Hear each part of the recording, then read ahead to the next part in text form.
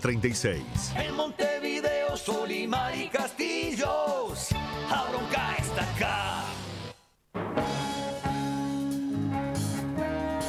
Puesta al día, primera edición. 60 minutos de noticias informando a la manera de centenario. La radio imprescindible.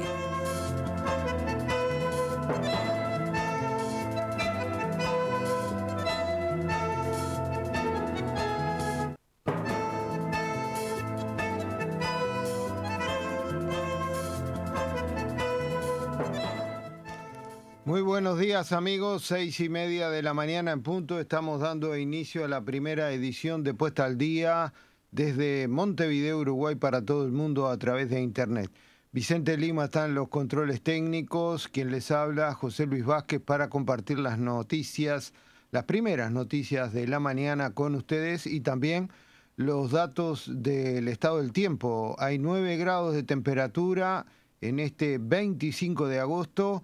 Entonces, feriado, eh, mm, lo que está diciendo el Instituto Uruguayo de Meteorología que es que los vientos están soplando del sureste a 7 kilómetros la hora, la presión atmosférica es de 1014 decimal 7, la humedad es del 92% y la visibilidad es de 10 kilómetros. Eh, para esta jornada el tiempo estará en la mañana algo nuboso y con nieblas en la mañana temprano y en la tarde eh, estará nuboso por momentos, por algunos momentos en horas de la tarde va a salir el sol.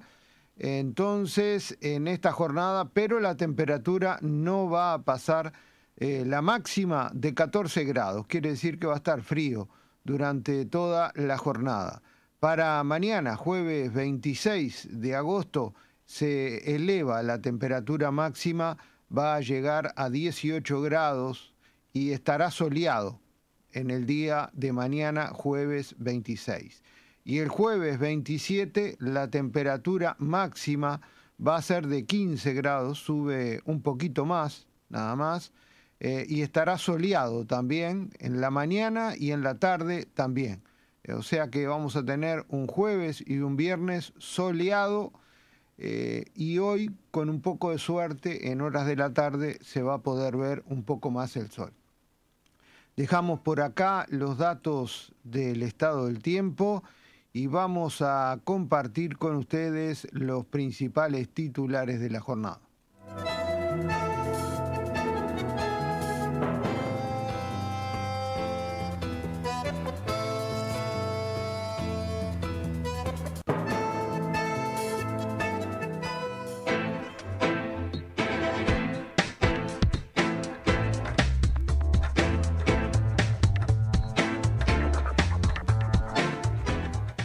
Bueno, ustedes recuerdan eh, que ayer eh, dábamos cuenta, abríamos el informativo señalando una preocupación. Esa, esa preocupación estaba centrada en, en que no, el Poder Ejecutivo no anunciaba eh, la bajada del precio de los combustibles, porque Ustedes recuerdan que casi siempre o casi todos los meses, este, a partir de que cambió el cálculo del aumento del precio de los combustibles, eh, después del 15 del mes este, en curso, eh, ya aparecía por parte de la URSEA el precio paridad importación.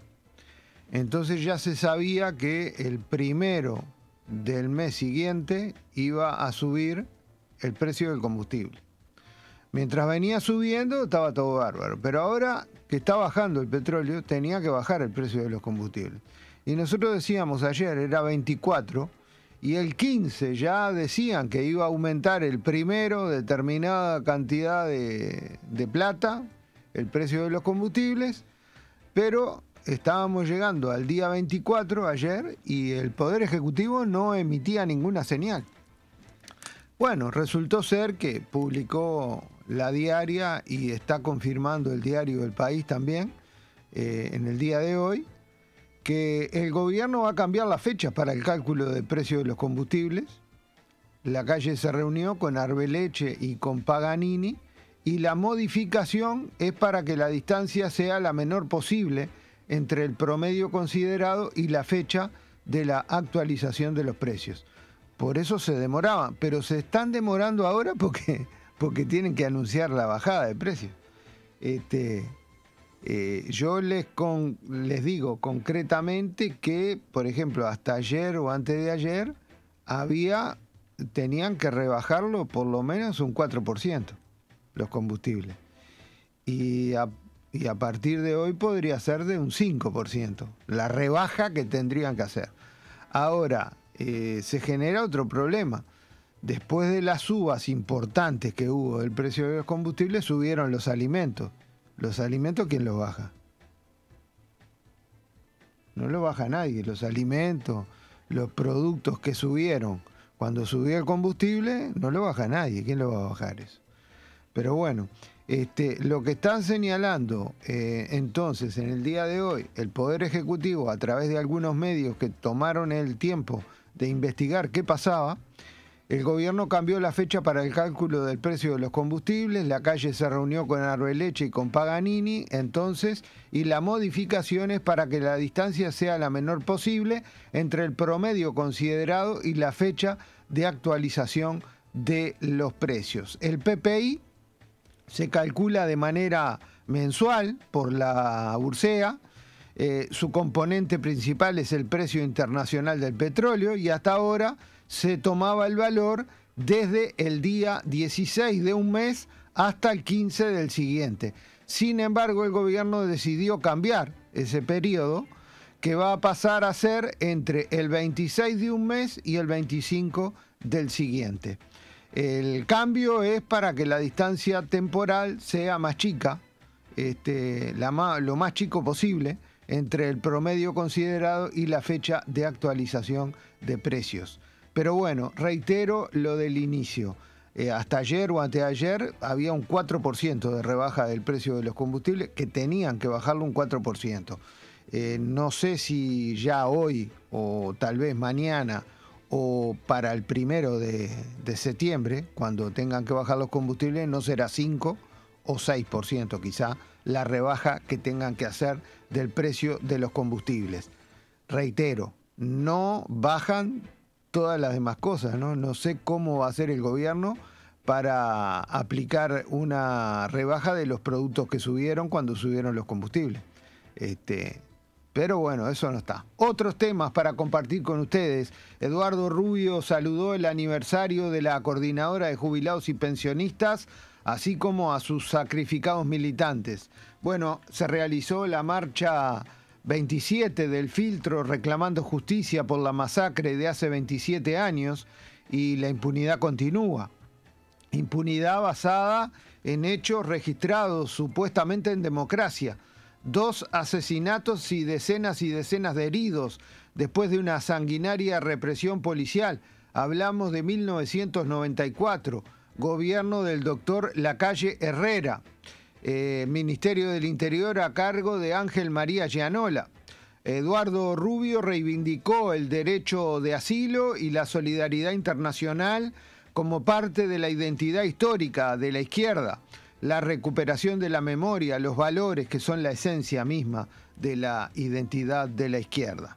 Otros temas, Uruguay alcanzó la inmunidad de rebaño, un 70% de la población ya cuenta con las dos vacunas de, contra COVID-19, informó el Ministerio de Salud Pública.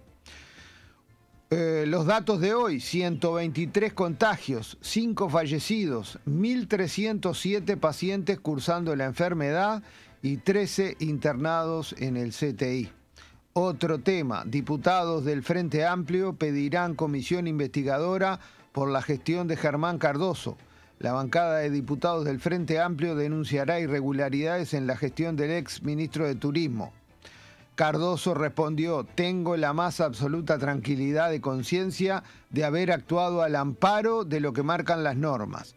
El ex ministro de Turismo defendió su gestión al frente de la cartera tras renunciar al cargo el viernes pasado, acusado de presuntas irregularidades en la compra de publicidad.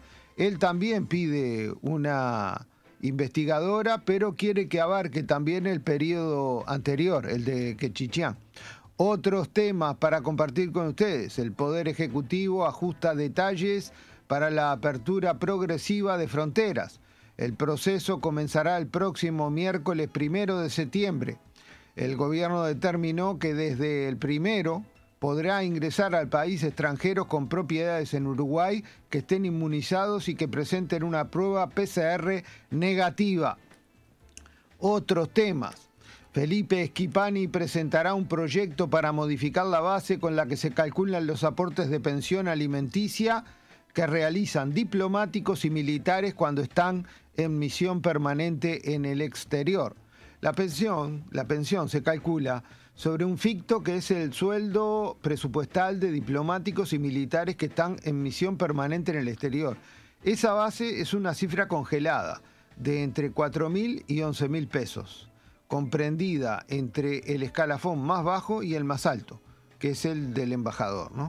Eh, sin embargo, el legislador este, asegura que los funcionarios en el exterior perciben 11 y, entre 11.000 y 17.000 dólares, por lo que los aportes que realizan a hijos menores o incapaces no reflejan el ingreso real. Otros temas para compartir con ustedes. No pienso renunciar. Esto es lo que dijo la directora del INISA, eh, Sandra Echeverry, luego de los cuestionamientos que le hizo Cabildo Abierto. Sandra Echeverry, representante por el Partido Nacional, afirmó que le sorprendió la violencia con la que dirigentes de la coalición han pedido su remoción. Representantes de Cabildo Abierto han cuestionado abiertamente el accionar de Echeverry, la directora elegida por el Partido Nacional en el directorio del INISA. Eh, tanto su líder, Guido Manini Ríos, como el senador Guillermo Domenech han pedido la renuncia de Sandra Echeverry porque no se alinea con lo planteado por la presidenta del directorio, la cabildante Rosana de Olivera. Eh, bueno, vamos a intentar el contacto con, Sandra Echeverry para hablar. Eh, de hecho, ayer estuvimos hablando algo con la directora del INISO, del INISA. Probablemente para mañana estemos en condiciones de estar conversando con ella. Otros temas para compartir con ustedes. UTE informó que regularizó servicios de energía a más de 4.000 hogares durante lo que va del año 2021. Eh, la presidenta de UTE, Silvia Emaldi, dialogó ayer con los medios de prensa luego de participar de un acto de regularización de un conjunto de viviendas del barrio Villa Serena, en el Totoral de Sauce, en Canelones, que se suma a la red eléctrica en el marco del programa de inclusión social. Eh, otros temas para compartir con ustedes, pero ya en el plano internacional. Bruselas no convence a Washington para prolongar las evacuaciones en Afganistán.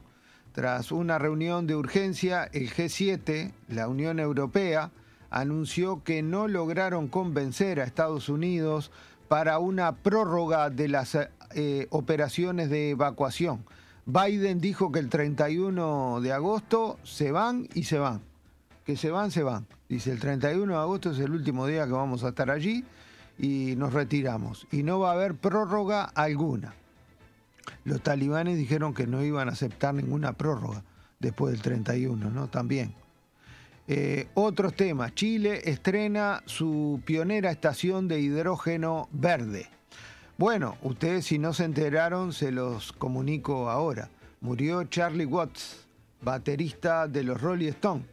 Pero bueno, esto fue ampliamente difundido ayer eh, como, como noticia internacional importante entonces. Posible envenenamiento intencionado en una universidad alemana.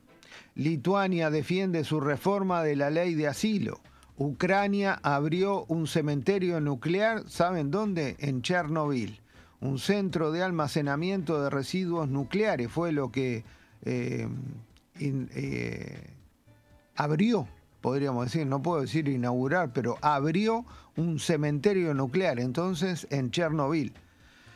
La Comisión Europea evita dar un paso más contra Hungría. Eh, aquellos países de la Unión Europea que violen los estatutos de la Unión Europea pierden eh, todo lo que tiene que ver o reciben una sanción, que es el bloqueo de fondos con que ayuda la Unión Europea a algunos países que necesitan de la ayuda económica. Eh, bueno, la, Eurocámara le pidió a la Comisión Europea que están pasado de tiempo con Hungría, tiene que ser sancionado y bloquear eh, los fondos este, de Hungría, pero la Comisión Europea se resiste por ahora a eso. Se generó, es decir, Hungría le trasladó un problema que ahora eh, los tiene en aprietos a la Eurocámara y a la Comisión Europea. En Brasil, grupos indígenas comenzaron la semana de protesta contra Jair Bolsonaro en Brasilia. Son algunos títulos. Hay muchos, pero muchos más. Eh, por ejemplo, China está realizando ejercicios navales con munición real en víspera de las maniobras de Estados Unidos y sus aliados en el Pacífico Occidental. Hacemos la pausa y a la vuelta de la pausa venimos con el desarrollo de las noticias.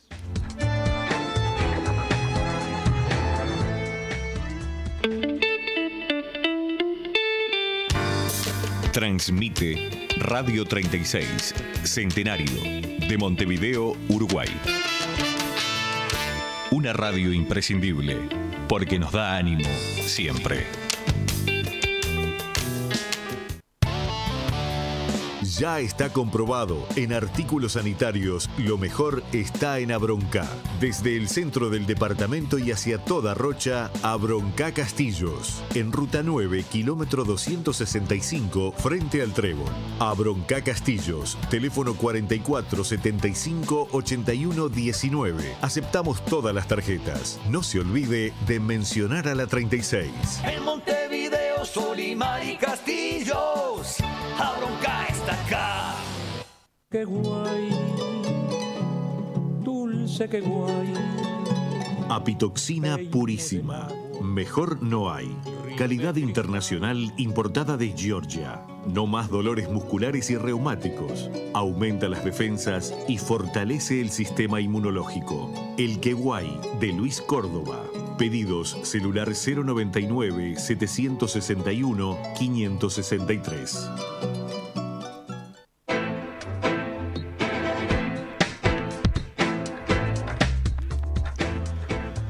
6 de la mañana y 48 minutos. La mañana estaba tranquila hoy, ¿no? Después de la noche la nostalgia. Me parece que mm, eh, hubo una apertura eh, de parte del Ejecutivo, del Poder Ejecutivo, del Ministerio de Salud Pública. Lo que no hay es plata, me parece. Este, o hay muy poca plata. Yo les voy a contar una anécdota que sucedió ya el fin de semana pasado eh, y que está marcando una, una situación económica preocupante en el país, ¿no? Porque esto jamás pasó. Ahora cuando ustedes me escuchen van a, van a estar de acuerdo seguramente. Pero en los meses de invierno, lo que trabajan las empresas de supergas no está escrito. Algunas de, ellos, algunas de ellas han llegado a tener tres turnos que no paran durante el invierno este, el caso de Acodique ha llegado a tener tres turnos y, no detenerse nunca. Ni sábado ni domingo, trabajan todos los días. Bueno, el sábado pasado la planta de Acodique no abrió. Los trabajadores no trabajó ningún turno el sábado. Un sábado de invierno que no trabaje la empresa Acodique es un panorama y el, y el domingo, por supuesto, tampoco trabajaron, ¿no? Pero digo, el sábado, que es un día casi normal, en invierno, para una empresa de Superga, no trabajaron. Este, es un dato no menos importante ¿no? de, de la situación económica. Y creo que la noche de la nostalgia anoche funcionó, pero funcionó. Hubo en los barrios este, alejados del centro, hubo mucha música, este, mucho barullo, pero me parece que se movió poco la alcancía. Creo que eso fue así. Pero bueno, el resto de los días van a ir diciendo si estoy equivocado o no. Vamos al desarrollo de las noticias. Diputados del Frente Amplio van a pedir una comisión investigadora por la gestión de Germán Cardoso. La bancada de diputados del Frente Amplio denunciará irregularidades en la gestión del ex ministro de Turismo Germán Cardoso. Vamos a escuchar al diputado del Frente Amplio por Maldonado, Eduardo Antonini, que se refirió a este tema de la investigadora. Este, acabamos de presentar en la Cámara una solicitud de una comisión preinvestigadora este, sobre graves irregularidades que fueron denunciadas en diferentes medios de prensa por quien era eh, el tercero al mando del Ministerio de Turismo, el, abogado Martín Pérez Banchero, eh, que es de público conocimiento, hace una serie de denuncias eh, que son importantes y que son graves, de hechos este, de apariencia irregular o apariencia delictiva, este, así que, por lo tanto, estamos solicitando eh, una comisión preinvestigadora para investigar estos hechos. Eh, eh, se, pide investigar su, gestión el, último año y medio? Sí, sí, se pide justamente, que es lo que está denunciado, no por el Frente Amplio, sino por alguien del mismo partido de quien era ministro y, y que era un cargo de confianza, el tercero al mando del ministerio. Vuelvo a repetir que además es abogado, este, y, y, conocer el tema. Si está denunciando, creemos que amerita, porque además este, también la Comisión de Ética de su propio partido este, lo ha convocado. Este, creemos que este, hay que investigar eso. ¿Lo denunciado está relacionado con el director de turismo o hay otros elementos también que se agregan a los hechos ya conocidos, vinculados con, con esta situación? Bueno, nosotros hemos tomado conocimiento de diferentes hechos, pero nosotros nos, nos atenemos en la comisión preinvestigadora a lo que nos parece importante y lo que es la denuncia pública que hace este, el exdirector nacional de turismo. ¿Cómo se, ¿Cómo se manifiesta usted sobre la decisión de Cardoso de ahora mismo también presentar su propia solicitud de investigadora? Bueno, está bien, este, él está en su derecho, amparado en sus fueros, este, pero bueno, yo creo que estamos ante un ministro, un ex ministro que salió de su cargo este, bajo sospecha, este, que no lo decimos nosotros, lo dice este, alguien de su propio partido. Este, fue removido del cargo este, y por lo tanto, bueno, ahora este, intentará hacer su defensa. Ahora, él plantea también investigar la gestión pasada. ¿Ustedes están dispuestos a, conciliar una declaración, una, una única comisión? Bueno, lo que pasa es que, este, a ver, es muy fácil y ha sido una práctica constante este, en, lo que va a este periodo de gobierno, es decir, cuando aparece un hecho este, irregular, enseguida se dice, ah, pero el Frente Amplio, vamos a investigar para atrás. Yo lo que digo es, si fue ministro durante un año y medio, estuvo al tanto, no hay auditorías, no encontró nada irregular, recién ahora, después que él es cesado en su cargo, este, pretende hacer una cortina de humo este, para investigar la, gestión pasada, es una pregunta. ¿Pero estarían de, acuerdo en acordar, eh, investigar también la gestión anterior? Es una decisión que la bancada tendrá que tomar en su momento. Nosotros en principio estamos presentando a esta investigadora porque quien está acusado no es ni la ex ministra ni las administraciones pasadas, quien está acusado es el que hasta, hasta ayer era el ministro. Ahora va a prosperar una sola investigadora y seguramente hay votos para la que presenta el oficialismo. Bueno, cada cual tendrá que hacerse cargo de lo que vota y de lo que no vota. ¿Cómo son los plazos de ahora en más? Es decir, ¿en cuánto tiempo esto se podría llegar a instalar? Sí, eh, los plazos legales son de 48 horas. Este, creo que son 48 horas hábiles, hay un feriado de por medio. Seguramente esta preinvestigadora debería estar este, el viernes a la tarde, debería estar este, funcionando.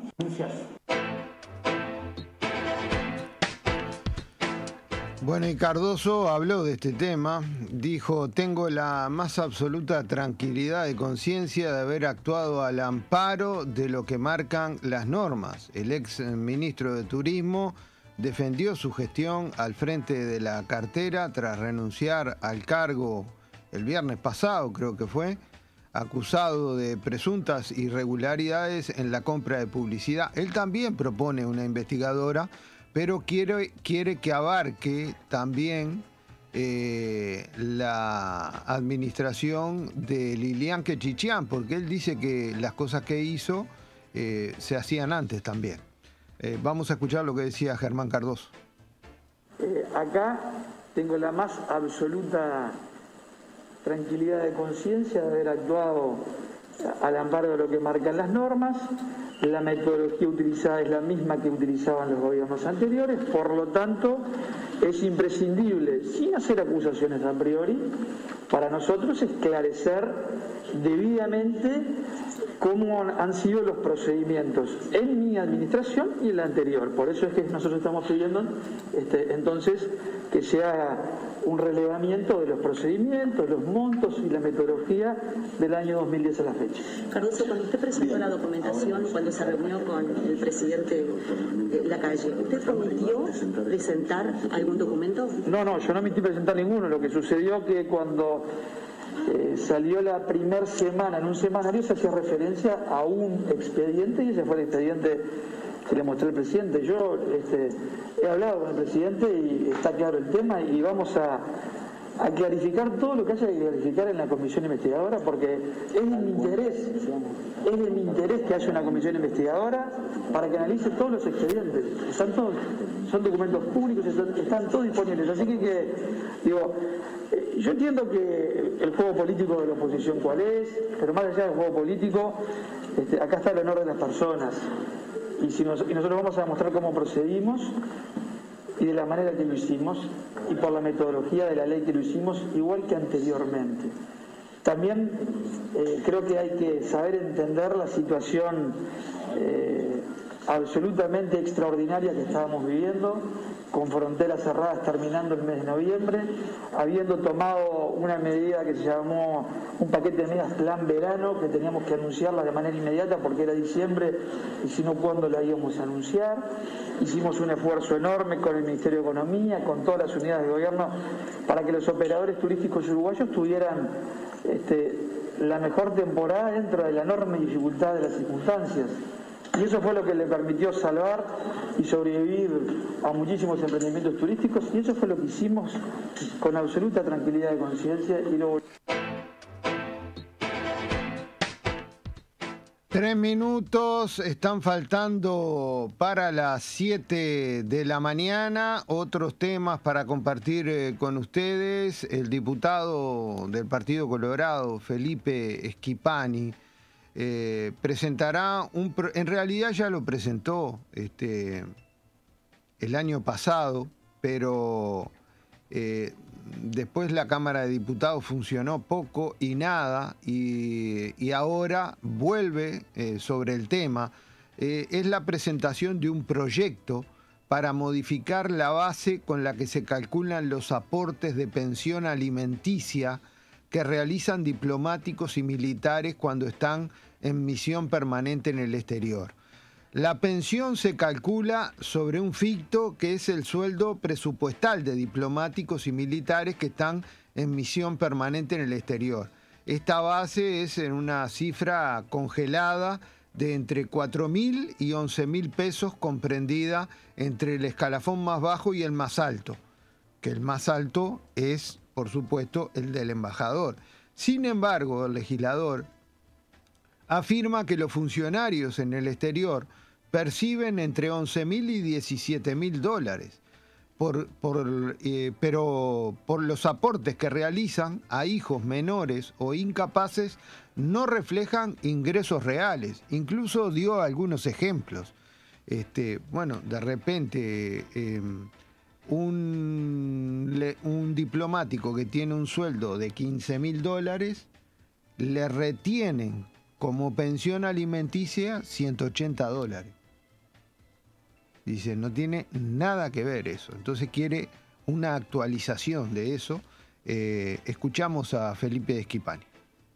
Eh, Es un proyecto de ley que nosotros presentamos el año pasado, vinculado a las pensiones de diplomáticos en misión en el exterior y también de militares en misión en el exterior.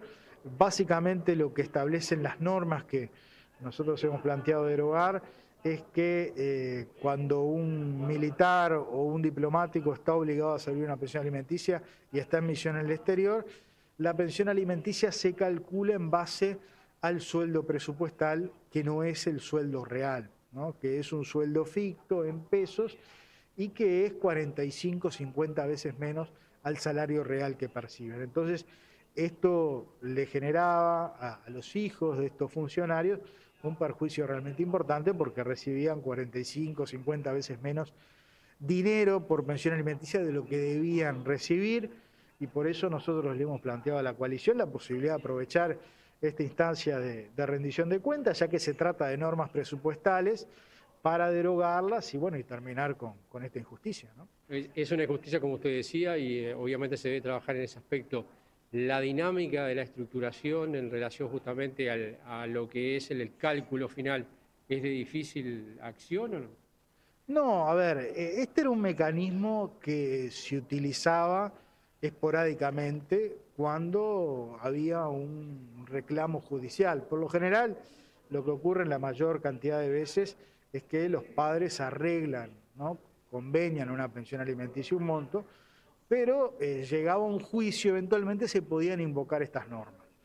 Entonces, este, lo que ocurría habitualmente era que este, un diplomático que ganaba 10, 15 mil dólares le servía a, su hijo eh, 2.500, 3.000 pesos. ¿no? Este, que eso no era de alguna manera este, acorde al, salario, al ingreso que esa persona recibía, porque además nuestra legislación es clara, o sea, eh, las pensiones alimenticias se sirven en base a todos los ingresos que, que tienen las personas. ¿no? Y esto era una rémora que había quedado este, de, normas muy vetustas que no habían sido derogadas y que todavía, bueno, algún abogado y algún tribunal invocaban para, para fallar en estos temas. 7 de la mañana y un minuto. Hacemos la pausa y a la vuelta venimos con otras noticias. Agrandate con la juventud. Ahora todos los sábados con ocho páginas más, para que tengas más entrevistas, más notas, más imágenes y la mejor información nacional e internacional. Incluye el suplemento Liberación. Hacete suscriptor del semanario La Juventud. Mensual 150 pesos, trimestral 400 pesos, semestral 750 pesos, anual 1400 pesos. Suscríbete ya por el teléfono 29 24 79 71. 29 24 79 71.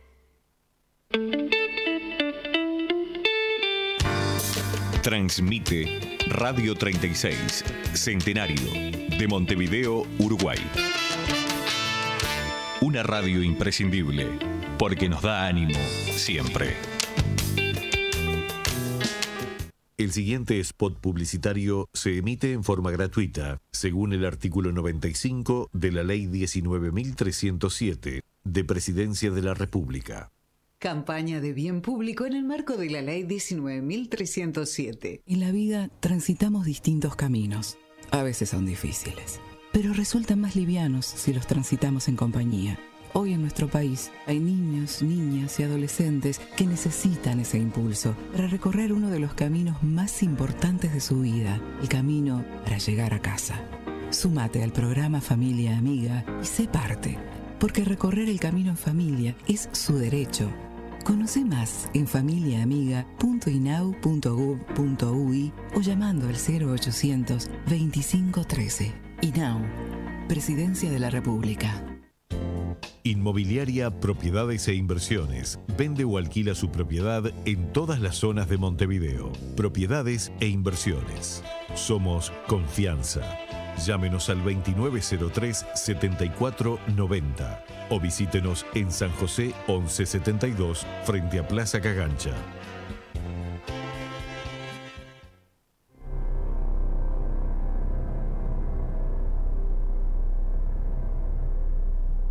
A partir del jueves 2 de septiembre, Marxianos aterriza en las ondas espaciales de la imprescindible para compartir sus pensamientos galácticos con la audiencia. Los esperamos los jueves a partir de las 19 y 30 horas. Conducen Daniel Vanina Croco y Carlos Amir González.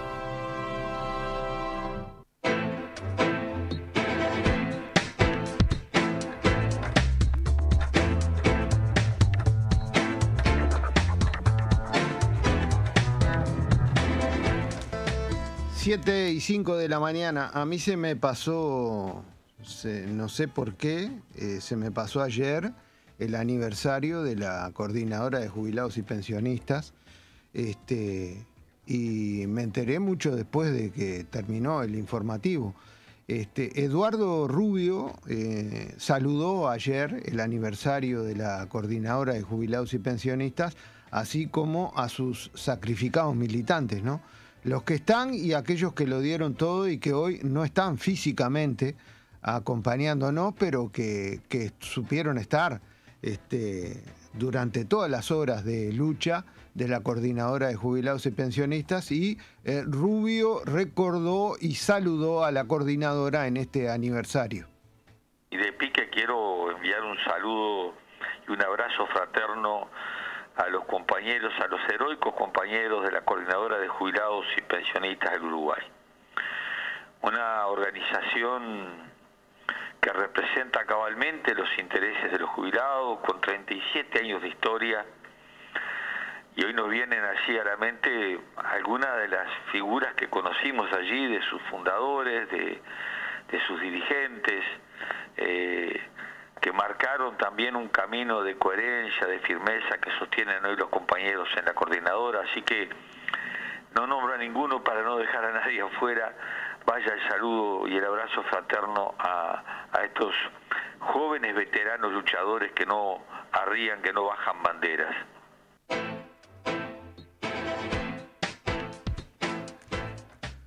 Siete y seis minutos ahora. Bueno, eh, se realizó la marcha 27 del filtro reclamando justicia por el asesinato de Fernando Morroni y Roberto Facal, eh, por la masacre de hace 27 años y la impunidad que continúa. Eh, impunidad basada en hechos registrados supuestamente en democracia, ¿no? Era 1994. Eh, pero a 27 años continúa la impunidad. Dos asesinatos y decenas y decenas de heridos después de una sanguinaria represión policial. Eh, Eduardo Rubio reivindicó el derecho de asilo, eh, la solidaridad internacional como parte de la identidad eh, histórica y que nunca debiera perder la izquierda. La recuperación de la memoria reivindicó los valores que son la esencia misma ¿no? de una identidad de izquierda. Lo escuchamos. Eh, es aniversario de un hecho eh, luctuoso y heroico de, de la historia de lucha de nuestro pueblo. Estamos hablando de la masacre del filtro, 27 años. Hoy escuchábamos a la, a la querida Norma Morroni, incaudicable cada año y cada día en su batalla contra la impunidad que debe ser una batalla de todos nosotros. Son 20 27 años del filtro y son 27 años de impunidad sobre este caso, más los 40 años de impunidad sobre tanta otra cosa. Y creemos que, que, que ha hecho bien la radio hoy en la mañana en estar en esa eh, recuperación de la memoria porque en este tiempo se nos impone dar una batalla para recuperar la memoria histórica de la verdadera historia. De la verdadera historia, porque hoy entre tanta virtualidad, más la noche de la nostalgia, más tanta cosa que, bueno, los ministros que van y vienen, eh, el nombramiento de un ministro que anuncia a un dirigente de un partido, un dirigente de un partido que no es el presidente, cosas insólitas este Uruguay eh, del posmodernismo y de la coalición multicolor. Eh, pero todo eso va enterrando, y además tiene la intención de enterrar la historia. Y creo que tenemos que nosotros dar esa batalla por recuperarla y decir por qué estábamos tantos uruguayos, miles de uruguayos, esos días en la zona del filtro. Estamos porque fue una loca pasión de agosto. Estábamos porque nos vino, no sé, la varicela, no, no. Ahí estaba dándose un proceso brutal del intervencionismo del gobierno español, un gobierno socialista, promotor de los progresismos, entre comillas, que, eh, bueno, mandó agentes de la represión española que fueron operadores directos con las fuerzas represivas uruguayas para extraditar a un grupo de vascos acusados de ser integrantes de la ETA. Y la verdad que de eso poco se habla. Ahora apareció documentos donde está clarísima la intervención, incluso la participación de oficiales españoles en el interrogatorio de los detenidos vascos. Eh, y después habla de soberanía. Y después se habla del nacionalismo. No, no, no. Aquí hubo una, realmente una claudicación ante, más que la presión, yo creo que la connivencia con un gobierno represivo de los pueblos que se levantaban en la lucha por su independencia y de afinidad clara también con un modelo económico que en particular Felipe González como miembro de ese progresismo se encargó de exportar al mundo, ¿no? Como representante de multinacionales. Pero estábamos ahí también porque estamos siendo expresión del profundo sentimiento internacionalista que fue, digamos, riqueza, un tesoro de la conciencia del pueblo uruguayo. Tal vez fue de las, de las últimas expresiones así masivas de ese internacionalismo donde decíamos, no, acá hay gente que está luchando por sus ideales, no podemos permitir que se los extraditen para una segura eh, tortura y prisión. Estábamos ahí defendiendo una tradición valiosa de nuestro pueblo que era la del brindar asilo a los perseguidos políticos. ¿Cuántos, cuántos republicanos españoles conocieron de la solidaridad del pueblo uruguayo? ¿Cuántos brasileños? ¿Cuántos paraguayos? Estábamos ahí recuperando lo mejor de nuestra historia. Y no nos arrepentimos de haber estado. Y si se diera de vuelta la misma situación, estaríamos de vuelta. Porque hoy parece que nadie estuvo. que nadie estuvo hay también un operativo de enterrar esa memoria. Y creo que además ese hecho fue uno de los de los escalones que se dieron a nivel del Frente Amplio en su derrape hacia, hacia el centro y el, abandono del principio, el principio histórico de la izquierda. Porque recordamos también, en ese momento formamos parte de la mesa política, el debate que se dio y bueno, triunfó una posición de que el frente se hiciera presente. En aquel momento, eh, con el doctor Vázquez en, en, la, en, el filtro como expresión de solidaridad. Y hubo una pasada por ahí, yo escuchaba algunos de los mensajes que lo recordaban, y después fue eh, tema hasta de congresos y de autocrítica. Se planteaba que se perdieron las elecciones del, del 94 por haber estado allí todo el mundo sabía que eso era mentira, pero era parte de esa ofensiva por ir borrando una identidad de la izquierda histórica de este país. Entonces, fundamental, batalla por recuperar la memoria histórica y la verdadera historia. Y recuperar valores que van siendo enterrados, ¿verdad? En este mundo de hoy, en donde el relativismo filosófico, político, ideológico, es lo que prima. Y donde lo que prima son los matices y no las diferencias de fondo, que son las que hacen eh, la realidad de la lucha política.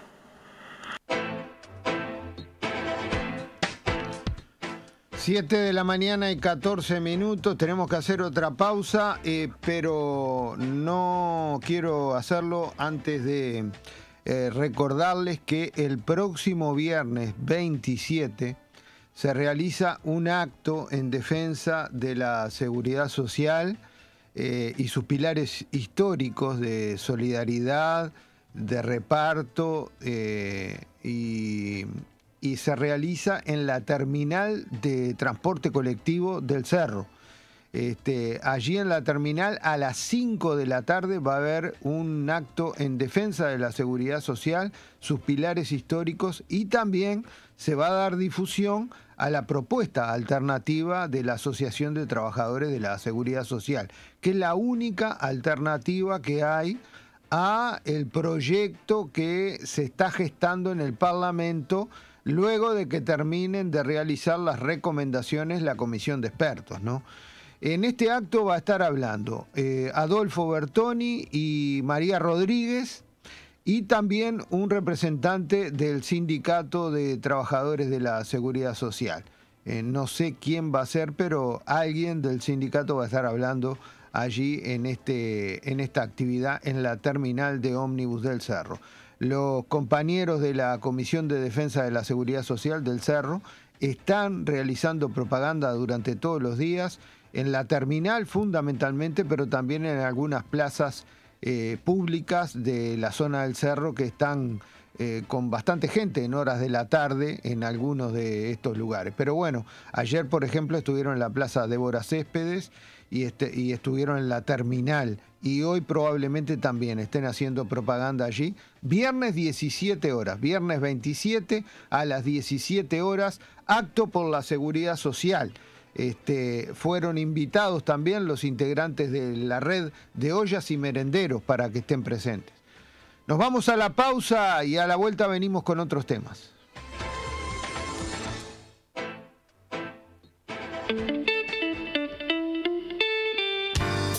Transmite Radio 36, Centenario, de Montevideo, Uruguay.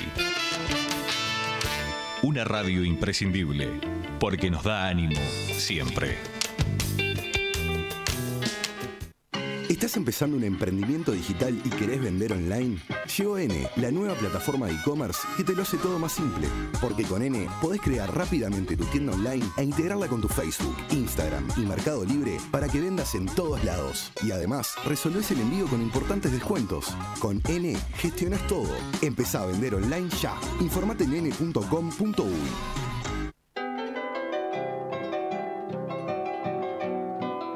Endulce su vida con miel natural pura de la nueva reserva ecológica de los Montes del Queguay de Paysandú. Adquiérala en la radio en envases de un kilo. Único distribuidor Luis Córdoba. ¿Tu casa no tiene alarma ADT? Contratala a través de Netgate con importantes beneficios. Llama ahora al 2712-6666 y evita que te visiten los amigos de lo ajeno. Audiencia de la 36. Les recordamos que todos los domingos a las 9 de la mañana cuentan con el espacio de RGM Negocios Inmobiliarios que les trae la actualidad del mercado inmobiliario y con el tradicional listado de ventas y alquileres. Alquiler Casa de Altos, Aguada, Marcelino Sosa y Amézaga. Dos dormitorios, living comedor amplio, cocina moderna, acceso a terraza en azotea. 22 mil pesos.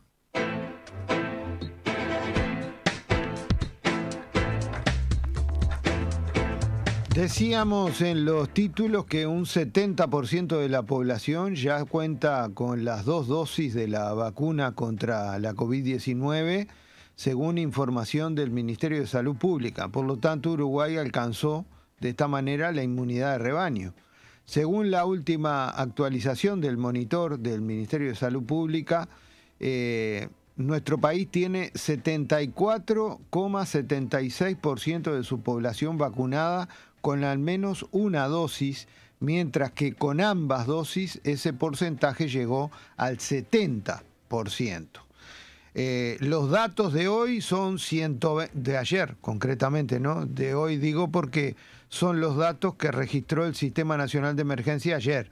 123 contagios, 5 fallecidos, 1.307 pacientes cursando la enfermedad y 13 internados en el CTI. Eh, por esta razón, el Poder Ejecutivo está ajustando detalles para la apertura progresiva de fronteras. Habló al respecto de esto el ministro de la Defensa, Javier García. Dijo que el proceso va a comenzar el próximo miércoles primero de septiembre, PCR negativa. Escuchamos al titular de la Defensa ir avanzando en las nuevas este, tareas que hay que hacer en virtud de la nueva disposición de apertura a partir del 1 de septiembre para extranjeros que tengan, puedan mostrar su propiedad aquí, como las que puedan venir en el futuro a partir del 1 de noviembre. ¿Qué tareas se ministro? Sí. El desafío es tener una apertura muy controlada en el sentido de la seguridad de la apertura. ¿Qué quiere decir eso? Que se cumpla con todos los protocolos. Apertura de fronteras no es descontrol, es apertura con control y con pasos firmes. Y por eso, como nosotros tenemos dos áreas de ingreso al país, por vecinos, en el área desde el punto de vista terrestre y fluvial, ¿no? en el norte este, Brasil y en el litoral Argentina, que tienen, por ejemplo, en el caso de las vacunas, documentaciones diferentes y formas diferentes, bueno, hay que ver para un caso qué es lo que se exige de documentos, para otro otro, en el caso de los PR, es decir, vamos a tomar todas las medidas y por eso también este, le pedimos que participara Salud Pública, eh, cuáles son los documentos, las cosas que hay que este, presentar para cumplir con todos los protocolos sanitarios. Vuelvo a reiterar, apertura con controles, con pasos firmes y para eso tenemos que tener las indicaciones necesarias para que en el caso de la Dirección de Migraciones, el Ministerio del Interior pueda exigirla, que es la primera oficina, y después los casos de los puestos fronterizos de las Fuerzas Armadas, exactamente El ministro eh, también se informó que mm, los militares eh, van a ser capacitados o están siendo capacitados ya en trámites administrativos. Eh, por ejemplo, para saber qué solicitar a los visitantes según la procedencia, es decir, el lugar de origen de donde viene. En el caso del litoral, la entrada por los puentes como un embudo, usted pasa por allí, no tiene vuelta y hay un área de control integrado, los pasos de frontera, donde están migraciones, la Prefectura Nacional Naval, la aduana, etc. hay un punto de ingreso. Y entonces ahí se facilita más este, las medidas y los controles. En el caso de Brasil, la frontera, muchas de ellas seca. Y por lo tanto, a veces, en los puestos de control de la Fuerza Armada, que están hasta 20 kilómetros para adentro, usted se encuentra con un auto como ha sucedido, matrícula brasileña, por ejemplo, donde ahí hay que pedir documentación. Por eso nuestros efectivos tienen que tener claro cuál es, en el caso concreto de cada país, la documentación que se tiene que, exigir para cumplir con los decretos. Lo hemos hecho en circunstancias que las fronteras estaban cerradas y que había muy pocas excepciones para ingresar. Ahora hay que saber cuando hay otras posibilidades, cuáles son las documentaciones que hay que solicitar. Por esta reunión que hizo con las tres fuerzas, ¿se sigue necesitando la misma cantidad de efectivos que usted decía de incremento o se pidió un poco más de gente para hacer todo este control? La misma cantidad de efectivos, en principio, porque las tareas que hay ahora también requieren mucha gente, lo cual no quiere decir el mismo dispositivo, porque puede significar que algunos puestos que estaban en algunos lugares ahora se transformen en patrullas este, móviles, ¿no? para ir a lugares donde este, uno, eh, quien va a cometer un delito, no espera que, esté controlado. Es decir, si uno está siempre en el mismo lugar, quien va a cometer irregularidades o delitos va a ir pasear ese lugar. Entonces hay que tener la capacidad de, de traslado. Ingresamos al capítulo internacional. Le decíamos en títulos que Bruselas no pudo convencer a Estados Unidos para que se quede un poquitito más en Afganistán para eh, lograr eh, todas las evacuaciones que tienen pensadas. Y Joe Biden, en una reunión que fue por, por internet también, ¿no? Este, fue una reunión virtual del G7 eh, allí no lograron convencer a Biden para que se quede ni un minuto más después del 31 de agosto. Estados Unidos no prolongará su presencia en Afganistán ni las operaciones de evacuación. Pese a las peticiones de sus aliados, las tropas estadounidenses saldrán del territorio afgano el 31 de agosto. La Unión Europea fracasa así en su intento de persuadir a Washington para ampliar el plazo de las evacuaciones tras una reunión de urgencia del G7 este martes. Ahora el Reino Unido trabaja para mantener abierto el aeropuerto de Kabul más allá de la fecha fijada. La condición número uno que hemos establecido como G7 es que se deben garantizar vías seguras para que continúe saliendo gente más allá del 31 de agosto para que aquellos que quieran salir puedan salir. Espero que se entienda el sentido de esta intención porque el G7 tiene una influencia muy importante tanto económica como diplomática y política, dijo el primer ministro británico. Tras el encuentro virtual del G7, la Unión Europea anunció que multiplicará por cuatro la ayuda humanitaria en Afganistán, llegando hasta 200 millones de euros. Sin embargo, la ayuda al desarrollo destinada a las autoridades afganas ha sido bloqueada hasta que no se garantice el respeto de los derechos humanos. Tenemos mil millones de euros de ayudas europeas destinados a Afganistán para los próximos siete años. Estas ayudas serán congeladas hasta que no haya garantías sólidas sobre el terreno de que se están cumpliendo las condiciones exigidas. La crisis en Afganistán también podría provocar una nueva ola migratoria. Varios países de todo el mundo ya se están movilizando para acoger a ciudadanos afganos que huyen del régimen talibán.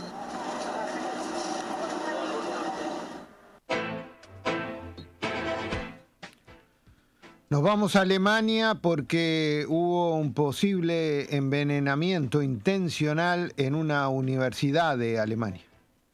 Posible envenenamiento intencionado en la Universidad de Darmstadt. La policía alemana ha iniciado una investigación después de que al menos seis estudiantes hayan tenido que ser atendidos por intoxicación. Los jóvenes tuvieron que ser ingresados con síntomas claros de letargo, tras haber estado bebiendo botellas de agua y leche que más tarde se descubrió habían sido adulteradas. La Fiscalía habla de tentativa de asesinato. Esta investigación se basa en el hecho de que ahora se ha detectado una sustancia en varios productos alimenticios que puede ser perjudicial para la salud e incluso mortal, explicaba el fiscal, que confirmaba que uno de los estudiantes se encuentra en estado crítico.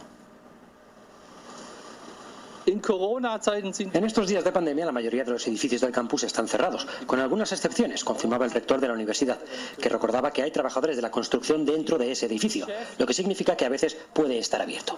En principio, solo pueden entrar los estudiantes y los empleados.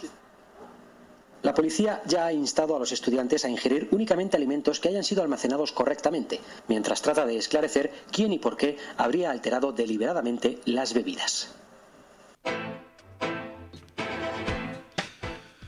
Nos vamos a Chile porque estrenó su pionera estación de hidrógeno verde. Es la primera estación chilena que contiene la energía del futuro, el hidrógeno verde, y así carga un vehículo minero. El objetivo de esta nueva producción es descarbonizar la potente minería chilena que emite más de 5 millones de toneladas de CO2 al año, electrificar el transporte público y abastecer a los hogares. El hidrógeno verde se obtiene a través de la electrificación de agua y su uso solo genera vapor. El país quiere convertirse en uno de los principales exportadores de esta energía que aún no se ha utilizado en masa por su costosa producción. Chile promete abaratar su precio. Chile tiene un gigantesco potencial para transformarse en un país líder en el mundo en materia de eficiencia y bajo costos en la producción de hidrógeno verde. Nuestra meta es producir hidrógeno verde a un costo inferior a 1,5 dólares por kilogramo. Y así podremos desarrollar una industria que va a exportar más de 30 mil millones de dólares al año. Un precio que convertiría al hidrógeno verde chileno en el más barato del mundo.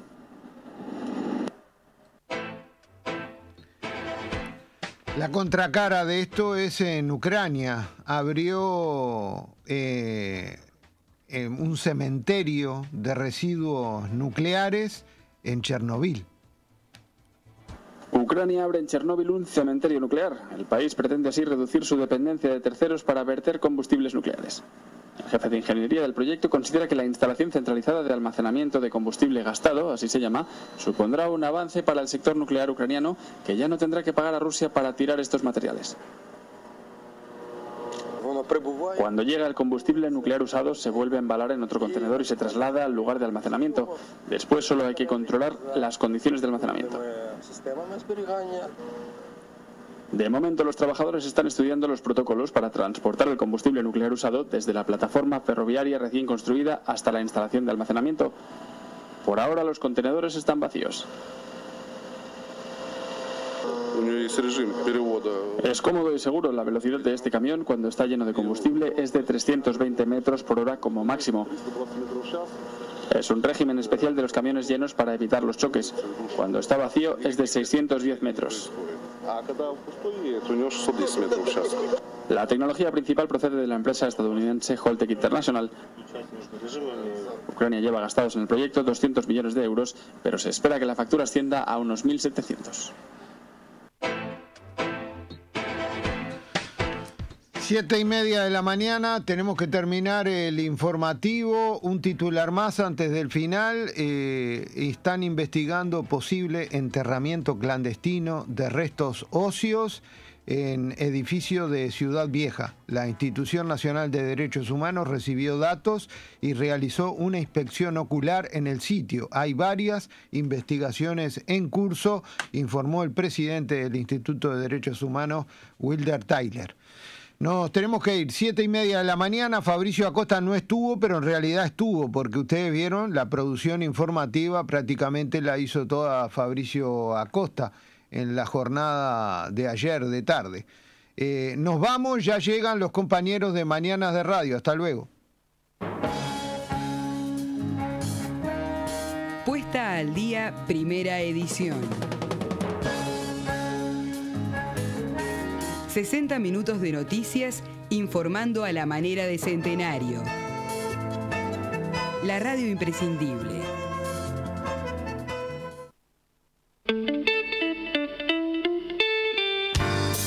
Transmite Radio 36, Centenario, de Montevideo, Uruguay.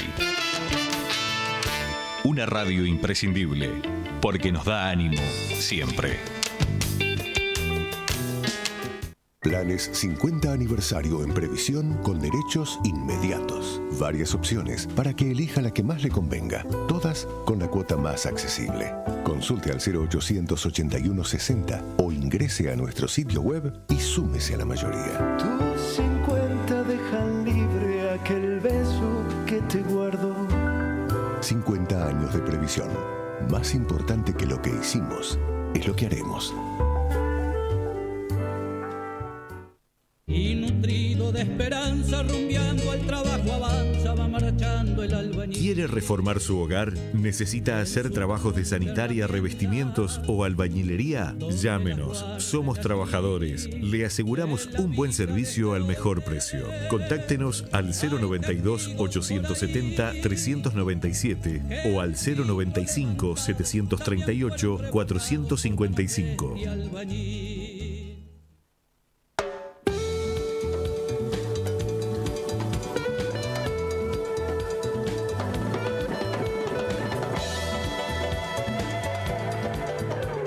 Amanecer de la comunicación, la frescura de la noticia, las instituciones, las personas, la espontaneidad de los hechos y el diálogo de ida y vuelta con María de los Ángeles Valparda, Hernán Salina y Marcelo Peña. 1250 del dial, la 36. Radio Centenario ya da comienzo a su programa mayor, Mañanas de Radio.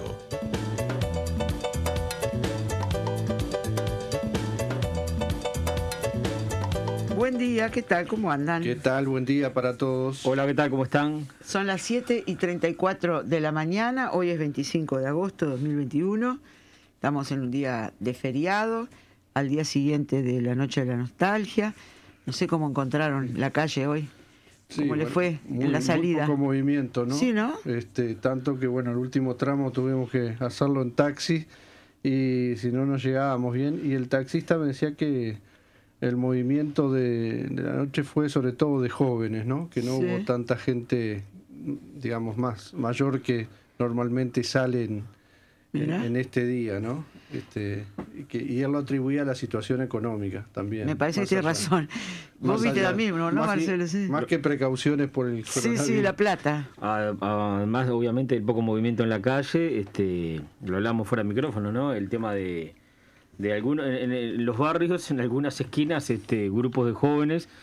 Me hacía acordar algo de lo que habitualmente ocurre en las fiestas tradicionales, ¿no? Sí. Que se quedan hasta la noche y bueno, y se escuchaba en la madrugada mucho, mucho música, mucha música y este y movimiento de ese tipo, sí. José Más Luis parecido decía- a la fiesta, sí. Ahí va, José Luis decía que se escuchaba en los barrios mucha música, Sí. mucho ruido, pero Sí, por ahí llegaba. Exacto, Yo tuve en la esquina donde tomo el ómnibus, como siempre que hay, ¿cómo se llama? Los malabaristas, Sí. un chiquilín malabarista que está siempre, estaba como siempre. Después subió en el ómnibus un payaso que arrancó. Ahora de mañana temprano. Ahora sí, todo esto es hoy. Arrancó con, con todo no el arran- traje no arrancó el payaso. cielo de la noche. Seguro, Sí, sí, sí, sí. largo. No, además es muy crudo lo que voy a decir. Subió diciendo, le contó al chofer, pero bien fuerte para que todos escucháramos, que no había podido dormir del hambre que tenía. Que no lo dejó dormir el hambre. Y, y bueno, y explicó mil cosas vinculadas a, a lo mal que están las cosas acá, para él. Y después pasó por la gente así buscando una moneda, tenía tapabocas y algo Claro. más, no me acuerdo que. No, tenía como para. Sí, sí. Dijo, yo no los vendo, yo los doy, y Ah. cada uno me da lo que puede, no sé cuánto. Dos personas le dieron nada más en todo el ómnibus y se bajó haciendo así con la cabeza, moviendo, como diciendo, no, no saqué nada, ¿no? Claro. Y mostraba, llevaba un baldecito de que no tenía, no había juntado nada. No había juntado nada. Sí, sí, sí. Y después acá en 18 también, 18 y Ejido, había un muchacho, se escuchaba cruzando la calle, hablando fuerte, pidiéndole a la gente si le daban monedas.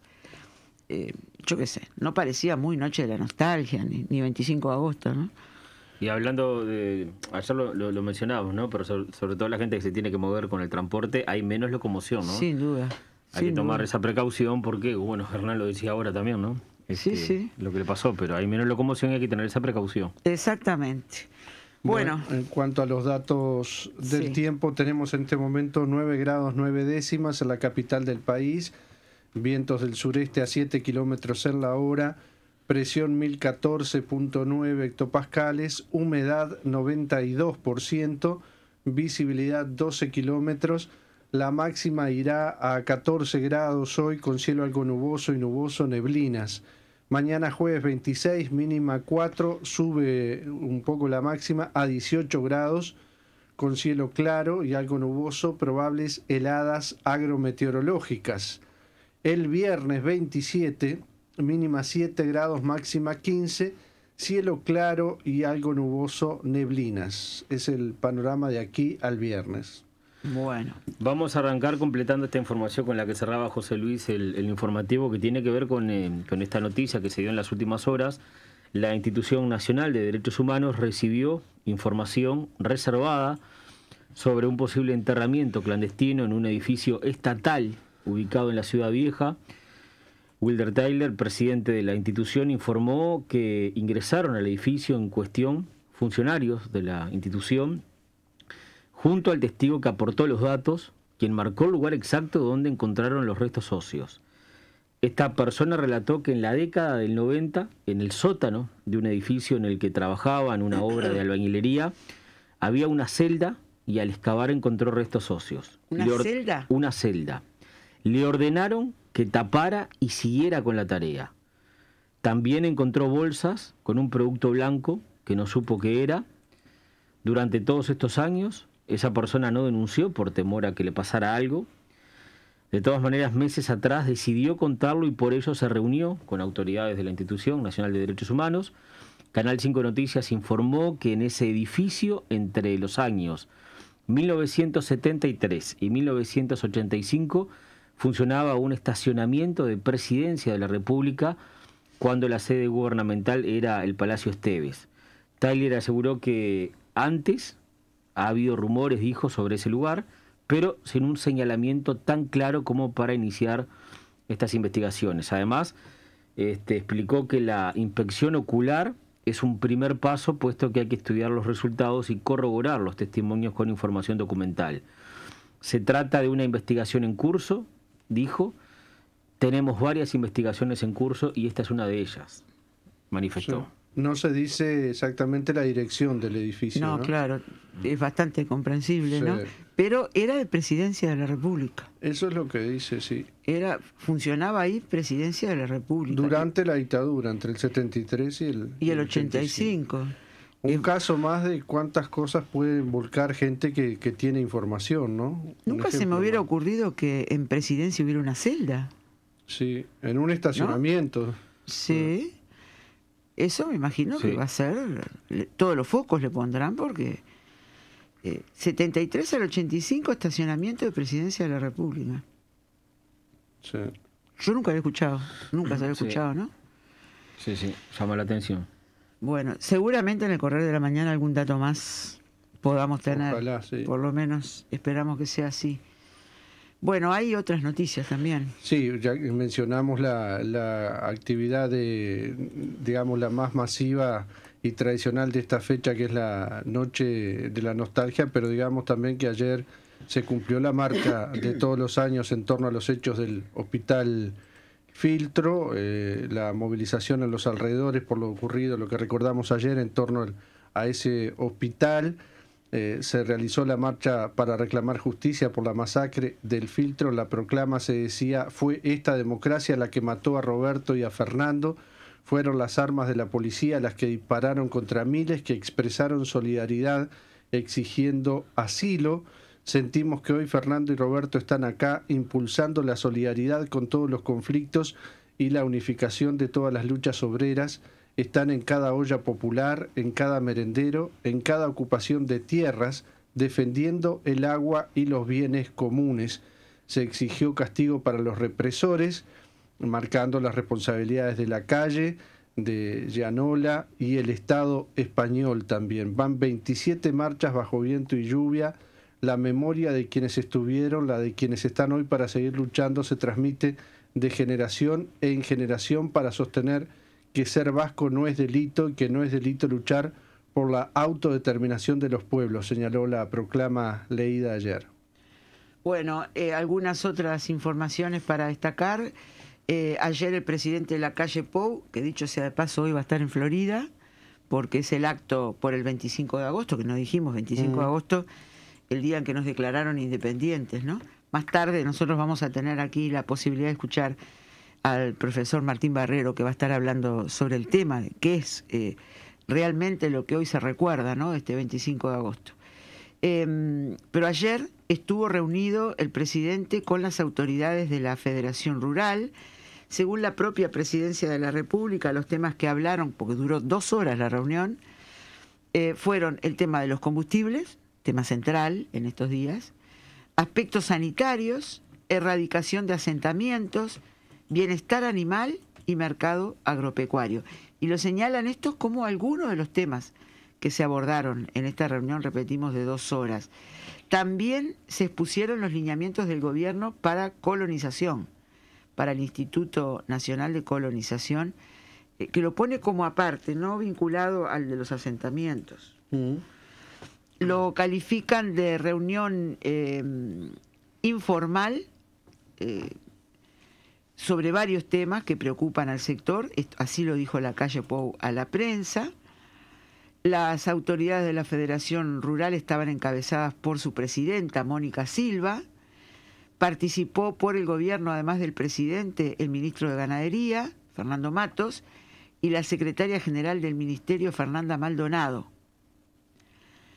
El presidente dijo que la estrategia del gobierno es lograr tarifas de combustibles accesibles competitivas con la región y sin subsidios. Eh, ayer le preguntaba a uno de los periodistas que esperó eh, las afueras de la reunión, le preguntaba a la calle si habían hablado con la Federación Rural sobre el tema del gasol, de buscar... No, no, de eso no hablamos, pero le están buscando un precio mejor para ellos, algo más conveniente para ellos. Dijo, para todos, estamos buscando algo mm. mejor para todos. Em, con respecto al tema colonización, el presidente le transmitió a las autoridades de la federación los lineamientos que lleva el gobierno, con estrategias para todas las zonas del país.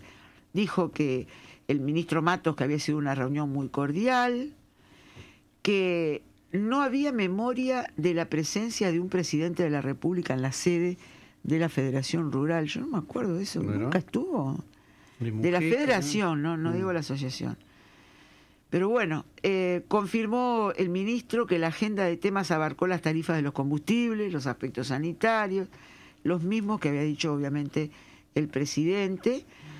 Eh, también habló sobre los desafíos que atraviesa el sector agropecuario por la pandemia. Le preguntaron sobre la posibilidad de modificaciones tributarias para este sector. El ministro dijo que el tema no estaba en la agenda, pero sí en la consideración del gobierno la posibilidad de estudiarlo que se iba a reunir con técnicos del Ministerio de Economía y Finanzas y la OPP para analizar el tema, así que van a, van a avanzar en esto, ¿no? Bueno, hacemos la primera pausa. Vamos a, mencionar que falleció en las últimas horas eh, la compañera Laura Menoni, ¿no? militante de Unidad Popular de, muchos años. Eh, falleció el, hoy estamos en el lunes, ¿no? Eh, queremos mandar particularmente un saludo a su hija Daniela, también compañera, compañera nuestra. Eh, fue, fue sepultada en el día de ayer, por lo que tenemos la, información. Y viene el recuerdo fuerte de los padres de, Exacto. de Laura, ¿no? Aquellos veteranos impresionantes, Blanca, Blanca y Menoni, no me sale el nombre ahora de Menoni pero eh, grandes militantes también de toda la vida. Que se comunicaban mucho con la radio. Mucho con la radio y que eran el emblema en San Luis del Frente Amplio, que fueron los que ayudaron a... Ayudaron, no, fueron los que decidieron que el local del Frente Amplio tenía que ser propio y entonces vendían tortas fritas, la cola de gente para comprar tortas fritas y ellos conseguían y apoyo de acá, apoyo de allá Periodista fue él, ¿no? Sí, era de la agencia UPI. Exacto. De la agencia UPI. Eh, y bueno, y Laura Menoni, la fallecida, también militante desde la época estudiantil. Eh, militó muy junto a, María Emilia, no me sale, Emi, la madre de Mariana Zaffaroni. Ah, Militaban juntas en la agrupación estudiantil de magisterio. Eh, ella le tocó salir del país, estuvo en Venezuela eh, también pasando por muchas vicisitudes para tener a su hija eh, en aquellas condiciones de represión muy fuerte. Pero bueno, sí había, hay mensajes, Graciela mandó mensaje, Hilda dice, queridos compañeros, nuevamente unidos en el dolor, terrible noticia que acabo de recibir, nos dejó físicamente Laura Menoni, qué dolor, a todos mis compañeros y a su familia un fuerte abrazo, que estoy a mucha distancia pero no lejos, presente siempre en nosotros, Laura, decía Hilda desde lejos, ¿no? Y lamentablemente en momentos en que se ha bajado tanto las cifras de, fallecimientos por COVID, eh, le tocó hacer a Laura uno de... De los cinco que ayer se anunciaron. Exactamente.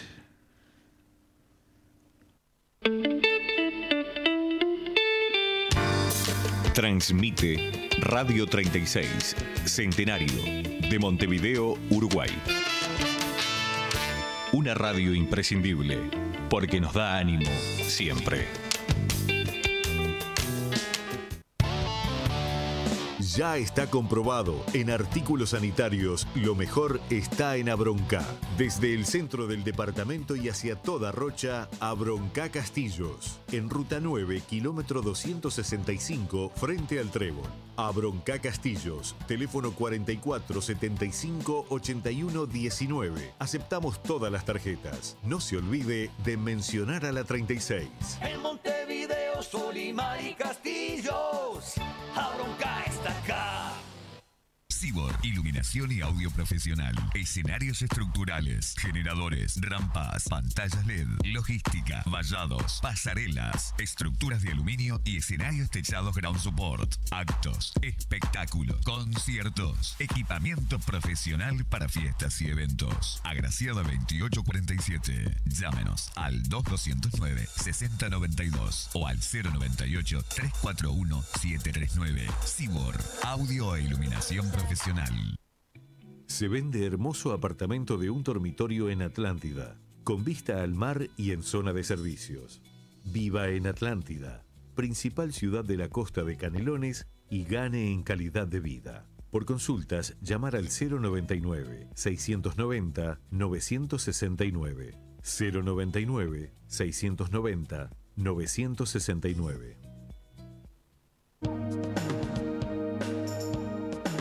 Mañanas de Radio. El periodístico de Radio Centenario.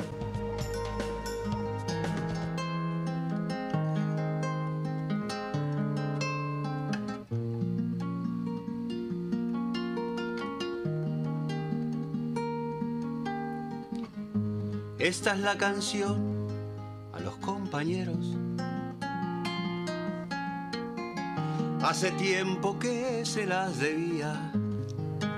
Ricardo Altamirano Alza, muerto el 25 de agosto de 1976 en Argentina.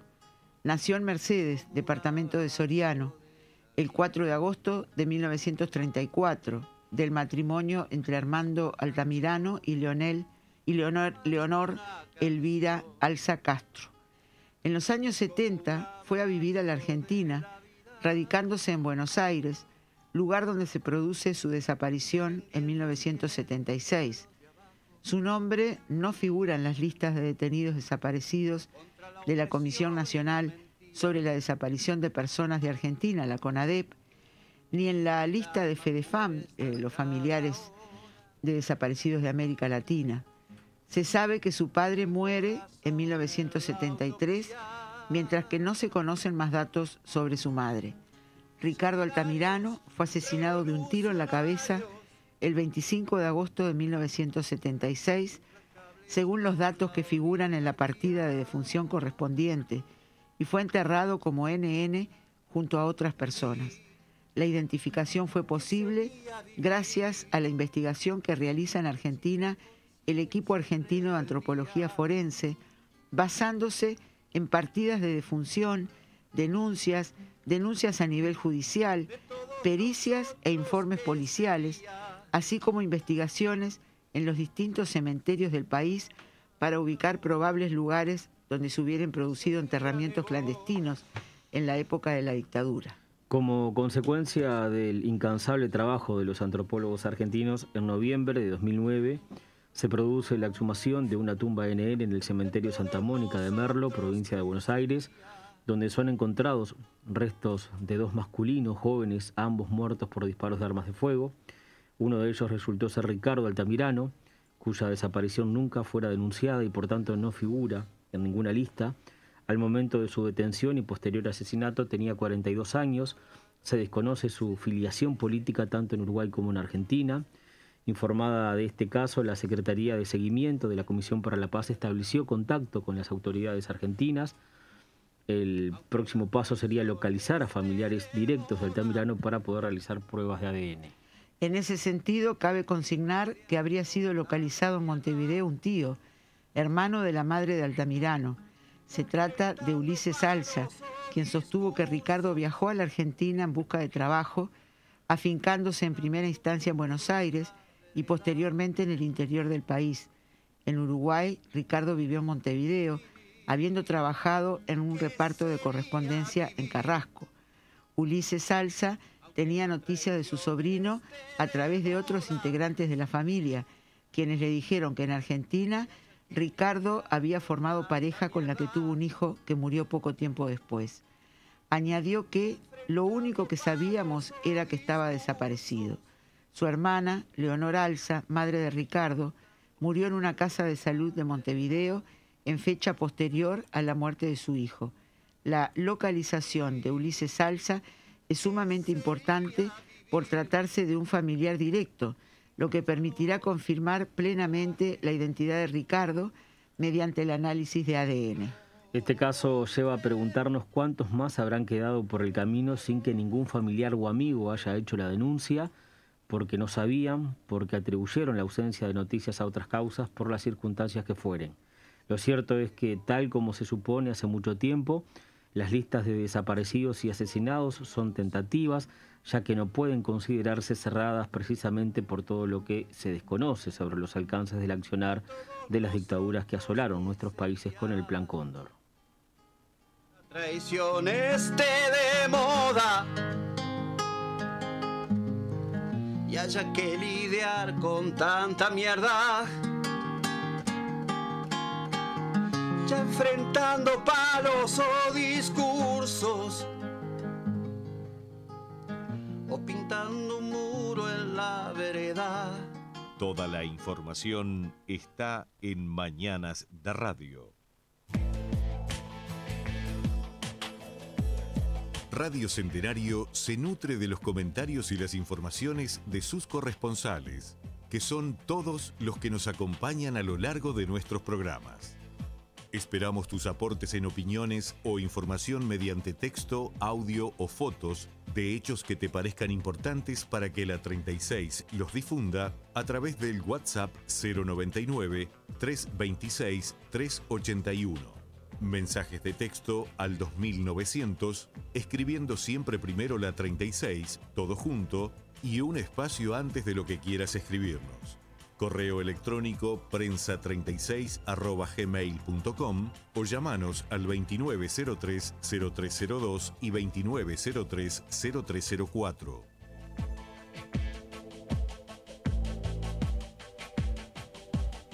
Alejandro de Atlántida manda un abrazo grande a Daniela Spinelli. Gloria eterna para Laura. Los socialistas no mueren, se siembran, dice Alejandro. Bueno, en, otros, en otras noticias, la Guardia Republicana dispersó con munición menos que letal, así lo denominan, una concentración en reclamo de una mujer desaparecida en Casaballe.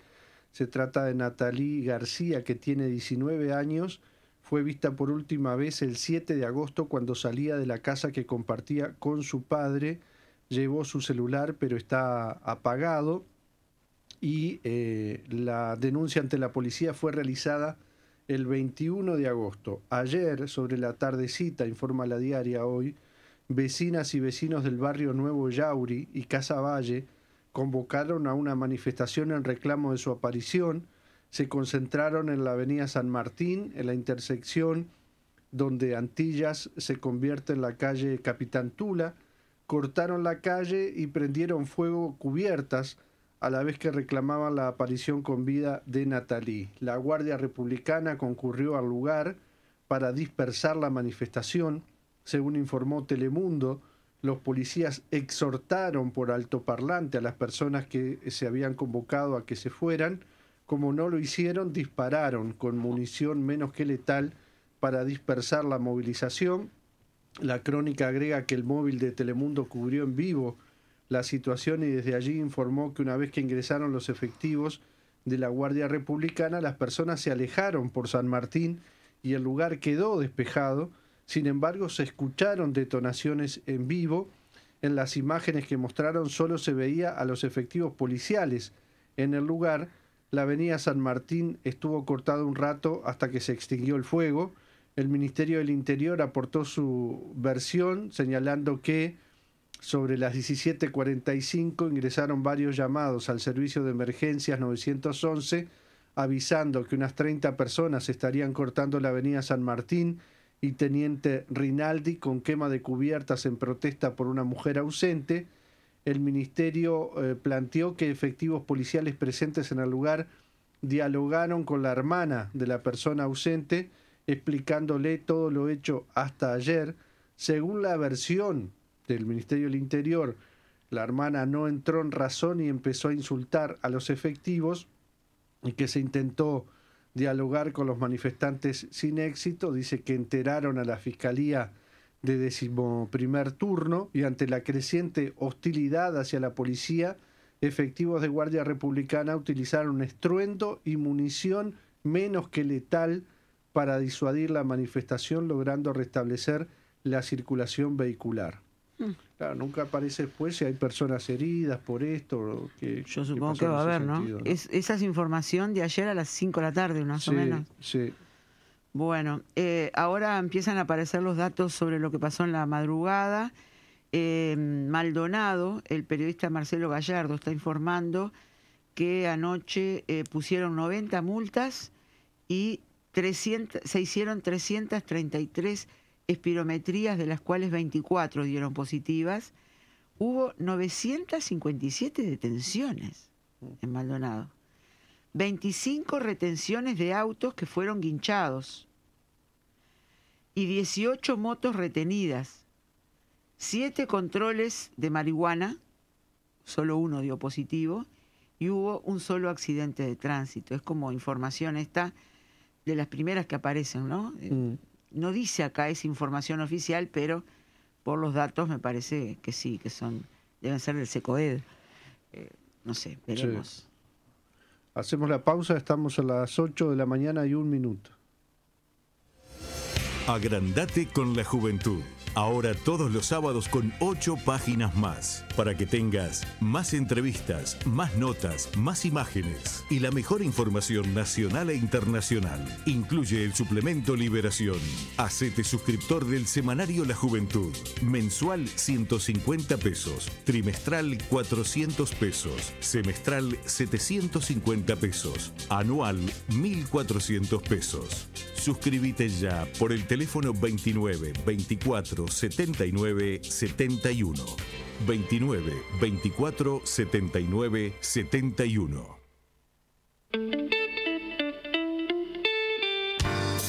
Transmite Radio 36, Centenario, de Montevideo, Uruguay.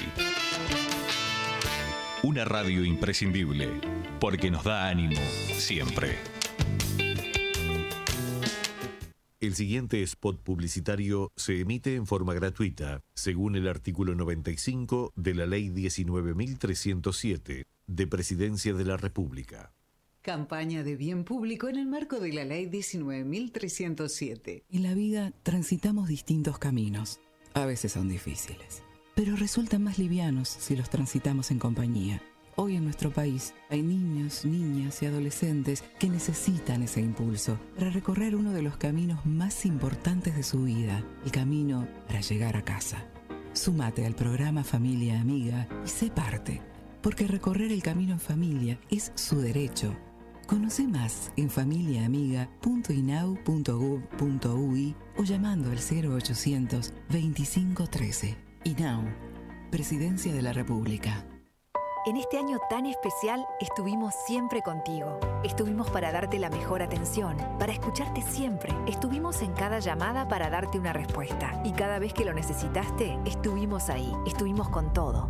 SWAT cumple 30 años contigo y vamos a seguir estando con todo. SWAT 30 años. Afiliate online en swat.com.uy o llamando al 2-711-0711. Cobertura parcial de asistencia médica. En Óptica Río te están esperando estas nuevas promociones especiales para agosto. 50% off en líneas seleccionadas de lentes de sol. Te regalamos un segundo par de cristales multifocales orgánicos con la compra de tu armazón más cristales multifocales. Y además tenemos una promoción especial de armazón más cristales con filtro blue neutro en líneas seleccionadas por 2.990 pesos. ¿Sabías además que otra de nuestras promociones en Óptica Río es que podés probar gratis tus lentes de contacto? Háblanos por WhatsApp y podrás agendar día y hora para probarlos. Además hay beneficios especiales para poder hacerte un control visual. Consultanos al 091 474 915.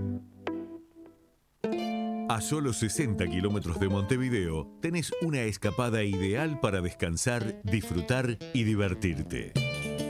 El complejo de turismo social de Amul en el balneario Ordey de Quillú está abierto todo el año. Cabañas para 3, 4 y 8 personas totalmente equipadas. Camping La Casa del Cura, con luz y agua potable, baños con agua caliente, parrilleros y heladera. Si integras un sindicato u otra organización social, comunícate con nosotros y conoce los convenios que ofrecemos, con descuentos de hasta 50%. Vení al Complejo de Turismo Social de Amul. Consultas y reservas al 099 120 064 o comunicate a turismosocialamulp@gmail.com. Seguinos en Facebook, Complejo de Turismo Social de Amulp. Vidrería Quique. Cambio de vidrios, espejos a medida, blindex, cerramientos, claraboyas, mamparas de baños. En Vidrería Quique vamos a domicilio en todo Montevideo. Presupuesto sin cargo. Esperamos su llamado. Atención por WhatsApp, celular 099 319 434. Reiteramos, celular 099 319 434. Autoservice Las Nietas. Somos productores de frutas y verduras y vendemos a precios inigualables. También bebidas, lácteos, productos de limpieza y comestibles de todo tipo. Aceptamos tarjetas de crédito, débito y ticket alimentación. Los esperamos en 8 de octubre 3991 esquina Silvestre Pérez, de lunes a sábados de 8 a 20 horas y domingos de 8 a 14 horas. Celular 094 98 91 27.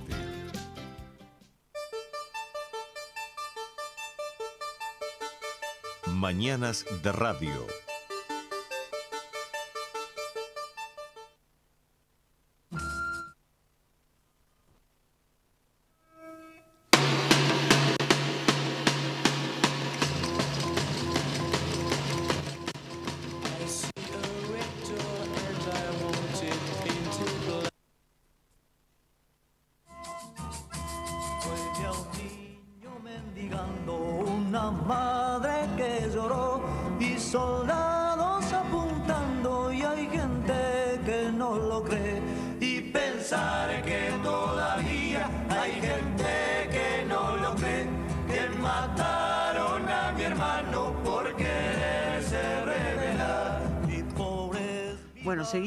Con información. Hoy los oyentes, eh, estaría bueno que nos cuenten, ¿no? ¿En qué Están- andan? primero si están escuchando. Claro. Para contestarlo tienen que estar escuchando, si no, ¿cómo saben? Que les estamos preguntando. Se quedaron un poco Y más si en están la en la casa, claro, si claro. están trabajando. ¿Me da la sensación de que esto de que no trabaja nadie?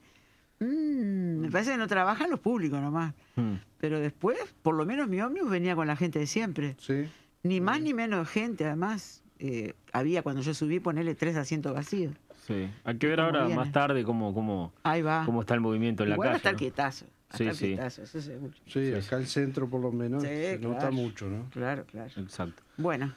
Hay otras noticias de- del panorama local que, que han estado encima de la mesa en las últimas horas y tiene que ver, por ejemplo, con esta de que la Intendencia de Maldonado realizó en las últimas horas una inspección en la casa del diputado del Partido de la Gente, Daniel Peña, que se está construyendo en Punta Ballena. Según dijo al observador Soledad de la Guarda, directora de urbanismo de la Intendencia de Maldonado, personal de control edilicio visitó la propiedad de Peña y verificó que la obra de alcantarillado anunciada por Peña fue realizada. La jerarca agregó que ahora la obra será revisada por un ingeniero hidráulico. Si se confirma que está correcta, se seguirá con el trámite del expediente para definir si debe der- derrumbar la casa o si la Junta Departamental lo aprueba por vía de excepción. Eh, la información dice que la Intendencia multó e intimó en dos oportunidades al diputado Peña a parar la obra de construcción de su casa en Punta Ballena por no ajustarse a la normativa departamental. Los vecinos lo denunciaron ante la Intendencia y ante la Junta Departamental por la obra de la casa de 345 metros cuadrados realizada sin permiso definitivo y excediendo los máximos de altura permitidos. Además, plantearon que se ven perjudicados porque debido al relleno que hizo del terreno las aguas pluviales de una cañada que pasaba por ese predio se desvían inundando sus casas cada vez que llueve y provocando erosión. El intendente Enrique Antía se refirió al tema y dijo que la intendencia no le dio el permiso porque excede por un metro u 80 centímetros la altura permitida. Antía afirmó que en, en rueda de prensa que la casa se hizo en 15 días en la licencia de la construcción. Fue a fin de año, que está todo el mundo dormido, en plena pandemia, y la licencia de la construcción. Así lo dijo. Así nomás. Este martes, luego de que se conoció la noticia, la Intendencia publicó un comunicado en el, en el que ratificó que nunca autorizó la construcción de diputado de la Casa del Diputado en Punta Ballena y lo intimó en dos oportunidades tras contactar justamente estas irregularidades. Debido a que fue hecha con el método de hormigón prefabricado, en pocas semanas se levantó. Sin embargo, cuando presentó el proyecto a la Intendencia, que fue el 30 de octubre, solicitó el permiso para construir los 345 metros cuadrados en el padrón número 3494 de la manzana número 165 de Punta Ballena, pero indicó que la haría por el método de construcción tradicional.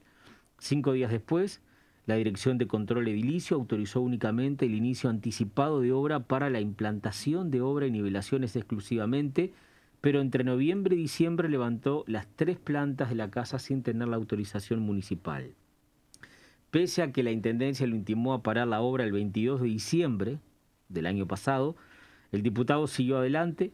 El 2 de febrero la comuna le denegó el permiso por no estar ajustado a las normas. Como consecuencia, la comuna declaró la edificación inapropiada.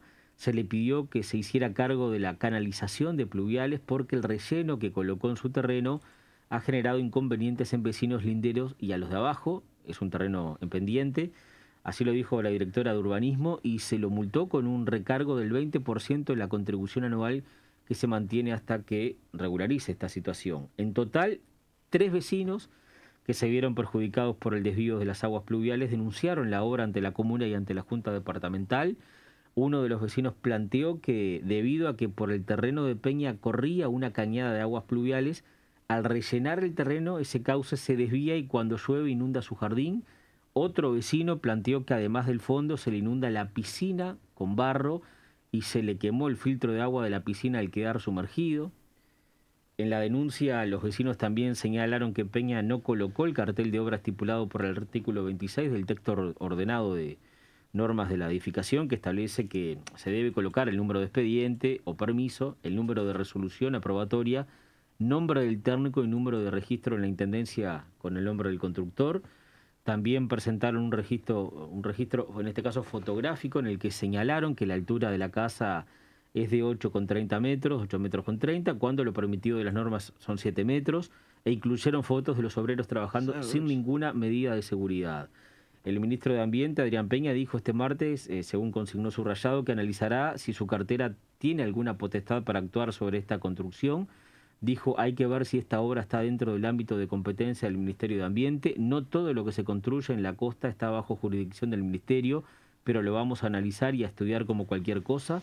Hemos hecho demoler obras si no se ajustaban a la norma y en este caso no vamos a tener ninguna definición distinta, no vamos a actuar con lo que establece la norma, dijo el ministro. Peña dijo al observador que los vecinos politizan el tema, que actuó de buena fe y que es una obra realizada con arquitectos e ingenieros y este él dijo, actué de buena fe, hay un error, pagaré lo que tenga que pagar, hay una falta que reconozco, manifestó. Bueno, el tema, lo hablábamos fuera de micrófono, ¿no? Mucha gente se hace la casa sin pedir permiso. Mucha gente. El problema es que esta no es una casita es un caserón. 345 metros cuadrados, ¿no? 345. ¿Cuánto mide una casa ahora? Son unos poquitos metros, apenas da para darse vuelta. Una casa, normal está entre 50, 55, 60 60 grados. Que nadie dice que eso esté bien. Comedor, dos dormitorios, living. Imagínate. Y, esto 300 y pico de metros. Y además una persona pública muy destacada. Entonces, claro en un balneario importante de la se costa regalan este. así? ¿Será que mm. confían de que les van a perdonar? Sí, siguen pensando que nadie se va a dar cuenta, no sé. Y fue, había sido intimado dos veces por la Intendencia. Por eso, podía haber arreglado, ¿no? Bueno, acá nos dice alguien que nos tiene que mandar el nombre, por favor, porque es más lindo cuando uno dice con el nombre. Acá en Cañada Grande, prendidos con mi compa a la 36. Que nos manden los nombres a ver para saber quiénes están en la audiencia. Y Jorge Silva dice, buenos días, equipo completo por ahí. Anoche fui a la marcha, muy buena participación. Estaban los trabajadores de Sofrica y mayoría obreras, que en Uruguay quedan pocas. Y en esta fecha, 25 de agosto, leí que Bélgica y Finlandia se disputan quién se queda con Uruguay.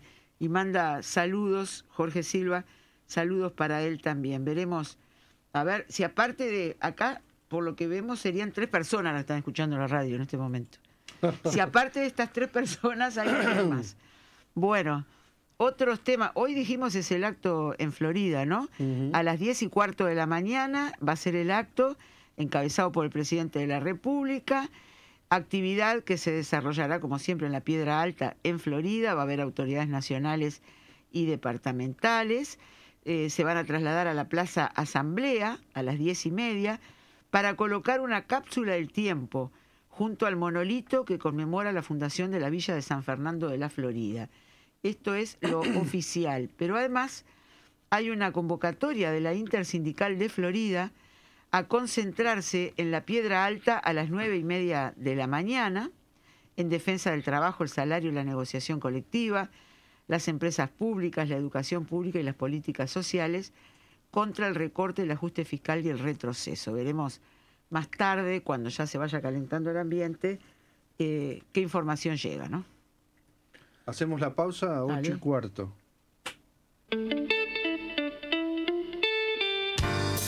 Transmite Radio 36, Centenario, de Montevideo, Uruguay.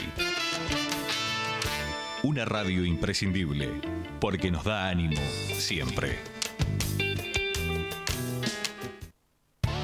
Ya está comprobado, en artículos sanitarios lo mejor está en Abronca. En Médanos de Solimar, Avenida Yanatacio, kilómetro 27800, teléfono 2696-6006. En Montevideo, 2628-8010. Envío sin cargo. No se olvide de mencionar a la 36. Montevideo, Solimar y Castillos.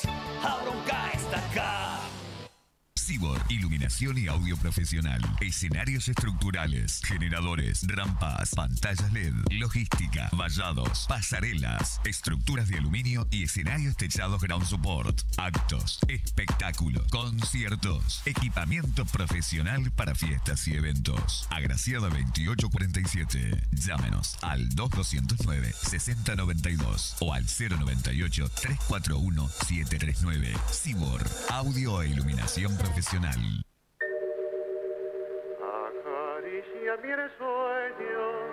A Gardel hay que escucharlo en la vitrola, con toda la distorsión y la pérdida imaginables. Su voz sale de ella como la conoció el pueblo, que no podía escucharlo en persona, afirmó Julio Cortázar. ¿Y por qué no hacerle caso? Ahora tenés la posibilidad de acceder a discos de pasta y de vinilo a precios módicos discos en excelente estado de todos los géneros musicales y de todas las épocas. Pasa por la 36 en 18 de julio 1357, apartamento 202 y disfruta de la mejor música con el mejor sonido. Un vino BCP al alcance del pueblo. Tradición de buena uva madurada en barriles de roble Adquiera los vinos del Parador Suri solo en venta en la radio.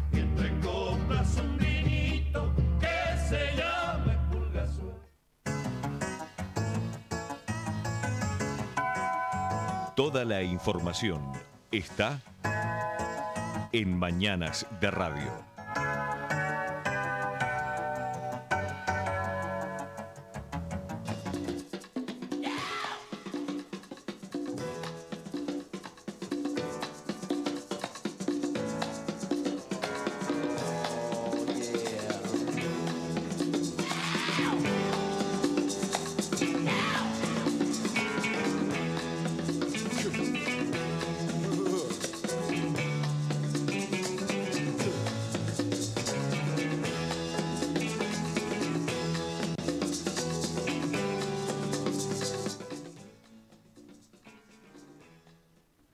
Simpatía por el demonio se llama esta canción eh, legendaria de los Rolling Stones que ayer perdieron a su baterista. Mm. Charlie Watts murió a los 80 años, justo las horas previas a, la noche de la nostalgia.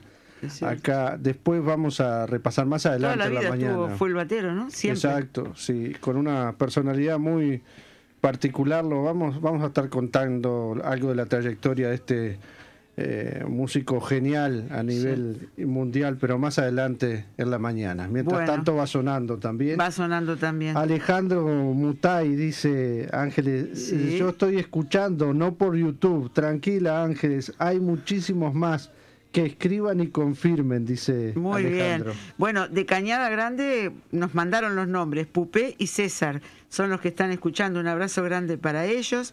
Pablo de San Carlos dice, buenos días compañeros. No sé si cuento, pero yo también estoy. La vergüenza que genera esta fecha no da ni para sacarle ventaja. Así que aprovecho a adelantar tarea y liberar el fin de semana. Un abrazo, dice Pablo. Muy buen, muy buen plan, la verdad. Eh, acá hay otro mensaje. Buen día, feliz día de la independencia. Ustedes son realmente imprescindibles.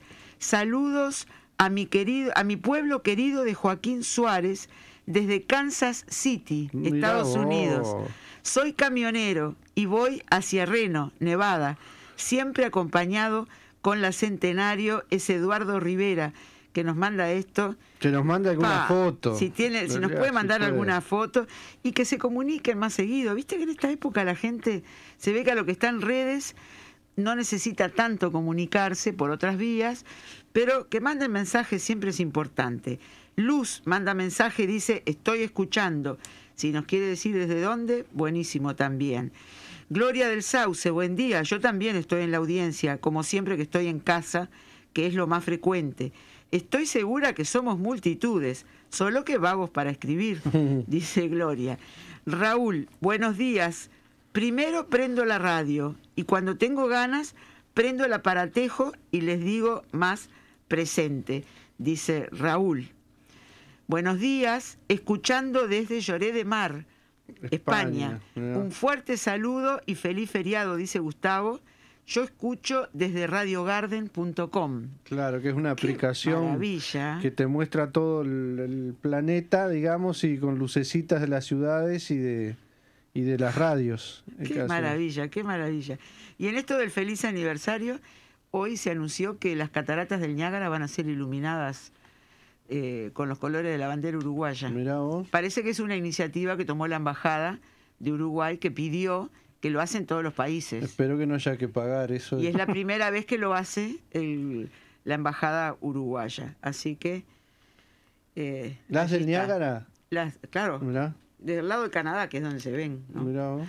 Eh, van a estar iluminadas. Bueno, Seguimos con algunas este, otras noticias del panorama local. Hubo una reunión entre el presidente Luis Lacalle Pou y el CEO de la empresa UPM, también con los principales ejecutivos de, de la empresa UPM, ¿no? El- en este caso, Jassy Payson, que es el CEO de esta empresa, dijo que agradecemos la oportunidad de reunirnos con el presidente Lacalle Pou para actualizarlo sobre los avances del proyecto. Las obras vienen avanzando de acuerdo con el plan y estamos orgullosos de ser parte de la reactivación económica del Uruguay, generando empleo y oportunidades para las empresas en esta etapa de construcción, así como en el futuro, una vez que la fábrica esté operativa. Aún, dijo, quedan muchas tareas por hacer y nuestro equipo está trabajando intensamente para iniciar las operaciones durante el segundo semestre de 2022. La reunión incluyó una actualización sobre los avances del proyecto en Durazno y también se intercambió información sobre las próximas etapas. Esto ocurrió en los últimos días. Reitero esta reunión que mantuvo el presidente de la República, Luis Lacalle Pou, con los principales ejecutivos de UPM. Bueno, en este repaso donde nos extendemos un poco más hoy con las noticias eh, nacionales y vendremos luego con las internacionales como siempre, eh, se está manejando hoy eh, una reunión importante que tuvo lugar ayer en Torre Ejecutiva para ir ajustando los aspectos de la apertura de fronteras. Ayer se reunieron en Torre Ejecutiva los ministros de Salud, del Interior y de Defensa, además de representantes del Ejército, Migraciones y Aduanas. Eh, la calle Pou informó luego en la noche, aunque no participó él del encuentro, el decreto sobre la apertura gradual de fronteras está pronto para ser firmado. El país dice que en la reunión se trabajó sobre la integración de los extranjeros que tienen propiedades en el país a las excepciones de ingreso y también sobre la forma en que controlarán las constancias de vacunas, así como los test PCR. Otro de los temas que se analizan y que resta definir es la vacunación de menores que lleguen al país con sus familias. Según había adelantado el presidente de la calle Pou en conferencia de prensa, una de las posibilidades era que se los inoculara en forma gratuita.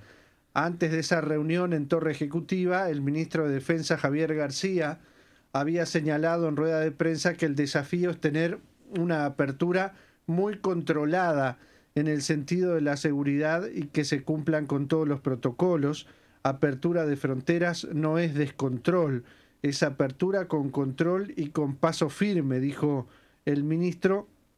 Eh, según el, jerarca, se integró en los trabajos a las direcciones de migraciones y aduanas, además de las Fuerzas Armadas que con- controlan las fronteras en diversas zonas del país. Tanto en Argentina como en Brasil, la cifra de vacunados con primera dosis llega al 60% de la población y la de personas con las dos está en un 26%, según datos publicados por la agencia EFE este lunes.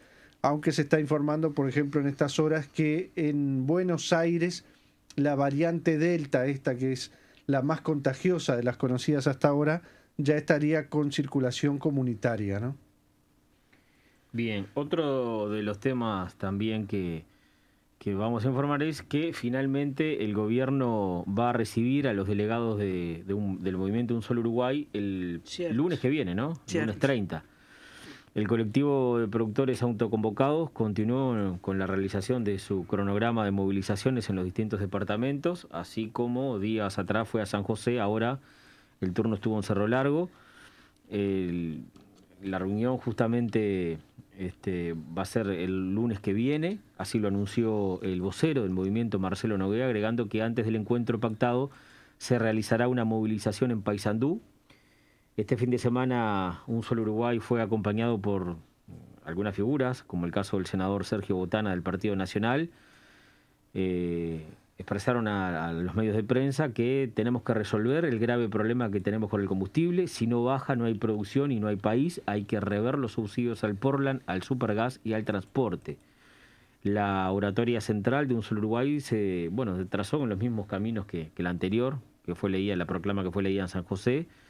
Este, uno de los productores locales de allí, Iván Revelo, dijo que si el combustible es caro, es caro vivir, un tono similar al expresado por Julián Cabrera en, en el departamento de San José. Pero reitero esta reunión que finalmente que se recibía, que no se recibía, pero se confirmó para el lunes que viene, ¿no? El lunes 30 de agosto. Sí, a propósito de eso, se informa que el gobierno prepara un decreto que cambiará las fechas para el cálculo del precio de paridad de importación. Eh, se manejaba también, lo manejaba temprano nuestro compañero José Luis en, en la primera edición de Puesta al Día.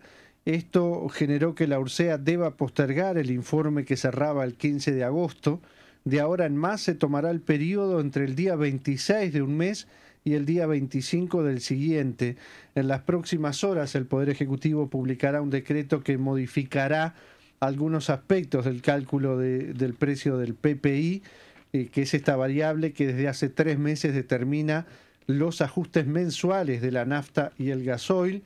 Este cálculo, este ejercicio que refleja lo que costaría a un importador privado importar combustibles en las mismas condiciones que ANCAP, lo hace la Unidad Reguladora de los Servicios de Energía y Agua, la URSEA, desde que se activó el nuevo mecanismo que surge de la Ley de Urgente Consideración, se toma en cuenta la cotización internacional del barril del petróleo entre el día 16 de un mes y el día 15 del mes siguiente. De esta forma, la evolución del crudo en ese periodo marca la evolución del PPI y eso se traslada luego a las tarifas, eh, aunque desde la oposición se ha cuestionado la forma de implementación del gobierno, que además sumó tres pesos que entiende como sobrecostos de ANCAP, está el factor X ahí también, ¿no? Según esa lógica, la URSEA cerraba el cálculo el día 15, una semana después publicaba su informe y en la semana restante el Poder Ejecutivo analizaba esto y el mensaje que le envía cada mes ANCAP para determinar el porcentaje de ajuste que rige desde el primero de cada mes.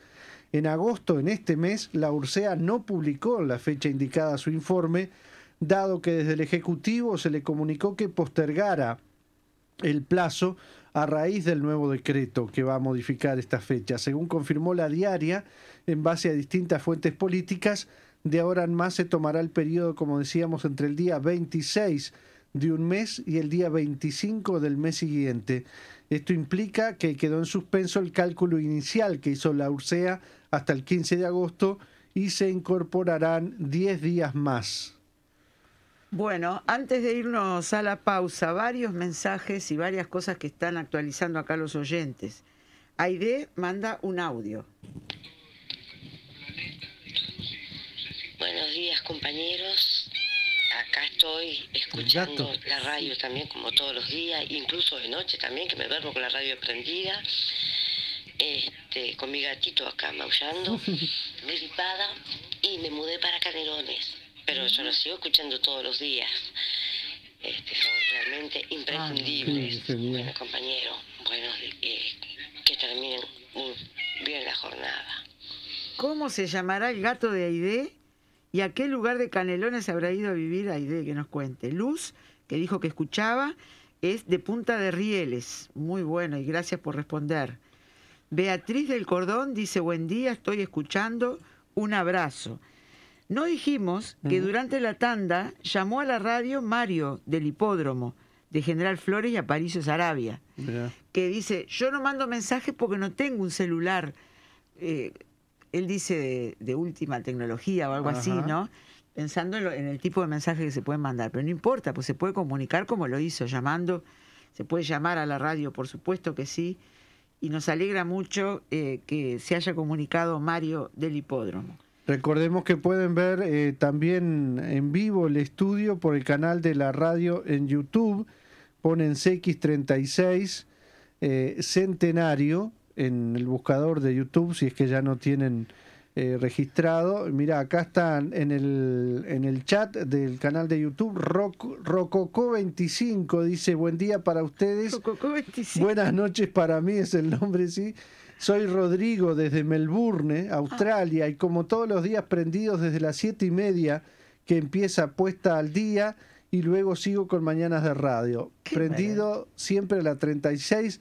Abrazo para todos y hasta la victoria siempre, dice. ¡Qué maravilla! ¿Y quién sabe qué hora es allá? Claro. En Melbourne, ahora podemos fijar. Lito dice, feliz Día de la Patria. Hoy más que nunca no nos debemos olvidar de miles y miles de jubilados, entre otros, que no llegan a un salario mínimo nacional después de trabajar toda una vida. Arriba, que se pueda hacer patria también día a día, dice Lito. Por supuesto que sí que se puede. Otro mensaje, buenas. Soy Joaquín de Balneario Argentino. Los escucho todos los días de forma cuasi religiosa. Mi madre los escucha en su casa y cuando me independicé a los 18, ya hace 13 años, me los llevé de herencia. Ahora los escuchan también mis hijos y mi compañera. Es el primer mensaje que mando. Abrazo a todos. Bueno, Joaquín, bienvenido. Bienvenido es un decir. Bienvenido a los qué mensajes. compromiso. Tres generaciones. Es impresionante. Hace 13 años independizado, pero antes de eso, hasta los 18, escuchaba porque la madre escuchaba. Claro. Como nos pasa a muchos, ¿no? Eso va de generación en generación. La verdad que una alegría lo que hacen Rodrigo, los oyentes. dirá. Este es Joaquín. Joaquín. Rodrigo me parece que era el que vos leíste, Sí, ¿no? el de, de Melbourne. El de Melbourne. Bueno, em, dijimos que la calle estaba, iba a Florida, pero también Sí. tenemos que decir que va a ir a Colonia hoy también. Mirá.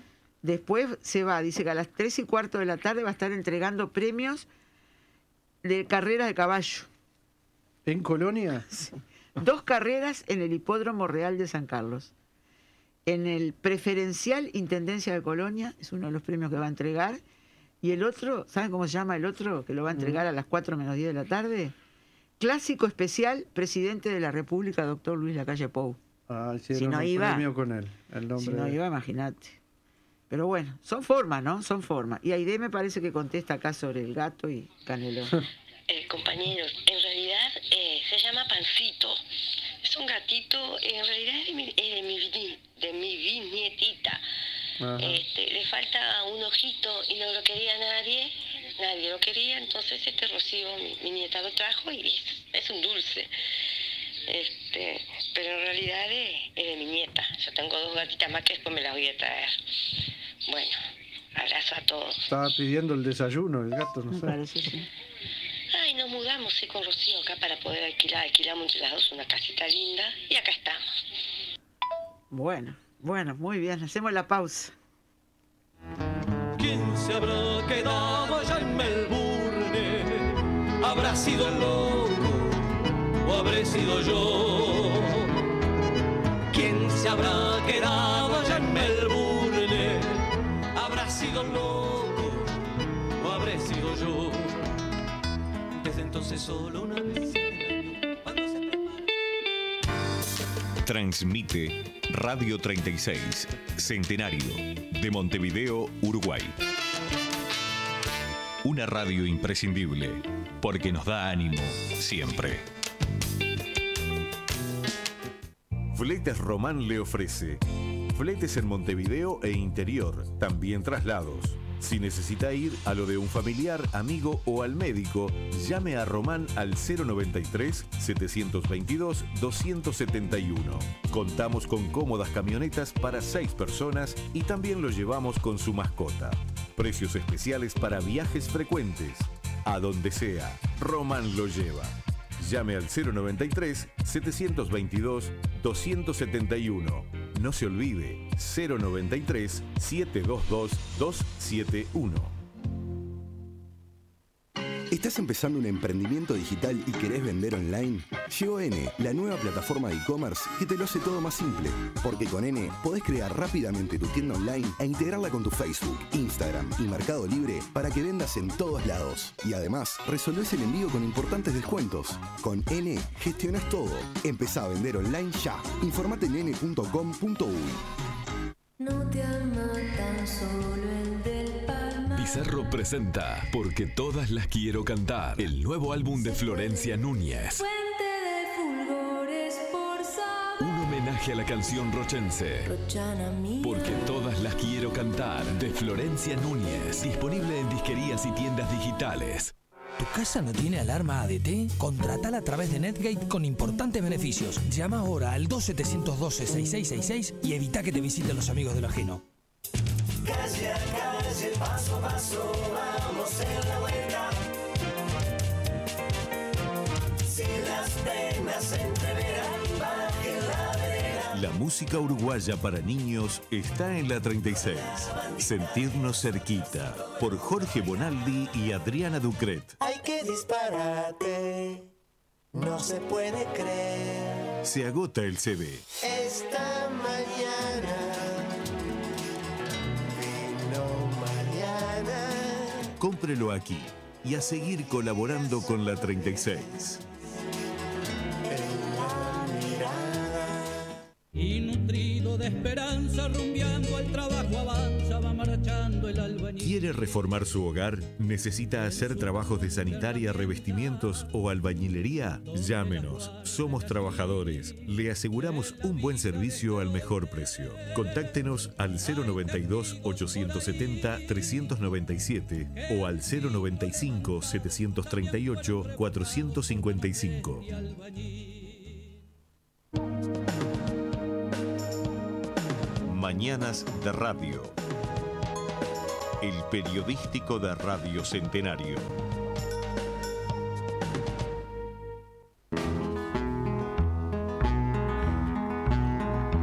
Ernesto García resuelve hacerse loco, muerto de tristeza que el atardecer, que vio el sol perderse sobre el horizonte y harto de andar lejos decidió volver. Fingiendo delirio y alucinaciones, contra un enemigo invisible peleó. Se bancó pastillas, choques e inyecciones, hasta que la ciencia su mal aceptó. Y una vez que obtuvo el pasaje de vuelta y una buena y rápida jubilación. Bueno, acá manda mensaje a Milcar de Maroñas, buen día, por acá estoy, dice, y manda abrazos. Nelson de Lagomar, saludos a la radio. Nos vemos en la Piedra Alta contra la dictadura sanitaria, dice. Y Lito, buenos días. Hagamos desde ya una gran movida para que este próximo 28 de noviembre podamos cambiar al director de los jubilados en el BPS con la coordinadora de los jubilados. Arriba que se puede empezar el cambio, dice Lito. Ricardo de la Blanqueada, los escucho siempre en casa desde las notas del día anterior en la madrugada y ahora me siento emocionado con los mensajes de todos los oyentes de todo el mundo y manda abrazos a todos. Esto para animar a los que no escriben, que manden, así sea para decir que están en Australia o para decir que están en Cañada Grande o que están en Maroñas o en el lugar que sea, a uno le sirve para componer mejor, ¿no? Claro. ¿De qué hablamos cuando hablamos de la familia centenario? Así que los animamos a todos a que se comuniquen.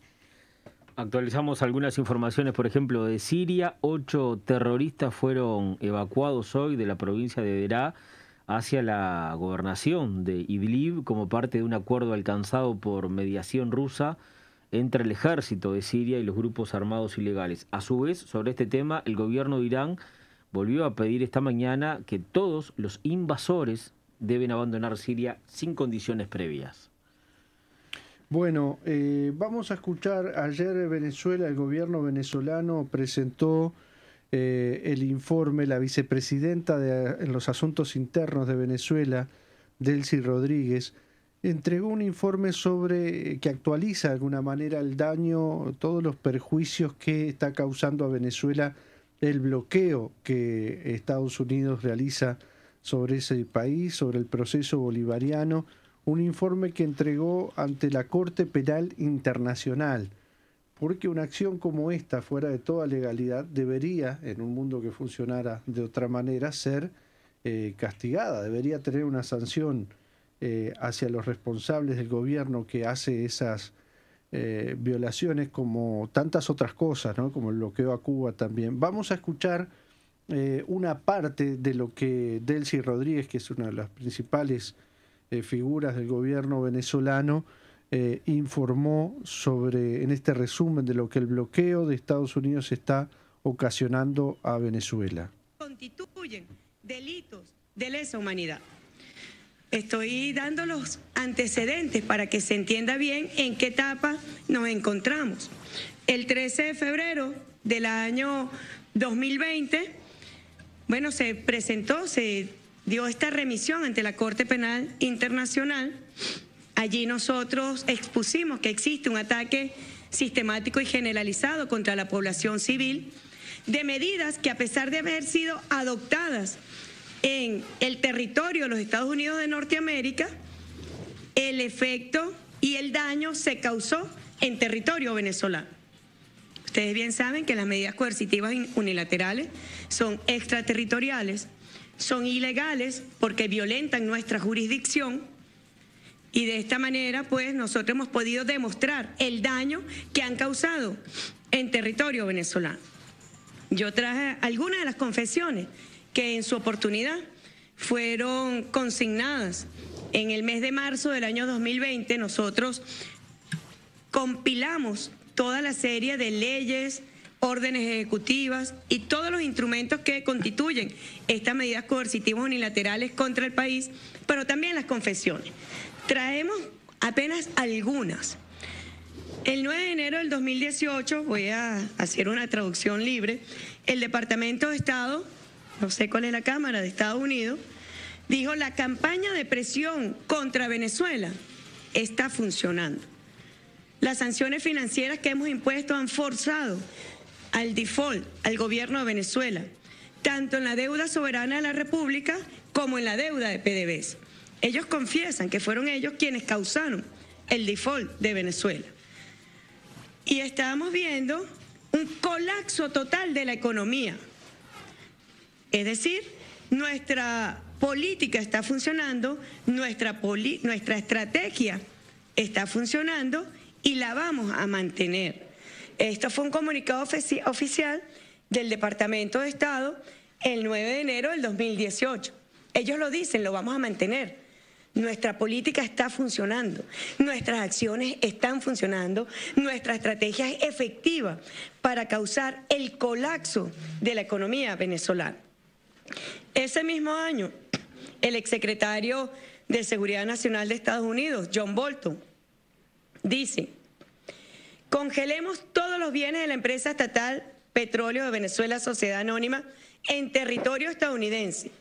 Bloqueemos 7 mil millones de dólares en activos, más de 11 mil millones de dólares en ingresos estimados por exportaciones durante el próximo año. Confesiones de un crimen. Son delitos de lesa humanidad y sus altas autoridades lo decían abiertamente. Lo hicimos nosotros. Tenemos la voluntad además de hacerlo, la intencionalidad de hacerlo. Están todos los elementos para demostrar que se cometió un crimen, pero además quiénes son los autores de ese crimen. Luego el ex embajador de Estados Unidos en Venezuela, William Brownfield, dice, si textual, abro comillas, si vamos a sancionar a PDVSA tendrá un impacto al pueblo entero, al ciudadano común y corriente de las comunidades de Venezuela. En este momento quizás la mejor solución sería acelerar el colapso, aunque produzca un periodo de sufrimiento mayor por un periodo de meses o quizás años. La confesión de un criminal. Están aceptándolo, están admitiéndolo. Lo hicieron ellos. Saben el daño que están causando y dicen que deben acelerar todo este proceso de daño al pueblo venezolano. 23 de enero también del mismo año del 2018, Pompeo, exsecretario de Estado. La CIA ayudó a las sanciones contra Venezuela y dice textual, la segunda o tercera batería de sanciones obedecen a recomendaciones de la Central de Inteligencia, CIA, hechas al presidente Donald Trump. Él lo dice como una gran gracia. Hemos recomendado atacar al pueblo venezolano. Toda esta batería de sanciones fue ideada por la agencia de inteligencia, una gran gracia. Los que cometen crímenes piensan que es una gran, una gran gracia.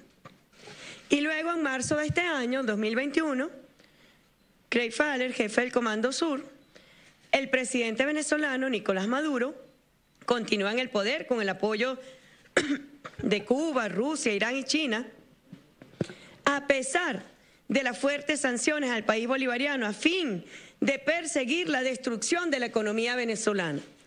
Se ha aplicado la presión diplomática y económica adecuada, no ha dado el resultado deseado. ¿Cuál es el resultado deseado para ellos? A ellos no les importa el sufrimiento que han causado al pueblo venezolano. No les importa, lo dicen. Si hay que afectar a los niños, lo afectamos. A mujeres, hombres, a toda la población civil, a los adultos mayores, no importa. El resultado para ellos era desconocer la voluntad del pueblo venezolano que eligió legítimamente en un proceso electoral, religió al presidente Nicolás Maduro. Tiene un objetivo político de derrotar un gobierno no alineado con sus intereses, no sometido a sus mandatos, a sus órdenes, no extorsionable. Y por eso se fueron contra toda la población civil. Y por eso cometen delitos de lesa humanidad. Bueno, en ese mismo mes de marzo del 2020, nosotros consignamos, compilamos todas las medidas coercitivas unilaterales. La primera de ellas, dos leyes del año 2014, que es la que sustenta la primera orden ejecutiva de Barack Hussein Obama, declarando a Venezuela una amenaza inusual al gobierno de los Estados Unidos, a su política exterior, a la seguridad de Estados Unidos, y la ley de ayuda de emergencia, asistencia a la democracia y desarrollo en Venezuela. Son dos leyes que sustentan todo este entramado del bloqueo criminal contra Venezuela. Esto desarrolló siete órdenes ejecutivas con importancia económica, con importancia geopolítica, la primera de ellas, la que acabo de referir, el decreto de marzo del 2015 de Barack Hussein Obama declarando a Venezuela una amenaza a la seguridad de los Estados Unidos, lo cual es muy peligroso. Luego órdenes ejecutivas donde inicia el bloqueo a la industria petrolera en el año 2017 en el año 2018, en el año 2019. Todas estas órdenes ejecutivas dirigidas a asfixiar, como lo dijeron sus autoridades, a la economía venezolana, causar el colapso de la economía venezolana y principalmente causar la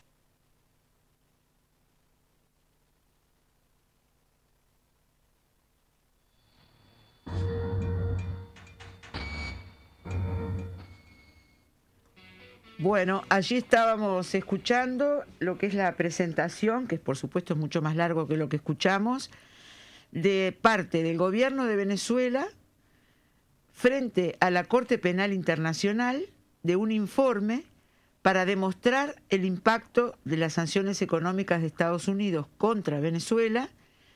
La que ustedes estaban escuchando es la vicepresidenta ejecutiva Delcy Rodríguez, eh, que hizo después una conferencia de prensa para explicar que había a Venezuela entregado ante la Fiscalía de la Corte Penal Internacional un informe contentivo de evidencias sobre el daño que han causado las medidas coercitivas unilaterales contra el pueblo venezolano. Después de la pausa les contamos otras cosas que tienen que ver con, con, Venezuela y en particular con Almagro, que está de estrella de nuevo, pero a la vuelta les contamos.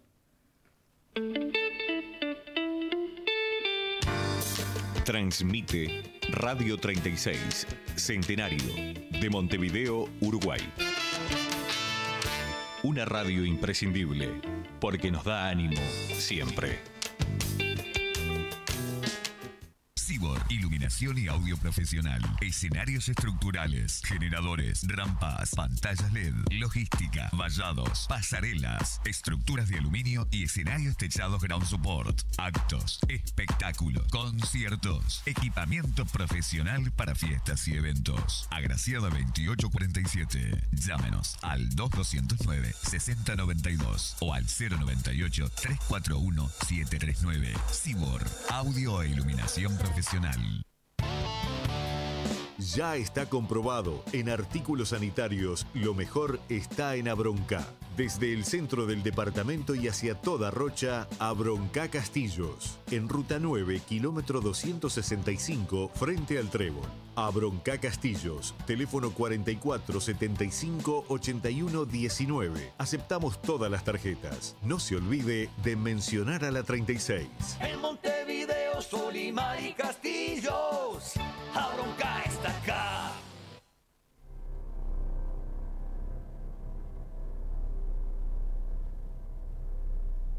A partir del jueves 2 de septiembre, Marxianos aterriza en las ondas espaciales de la imprescindible para compartir sus pensamientos galácticos con la audiencia.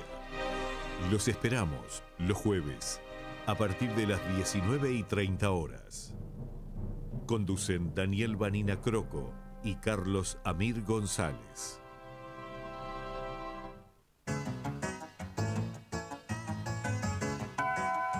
Toda la información está en Mañanas de Radio. Ay, lo, lo, lo, eh. Ay, lo, lo, lo, eh. Ay, lo, lo, lo, eh. Venezuela canta.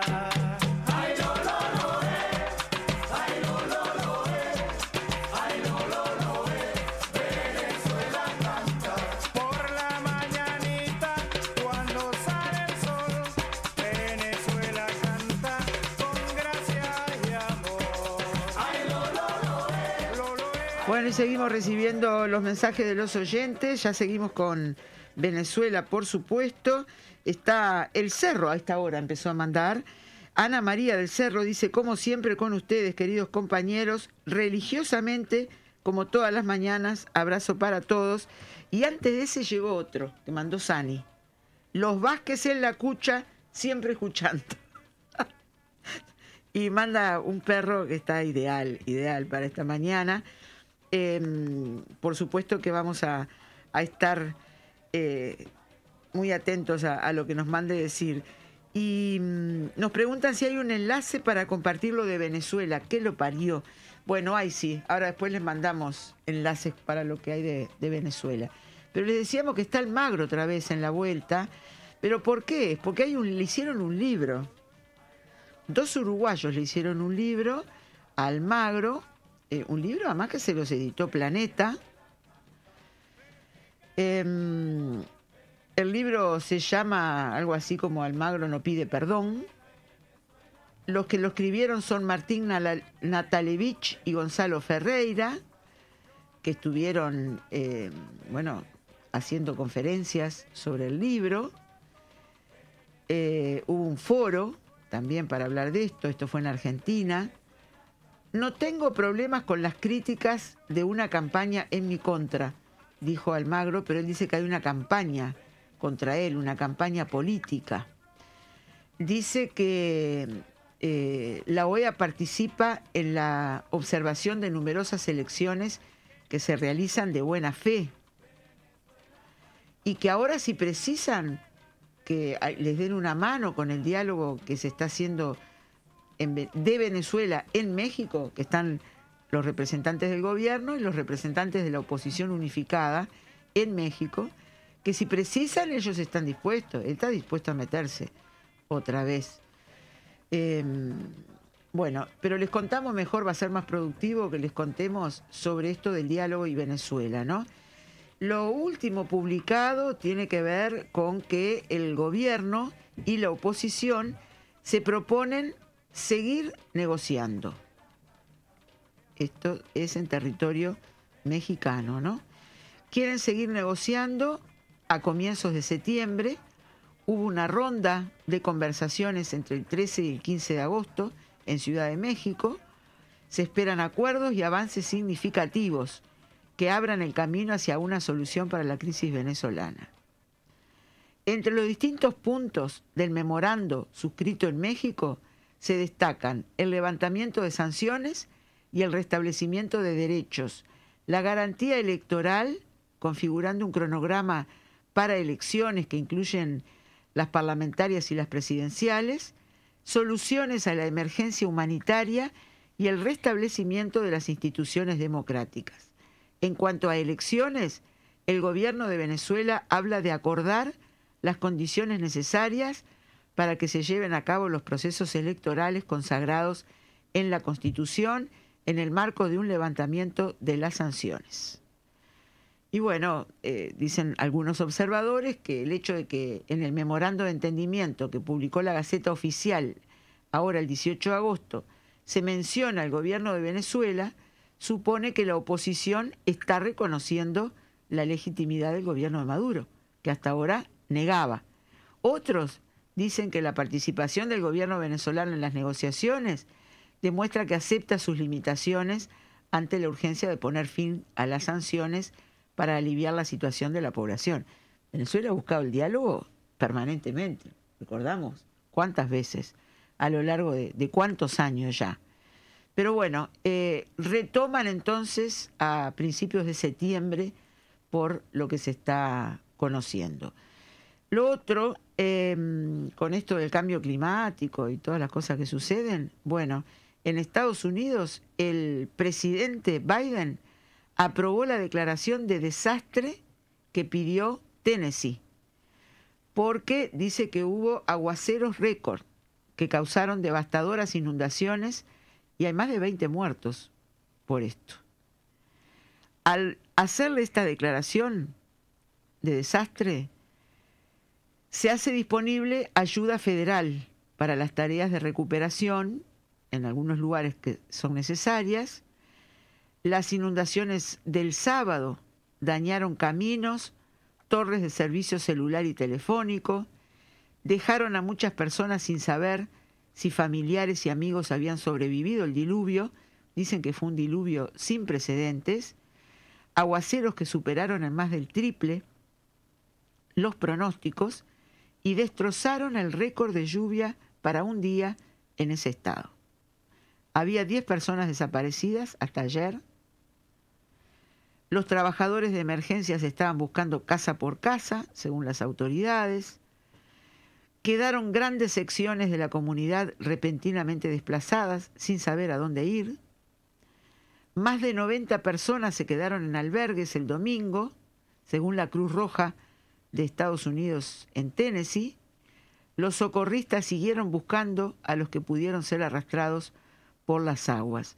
Se estaba revisando escombros, los rescatistas usaban perros para tratar de detectar cualquier señal de vida, esto lo dijo el jefe de policía. Aún quedan muchos escombros y zonas junto al riachuelo que hay que revisar. Es un proceso arduo, dijo el jefe de policía, nosotros tenemos que separar eso muchas veces con equipo. Em, estoy razonablemente seguro, dijo, que hay menos de 10 personas ahora desaparecidas sobre los que no sabemos con certeza el paradero.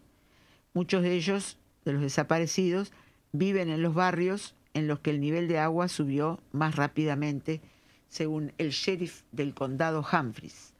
Vamos a la pausa y venimos.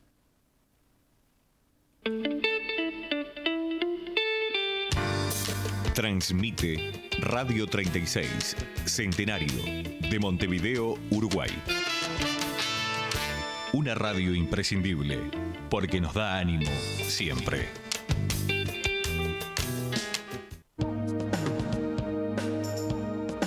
Mañanas de Radio. El periodístico de Radio Centenario.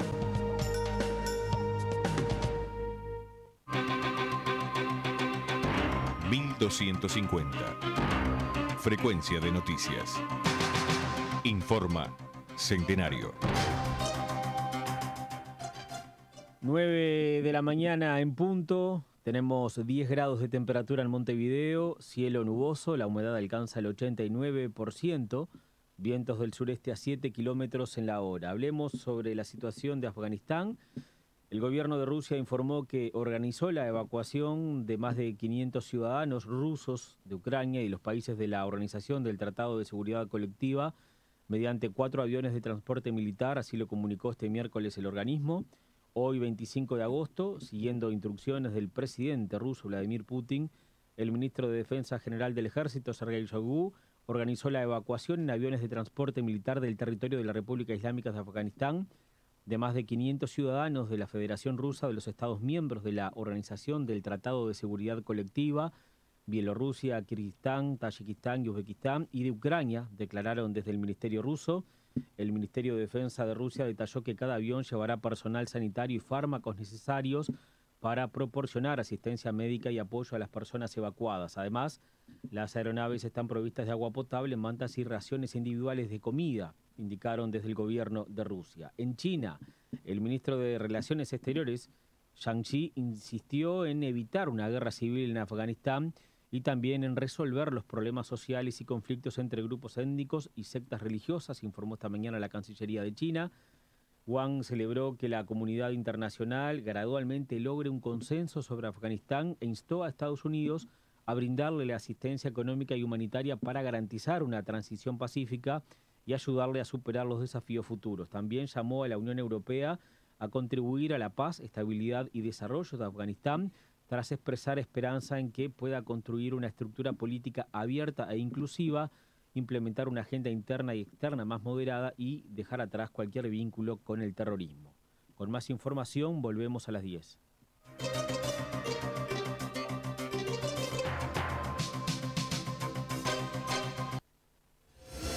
Agrandate con la juventud.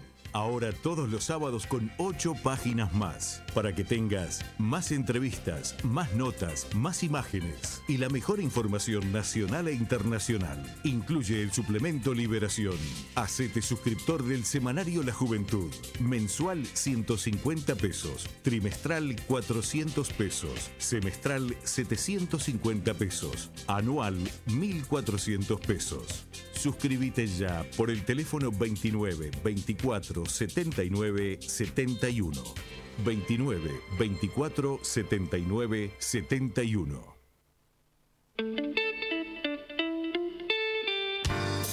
Transmite Radio 36, Centenario, de Montevideo, Uruguay. Una radio imprescindible, porque nos da ánimo siempre. En este año tan especial estuvimos siempre contigo. Estuvimos para darte la mejor atención, para escucharte siempre. Estuvimos en cada llamada para darte una respuesta. Y cada vez que lo necesitaste, estuvimos ahí. Estuvimos con todo. SWAT cumple 30 años contigo y vamos a seguir estando con todo. SWAT 30 años. Afiliate online en swat.com.uy o llamando al 2-711-0711. Cobertura parcial de asistencia médica. Sonreí, ahora podés. Clínica Odontológica.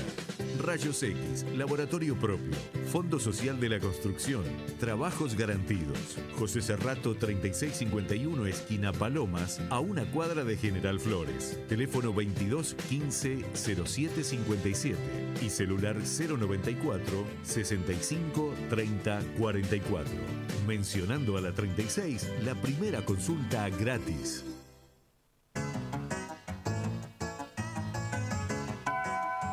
Toda la información está en Mañanas de Radio.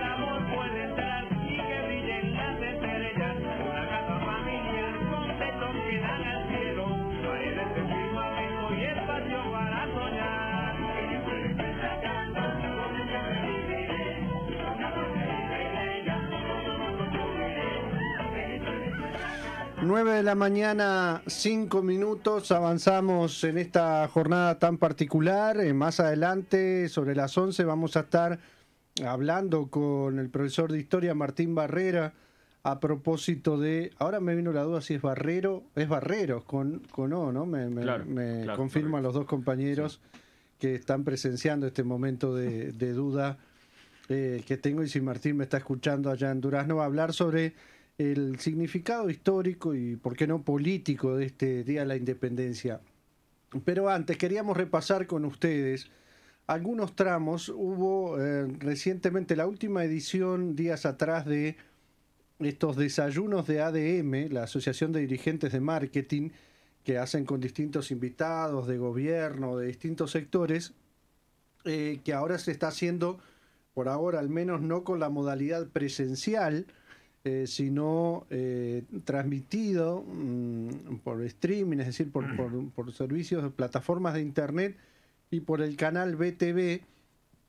La última edición reciente de hace algunos días tuvo que ver con la situación de la economía, el empleo, el, trabajo, las perspectivas en esta etapa, bueno, donde han bajado, donde son positivos los indicadores en cuanto a la situación de pandemia. Y los invitados, los exponentes fueron el economista Gabriel Odone de la consultora CPA Ferrer, el ministro de Trabajo y Seguridad Social Pablo Mieres y el ex dirigente sindical de la FOEB, que, pero que sigue trabajando como jubilado en su gremio y se ha transformado en una suerte de, de pope del, del, sindicalismo, de analista sindical y político que es consultado por los medios, en fin pero que es interesante escucharlo porque representa también una forma de pensar que está presente en ámbitos de la conducción del, del por ejemplo, eh, que es Richard Reed. Vamos a comenzar este repaso escuchando primero el panorama que resumía de cómo está la economía en nuestro país. Este economista, bueno, de la consultora CPA Ferrer, Estamos hablando de visiones un poco de, del otro lado de la vereda, ¿no? Pero que es interesante siempre tener presentes. Esto decía Gabriel Odone. La economía uruguaya está transitando por una fase de recuperación, este, digamos, firme, pero eh, con todavía riesgos en, en, el horizonte. La economía seguramente este año va a crecer en torno al 2,5%, entre 2 y 2,5% que contrasta con la caída del año anterior, donde la economía se contrajo 5,9%, con lo cual cuando terminemos 2021 todavía nuestro nivel de actividad va a estar levemente por debajo del nivel de actividad que teníamos en 2019. Eh, por otro lado, la recuperación que está teniendo lugar es todavía muy heterogénea. Hay sectores donde firmemente está ocurriendo, típicamente los sectores exportadores, agroindustriales y el sector de la construcción, fuertemente impulsado por la actividad de la planta de la construcción de la planta de celulosa UPM pero otros sectores mucho más comprometidos, sobre todo los sectores vinculados al mercado interno, los sectores eh, que tienen que ver con eh, el esparcimiento, el comercio y las actividades ligadas al turismo. Y eso se traduce en problemas de empleo, porque el país, eh, estos sectores que son los que todavía no arrojan señales totalmente claras de recuperación, son muy intensos en mano de obra.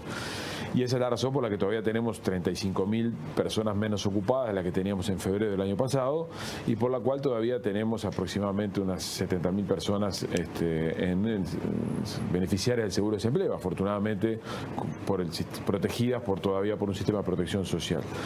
Por lo tanto, Uruguay tiene por delante una, una enorme cantidad de desafíos, todos los desafíos que traía por delante la economía uruguaya previo a la pandemia, que estaban allí, que tenían que ver con la sostenibilidad fiscal, que tenían que ver con la recomposición de la competitividad que tenían que ver con problemas de un crecimiento bajo que había tenido lugar en el quinquenio anterior y que tenían que ver con insuficiente nivel de inversión, a lo cual se agrega el shock recibido eh, a, a partir de febrero. Y por lo tanto, lo que el gobierno está haciendo en este momento es teniendo que arbitrar una serie de, objetivos, algunos de los cuales no necesariamente eh, son fáciles de gestionar porque entran en contradicción. Esto es recuperar al mismo tiempo credibilidad fiscal, eh, al mismo tiempo desinflacionar la economía, mejorar la competitividad y cumplir con el compromiso de que los salarios no caigan. Todas esas cosas juntas son muy difíciles de lograr, aunque existen chances porque el escenario externo es favorable. Uruguay está atravesando un escenario internacional eh, muy favorable en sus precios eh, con un dólar relativamente barato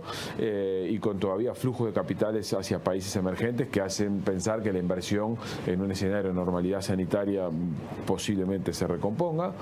No obstante lo cual, la región permanece muy frágil, muy débil y todavía muy amenazante y eso genera uno de los principales focos de incertidumbre cuando el gobierno eh, decida finalmente levantar las restricciones a la movilidad fronteriza, que es algo que debería ocurrir en forma inminente si no hay una situación sanitaria que se revierta, va a generar oportunidades para el sector turismo, pero al mismo tiempo muchos desafíos para el comercio en frontera, porque la relación de precios hoy de Uruguay frente a Argentina y frente a Brasil, sobre todo frente a Argentina, es muy desfavorable.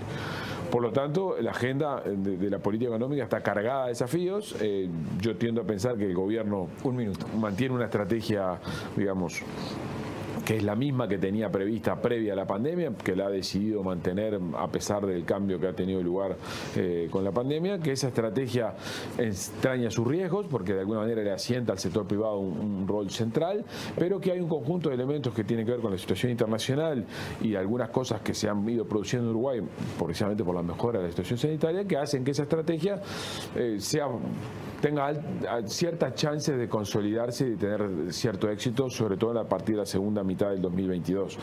De todas maneras, no estamos exentos de riesgo y yo creo que el talón de Aquiles más importante de este camino es la persistencia de un elevado desempleo, por los fenómenos sociales que esto genera y por eh, la tensión que esto provoca en las personas que están fuera del mercado laboral. Y yo creo que ahí está el foco y por eso que este tema que nos ha convocado hoy me parece bien relevante.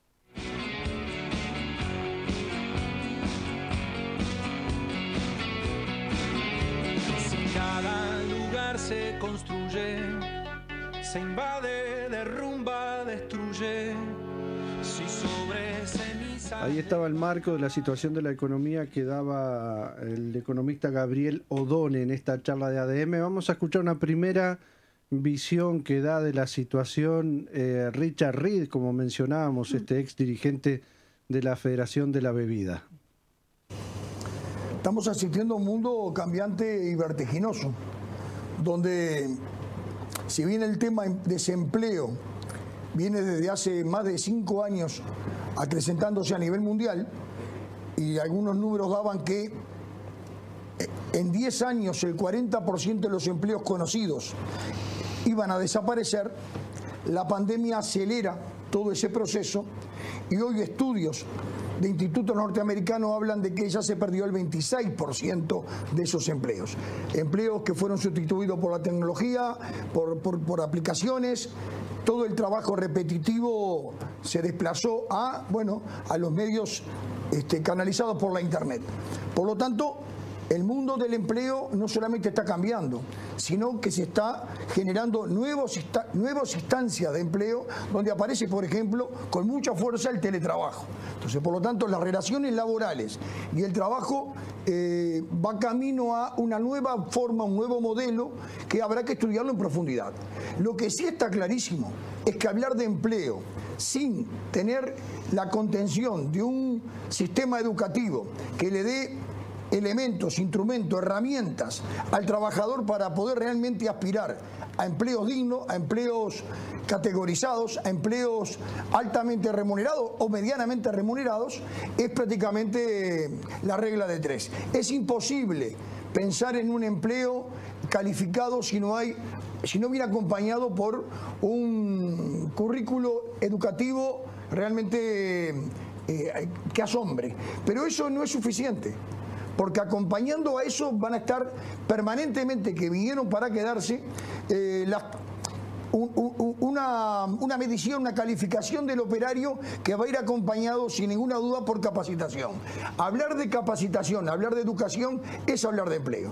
No mencionar el empleo abstracto como forma de, bueno, eh, me anoto en tal lugar y si tengo suerte ingreso, hoy no está, no está calificado. Hoy van a haber dos grandes este, estamentos de ubicación laboral. El empleo genuino, el empleo remunerado, el empleo calificado, el empleo que va a exigir mejoras en la calidad educativa de quien preste el servicio y luego va a haber una legión de trabajadores, de gente que va a estar a la orden, part-time o de zafra o trabajos este, de alternancia que realmente eh, habrá que estudiarlo, habrá que verlo, porque a mí me da la sensación de que no va a haber empleos para todos. Hablemos del Uruguay. El Uruguay tiene que establecer, y los gobiernos que antecedieron, y este aún está en veremos, establecer cuál es la matriz productiva de Uruguay. ¿Hacia dónde va el Uruguay productivo? Yo he escuchado hablar a, compañeros míos y a gente hablar de reactivación de la industria. Yo pensar en el Uruguay de la chimenea realmente no, no, no, no, no me da el tiempo. Me gustaría pensar en el Uruguay de la investigación, el Uruguay del software, el Uruguay del turismo. Y hablar de turismo habla de capacitación del personal que afecta al turismo, desde hotelería, restaurantes, no, manejar los idiomas hoy eh, en, forma mayoritaria del personal que está vinculado al turismo es realmente es estar, eh, es dejar un changüí al resto de la región. 30 segundos. Por lo tanto, eh, educación, empleo, capacitación deben de ser, no verlos como un gasto, sino como una inversión para poder proyectar el Uruguay de salida al futuro 2021.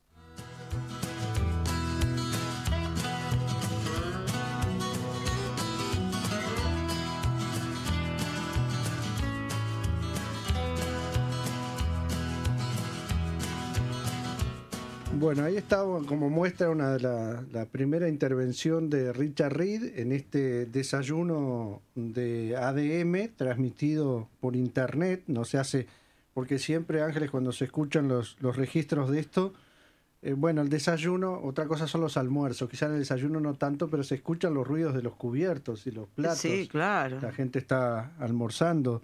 Eh, cuando la Asociación de Dirigentes de Marketing, los invitados, creo que se paga un ticket. Sí, pagan, El tema era Uruguay, desafíos, reactivación y empleo. Ahí escuchamos el discurso, la intervención de Richard Reed que habla de, pone mucho énfasis en la capacitación, habla de que no piensa tanto en las chimeneas, sino en software, habla de servicios no se llega acá al tema de, eh, la preocupación al tema empleo, pero el tema de los ingresos, ¿no? Del nivel de ingresos, de los derechos de los trabajadores desde el punto de vista de cuánto se les pague por sus trabajos y una serie de derechos laborales que históricamente los trabajadores han planteado, o sea, ir al fondo del tema distribución de la riqueza. Eh, pero hacemos una pausa, estamos a las 9 y 17 y a la vuelta escuchamos un tramo más de esto con la intervención también del ministro de Trabajo, Pablo Mieres.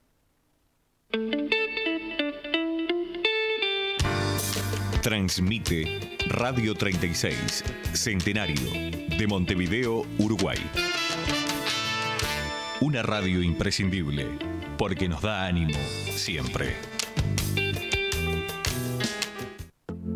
En Óptica Río te están esperando estas nuevas promociones especiales para agosto. 50% off en líneas seleccionadas de lentes de sol. Te regalamos un segundo par de cristales multifocales orgánicos con la compra de tu armazón más cristales multifocales. Y además tenemos una promoción especial de armazón más cristales con filtro blue neutro en líneas seleccionadas por 2.990 pesos. ¿Sabías además que otra de nuestras promociones en Óptica Río es que podés probar gratis tus lentes de contacto? Háblanos por WhatsApp y podrás agendar día y hora para probarlos. Además, hay beneficios especiales para poder hacerte un control visual. Consultanos al 091 474 915. Audiencia de la 36. Les recordamos que todos los domingos a las 9 de la mañana cuentan con el espacio de RGM Negocios Inmobiliarios que les trae la actualidad del mercado inmobiliario y con el tradicional listado de ventas y alquileres. Alquiler Apartamento Fernández Crespo y Asunción, edificio moderno, como estrenar, tres dormitorios y demás comodidades. Alquiler 20 mil pesos. Planes 50 aniversario en previsión con derechos inmediatos. Varias opciones para que elija la que más le convenga. Todas con la cuota más accesible. Consulte al 0881 60 o ingrese a nuestro sitio web y súmese a la mayoría.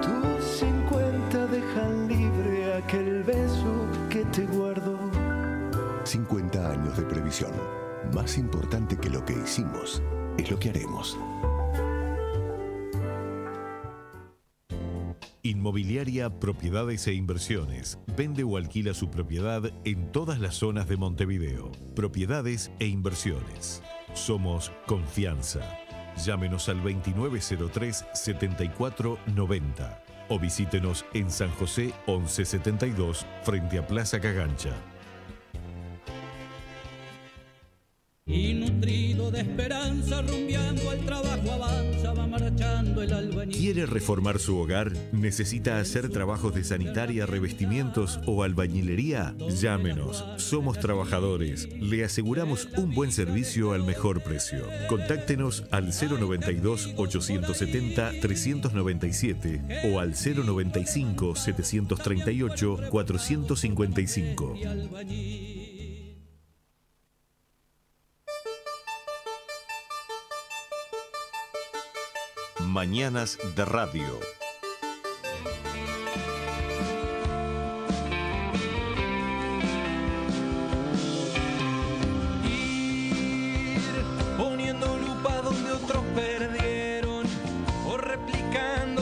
Hicieron para poder. Llamó María la paraguaya, dice que estaba muy contenta, que ayer estuvo en Capurro con los payadores, que hoy está desde las seis y media de la mañana escuchando y por ser la fecha que es, puso la bandera de libertad o muerte en su casa, dice María la paraguaya. Un saludo grande para ella. Eh, Cecilia dice, buen día, como siempre escuchando lo imprescindible, ya sea en Montevideo o en Canelón Chico. Cuando uno escucha a esta gente de ADM, se pregunta para quién y cómo evalúan la economía. Si solo evalúan exportaciones y producción en zona franca, que no es Uruguay, y no ven que la economía es cómo le va a toda la población que hace y mueve un país, dice Cecilia, manda muchos saludos. Sí, por ahí aparecían en las menciones, eh, bueno, me pasa Vicente, lo que estamos escuchando es el alemán, Oficiales de Moral, se llama la canción.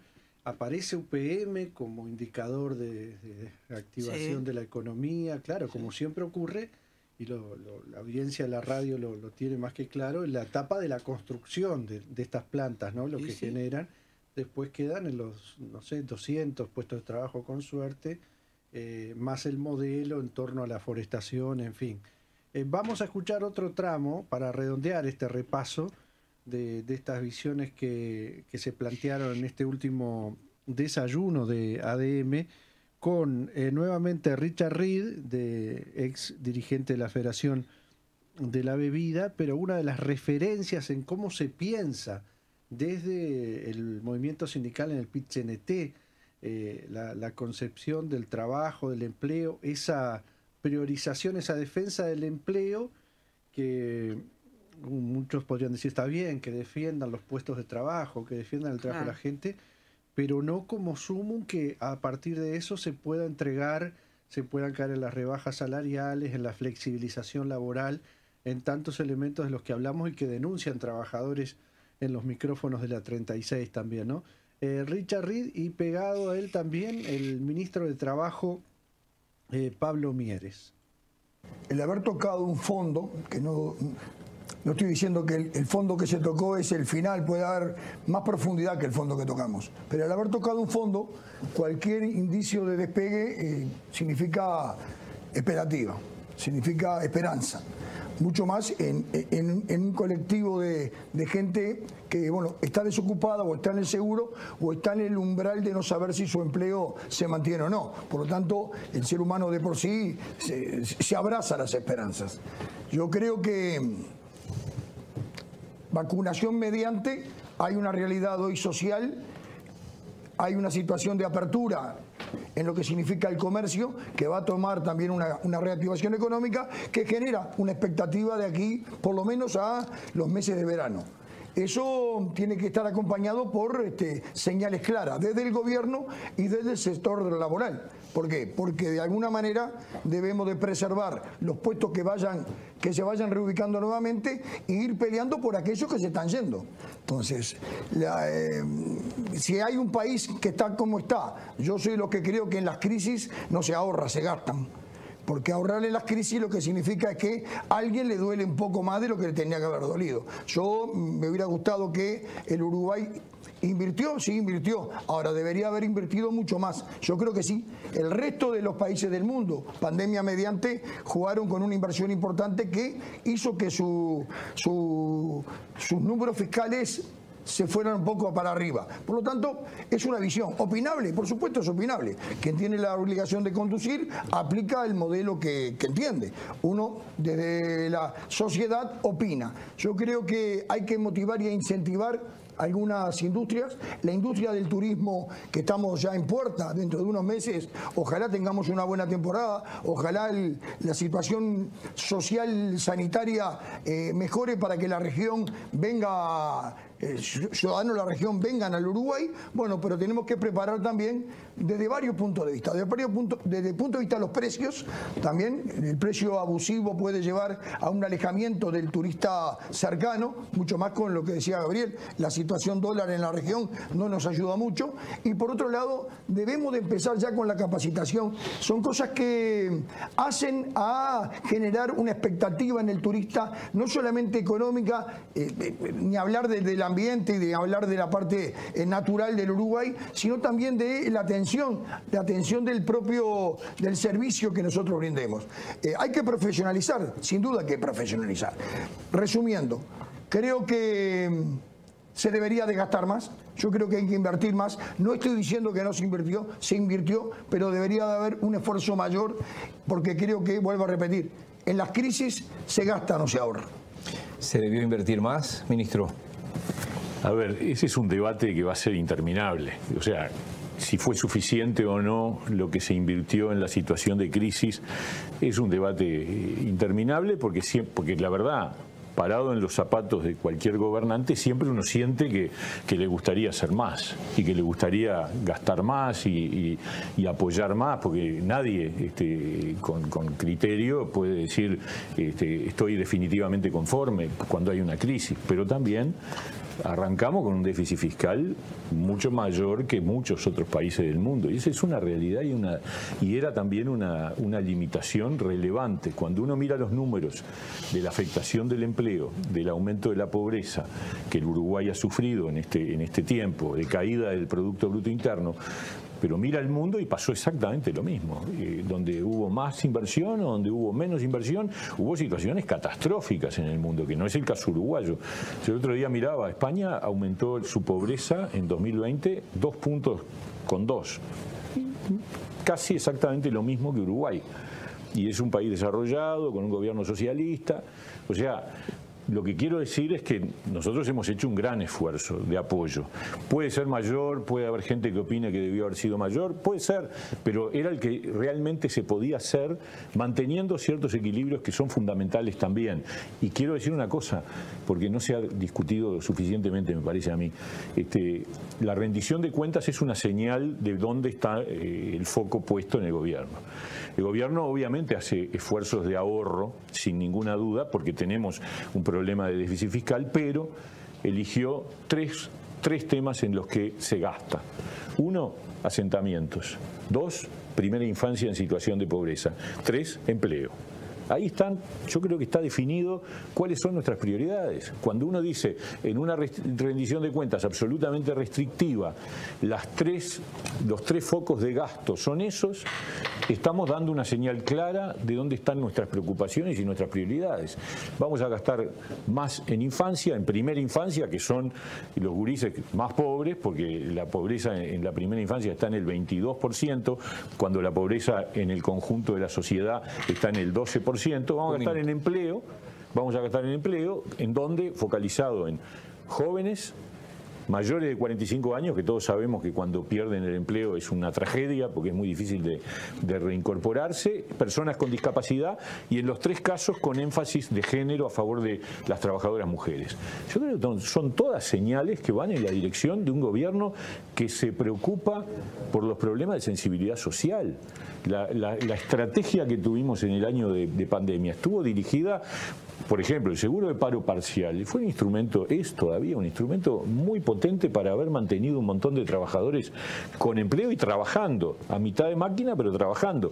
El apoyo a los informales, las canastas de alimentos, uno siempre puede decir, sí, nos gustaría más. De hecho, nosotros del Partido Independiente en su momento planteamos que la canasta fuera más alta y se mejoró un poco, pero no todo lo que nosotros pretendíamos. O sea que siempre hay una sensación de insatisfacción. Seríamos este, insensibles. Si no dijéramos, bueno, en una situación de crisis siempre se puede, pero hay un límite que está marcado por las oportunidades y, los constreñimientos que el país ya tenía, porque nosotros no, llegamos al gobierno con una situación saneada, llegamos al gobierno con un déficit fiscal galopante y con una situación de empleo complicada y con un crecimiento de la economía nulo, entonces, y sobre eso cayó la tormenta perfecta, entonces también hay que medir en función de eso, y a pesar de eso, Uruguay hoy tiene guarismos que a nivel internacional sorprenden, sorprenden y mantienen una, esa imagen de un país distinto, porque además teníamos una gran capacidad instalada de políticas sociales acumuladas preexistentes, porque todo el seguro de paro, yo siempre me quedó grabado cuando estábamos en el principio de la pandemia, que era una catástrofe, este, había un dato de OIT que decía, la cantidad de trabajadores que tienen seguro de desempleo en América Latina es el 16%. En Uruguay es el 50%. Este, y cuando saca a Chile y Uruguay, la cantidad de trabajadores que en América Latina tienen seguro de paro es el 6%. O sea, esa ventaja que era ya capacidad instalada y que es construida no por, no por nadie en particular, sino por una acumulación de décadas, porque la asignación familiar es de los años 40, el Consejo de Salario también, este, el seguro de paro tiene largas décadas de, continuidad. Entonces, ahí vos tenés una ventaja, que es que ya tenés eso sosteniendo y de, y de todas maneras el impacto va a ser más amortiguado. Sobre eso, la excepcionalidad, el aporte, el agregado, etcétera. Pero yo creo que el saldo es un saldo claramente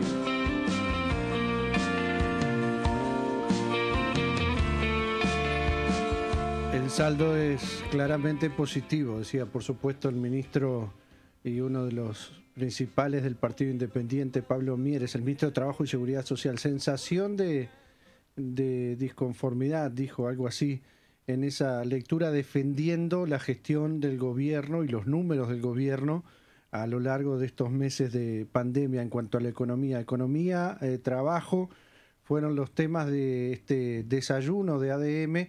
Por ahí se escuchaba la voz de quien moderó y planteaba preguntas, que era el periodista eh, Miguel Nogueira. Vamos a hacer la pausa 9 y 32 a la vuelta.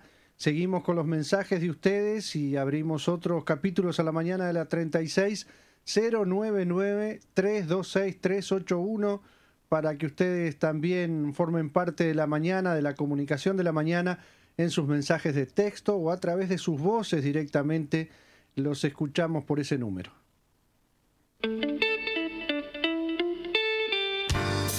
Transmite Radio 36, Centenario, de Montevideo, Uruguay.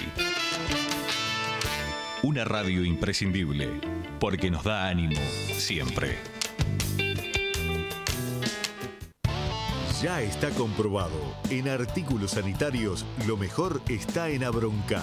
En Médanos de Solimar, Avenida Yanatacio, kilómetro 27800, teléfono 2696-6006. En Montevideo, 2628-8010. Envío sin cargo. No se olvide de mencionar a la 36. Montevideo, Solimar y Castillos. Abronca está acá. Un vino BCP al alcance del pueblo. Tradición de buena uva, madurada en barriles de roble. Adquiera los vinos del Parador Suri solo en venta en la radio. Compras un vinito que se llama Pulgasol. Fletes Román le ofrece. Fletes en Montevideo e interior, también traslados. Si necesita ir a lo de un familiar, amigo o al médico, llame a Román al 093-722-271. Contamos con cómodas camionetas para seis personas y también lo llevamos con su mascota. Precios especiales para viajes frecuentes. A donde sea, Román lo lleva. Llame al 093-722-271. No se olvide, 093-722-271.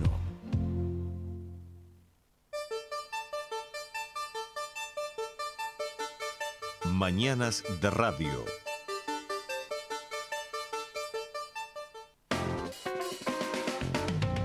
La 36 se queda contigo. Nuestros reportajes en audio y en texto, informes, coberturas en fotografía y video y diversos materiales los encontrás en nuestras cuentas en redes sociales. En Facebook, Radio Centenario 1250 AM Montevideo. En Twitter, arroba Centenario 1250. O en nuestra página web radio36.com.ui. Podés escuchar, descargar y compartirlos para que los contenidos de la 36 lleguen más lejos.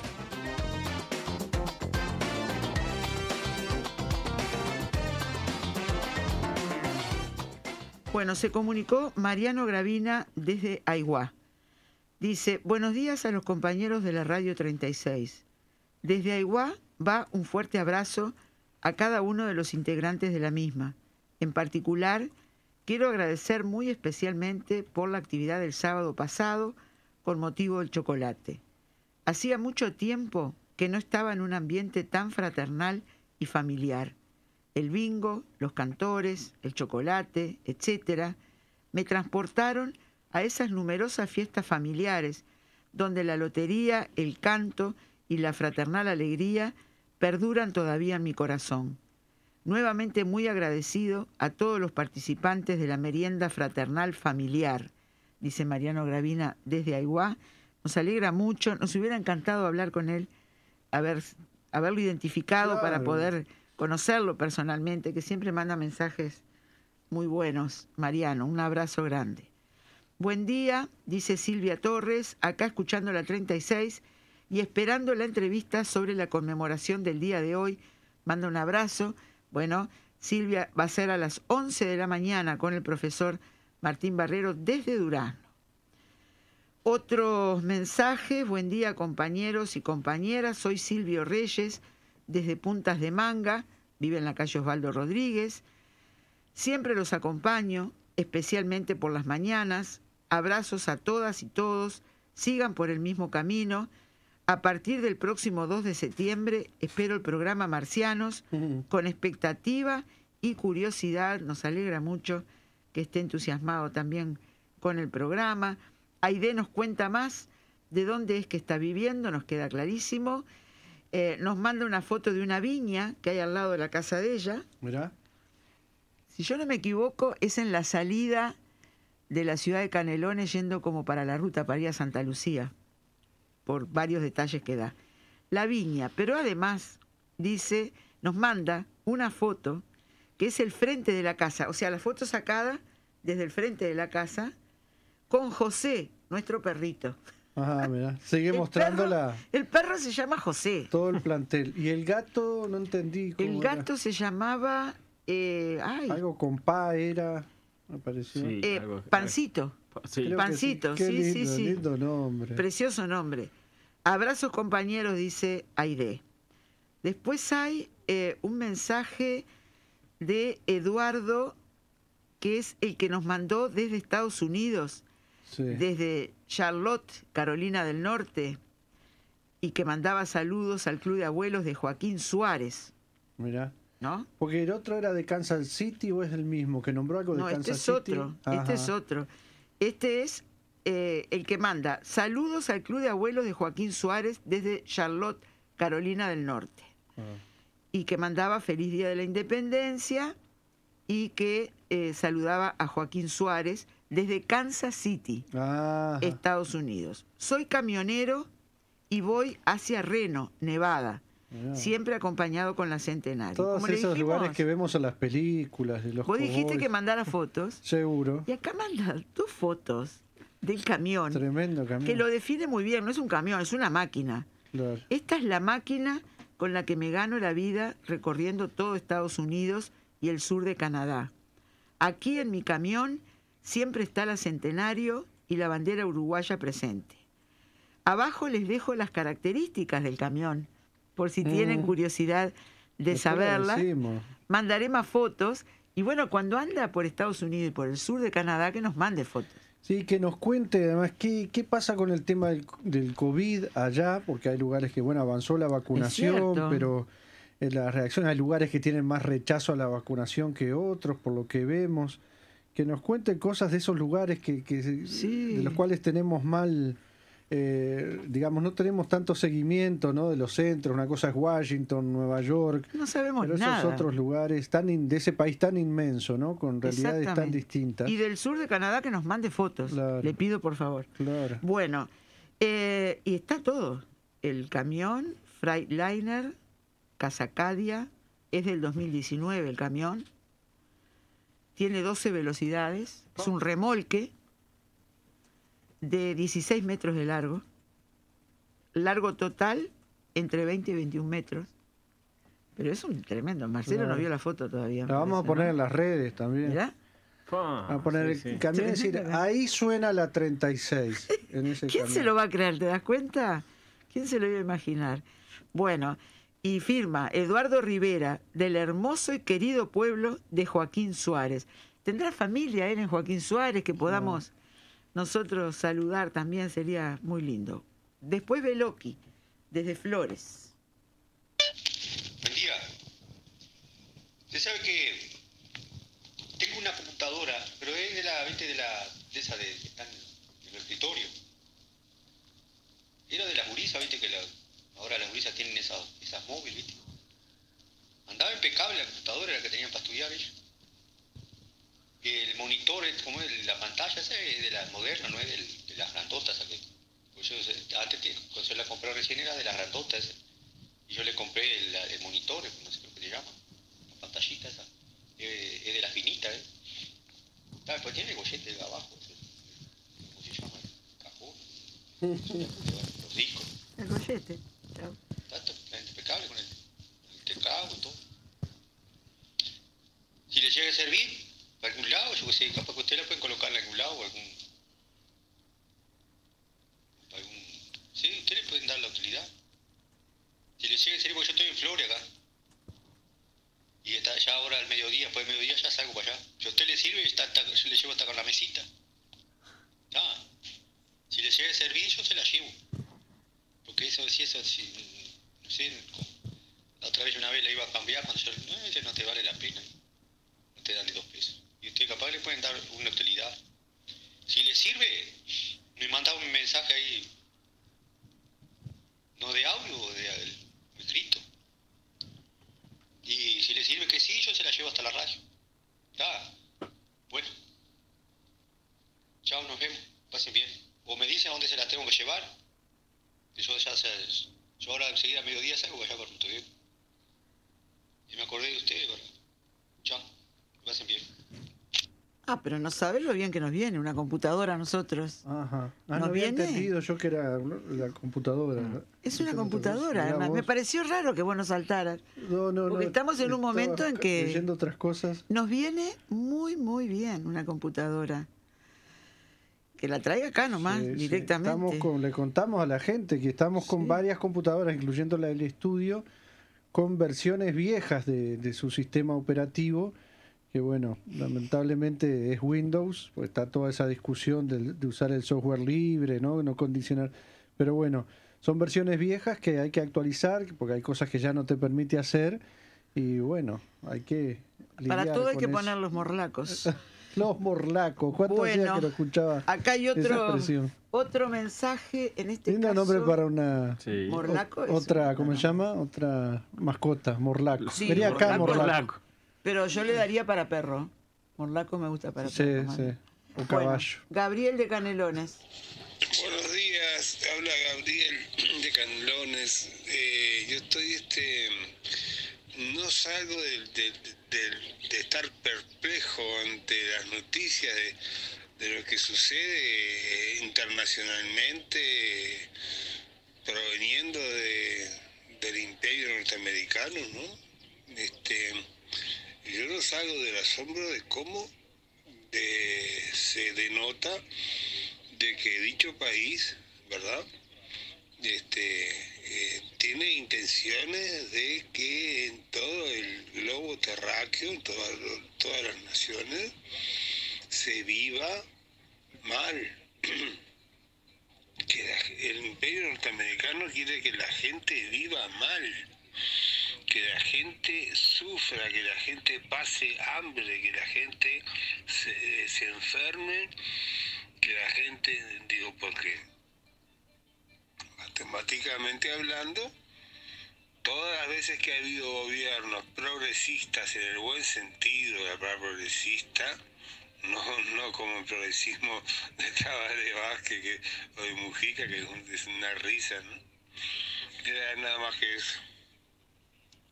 Muy bien, Gabriel, que creo que es de Barros Blancos. Eh, Néstor de La Paz dice, el Richard es un asqueroso burócrata y en ese ámbito representa al asqueroso Pitt. La gente sin posibilidades de preparación básica, condenados a delinquir. Hay que hacer algo, dice, pone un montón de signos de exclamación y manda un abrazo, Néstor. Enrique Molina, eh, saludos, dice, claro, él es camionero, Enrique Molina. Claro. Saludos a ese compañero de Estados Unidos. Hoy es aniversario de la Declaratoria de la Independencia. Falta ejecutarla por el pueblo, es cierto. Mm. En el Día de la Independencia hay que comprometerse a lograrla un día. Ángel de Paso Carrasco, muy buenos días, feliz día de descanso, uno de los cinco feriados pagos conseguidos en la lucha de obreros y trabajadores, dice Ángel. Bueno, hacemos la pausa, venimos con hay temas, eh, realidades sindicales, entre otras, para actualizar en esta mañana. Cada día por la carretera, noche, madrugada entera y mi amor aumenta más.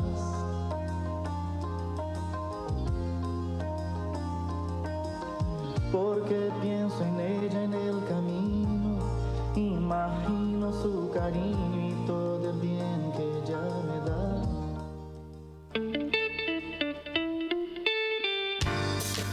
Transmite Radio 36, Centenario, de Montevideo, Uruguay. Una radio imprescindible, porque nos da ánimo siempre. Ya está comprobado. En artículos sanitarios, lo mejor está en Abronca. En Médanos de Solimar, Avenida Yanatacio, kilómetro 27800, teléfono 2696-6006. En Montevideo, 2628-8010. Envío sin cargo. No se olvide de mencionar a la 36. Montevideo, Solimar y Castillos. Abronca está acá. BCP al alcance del pueblo. Tradición de buena uva, madurada en barriles de roble. Adquiera los vinos del Parador Suri solo en venta en la radio. Entre copas un vinito que se llame Pulgasur. Fletes Román le ofrece. Fletes en Montevideo e interior, también traslados. Si necesita ir a lo de un familiar, amigo o al médico, llame a Román al 093-722-271. Contamos con cómodas camionetas para seis personas y también lo llevamos con su mascota. Precios especiales para viajes frecuentes. A donde sea, Román lo lleva. Llame al 093-722-271. No se olvide, 093-722-271.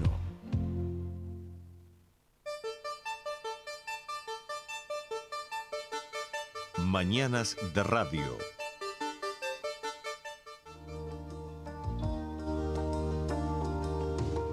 La nostalgia viene a hablar conmigo, con la radio yo consigo espantar la soledad.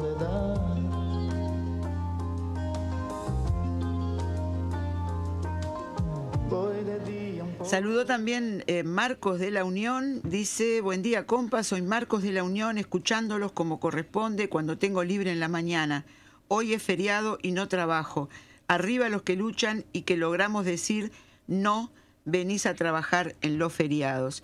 Y está la foto con un café, el azucarero, un tarrito de mermelada, torta casera, la cafetera y la radio. Están acá. Preciosa foto, Marcos, ¿eh? Un saludo y que aproveche mucho el día libre. Vamos a poner todas las fotos que ustedes nos mandan en las redes, en Twitter, en el Facebook de la radio. Bueno, así que aprovechen y manden. Bueno, lo que nos quedaba pendiente también desde lo sindical que decíamos, a propósito de la Federación de la Bebida, justamente la FOEB informó ayer que a raíz del conflicto con la empresa Maltería Oriental, vinculado al despido de un trabajador, va a desarrollar, va a adoptar medidas que pueden ir desde movilizaciones a un paro de 24 horas de todos los trabajadores del sector.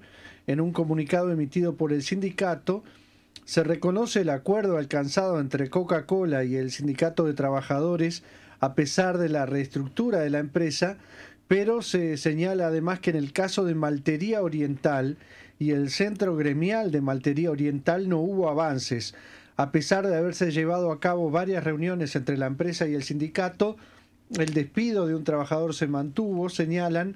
Desde FOEB apoyamos y nos solidarizamos con los compañeros del sindicato eh, de Maltería Oriental ante un despido sin justificación alguna que desconoce los derechos de los trabajadores y deja de manifiesto la prepotencia patronal.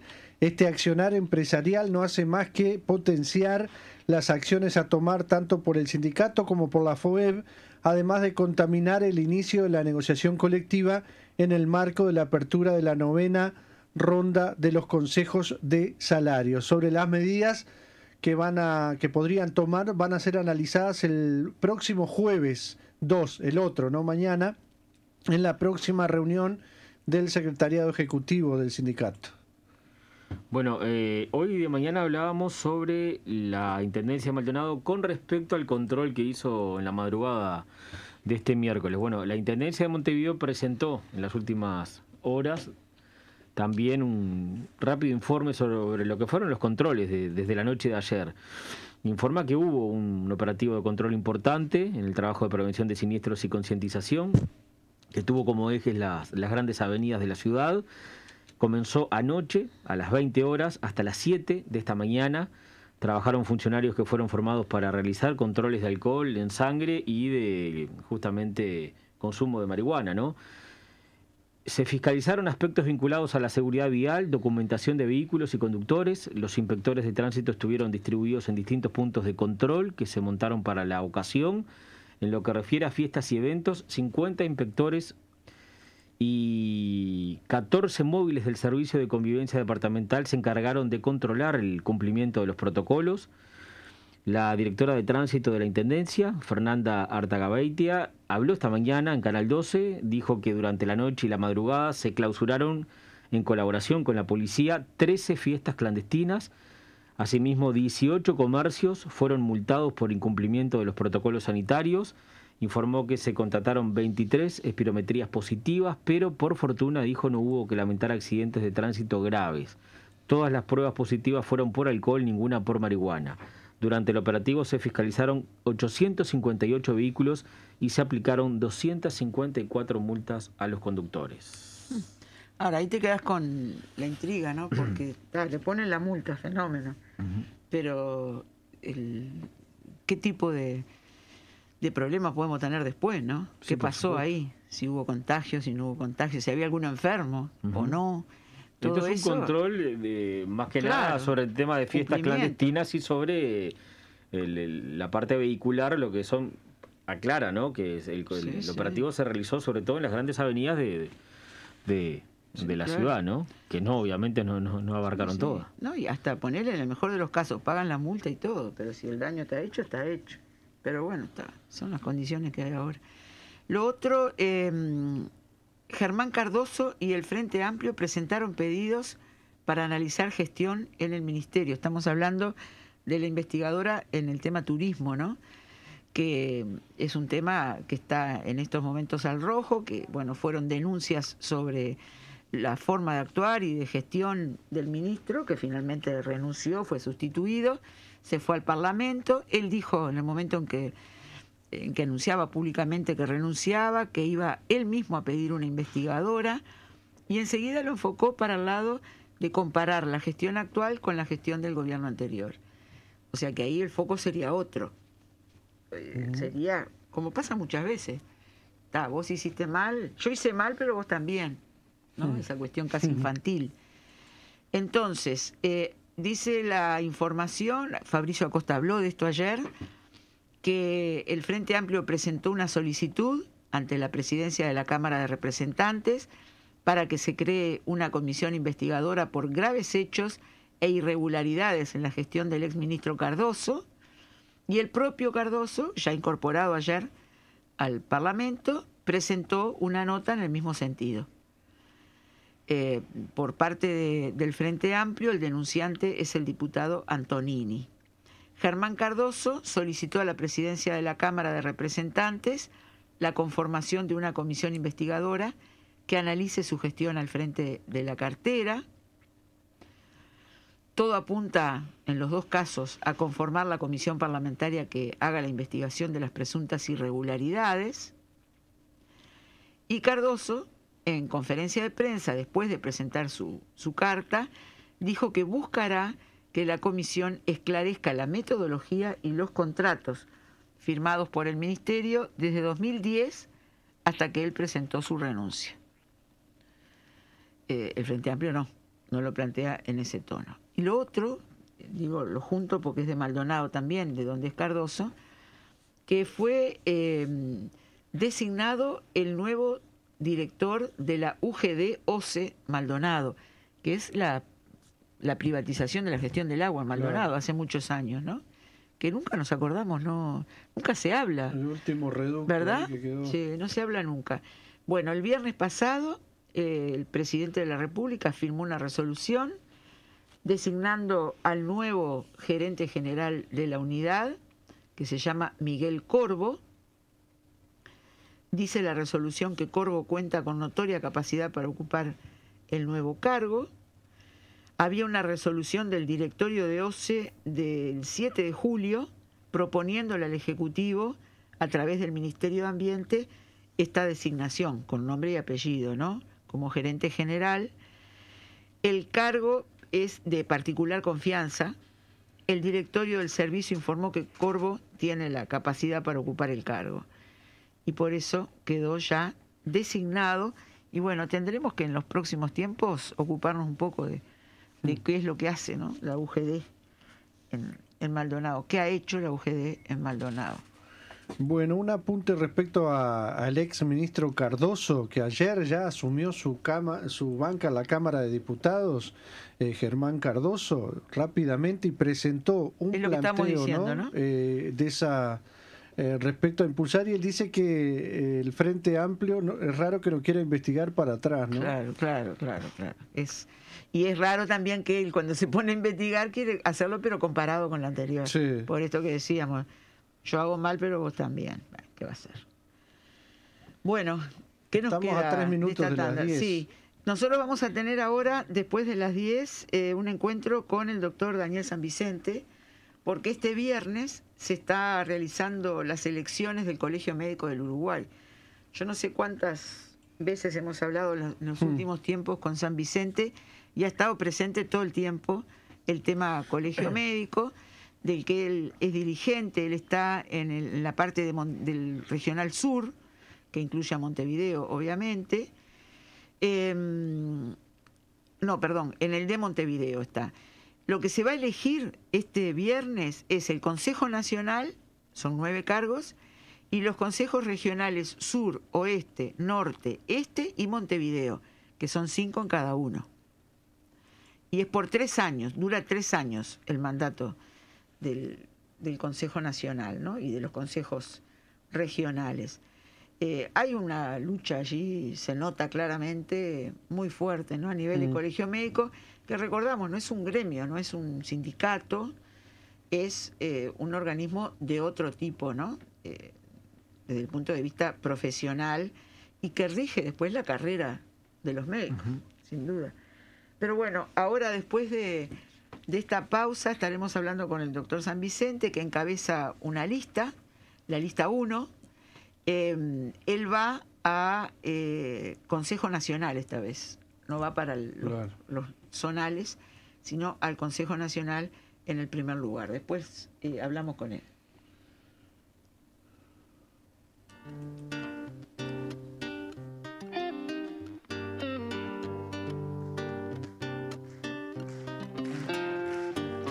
Roto de cabezas. Mañanas de Radio. El periodístico de Radio Centenario.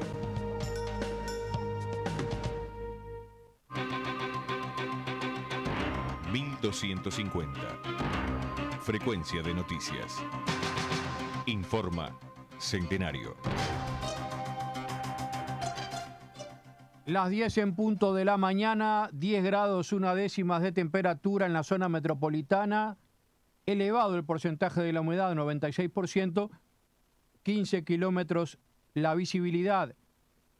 Con la celebración de la Declaratoria de la Independencia, vuelven los actos presenciales.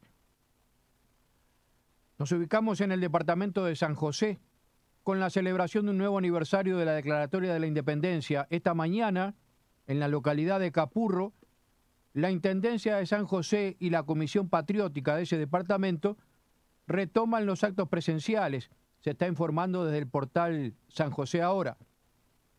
Luego de un prolongado periodo en el que los mismos se limitaban a la colocación de una ofrenda floral por parte de un reducido número de autoridades, sin la participación de público y ora- y oratorias que se distribuían grabadas, la mejora sanitaria que experimenta el departamento y el país permite que en esta jornada las conmemoraciones vuelvan a su formato habitual. La actividad de hoy se llevará a cabo en la Plaza Eulogio Falero de Capurro y se anuncia para las 11 de la mañana.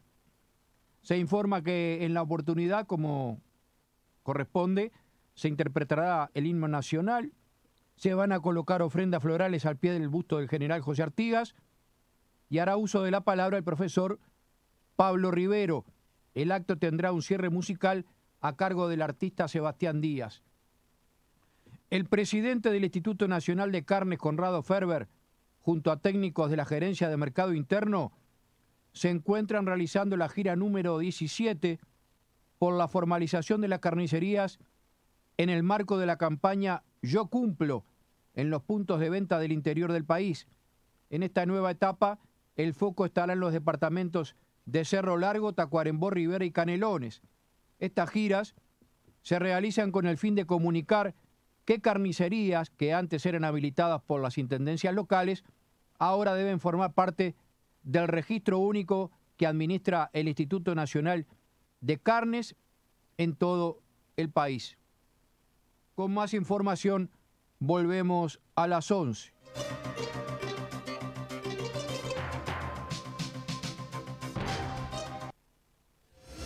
Agrandate con la juventud. Ahora todos los sábados con ocho páginas más, para que tengas más entrevistas, más notas, más imágenes y la mejor información nacional e internacional. Incluye el suplemento Liberación. Hacete suscriptor del semanario La Juventud. Mensual 150 pesos, trimestral 400 pesos, semestral 750 pesos, anual 1400 pesos. Suscríbete ya por el teléfono 29 24 79 71. 29 24 79 71.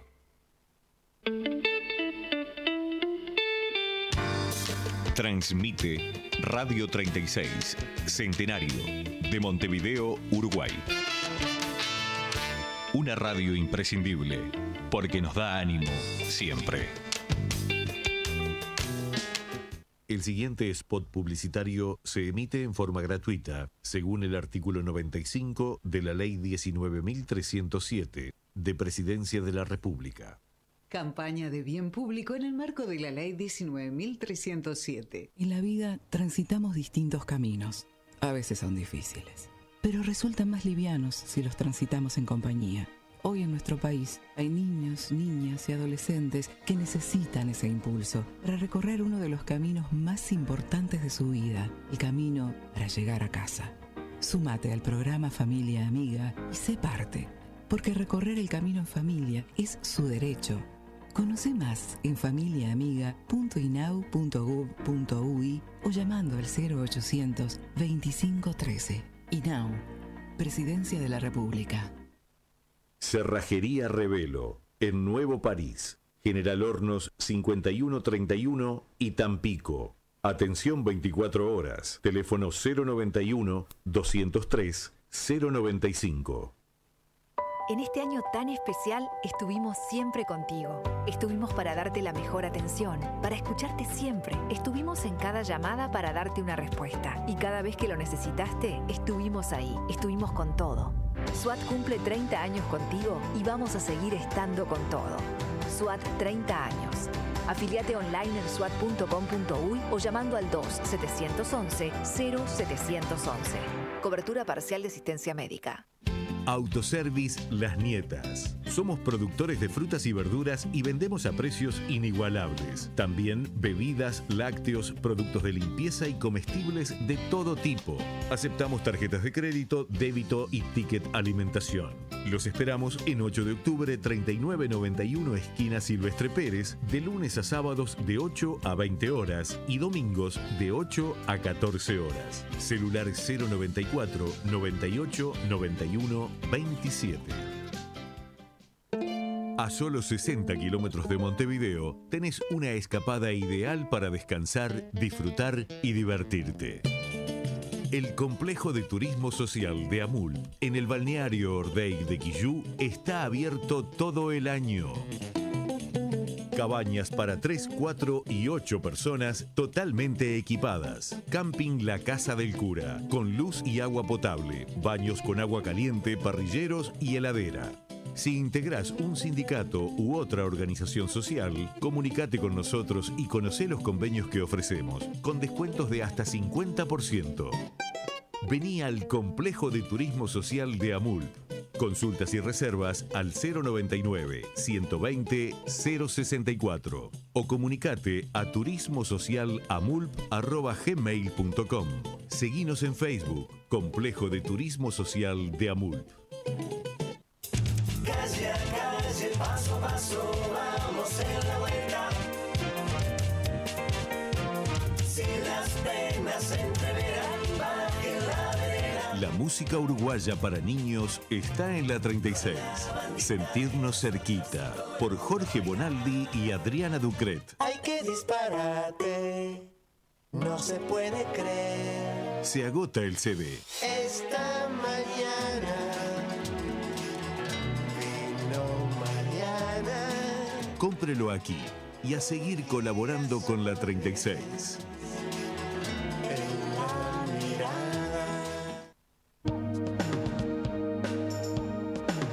De radio. El periodístico de Radio Centenario. Te he visto volver, te he visto marcharte, rumbo de migrante, la ración del mundo, insaciable. Te he visto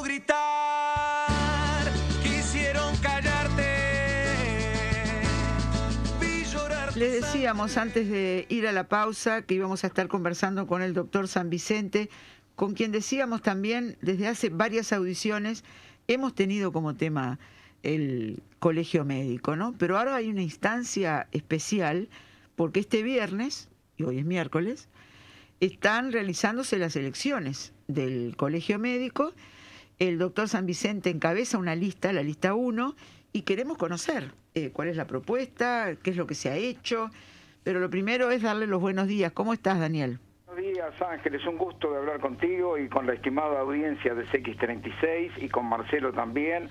Eh, sí, efectivamente, el viernes 27, o sea, pasado mañana, de 8 de la mañana a 20 horas, en Montevideo, se vota en el, el Platense Patín Club, en Juan Paulier, esquina eh, Daniel Muñoz, ¿verdad? Eh, nosotros presentamos eh, la lista al Nacional, la lista 1 al Nacional, al Consejo Nacional, que los pre- tres primeros titulares serían ¿Quién les habla? Sandra Damián, la doctora Sandra Damiano y el doctor Eduardo Lebrato. En la lista M1, que es la del Regional Montevideo, que debiera votarse simultáneamente con la 1 en Montevideo, los tres primeros titulares son eh, la doctora, doctora Graciela Reyes, el doctor Antonio Mujica y la doctora Gualquiria Cota. Y en el regional Canelón, en el regional sur, en el regional sur, eh, que en el regional sur, como cualquier regional, se vota la lista 1 al nacional con la correspondiente del regional. En este caso, S1, que presentamos listas, los tres primeros candidatos son las doctoras Rosana Pérez, Mónica Techera y Susana Dorce. Quere- Queremos destacar, quiero destacar, Ángeles, que somos la única lista que realmente eh, asegura la- el carácter paritario de las listas eh, prácticamente en un 50% mujeres y un 50% hombres. Eh, hay listas que prácticamente, hay algunas listas que prácticamente no tienen mujer- no tienen colegas, ¿verdad? Y, y es, de, se- es de señalar que somos la lista que cumplimos ese, ese parámetro, ¿verdad? Y por último decir que eh, cualquier duda, en la página nuestra en, en la web, que es colegio de iguales está totalmente actualizada y allí van apareciendo minuto a minuto las, las novedades, ¿verdad? Colegio de Iguales. Punto UY. Bien, bien. Eh, en esto de una elección que se viene, nosotros decíamos antes de llamarte que el colegio médico no es un sindicato, ¿no? No, es no. otro tipo de organización. Es, es exactamente. El colegio médico es una persona jurídica pública no estatal que en todos los fundamentos y en todas las, las decisiones eh, se rige por el derecho público, se rige por el derecho público. Es decir, lo, lo, lo, este, y entonces, eh, el tema es este, que es una organización que eh, especial porque no es una empresa pública que dirija a las autoridades el poder ejecutivo, sino que es una empresa pública que está, eh, eh, digamos, sus autoridades resultan de elecciones democráticas, ¿verdad? Y sabemos que acá hay tres puntos fundamentales y brevemente, lo- porque lo dicen los cometidos. El primero es que el colegio para qué está? Para asegurar que el médico desarrolle su profesión con dignidad e independencia. Punto uno. Segundo punto, para que este, garantizar que las prácticas médicas se realicen de acuerdo al código de ética médica y eh, el tercer el, eh, el- el tercer punto es asegurar la formación médica continua y asegurar la calidad de la atención médica y a su vez asegurar los derechos de los usuarios. evitar caer en prácticas co- corporativas, desarrollar la formación, como decía, la formación médica continua y el desarrollo profesional médico continuo, y es, esto es lo que plantea. O sea que acá está planteando los derechos inherentes a los médicos y los derechos inherentes a los pacientes también lo está planteando. Entonces, de esta manera, eh, este organismo es un organismo este, de, eh, de rectoría, de, de- de- de dirección de esos temas. ¿verdad? Bien. Doctor, buen día. Buen día.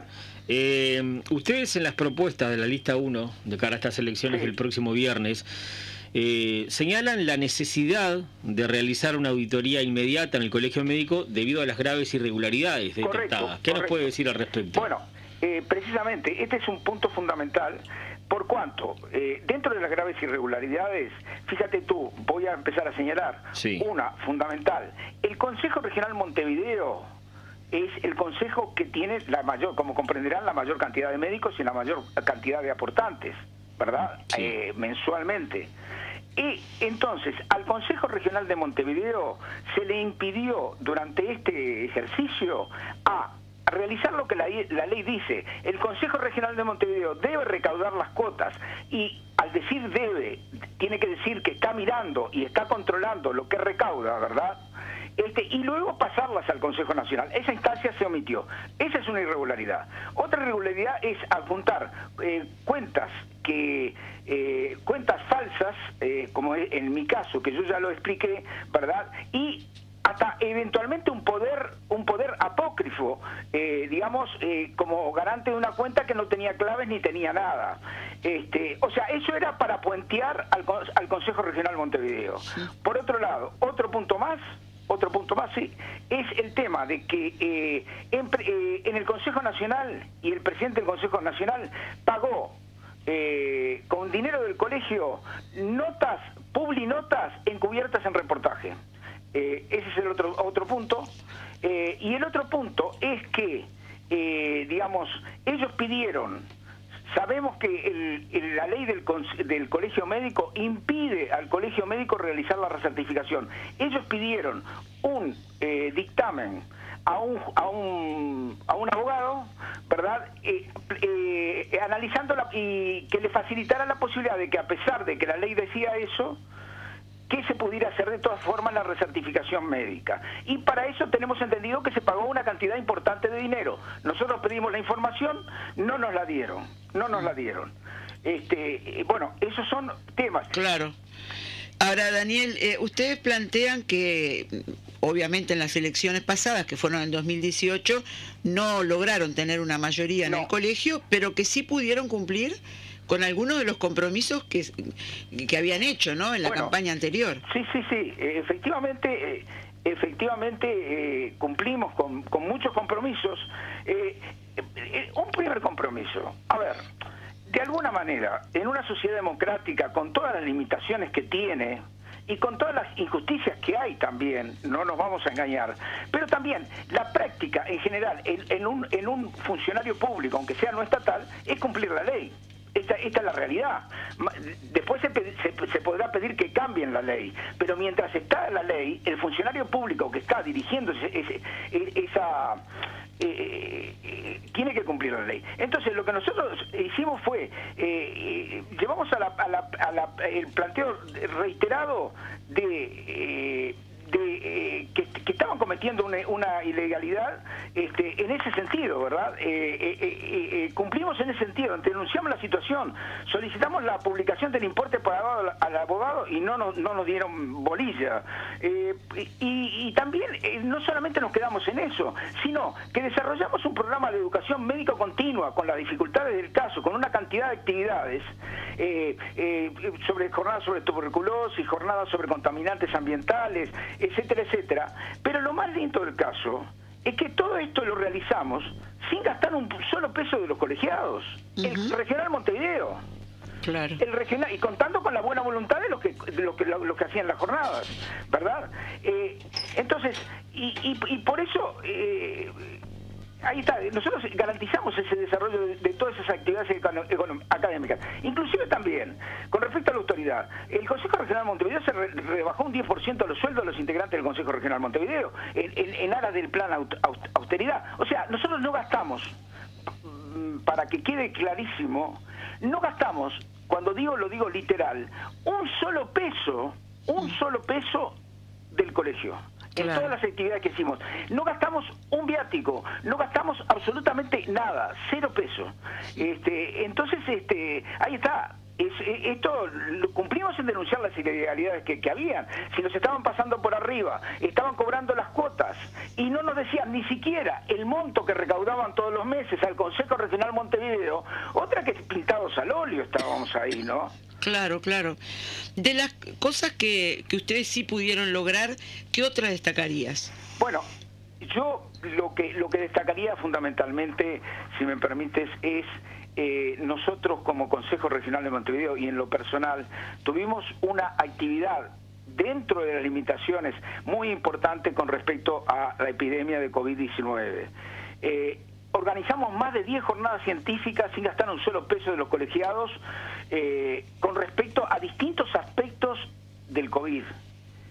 Y otra cosa más, a instancia nuestra, eh, conseguimos que se, se, se compraran mascarillas full face eh, y se entregaran a los colegios. Se me dirá, es poco, sí, puede ser poco, pero es, es un gesto directo. Y también nosotros solicitamos la, compra de mascarillas más caras, N95, pero esto lo- nos fue negado por las listas 3, 4 y 7, nos fue negado.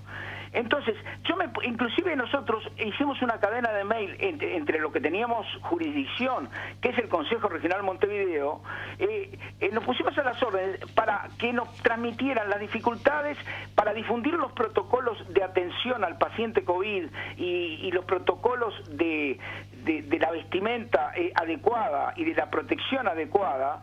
Este, y, precisamente resolvimos vía mediación una cantidad de situaciones que se daban sin decir nada con mutualistas, ¿verdad? En el cual hablamos con ellos y ellos fueron solventando ese problema.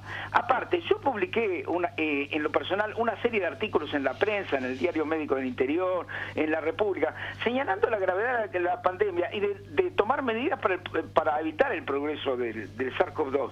Inclusive insistí sobremanera al principio, no sé si te acuerdas, cuando la OMS y todos decían que la mascarilla no, no era de utilidad. Sí, ¿Recuerdas? sí, me acuerdo. Yo creo que eso era más bien un planteo económico que un planteo de, de- es decir, como que no había, etcétera. Pero nosotros insistimos mucho. E inclusive, ante el riesgo inminente del surgimiento de brote de COVID-19 en centros asistenciales, solicitamos al señor ministro de Salud Pública que se exigiera algo que no se estaba exigiendo, que era el uso obligatorio de la mascarilla en las instituciones de salud. No es que fuéramos unos iluminados, es que veíamos lo que veía mucha gente, vamos a entendernos, ¿no?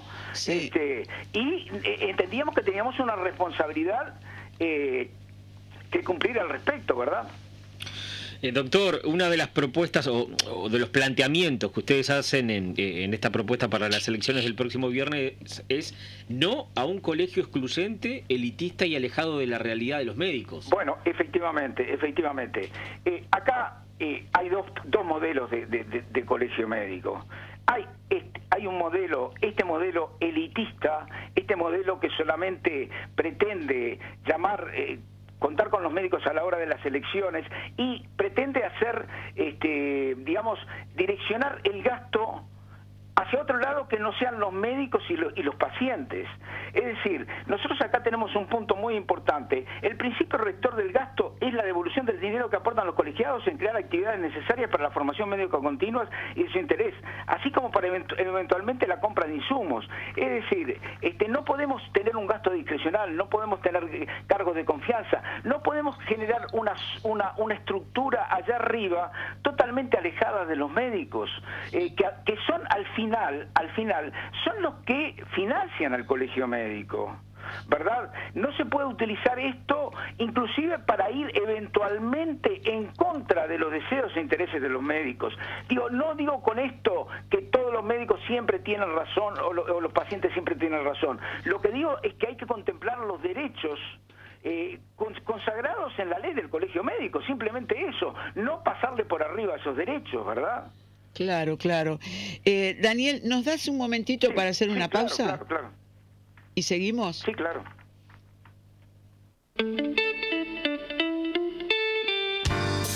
Transmite Radio 36, Centenario, de Montevideo, Uruguay. Una radio imprescindible, porque nos da ánimo siempre. Instalación de cámaras de seguridad es uno de los cursos que podés comenzar en agosto y septiembre en la Escuela Mapa. Instalación de alarmas, reparación de celulares, técnico en redes, empalmador de fibra óptica, reparación de bicicletas, todos prácticos y presenciales. Reinventate en este 2021. Consulta la web o llama 2409 1515 de Mapa Tres Cruces o por WhatsApp al 091 49 15 15. Endulce su vida con miel natural pura de la nueva Reserva Ecológica de los Montes del Queguay de Paysandú. Adquiérala en la radio en envases de un kilo. Único distribuidor Luis Córdoba.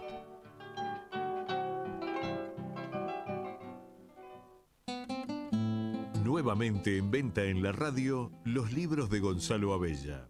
Entre ellos, Artigas Mitológico, donde se mira al prócer desde el imaginario colectivo de los pueblos que lo siguieron. Educación, Resistencia y Cambio Social, que describe el papel de la educación y la comunidad educativa en la lucha por la liberación nacional. Aparicio Sarabia el traicionado, el alzamiento rural y el retorno del Partido Nacional a su origen de oligarquía ganadera. Mañanas de Radio. El periodístico de Radio Centenario.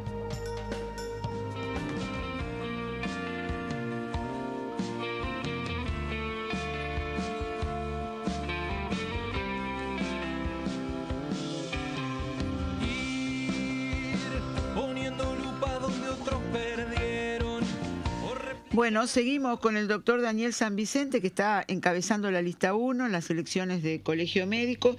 ¿Cuántas listas son, eh, Daniel? Bueno, eh, son eh, cuatro, eh, cuatro listas. Eh, Cuatro la, listas. la, la uno, la tres que representa al, al sindicato FEMI, eh, en este caso al sindicato FEMI, y creo que hay un- una lista del sindicato médico que también apoya esa lista y la SAC apoya esa lista en esta, en esta oportunidad. Eh, te decía la, la, la, la 3, la 4, que bueno, que es la agrupación de todas las, las listas que giran en torno a los partidos tradicionales, este, por, por, por decirlo de alguna manera, este, que serían este, lo que lo que es eh, Médicos por el Cambio, lo que es Médicos Independientes, lo que es UGM, eh, ¿verdad? Esa sería la lista 4. Y la lista 7, que es la agrupación Fosalva, directamente. Ahí va, esa es la 7. Esa es la 7. Entonces, di- eh, hay que decir una cosa, que hay algunas, eh, muchas listas se han cambiado los números, lo cual refleja que, que, que no quieren asociar a gestiones anteriores, ¿no? El caso concreto eh, de la agrupación Fosalva, que antes era la lista 5, después fue la 35 y ahora es la 7. No quieren estar asociados a la gestión que hicieron sus compañeros anteriormente, me da la impresión. vos, mirá vos. Eh, yo no sé si está bien leído esto, pero pareciera que de todos los temas el de la recertificación es de los más fuertes, ¿no? El de la recertificación es un tema de los más fuertes, sí, sí, es un tema de los más fuertes. Eh, digamos, porque, eh, digamos, porque está poniendo, o sea, vamos a entendernos, eh, el médico es una profesión, eh, una profesión eh, como tantas otras, pero una profesión que, volcado al cuidado de la salud, volcado a muchos años de estudio, etcétera, etcétera. Lo que no le gusta a nadie es que le pongan un revólver en el pecho, y más contrariando la legalidad vigente, ¿verdad? Ese es el tema. Acá nadie está negando, y de hecho, nadie está negando la necesidad de la educación médica continua y de la formación profesional continua. Que eso es la recertificación, digo por si alguno no sabe. Claro, no, la tema. recertificación es que prácticamente, eh, vamos a ver, la recertificación pura y dura es esto, es que cada cierto tiempo, eso varía, si es un año, si es dos años, tú tenés que poner en juego un título con respecto a exámenes, a realizar exámenes, que si lo, lo, lo- lo perdés o, o te dan otra oportunidad, pero, pero ya genera un- un- una, una situación de inestabilidad total. Eh, nosotros entendemos que acá lo que tiene que haber es eh, no ponerse en esa actitud draconiana, porque las actitudes draconianas no son propias de la democracia, ¿verdad? Las actitudes dra- draconianas son propias de eh, gente que, que es eh, autoritaria. Eso es lo que veo yo, ¿verdad? Y que no no aporta, porque claro, si vamos al caso, eh, también eh, la letra con sangre entra, es decir, si nosotros obligamos, obligamos, obligamos a una persona que, que tiene un trabajo, que tiene una cantidad de problemas, que trabaja mucho tiempo, y no hacemos algo amigable, ¿verdad? Y más en democracia, porque... No, esta es la realidad, ¿no? Eh, doctor, eh, ustedes proponen la creación de una fundación que atienda los problemas sociales de las familias médicas. ¿Cómo es el tema? Bueno, esta es la idea, esta es la idea, tiene que, eso, eso tiene que estudiarse, tiene que haber una fundación con, con toda la acreditación, es decir, la- eh, problemas que puedan surgir, problemas de- de- de- problemas económicos, eh, problemas familiares, de, situaciones de, de pérdida de pérdida de, de- integrantes de la familia, que queden hijos que necesiten apoyo para sus estudios, etcétera, etcétera. Todo ese tipo de temas eh, que, que planteamos este, eh, en ese sentido, ¿verdad? Claro. Este, ahora, si, eh, eh, el tema, yo creo que también acá hay un tema muy importante, ¿no? Si eh, el colegio médico tiene que velar por la indignidad e independencia del médico, obviamente en sus directivas no puede haber integrantes que simultaneen el puesto con cargos políticos en la administración, ¿verdad? O cargos en el mutualismo. O sea, estar en la en el colegio médico y a la vez en la parte institucional, Claro, digamos, pública hecho o privada. De, hecho se ha dado, se está dando ahora. De hecho se está dando. El, el propio presidente tiene un alto cargo en ACE y- y ahora se presenta en el Regional Sur, ¿verdad?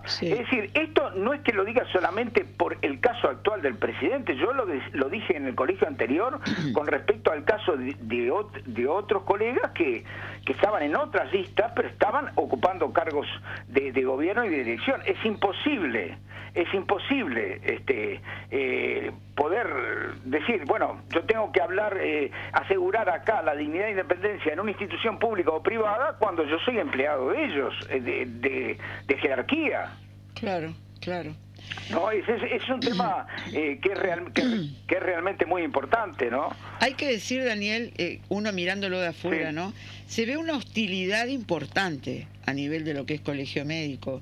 Digo Bueno. porque incluso en esta última semana, notas de prensa hemos visto, duras, eh, hay una hostilidad No, así notoria. claro, acá, claro, hay una hostilidad. Pero acá nosotros, yo quiero decir una cosa que a mí eh, me parece muy importante. Los uruguayos, eh, que de alguna manera, con todas las limitaciones de, este, eh, de la democracia, con todas las dificultades que tiene, vamos a coincidir que nosotros nos hemos educado en un clima, en un clima democrático, en ese, salvo el- está, todo ese tema anterior de la dictadura, pero en general, en líneas generales, eh, la- están los valores democráticos, están consustanciados. Y claro, uno ve, ¿por qué tanto ensañamiento de todas las listas a, una, a una posición y en lo que me es personal? ¿Qué, qué, qué encierra eso? Es decir, ¿por, por qué se unen tanto ellos eh, para atacar la lista nuestra y para, para atacarme? Bueno, yo creo que ahí hay, hay, hay una, una, una actitud de poder ahí, hay una actitud de poder. Ah, Ese es el tema, yo lo que veo es eso, ¿no? Sí, sí, sin duda. Inclusive, inclusive, yo también quiero decir una cosa, que la democracia acá se ejercita ejerciéndola y lo que vale para el colegio médico vale para la democracia. La democracia y las organizaciones tienen que ser transparentes, no tienen que tener secretos para la gente. Tienen que ser transparentes y sin secretos, ¿verdad? Y el código de ética no solamente vale, no solamente vale para el médico, también vale para todas las funciones, periodismo incluido, ¿verdad? periodismo incluido. Pero yo creo que al final, al final, es tanta es tanto el encono, el encono, que terminan desacreditando. Es decir, si yo critico a una persona eh, en una situación y punto, lo, se puede creer. Ahora, si yo la critico siempre y en una cantidad de personas y no guardo la debida ética, al final esa, esa, esa denuncia, entre comillas, se desacredita por, por absurda y por ridícula. Exacto, exacto. O sea, el- gastan el instrumento. Ellos gastan el instrumento. Ahora, em, eh, ¿son todos los médicos los que pueden votar el viernes? Bueno, eh, vamos a ver. Son los médicos que están colegiados. Y, generalmente. ¿Qué quiere decir lo- eso? lo- bueno, colegiados en general es que para ejercer la profesión hay que, eh, entre otros trámites, estar en el colegio médico. Bien, eso por un lado. Pero por otro lado, puede ser que haya algunos jubilados, que también algunos jubilados, eh, haciendo un trámite, ahora está cerrado el padrón, se les, permití, se les permitía, se les permite eh, integrar el colegio y, y participar de las elecciones, pero son, son los menos, ¿verdad? Son los menos. Eh, la última elección hubo un 40% de votos en blanco. Bueno, es muy fuerte eso. Es muy fuerte. Por eso mismo, acá existe una situación eh, de, de, de- de- crisis del colegio. Yo, como comprenderás, en, en- en- en la- si bien yo denuncié esta situación, en la, en la- en la parte de la campaña electoral, yo preferí eh, no decirla en aras de no, de no eh, eh, digamos, distorsionar el tema de las elecciones, ¿verdad? Fueron ellos los que las trajeron este, este tema, este tema, y que se agrava porque claro, la gente ve, bueno, yo pago una cuota, esta cuota, este, hay un gasto, hay un gasto, hay un- una administración que es opaca, opaca en cuanto, voy a precisar lo que es opaca, opaca es que ellos hacen un gasto y no informan de ese gasto, ¿verdad? Claro. Eso es opaco. Es decir, y discrecional. Discrecional quiere decirse que eh, actúan con un criterio personal en el gasto. Eh, digamos, que ellos lo interpretan de esa manera y tiene que ser un, un criterio, en la medida que yo aplico el gasto, tiene que ser un criterio ceñido a la ley. Sí, sí. ¿Verdad? claro, claro. Eh, entonces, eso, eso es discrecional, es opaco, y es opaco. Y entonces lo que nosotros queremos es una administración transparente. Es decir, es una administración transparente donde se publique la escala salarial, don- donde haya un tope salarial, donde, donde a los colegas con, con ingresos menores a 50.000 nominales queden ex- excluidos de la cuota. Ahora se, ahora, se- ahora se lo- les rebaja, pero no se los excluye de la cuota. No, no, no, tienen que pagar algo, menos, pero pagan algo igual. Claro. Eh, ¿Verdad? Y, y, y también, no la no la contratación de cargo de confianza, porque claro, asume la gente, bueno, yo necesito un asesor, por poner un ejemplo, de prensa. Bueno, sí, pero ¿qué mejor? En vez de tener eso, ¿por qué no gastamos en eh, cursos de formación continua? Por, por ejemplo. Sí, ¿Verdad? Ese es el tema, ¿no? Ese es el tema de que, de que eh, todo tiene que girar en torno. Tenemos la- la- el tema de la formación continua y del desarrollo profesional médico continuo, pues hagámoslo, hagámoslo, este, eh, vayamos a- a- acumulando, o sea, paguemos cursos, este, realicemos cursos, este, más, pero no contratemos más funcionarios, ¿verdad? Y aparte, el, el funcionario que se contrata tiene que entrar por un concurso de oposición y mérito, ¿no? Y un concurso público, porque es una empresa pública, ¿verdad? Este, y, y bueno, es- ese es un, po- un poco el, el- el tema, este, y a mí me gustaría, hablando de esto, ¿verdad? Me gustaría hacer dos denuncias concretamente, ¿no? Eh, hablando de esto de, del gasto discrecional o, o de, la, de la poca transparencia que hay. Sí. Eh, bueno, yo acá en, de la página de Facebook hoy tomé este este este, esta, este, este frente de, de- de- esta toma, toma en el cual hay una empresa que se llama Easy Lab Trainer, Laboratorio de Innovación y Simulación de Easy Lab, eh, con el Colegio Médico del Uruguay. Eh, es una empresa, según eh, eh, me informé, que tiene material, material para el entrenamiento en técnicas, digamos, en técnicas endoscópicas como fibro, fibrogastroscopía, fibrocolonoscopía. Ahora, hace tiempo que no se veía, es decir, esto es lo mismo que decir, por ejemplo, lo que te voy a decir, eh, la tienda inglesa que en las elecciones haga haciendo propaganda por, por, un partido político, por el Partido Independiente, para el Partido Colorado. Bueno, eh, acá, Easy Trainer, lista 3 para elecciones del Colegio Médico en equipo para seguir trabajando en innovación e investigación médica. O sea, la propia empresa sale a anunciar la lista 3 al Consejo Nacional por ah. Esto es, inaudito. ¿La empresa? Sí, sí, la empresa. Easy, Easy Lab Trainer. Acá está, en la página, búsquenlo por favor, no sé. Eh, EASI, EASI con Y, ¿verdad? Sí, Easy, claro, claro. Lab, Lab y Trainer laboratorio, y después dice, tenemos nuestro, eh, y después anuncia productos también, como anuncia la, el apoyo a la lista 3, tenemos nuestro Pelvic Trainer a la venta, enviamos a toda Latinoamérica y más allá, hacete el soporte de esto si están en nuestro vínculo académico.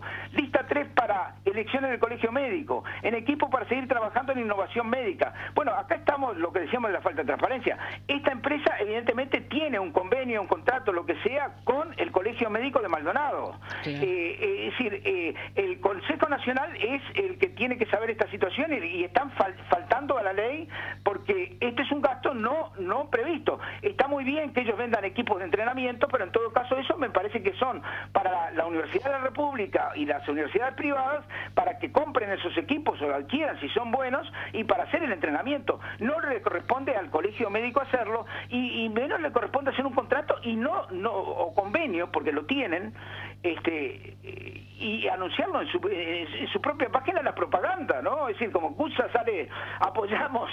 Sí, sí, sí. esto, esto es este, es este eh, antidiluviano, digo, no sé, esto no pasaría antes, ¿no?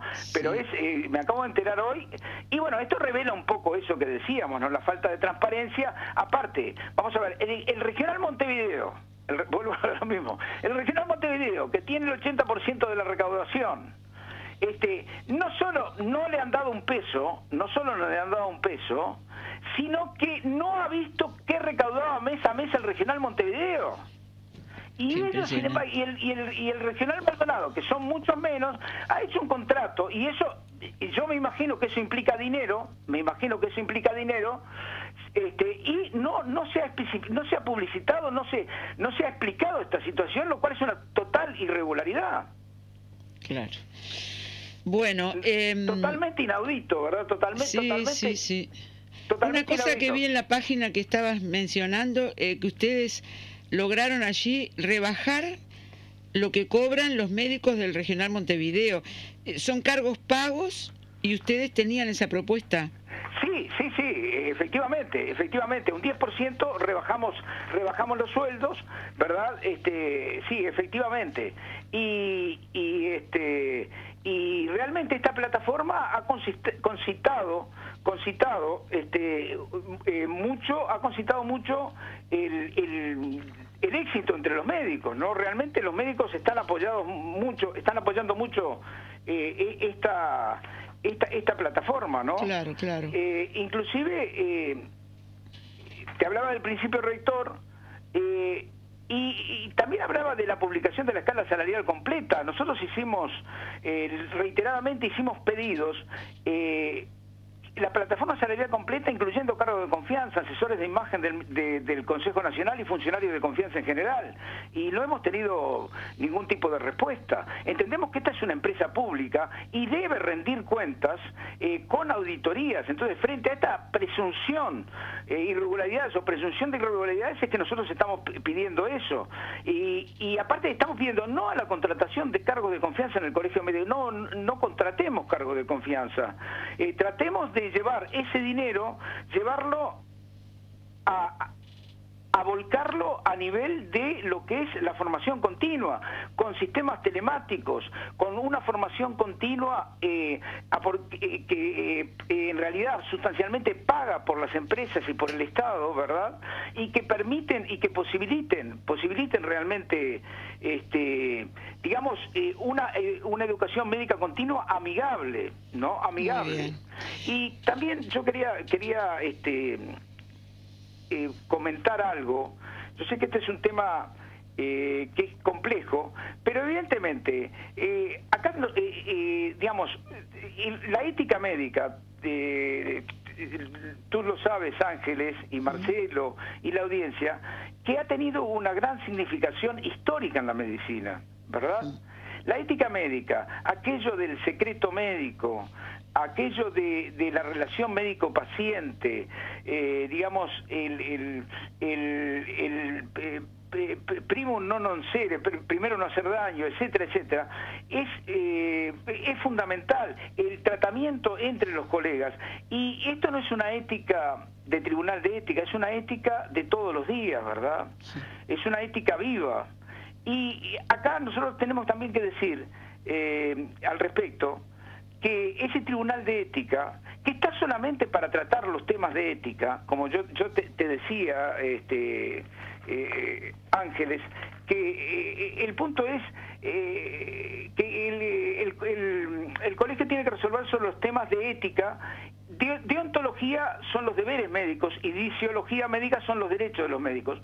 Tiene que resolver esos asuntos que se le plantean entre personas, entre médicos o entre médicos y pacientes. Ahora bien, y yo creo que tú y la audiencia lo va a entender. Nosotros no negamos a lo que está pasando ahora, ¿no? Que, eh, vamos a ver, el Tribunal de Ética, se le plantea un problema de ética, tiene un fallo, concretamente, tiene un fallo, y ese fallo eh, tiene que haber un tribunal de alzada normalmente, y ese tribunal de alzada está constituido por el propio Consejo Nacional. Claro. Presidente, secretario y tres integrantes. Ahora bien, ¿cuál es el tema? que si el Consejo Nacional o integrantes o todo el Consejo Nacional hace una denuncia eh, y falla el Tribunal de Ética, va a ser el mismo que va a tener que resolver sobre eh, la, recusación que hacen. No sé si me explico. Entonces no puede estar de los dos lados del mostrador. Por eso decimos que no a, que los integrantes del Consejo puedan individual o colectivamente realizar denuncias ante el Tribunal de Ética, puesto que el Consejo Nacional constituye por ley el único tribunal de apelaciones para recurrir la sentencia del Tribunal de Ética. No se puede ser juez y parte. Bien. Eh, Daniel, veremos qué pasa este viernes. Por supuesto, estaremos en contacto. Eh, mucha suerte deseamos para el viernes. y, bueno, que eso se eh, trasluzca después para los médicos y para los pacientes. Si, me, me, permitís, yo, quería hacer un, parlamento final en este sentido. Piensen los médicos que están enojados con razón con el colegio médico, que lamentablemente y de momento el colegio va a seguir y que lo importante es tener una opción que piense en los derechos de los médicos y los derechos de las pacientes y que represente a los médicos, al 99% de los médicos que no tenemos padrino. Porque si, si bien eh, el malestar eh, diciendo que se vayan todos es que al final que se queden los poderosos. Sí, claro, pasa, funciona siempre así. al final es ese. Entonces yo por eso planteo hoy por hoy que el voto es un voto fundamental y necesario, el voto a la lista 1, M1 y S1, porque es la única que puede defender la transparencia, la austeridad y la independencia del eh, colegio médico, o por lo menos tener una voz apropiada, que aunque limitadamente y con pocos integrantes, ya hemos hecho mucho por el colegio médico y por los médicos. Ah, claro. Te mandamos un abrazo desde acá. ¿eh? Que igualmente un abrazo. Que pasen, que pasen bien. Chau, chau.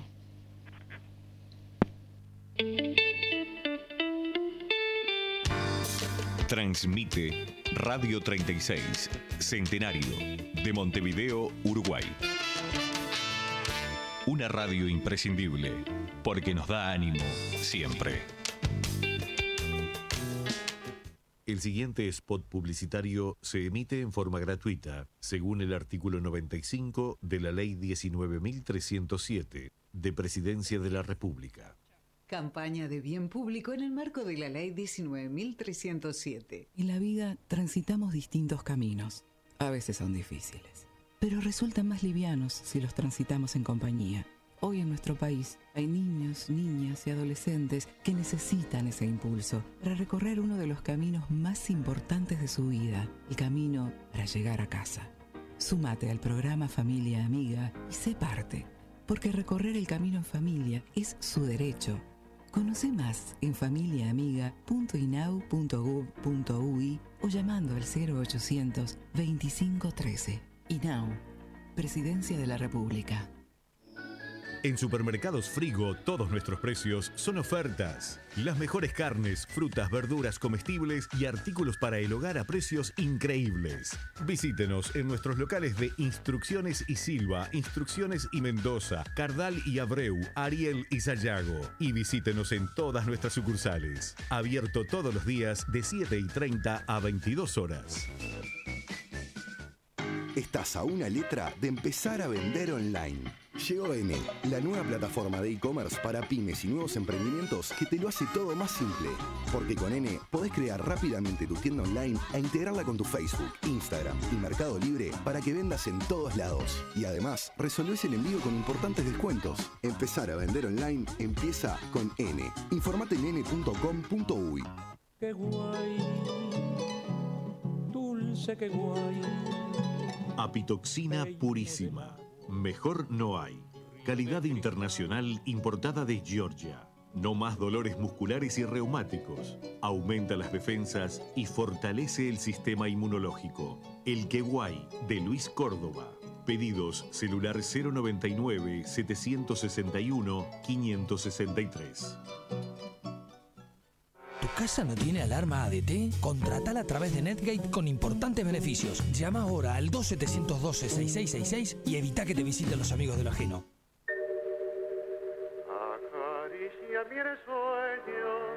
A Gardel hay que escucharlo en la vitrola, con toda la distorsión y la pérdida imaginables. Su voz sale de ella como la conoció el pueblo, que no podía escucharlo en persona, afirmó Julio Cortázar. ¿Y por qué no hacerle caso? Ahora tenés la posibilidad de acceder a discos de pasta y de vinilo a precios módicos. Discos en excelente estado de todos los géneros musicales y de todas las épocas. Pasa por la 36 en 18 de julio 1357, apartamento 202 y disfruta de la mejor música con el mejor sonido.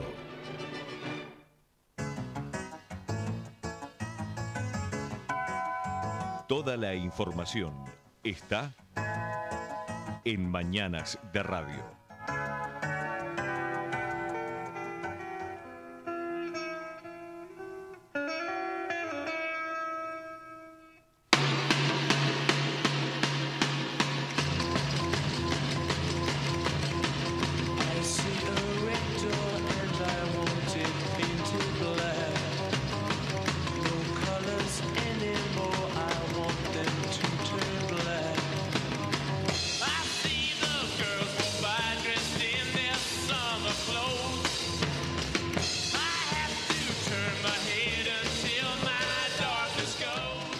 Sonando los Rolling Stones, los cantos rodados, es el- sería la traducción, sí, las piedras. Eh, y esta canción se llama Painting Black, Píntalo de Negro. Sería, eh, claro, hoy están sonando muchos temas de, de los Rolling, más allá de la noche de la nostalgia, por la noticia del fallecimiento de su baterista histórico que se sumó, que conoció a Kate Richards. eh, en el año 1962 y que eh, desde entonces integró la banda con alguna crisis puntual, eh, como pasa en todas las parejas, pero claro, uno escucha las canciones de las bandas, les gusta, sabe más o menos algo de la historia de las bandas, pero nunca, salvo un nivel de fanatismo muy particular, se llega a, tanto a la historia de cada uno de sus integrantes, ¿no? Y a veces al que menos se llega es al baterista, y el Sí. que está allá atrás, en el fondo, meta, metiendo palo, ¿no? Eh, y una y A no muchas ser de veces algunos grupos como Genesis con Phil Collins. Claro, que eh, Eagles, por ejemplo, la, el- el- la de Hotel California, el que canta es el, el baterista, ¿no? Eh, Pero en este caso uno descubre, lástima que a partir de, de la muerte de él, a los 80 años, historias interesantes, historias de vida interesantes que lo sacan un poco de ese estereotipo del rockero famoso, bueno, multimillonario y que le gusta vivir drogado y andar con 100 mujeres eh, en cada gira, ¿no? En este caso hablamos de eh, alguien con una vida humilde en, sus comienzos también, eh, en la Inglaterra de la guerra, de la mm. Segunda Guerra Mundial, creció escuchando los bombardeos en, su Londres natal y que, bueno, a partir del 63, junto a Mick Jagger y Kate Richards, empezaba la historia de los Rolling, hijo de un camionero londinense, eh, como rasgo de la humildad, de, la pobreza de su familia en el comienzo, llegó a vivir, dicen, en una casa prefabricada, una casa de materiales eh, precarios, eh, y en el año 41 nació en medio de la Segunda Guerra Mundial y él inicialmente a nivel de músico, bueno, estudió diseño gráfico, de hecho hay uno de los discos primeros de, los Rolling que tiene algo del diseño de él, eh, y él empezó la música acercándose al jazz y al rhythm and blues, el ritmo que, los negros aportaron. Eh, y luego llegó al rock, cuando le fueron a hablar, les gustaron, Kate Richard y Mick Jagger les gustó como baterista y se cuenta que lo primero que le preguntó es, bueno, vamos a hacer plata con esto, pues yo tengo que ganar plata con esto. Y que estaba acostumbrado a que se metía en bandas, dice que duraba una semana y después él contó en algunas entrevistas que, él pensaba que los, los Rolling iban a, durar primero una semana, 15 días, unos meses, y bueno, dice más de 30 años estuvo. Claro, era el centro de su actividad como músico los, los Rollins, pero también fue haciendo sus pequeñas bandas de, jazz. Eh, y también contó que ya no le gustaba, nunca le gustaron las giras, dice yo quiero quedarme en casa tranquilo. Eh, rompe el estereotipo también el hecho de que estuvo desde esos sesenta y pico con su misma compañera, eh, que tienen una hija, tenían una una Tiene un nombre en español, ¿no? Una granja, creo que se llama. Puede ser, vamos, lo, tenemos por ahí. Una granja de crianza de caballos árabes, es la actividad a la que se dedicaba. Y por eso también se tenía su, su apariencia, su indumentaria. En muchas imágenes se le ve eh, con traje, riguroso traje y corbata, no en los conciertos, eh, por lo menos yo no he visto imágenes de Charlie Watt de traje, pero sí estaba como cualquiera de nosotros, este, con una campera normal, este, dicen que era extremadamente austero en sus demostraciones así, vos ves a los demás, a Mick Jagger, a todos con todas... Ah con ropa brillante, con todo eso. Una vincha, un este, pañuelo, una cosa eh, siempre austero, campera, remera, de poco hablar, dicen, y que era muchas veces el que quedaba en el medio de los líos de ego eh, de, entre Mick Jagger y Kate Richards. Y está el episodio por ahí, Marcelo, también de, que también habla mucho, ¿no? De cómo era. De una pelea que tuvo directamente con, con Mick Jagger, el líder de los Rolling Stones, ¿no? El incidente fue descrito en Vida, la autobiografía del guitarrista Keith Richards, publicada en 2010, eh, donde justamente eh, se informa, se, se, narra de, una, de un hecho eh, de una pelea que tuvo lugar en 1984 en Ámsterdam, cuando Mick Jagger era una de las personas más famosas del mundo. El grupo en ese momento mantenía en Países Bajos una reunión para hablar sobre si debían continuar o no. Y parece que Jagger le dijo a en este caso, a él, que no se debía meter en ese tema porque él, eh, él, justamente era solamente el baterista de la banda. El baterista, sos mi baterista, le mm. dijo, solamente sos mi baterista. Lejos de reaccionar en el momento, Watt regresó a su habitación del hotel en el que estaban.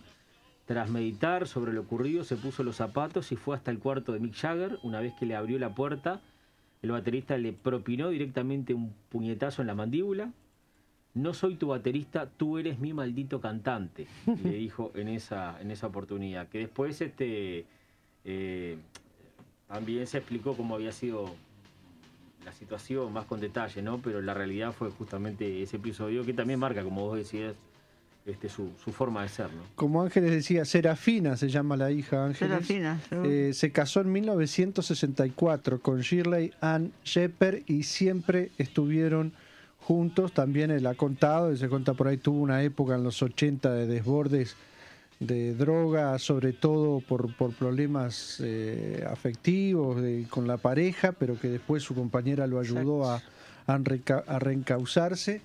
Eh, y bueno, murió a los 80, había sido en el 2004 tratado por un cáncer de garganta y hace unos meses tuvo que volver a ser internado y, bueno, realizado estudios, eh, pero llegó a los 80 años con esa personalidad que menos conocida bueno, lo, lo, están saludando músicos de Paul McCartney, en todo el mundo, ¿no?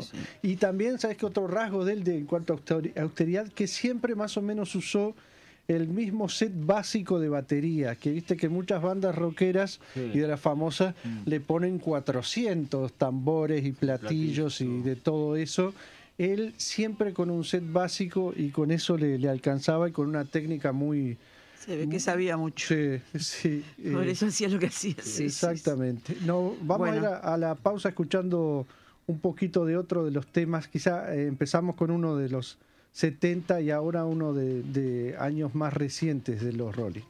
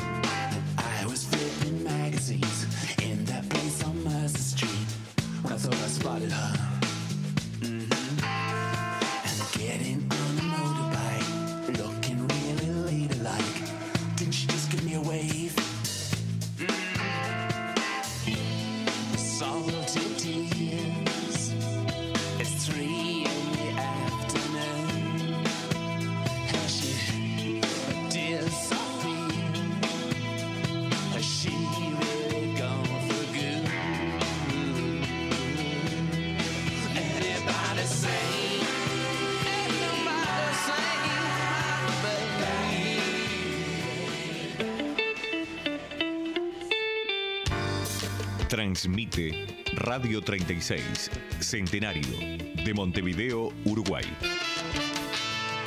Una radio imprescindible, porque nos da ánimo siempre.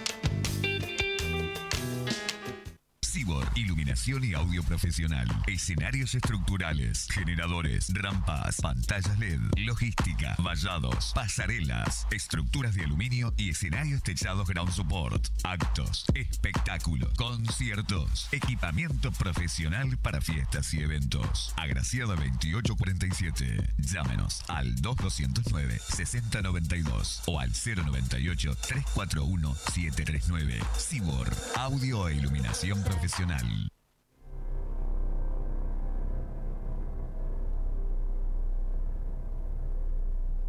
A partir del jueves 2 de septiembre, Marxianos aterriza en las ondas espaciales de la imprescindible para compartir sus pensamientos galácticos con la audiencia.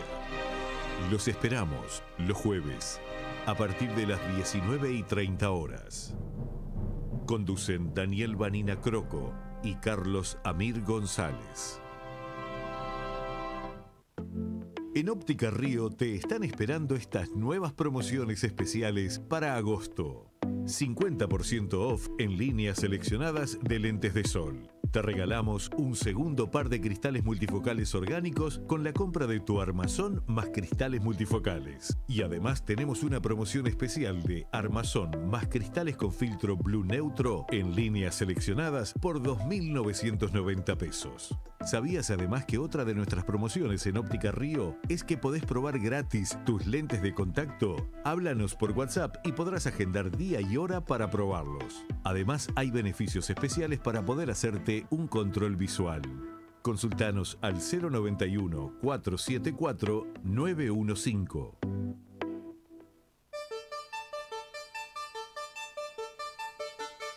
Mañanas de Radio.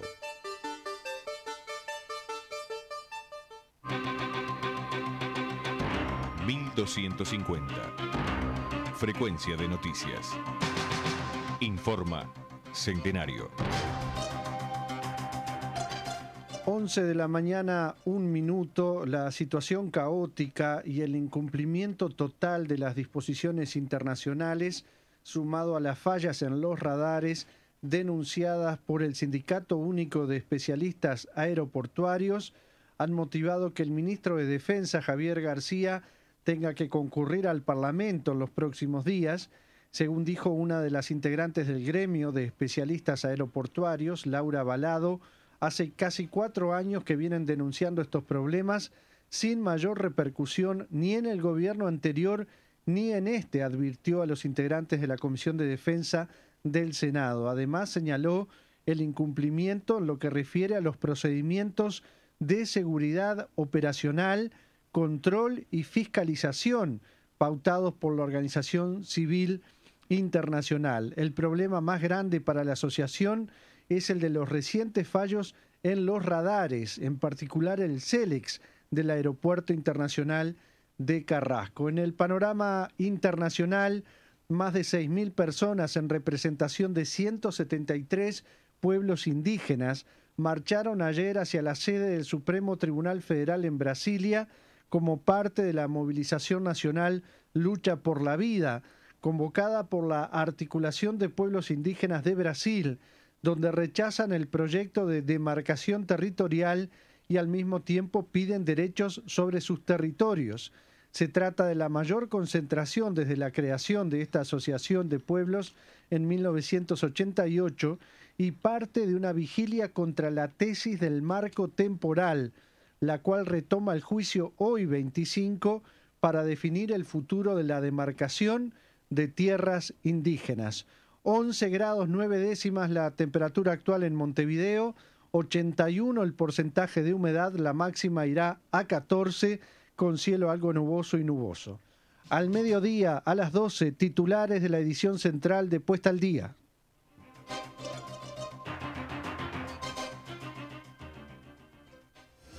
Agrandate con la juventud. Ahora todos los sábados con ocho páginas más, para que tengas más entrevistas, más notas, más imágenes y la mejor información nacional e internacional. Incluye el suplemento Liberación. Hacete suscriptor del semanario La Juventud. Mensual 150 pesos, trimestral 400 pesos, semestral 750 pesos, anual 1400 pesos. Suscríbete ya por el teléfono 29 24 79 71. 29 24 79 71.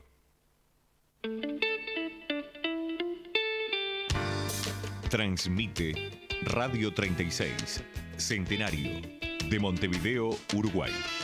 Una radio imprescindible, porque nos da ánimo siempre. Se vende hermoso apartamento de un dormitorio en Atlántida, con vista al mar y en zona de servicios. Viva en Atlántida, principal ciudad de la costa de Canelones y gane en calidad de vida. Por consultas, llamar al 099 690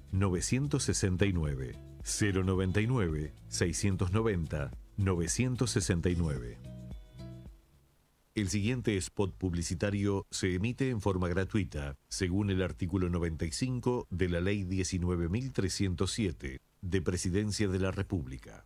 Campaña de bien público en el marco de la Ley 19.307. En la vida transitamos distintos caminos. A veces son difíciles, pero resultan más livianos si los transitamos en compañía. Hoy en nuestro país hay niños, niñas y adolescentes que necesitan ese impulso para recorrer uno de los caminos más importantes de su vida, el camino para llegar a casa. Súmate al programa Familia Amiga y sé parte, porque recorrer el camino en familia es su derecho. Conoce más en familiaamiga.inau.gov.ui o llamando al 0800 2513. INAU, Presidencia de la República. Miranda Machín y Asociados, estudio jurídico, notarial y contable. Especialistas en reclamaciones laborales, accidentes de tránsito, sucesiones, pensiones alimenticias, reconocimiento de uniones concubinarias, identidad de género, consulte por el 2-402-4829 o 099 4894 94. En este año tan especial estuvimos siempre contigo. Estuvimos para darte la mejor atención, para escucharte siempre. Estuvimos en cada llamada para darte una respuesta. Y cada vez que lo necesitaste, estuvimos ahí. Estuvimos con todo. SWAT cumple 30 años contigo y vamos a seguir estando con todo. SWAT 30 años. Afiliate online en swat.com.uy o llamando al 2-711-0711. Cobertura parcial de asistencia médica. Sonreí, ahora podés. Clínica odontológica. Rayos X, laboratorio propio, Fondo Social de la Construcción, trabajos garantidos. José Cerrato 3651, esquina Palomas, a una cuadra de General Flores. Teléfono 22 15 07 57 y celular 094 65 30 44. Mencionando a la 36, la primera consulta gratis. El lugar donde nace el calor, la humedad. Curopa presenta su nuevo álbum. La gente, vos y yo como manada, vos y yo como manada, vos y yo. El lugar. La noche y el día es igual. Curopa, el lugar. Escúchalo en tiendas digitales. Edita Bizarro. Planes 50 aniversario en previsión con derechos inmediatos. Varias opciones para que elija la que más le convenga. Todas con la cuota más accesible. Consulte al 0881 60 o ingrese a nuestro sitio web y súmese a la mayoría. Tus 50 dejan libre aquel beso que te guardo. 50 años de previsión. Más importante que lo que hicimos es lo que haremos. Y nutrido de esperanza, rumbeando al trabajo avanza, va marchando el albañil. ¿Quiere reformar su hogar? ¿Necesita hacer trabajos de sanitaria, revestimientos o albañilería? Llámenos. Somos trabajadores. Le aseguramos un buen servicio al mejor precio. Contáctenos al 092-870-397 o al 095-738-455. Ya está comprobado, en artículos sanitarios, lo mejor está en Abronca. Desde el centro del departamento y hacia toda Rocha, Abronca Castillos. En Ruta 9, kilómetro 265, frente al Trébol. Abronca Castillos, teléfono 44 75 81 19. Aceptamos todas las tarjetas. No se olvide de mencionar a la 36. En Montevideo, Solimar y Castillos, Abronca está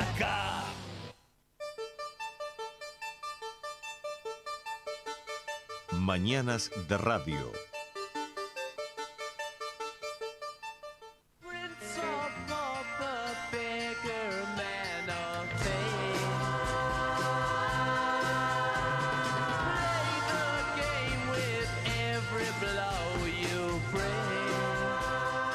Bueno, ya un poco ahí nos da una tónica que mucha independencia no tenemos.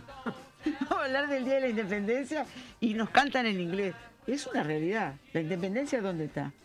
No tenemos, no tenemos. Pero bueno, de eso tiene mejor que hable el profesor, ¿no? Que nosotros. A nosotros yo creo que a cualquiera nos apretan sobre el 25 de agosto y de lo lo que nos, nos acordamos lo de la escuela. Irritos nulos y sin ningún valor para siempre. Pero para eso es que estamos llamando a alguien que sabe. Profesor Martín Barrero desde Durazno, buen día. Compañeros, ¿cómo andan por ahí todos? Muy bien, muy bien. Acá estamos en este día de feriado. Eh, bueno, estábamos viendo que están los actos oficiales en Florida, que dicen que hay mucha gente, unos protestando y otros acompañando al presidente. Eh, hemos visto mucho mensaje de feliz día por el 25 de agosto. Por eso queremos saber exactamente qué fue lo que se declaró y qué fue lo que, por qué se llega, ¿no? A, a esa declaración de la supuesta independencia. Bien. Bueno, yo creo que utilizaste eh, términos adecuados, ¿no? Supuesta eh, independencia, ¿qué es lo que se declaró? ¿No? Este, Porque forman parte de un, eh, eh, ¿cómo decirlo?, de una polémica historiográfica, o sea, de, de una este, de un conjunto de opiniones encontradas entre historiadores nacionales de cuál es nuestro origen como, como nación, como país, eh, si lo debemos ubicar en esa fecha o no, y todo depende de tanto de la postura ideológica como del partido político eh, que defienda tal o cual fecha, ¿no? Nosotros, este país, yo cada vez que doy este, clases eh, en, en quinto humanístico o en segundo del ciclo básico, que es cuando nos, nos chocamos con este tema, le digo, ustedes imaginen eh, que son un ciudadano extranjero recién llegados al país y les comienzan a comentar eh, el gran, la gran cantidad de fechas vinculadas con, con, el denominado proceso de independencia, ¿no? Y cómo ese proceso se lo intenta a su vez eh, muchas veces asociar con un con otro proceso que fue el artiguismo y este y digamos para un extranjero que no vive en Uruguay cuesta le, seguramente le tiene que costar y mucho este comprender eh, qué es lo que festejamos no porque durante mucho tiempo en Uruguay hasta por lo menos este el año 1910 en Uruguay existía la fecha del 25 de mayo como feriado oficial. O sea que eh, tiene que ver también con una cuestión de identidad nacional eh, cuando se fue eh, acercando todo el, primer centenario de los hechos del 1825 y después la constitución de 1830 y el festejo de su centenario, hubo toda una polémica política partidaria entre blancos y colorados en particular, ¿no? Eh, de donde hicieron sus aportes historiográficos importantes profesores de historia, ¿no? Este, como Pivel de Voto por el Partido Nacional o el mismo Alfredo Traversoni por el Partido Colorado, eh, si bien en, a inicios del siglo XX ellos no vivían aún, lo hicieron posteriormente, quiero aclarar, eh, esto siempre ha sido una, una fecha sumamente polémica, ¿no? Y, está bueno tener una idea, una perspectiva porque estamos a nada más que cuatro años del bicentenario de estos, de, estos hechos, ¿no? Y lamentablemente ni en la agenda política ni, ni, ni en la discusión historiográfica los historiadores nacionales hoy ponen sobre la mesa este tema y se da como bueno como finiquitado este tema que sigue siendo sigue dando que hablar y que si somos ciudadanos eh, que queremos hacer un ejercicio crítico de nuestra propia historia de nuestro pasado deberíamos comenzar a plantearnos cuál es realmente nuestra fecha de independencia política, ¿no? Porque también está eso, una cuestión es la independencia política y la segunda independencia, como se denominaban en los procesos progresistas de los 70, que parece que cada vez se posterga cada vez más, por lo menos en este país. Justamente, Martín, estabas hablando y estaba recordando en los años 70 se hablaba de la segunda y definitiva independencia. Exacto. Eh, incluso me acuerdo que había una agrupación, estaba en una agrupación de estudiantes de magisterio que se llamaba Segunda Independencia. Segunda Independencia, exacto. ¿no?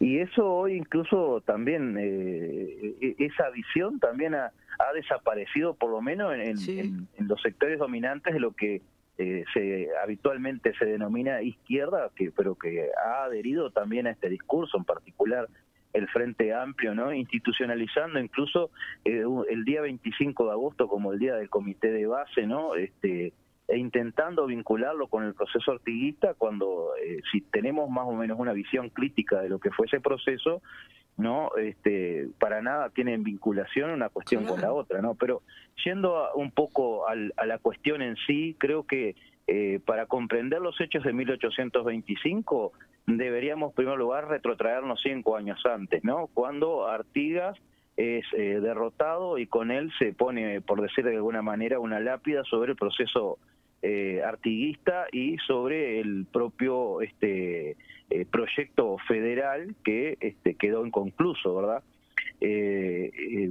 retirado una vez por todas para la oligarquía porteña y para las élites brasileñas y, y la oligarquía oriental de Artigas, ¿verdad? Este, eh, comienza todo un proceso regresivo, podríamos decir, de contrarrevolución en el Río de la Plata, encabezado particularmente, ¿verdad?, por, bueno, las propias élites del Río de la Plata, en Montevideo y en Buenos Aires, y eh, este, con la eh, complicidad, obviamente, con la participación directa de Brasil, que veía en el proceso federalista una enorme preocupación este, en cuanto a lo que podía ser la dispersión de su propio territorio, porque incluso la ideología liberal estaba penetrando y muy, muy, muy fuertemente influenciando en Río Grande del Sur, ¿verdad? Lo cual convertía el proyecto federal en un proyecto regionalista eh, mucho más abarcativo este, de lo que terminó siendo, bueno, obviamente que terminó fracasando, ¿no? Con la Liga Federal.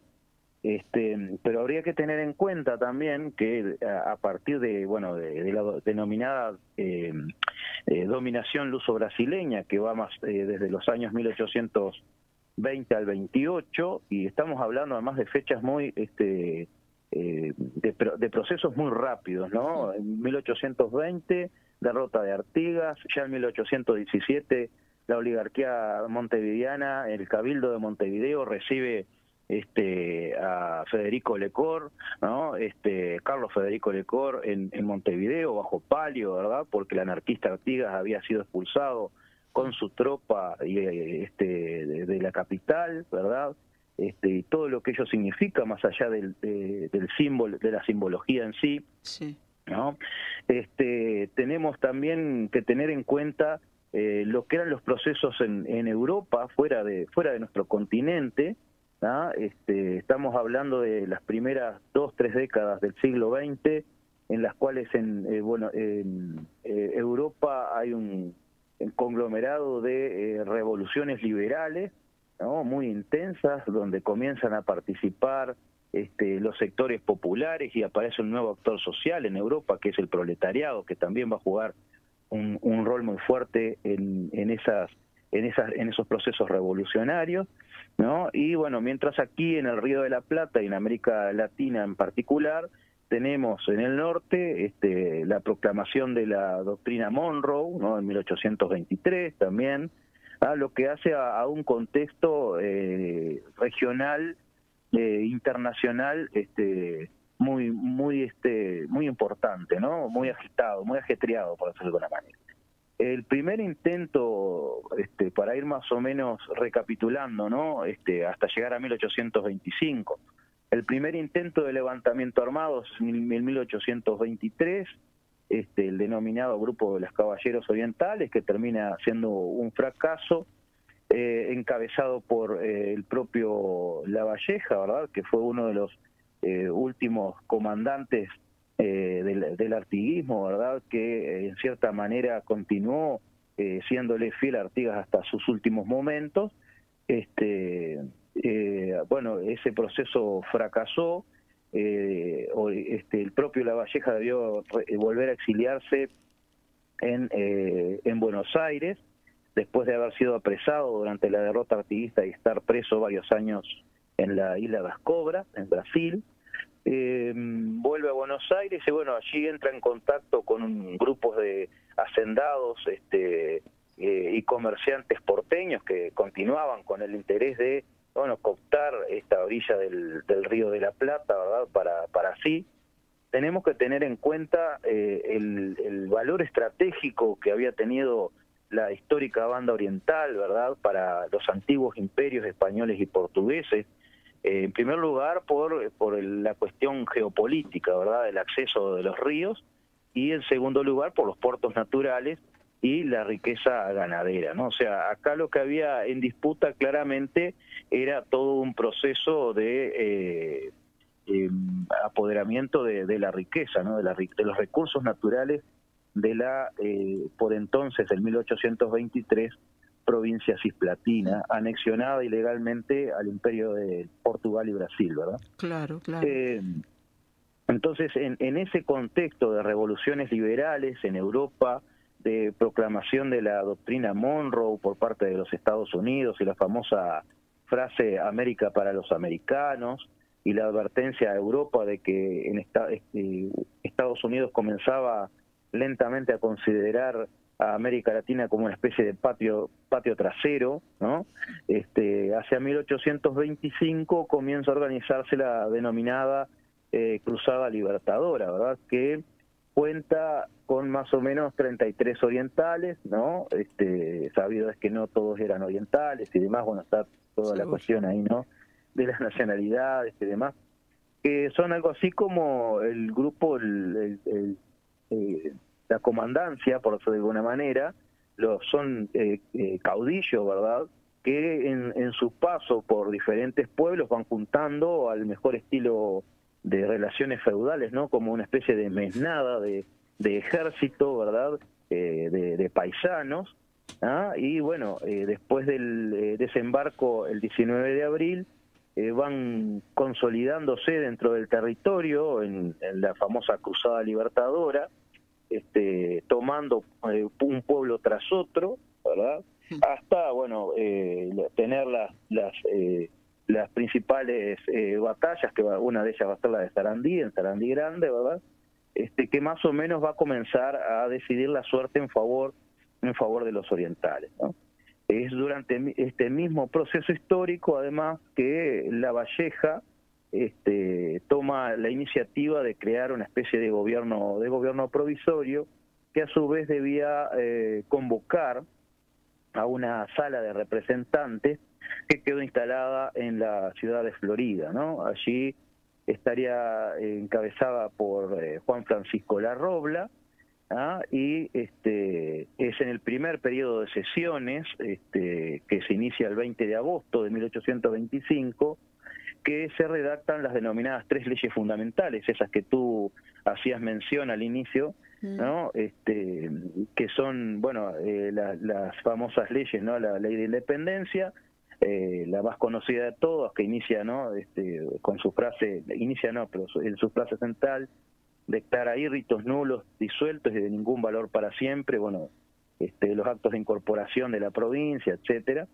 Ahora, el, el siguiente artículo, y acá es donde siempre se genera la, una de las polémicas historiográficas, tiene que ver con la ley de unión, ¿verdad? Este, la segunda ley es la ley que este, proclama la unión, este, dice, cito textualmente, eh, que su voto general, constante, solemne y decidido es y debe ser por la unidad eh, con las demás provincias argentinas, a que siempre perteneció por los vínculos más sagrados que el mundo conoce. Justamente, mira lo que ¿Mm? un oyente, Héctor del Buceo, preguntaba hace un ratito, profesor, ¿no le parece que el 25 de agosto es lo más parecido al anterior proceso artiguista?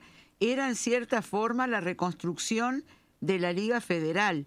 Además, toma sus colores, dice él, y agrega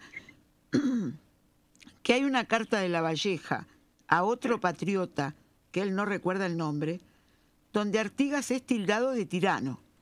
A mí no me extraña eso, porque sin duda Artigas tendría un carácter fuerte. Recordar Capilla Maciel, dice Héctor ah, sí, sí, los eventos de Capilla Maciel, sí, eh, y, sería irnos un poco más atrás todavía de lo que estamos mencionando. Pero esto de que se pareciera a la Liga Federal, la reconstrucción de la Liga Federal y que toma sus colores. Bueno, en, lo que hace a la Liga Federal, eh, eh, digamos ahí es una es una opinión personal, la, la del eh, vecino, el compañero. Este, en lo particular, eh, mi opinión, eh, yo no soy historiador, eh, trato de aplicar lo que leo de diferentes historiadores y muchas veces sacar mis propias conclusiones. El problema era que la Liga Federal excluía a Buenos Aires.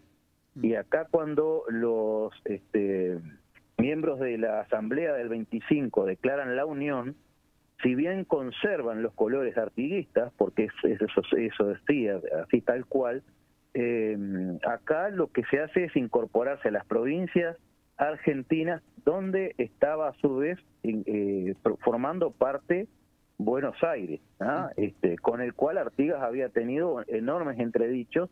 Hay que recordar ¿no? la famosa frase de, Artigas dirigida a Buenos Aires, el, pueblo es de, el pueblo de Buenos Aires es y será nuestro amigo, más no su gobierno. y los, los propios dirigentes porteños que gobernaban entonces el 1825 eran los mismos que desde 1815 en adelante se habían enfrentado al proyecto artiguista. Entonces, eh, en cierta medida no era la recuperación de la Liga Federal. El tema era que en sí la cuestión de la dinámica de los eventos, de lo que estaba sucediendo en lo que hoy es Argentina, es que el, el conflicto entre unitarios y federales, ahora con la ausencia de Artigas en el escenario político, continuaba adelante. Pero hoy lo que tenemos en, en la Argentina es un federalismo fallido, porque todo el centralismo continúa estando en manos de la, de, la capital, donde se ubica la alta burguesía argentina y que es hereditaria de la oligarquía colonial y de la oligarquía de, este, de esta época del siglo XIX, ¿no? O sea, el, el proceso federal en sí también quedó en Argentina en, en cierta medida, este, digamos, incompleto. Son federales del del punto de vista político, pero del punto de vista de la integración económica, Buenos Aires es la sigue siendo la ciudad que este, eh, maneja eh, los principales hilos del poder económico, ¿no? Está claro. Eh, Martín, y estando en las condiciones que se estaba en ese momento, lo que vos decías, Artigas fuera de juego a nivel político, ¿qué se podía haber hecho otra cosa o era lo único que se podía hacer? ¿Estaba bien que se hiciera esto que se hizo?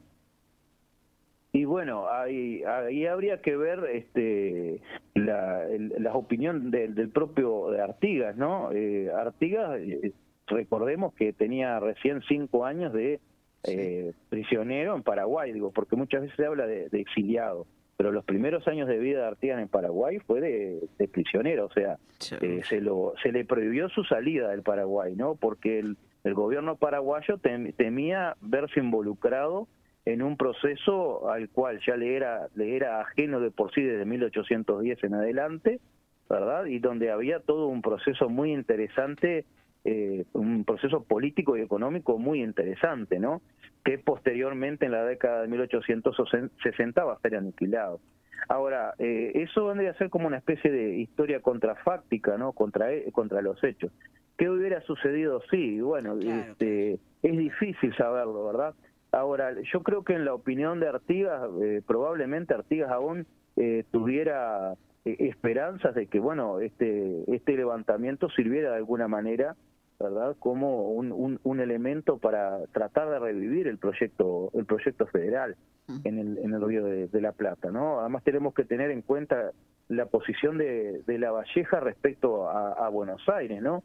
La Valleja reivindicó constantemente la autonomía de la de, la, de los orientales frente a este frente a Buenos Aires. Y de la misma manera que lo había hecho Artigas con la famosa precisión del Xi no este en, en 1814 este eh, eh, pidiendo bueno exigiéndole a Buenos Aires que bueno eh, Buenos Aires era el ejército auxiliador no eh, eh, había dado armas y financiaba a los revolucionarios de la cruzada igual que había hecho en el, durante el primer periodo artiguista ah, el problema es que posteriormente este, las, rispideces entre La Valleja y Buenos Aires eh, se, se, fueron generando cada vez mayor cantidad de, de tensiones no este evidentemente es muy es muy complejo saber qué hubiera sucedido sí Ahora, seguramente Artigas seguramente seguía y muy de cerca todos estos eventos, ¿no? Porque una cosa es que esté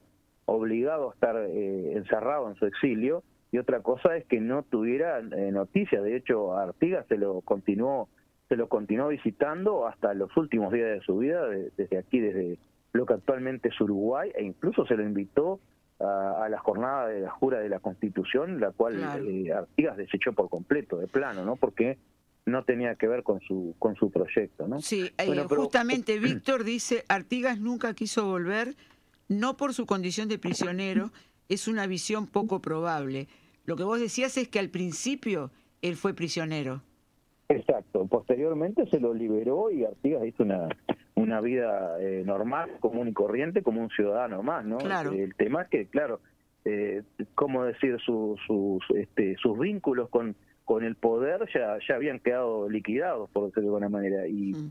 y cómo le- levantar nuevamente un proyecto en, en un país que se estaba intentando construir y a partir de intereses extranjeros muy poderosos, ¿no? Sí, Porque sí, eh, a partir de exacto, a partir de la segunda este, ley fundamental, que es la de incorporación, arti- eh, perdón, eh, lo que actualmente es Argentina, las Provincias Unidas, comienzan a jugar un rol cada vez más importante. Brasil le declara la guerra a las Provincias eh, Unidas del Río de la Plata, ¿ah? y este, eh, durante, desde 1825, eh, cuando Buenos Aires, eh, la provincia de Buenos Aires y el resto de las provincias aceptan la incorporación de la provincia, de la antigua provincia oriental, la banda oriental, a, a las provincias unidas, Brasil en diciembre de 1825, o sea, cuatro meses después de la declaración de independencia, ¿ah? decide declararle la guerra a las provincias unidas y con eso se inicia un proceso de casi tres años de guerra ¿ah? eh, que van a culminar, van a desembocar en la eh, famosa eh, convención eh, preliminar de paz, ¿no? En la cual juega un rol muy importante Inglaterra y a eso me refería yo con el tema de intereses de potencias muy eh, muy muy importantes, ¿no? Está muy bien. Eh, digamos que eh, en cierta manera eh, yo les quería leer porque tal vez no sé si toda la este, la audiencia eh, lo conozca o alguna vez lo haya leído, ¿no? Pero por ejemplo Luis Alberto Herrera eh, escribió este, un libro que se llama La misión Ponsonby ¿ah? y en uno de sus pasajes eh, rescata una de las cartas de, de Ponsonby eh, en la cual ya se comienza a hablar de que bueno la, eh, el Estado eh, que su- eh, tiene que surgir un Estado. Ese Estado no puede pertenecer territorialmente ni a las Provincias Unidas ni al Imperio del Brasil.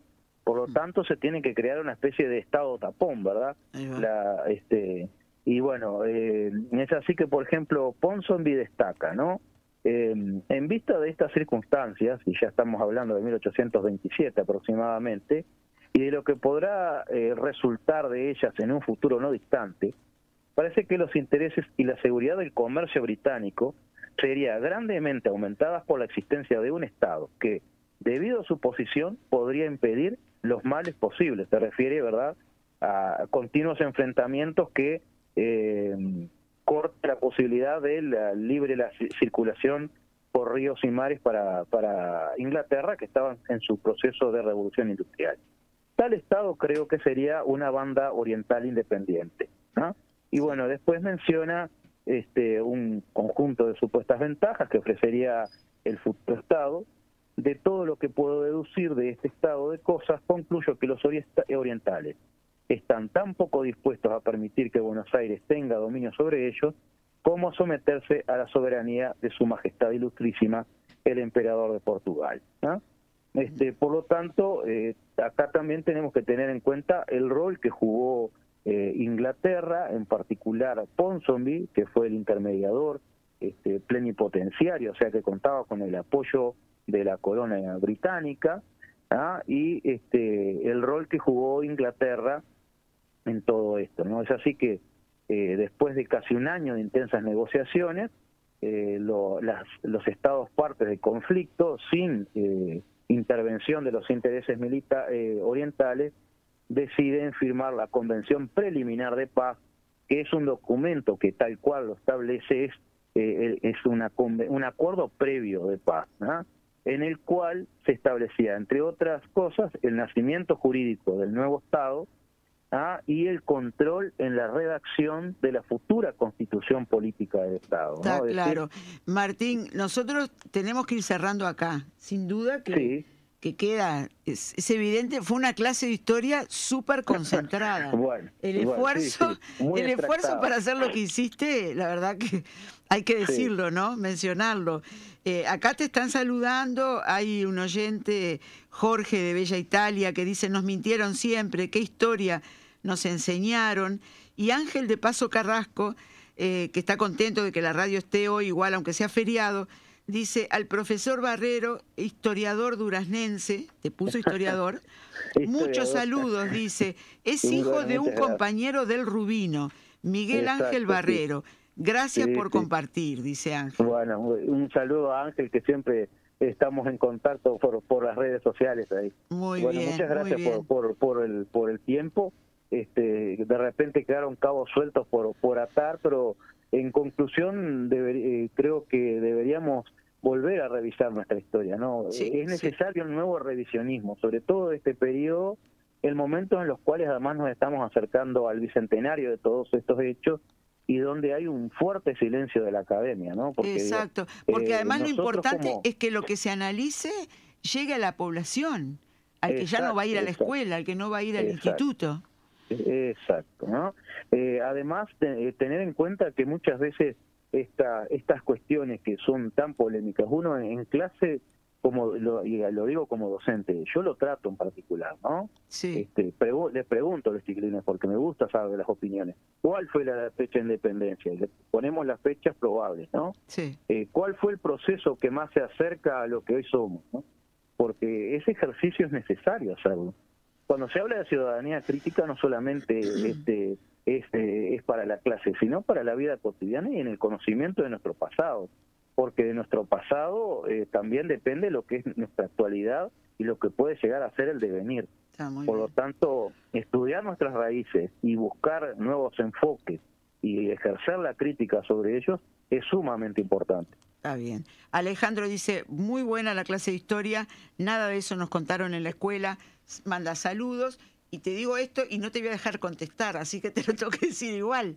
Acabo de ver que la señora encargada de negocio de la Embajada de Estados Unidos eh, puso en las redes sociales que fue a Florida a la ceremonia de la declaración de la independencia de Uruguay en el altar de la patria y que fue un honor estar ahí para compartir esta fecha tan importante en la historia de este país. Feliz día de la independencia. Faltan los cupcakes y los muffins y estamos completos, ¿no? Martín. Eh, bueno, muchas gracias nuevamente por el espacio. No, al ¿eh? contrario, gracias a este, vos. Tenemos que seguir la historia más de cerca, así que desde ya te comprometemos, Martín. Cómo no, cómo no. Eh, un, último asunto nada más, ¿no? Lo referido a la cuestión historiográfica, ¿no? Las posturas historiográficas que hay en este país han hecho que desde la escuela y en el liceo, los que transitaron por el secundario también, hayan visto solo una visión de la, de la historia, ¿no? que parte en particular de un, de un partido ah, que estuvo en el poder durante mucho tiempo y que fue quien, de, eh, quien señaló qué se aprendía, cómo se aprendía y qué actores políticos se debían eh, resaltar más que otros. Me refiero en particular al Partido Colorado, que ha sido el, el, constructor de nuestro relato nacional en particular. Independientemente de que haya habido, y los hay, historiadores de izquierda, este, que hicieron sus aportes funda muy grandes, en particular Vivian Trías, por ejemplo, vinculado a toda la cuestión de, del estudio del imperialismo, ¿no? Eh, y que habría que rescatarlo mucho más incluso en la actualidad. Este, e y el Partido Nacional hizo sus aportes también desde otra perspectiva, pero el, aquí la, la historia la historia es básicamente ha sido escrita por eh, impuesta por el Partido Colorado. Muy bien. Martín, gracias otra vez, saludos a la familia y vamos a estar en contacto eh, en esta idea de seguir más de cerca la historia. Profesor Martín Barrero, desde Durazno estábamos recibiendo.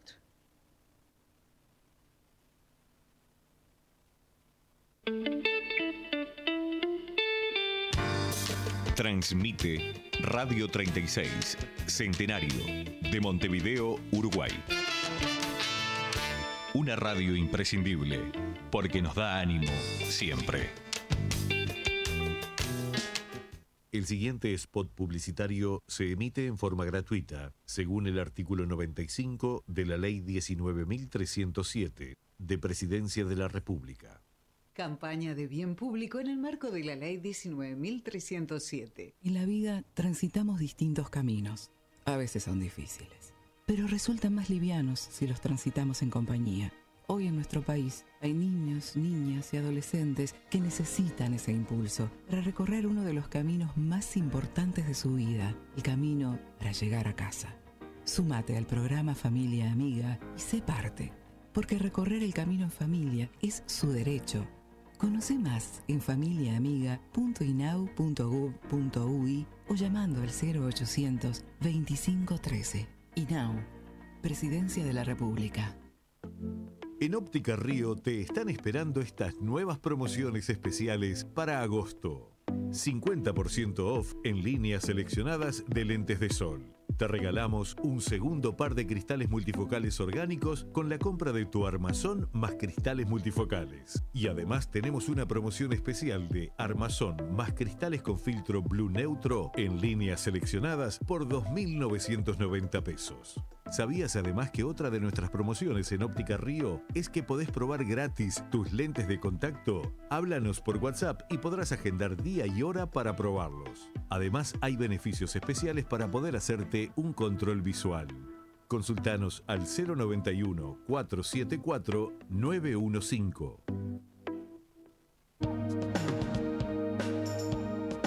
Mañanas de Radio. El periodístico de Radio Centenario.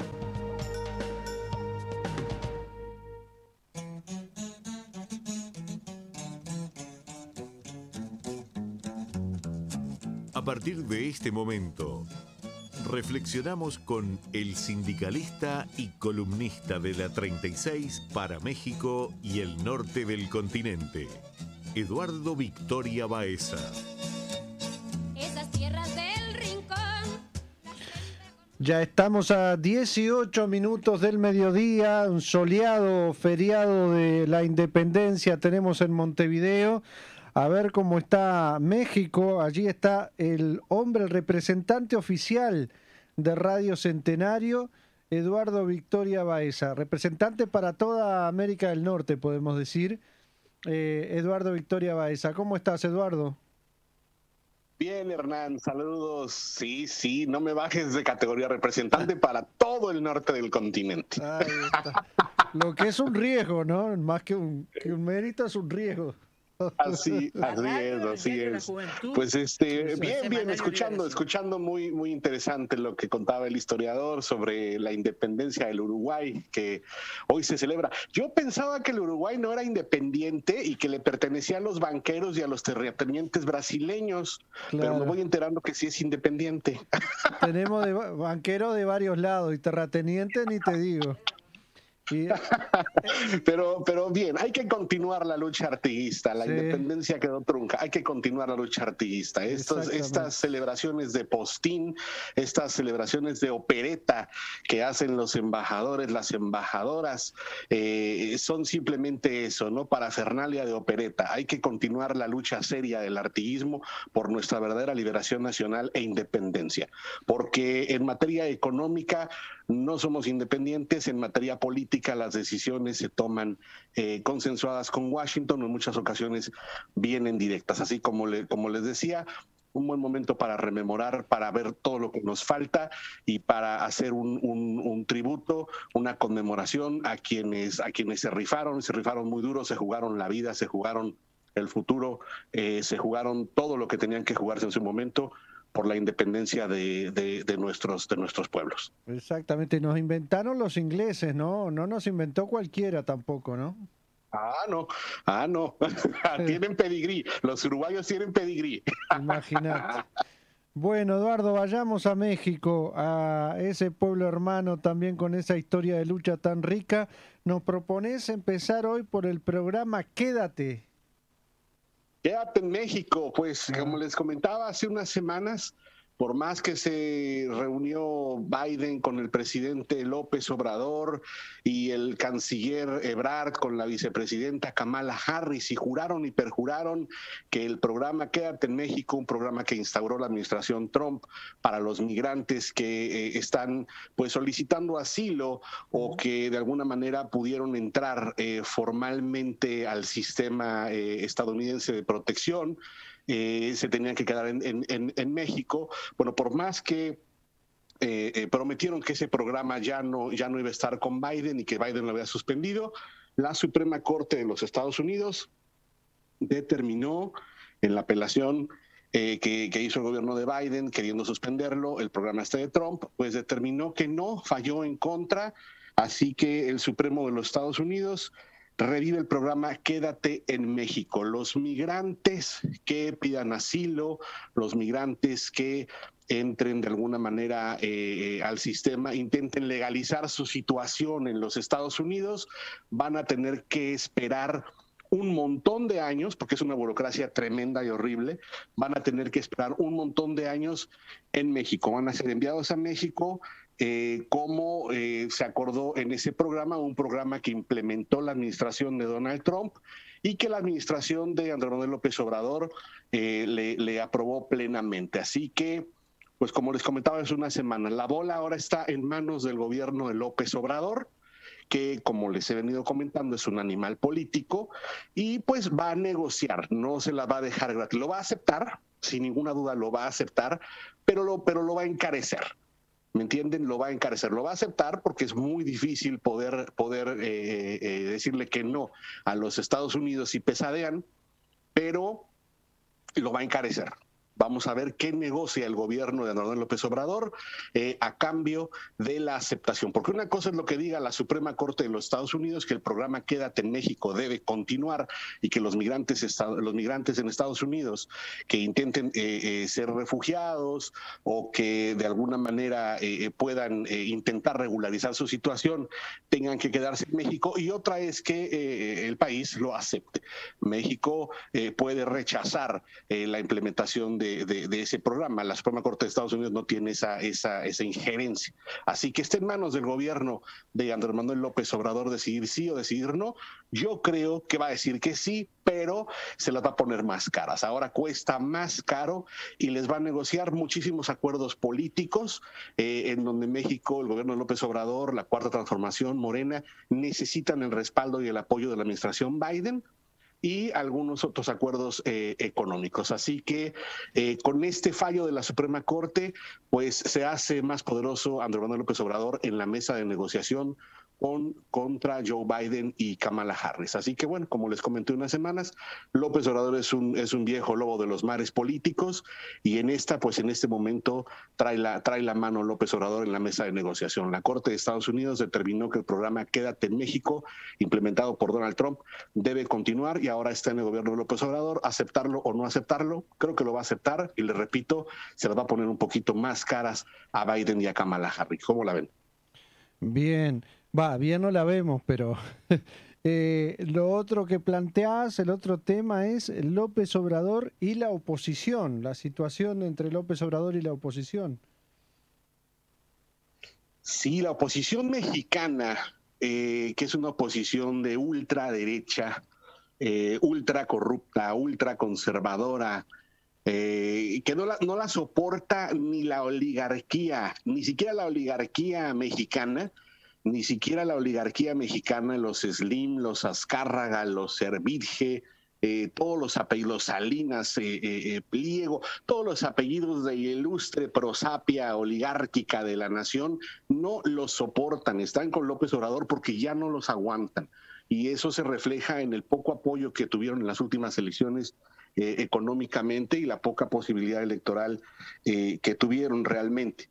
Bueno, pues eh, la oposición en México en este momento se fue a la OEA, como si la OEA valiera algo, ahí con, con, el paisano de ustedes, con Almagro, a denunciar que las elecciones en México pues fueron un fraude porque estuvieron plagadas de irregularidades y plagadas de financiamiento del narcotráfico los narcotraficantes número uno del PRI, del PAN y del PRD, los que, los que le abrieron, los que abrieron la caja de Pandora, los que abrieron a la locura de la guerra en contra del narcotráfico, los criminalazos del PAN, los criminalazos del PRI y del PRD, ahora van y se juntan con Almagro para intentar que intervenga en México porque el narcotráfico se apoderó de las instituciones. Así de hipócritas son pero pues es muy difícil que proceda porque como les digo, ni siquiera la oligarquía eh, nacional los, los quiere en este momento, están alineados junto con López Obrador. Y es que fíjense ustedes, eh, en estos días, eh, López Obrador eh, mandó un citatorio, el gobierno de López Obrador, la Fiscalía, envió un citatorio a Ricardo Anaya por los delitos que cometió. Ricardo Anaya fue durante mucho tiempo el líder del Partido Acción Nacional, un hombre joven, súper corrupto, no tiene forma de explicar su fortuna. Eh, un hombre que, que pues, más que nada era un lobista, más que un político era un lobista que cobraba caro sus servicios.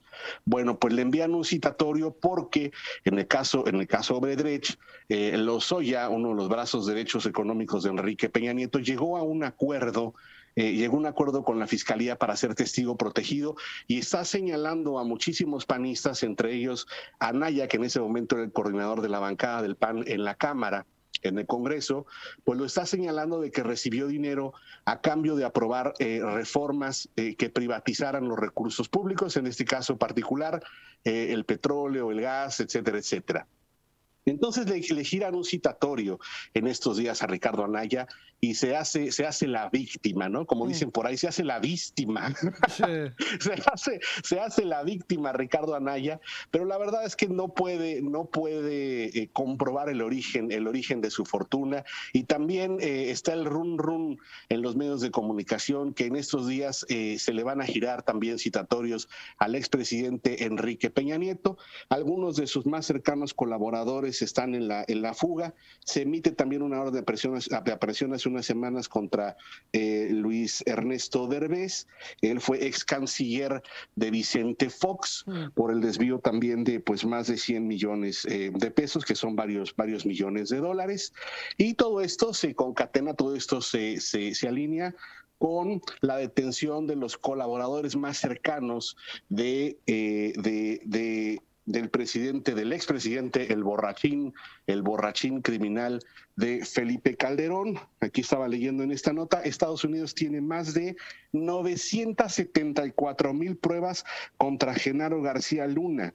Estados Unidos tiene más de 974 mil pruebas contra Genaro García Luna, quien fue su brazo derecho, quien fue el ejecutor, el superpolicía de la nación, y Luis Cárdenas Palomino, que también ya está preso, eh, y vinculan a los personajes más cercanos a Felipe Calderón con el narcotráfico, están presos, algunos de ellos están presos en Estados Unidos, los está acusando el gobierno de los Estados Unidos, por otra parte el peñanietismo, están todos en la fuga, tienen ahora citatorios, otros tienen órdenes de aprehensión, están prófugos internacionales por el caso Bedrech. Así que toda esta oposición que intenta alinearse del peñanietismo y el calderonismo en contra de López Obrador, pues lleva la de perder. Y la única forma que encuentran es acusar al gobierno de López Obrador ante la OEA, ante Almagro, de narcotraficante y ver si en un futuro la oligarquía se cansa de López Obrador, se cansa de apoyarlo y, les, y les vuelve a dar un poquito. Yo la, yo la veo muy difícil. La verdad es que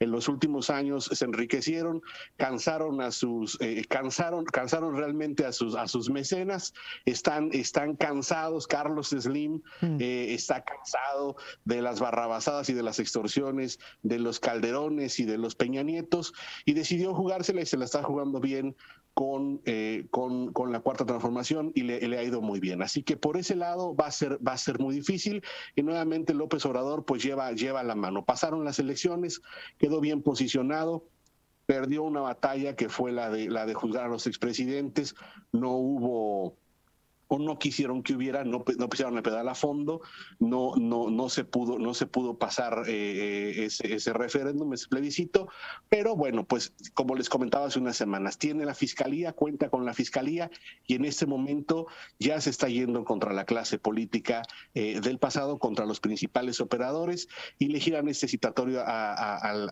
al, joven, al joven señor Anaya, que va a tener que irse a los Estados Unidos exiliado, pero por otro lado, bueno, pues también tiene mucha forma de negociación, mucha mano de negociación eh, el gobierno de López Obrador con el gobierno de los Estados Unidos. Así que la oposición mexicana está, está en fuga, la oposición mexicana solamente se está agarrando del único que se pueden agarrar, que es de la OEA y del señor Almagro, que en este momento pues yo veo muy difícil que los pueda proteger. ¿Cómo la ven? Hmm. Qué panorama movido, sí, habrá que ver qué dice Almagro también de, de todo esto. Eduardo, bueno, muy... Con Almagro, con Almagro es muy, con, con Almagro es muy sencillo. Almagro son dos cosas. Es lo que le digan, lo, lo que le diga Biden en este momento, Claro. o, o si te alcanza para comprarlo. Claro, Él tiene un claro, precio claro. y, te pone el precio en la mesa y dice, bueno, yo te lo vendo a este precio y si no, lo que le diga, lo que le diga a su papi, que es quien esté de presidente de los Estados Unidos, ¿no? Si papá quiere, si papá no quiere, pues no lo puedo hacer, pero si papi me da el chance y tú me, y tú me llegas al precio, pues yo te lo vendo. Ese es Luis Almagro, una mierda humana. Bueno, muy ofendidos por tu, tu caracterización de nuestro compatriota. ¿Qué va a hacer? Eh, ter- terminamos esta columna y, y, bueno, esperamos que para la próxima este Almagro te responda. Vamos a ver si, si hay reacciones. Que se vaya buscando una radio. Esperemos, esperemos que responda.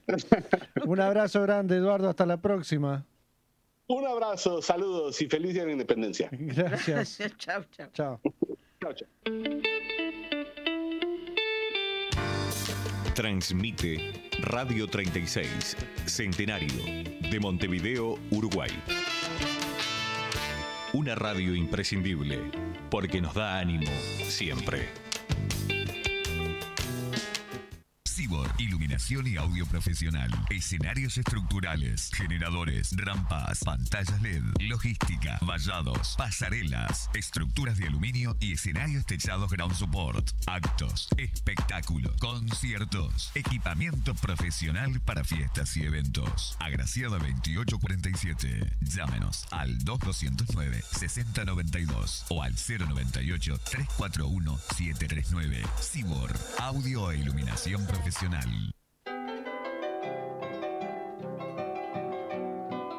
Endulce su vida con miel natural pura de la nueva reserva ecológica de los Montes del Queguay de Paysandú. Adquiérala en la radio en envases de un kilo.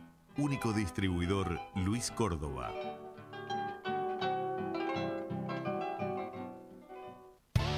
Ya está comprobado. En artículos sanitarios, lo mejor está en Abronca. En Médanos de Solimar, Avenida Yanatacio, kilómetro 27800, teléfono 2696-6006. En Montevideo, 2628-8010. Envío sin cargo. No se olvide de mencionar a la 36. Montevideo, Solimar y Castillos. Abronca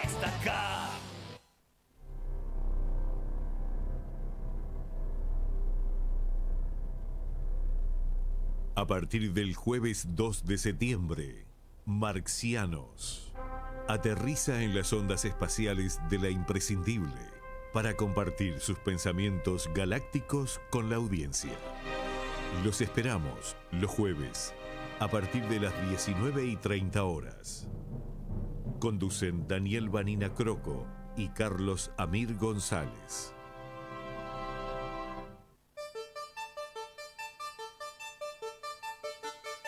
Mañanas de Radio.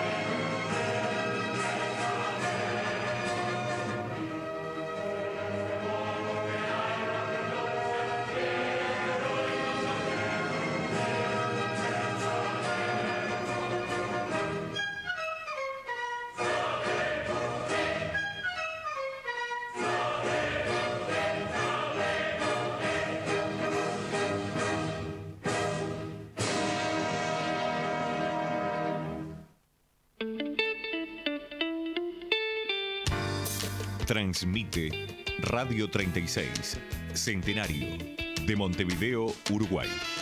Una radio imprescindible, porque nos da ánimo siempre.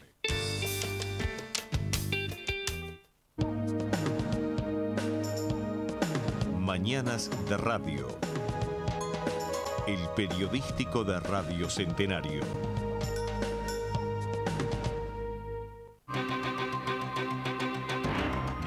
...1250... Frecuencia de noticias. Informa Centenario. Tres minutos pasan de las 12 del mediodía, tenemos 13 grados de temperatura, cielo nuboso, la humedad alcanza el 79%, vientos del sureste a 11 kilómetros en la hora. Repasamos algunos títulos de las noticias que compartiremos en la edición central de Puesta al Día. Desalojaron 13 fiestas clandestinas con hasta 600 personas en Montevideo anoche. El Servicio de Convivencia Departamental y la División Tránsito de la Intendencia de Montevideo realizar, desplegaron un operativo durante esta noche en los barrios Punta Carretas, Cordón, Parque Rodón, Maracaná, Malvin Norte, Peñarol, Prado y Abayuá. Desde la comuna se informó que 13 fiestas clandestinas fueron este, desalojadas con 600 personas. En otro orden de noticias del ámbito local, el exministro de Turismo Germán Cardoso defendió su gestión al frente de la cartera tras renunciar al cargo el viernes pasado, acusado de presuntas irregularidades en la compra de publicidad Cardoso también propuso la creación de una investigadora para que alcance la gestión anterior de Lilian Kechichian en el Ministerio de Turismo. En el panorama internacional, un ciudadano palestino herido por disparos de soldados israelíes en Gaza murió y miércoles como consecuencia de heridas recibidas. Osama Khaled, de 32 años, originario del campo de refugiados de Jabalia, en el norte de la Franja de Gaza, resultó herido el martes durante las manifestaciones cerca de la barrera que separa Israel en este territorio palestino que se encuentra bajo bloqueo israelí desde hace ya 15 años. Con estas y otras noticias volvemos a las 12.30.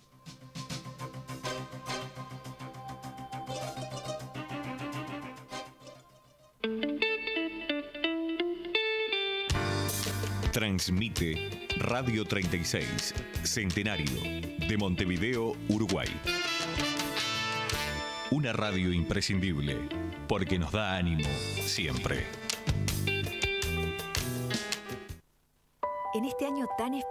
Estuvimos siempre contigo. Estuvimos para darte la mejor atención, para escucharte siempre. Estuvimos en cada llamada para darte una respuesta. Y cada vez que lo necesitaste, estuvimos ahí. Estuvimos con todo. SWAT cumple 30 años contigo y vamos a seguir estando con todo. SWAT 30 años.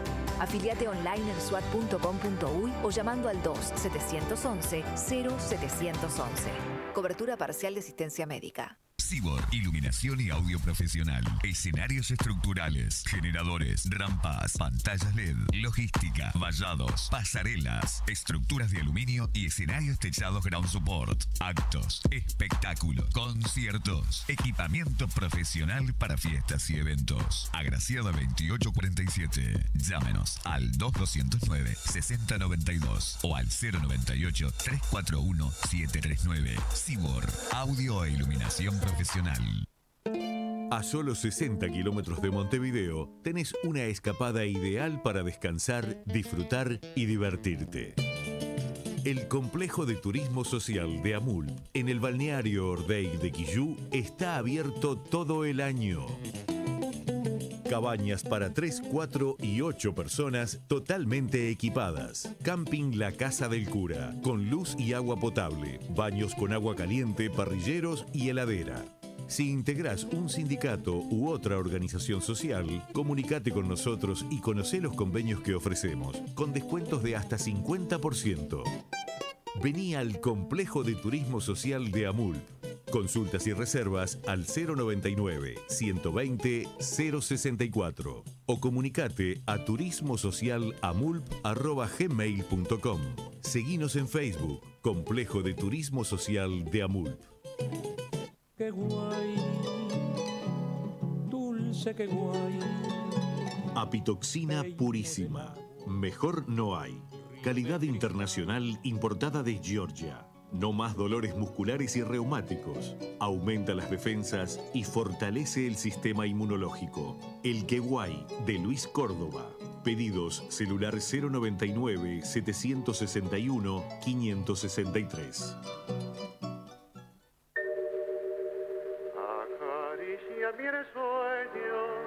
A Gardel hay que escucharlo en la vitrola, con toda la distorsión y la pérdida imaginables.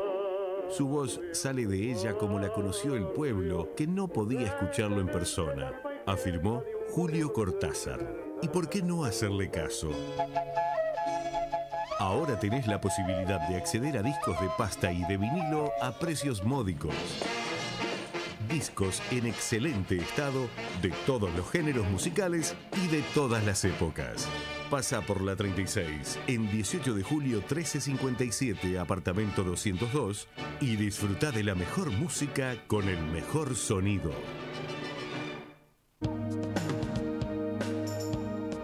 Mañanas de Radio. El periodístico de Radio Centenario.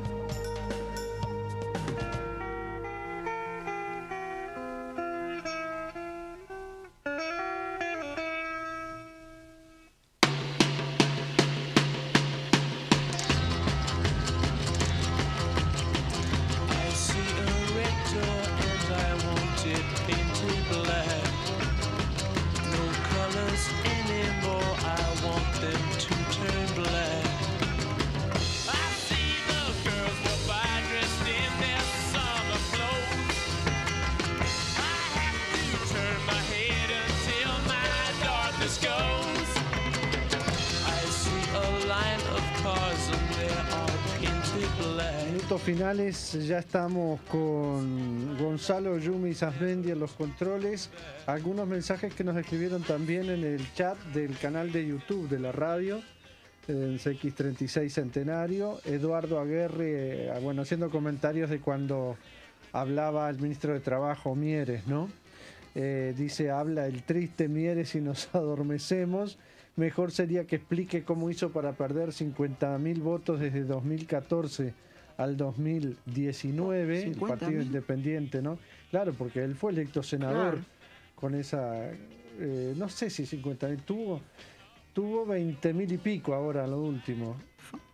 Eh, y, y llegó, al- no me acuerdo con cuántos votos llegó al senador. Eh, alguien que el nombre que aparece en el chat es el Búho Pardo.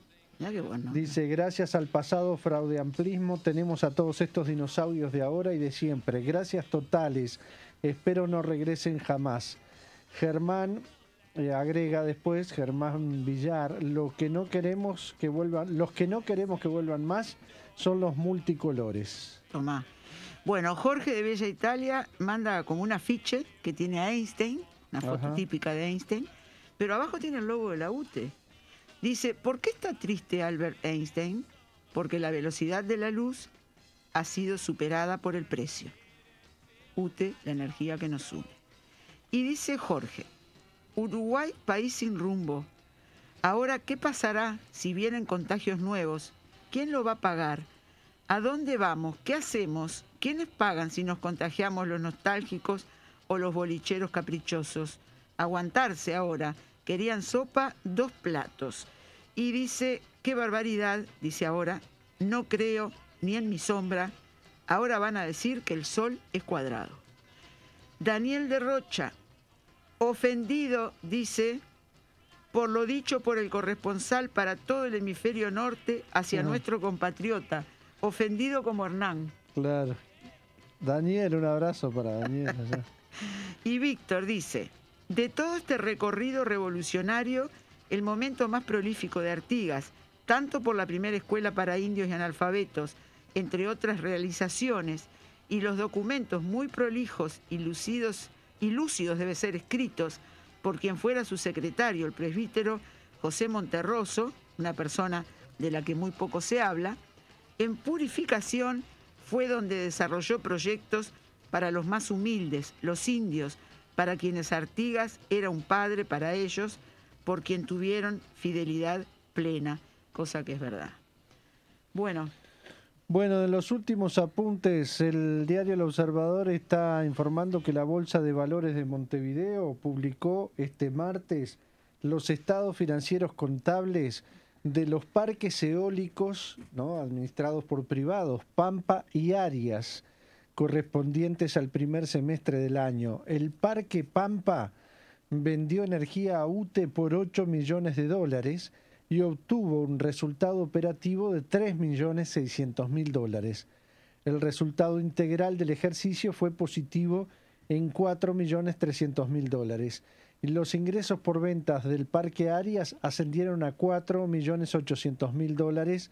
El parque obtuvo ganancias un poco menos, por 1 millón 700 mil dólares. El parque eólico Pampa funciona en Tacuarembó.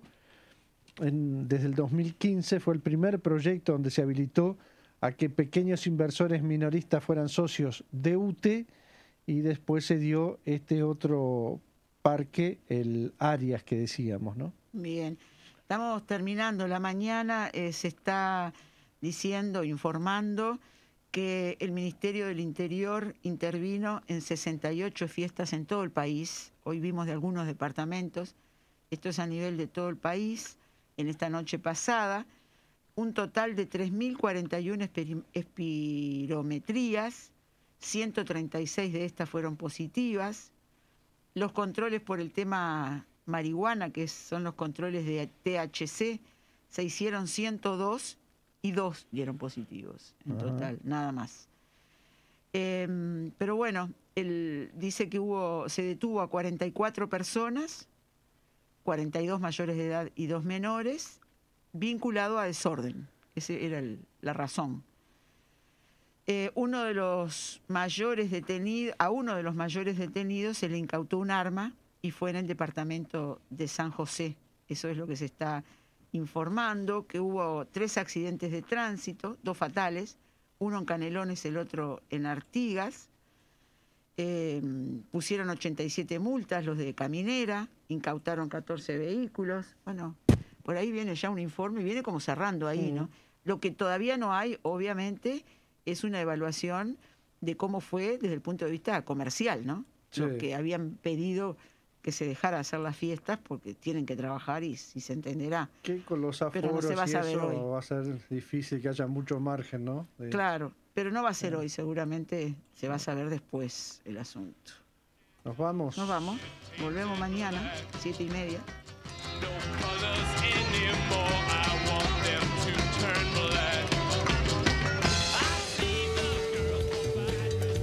Así ponemos fin al programa mayor de la Centenario. Mañanas de radio. Pero seguiremos trabajando desde el corazón de la 36 para reencontrarnos cada día. Mañanas de radio. Nuestra música predilecta seguirá siendo la noticia.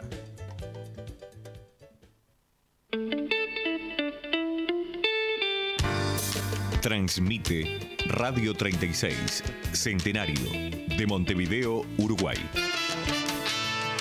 Una radio imprescindible, porque nos da ánimo siempre.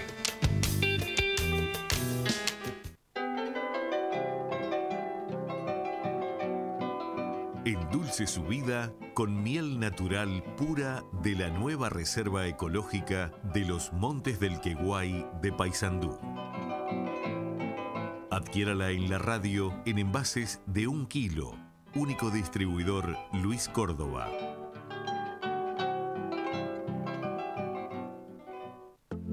En Óptica Río te están esperando estas nuevas promociones especiales para agosto. 50% off en líneas seleccionadas de lentes de sol. Te regalamos un segundo par de cristales multifocales orgánicos con la compra de tu armazón más cristales multifocales. Y además tenemos una promoción especial de armazón más cristales con filtro blue neutro en líneas seleccionadas por 2.990 pesos. ¿Sabías además que otra de nuestras promociones en Óptica Río es que podés probar gratis tus lentes de contacto? Háblanos por WhatsApp y podrás agendar día y hora para probarlos. Además, hay beneficios especiales para poder hacerte un control visual. Consultanos al 091 474 915. Ven y joven con tus sueños, juntos vamos a forjar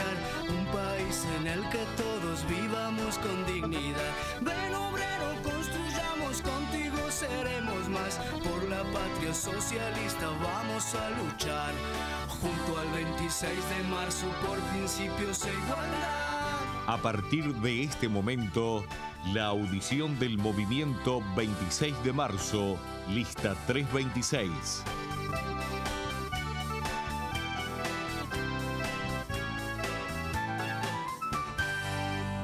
Buenas, estimados oyentes, la audición del movimiento 26 de marzo, lista 326, integrante de la Unidad Popular, con muchísimo gusto nos reencontramos con ustedes en este mediodía, en esta fecha especial. Ayer hablamos de, que el 24 es una fecha de, de memoria, de recordación. Y hoy, eh, bueno, en los distintos medios se ha tomado como tema central la fecha en la que se conmemora como el feriado, uno de los feriados más, más importantes, ¿no? La Declaratoria de la Independencia del Uruguay. Y escuchamos una parte de lo que decía el compañero Barrero allí, en ese esfuerzo que ayer planteábamos de rescatar la, la, la, la memoria histórica y, y, y, rescatar la historia verdadera de las cosas, ¿no?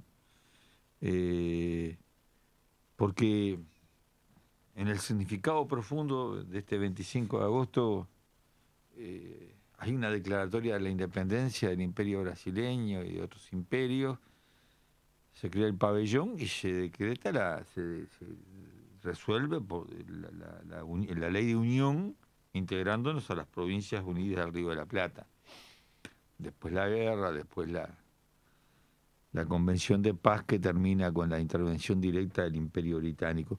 Entonces, en la escuela estas cosas no nos las enseñaron. Este, nos hicieron una historia que no era, por lo menos a mí, que, no es la verdadera. Después con compañeros que, estudian, que conocen la historia, hemos ido aprendiendo. Y es parte de, ir afirmando nuestra, identidad también como pueblo, y ayer lo decíamos, en la medida que nos borran la identidad, que nos cortan las raíces, se dificulta también el proyectarnos en la lucha hacia, hacia, adelante. Pero bueno, esta breve reflexión porque es un tema que nos está por lo menos golpeando nuestra cabeza estos días. Y vaya tenemos compañeros para, para aprovechar en ese, en ese rescate de, de nuestra verdadera historia. Pero quería hablar, hablando de historia y de historias verdaderas, Estuvimos viendo ayer en alguna información, algún informativo, en alguna página internacional, el nuevo drama de Haití, o el permanente drama de Haití. A partir de, este sismo que de vuelta derrumbó eh, casas, rompió calles. Ayer, ayer veíamos en un informativo, creo, anteayer, cómo las dificultades para llegar a lugares a ver, Haití es como Tacuarembó, más o menos, creo. Y hay dificultad para llegar a algunos lugares con comida, medicamentos, los hospitales absolutamente desbordados, el hambre, la miseria, eh, la falta de atención en salud, la vulneración de todos los derechos básicos del ser humano. Eh, y cuando te presentan a Haití, te dicen el país más pobre de América. No, no es el país más pobre de América es el país más saqueado de América, empobrecido por las potencias coloniales, por el imperialismo, por los invasores. Es un drama continuado. Eh, ahora parece que, bueno, mataron a Jovenel Moïse, que no era ningún santo, puesto por los gringos, eh, tipo vinculado a las mafias. Eh, ahora se sabe que los que lo entregaron son los jefes de la seguridad y que el actual primer ministro también estaría implicado. Nada de esto está lejos de la mano del imperialismo, nada.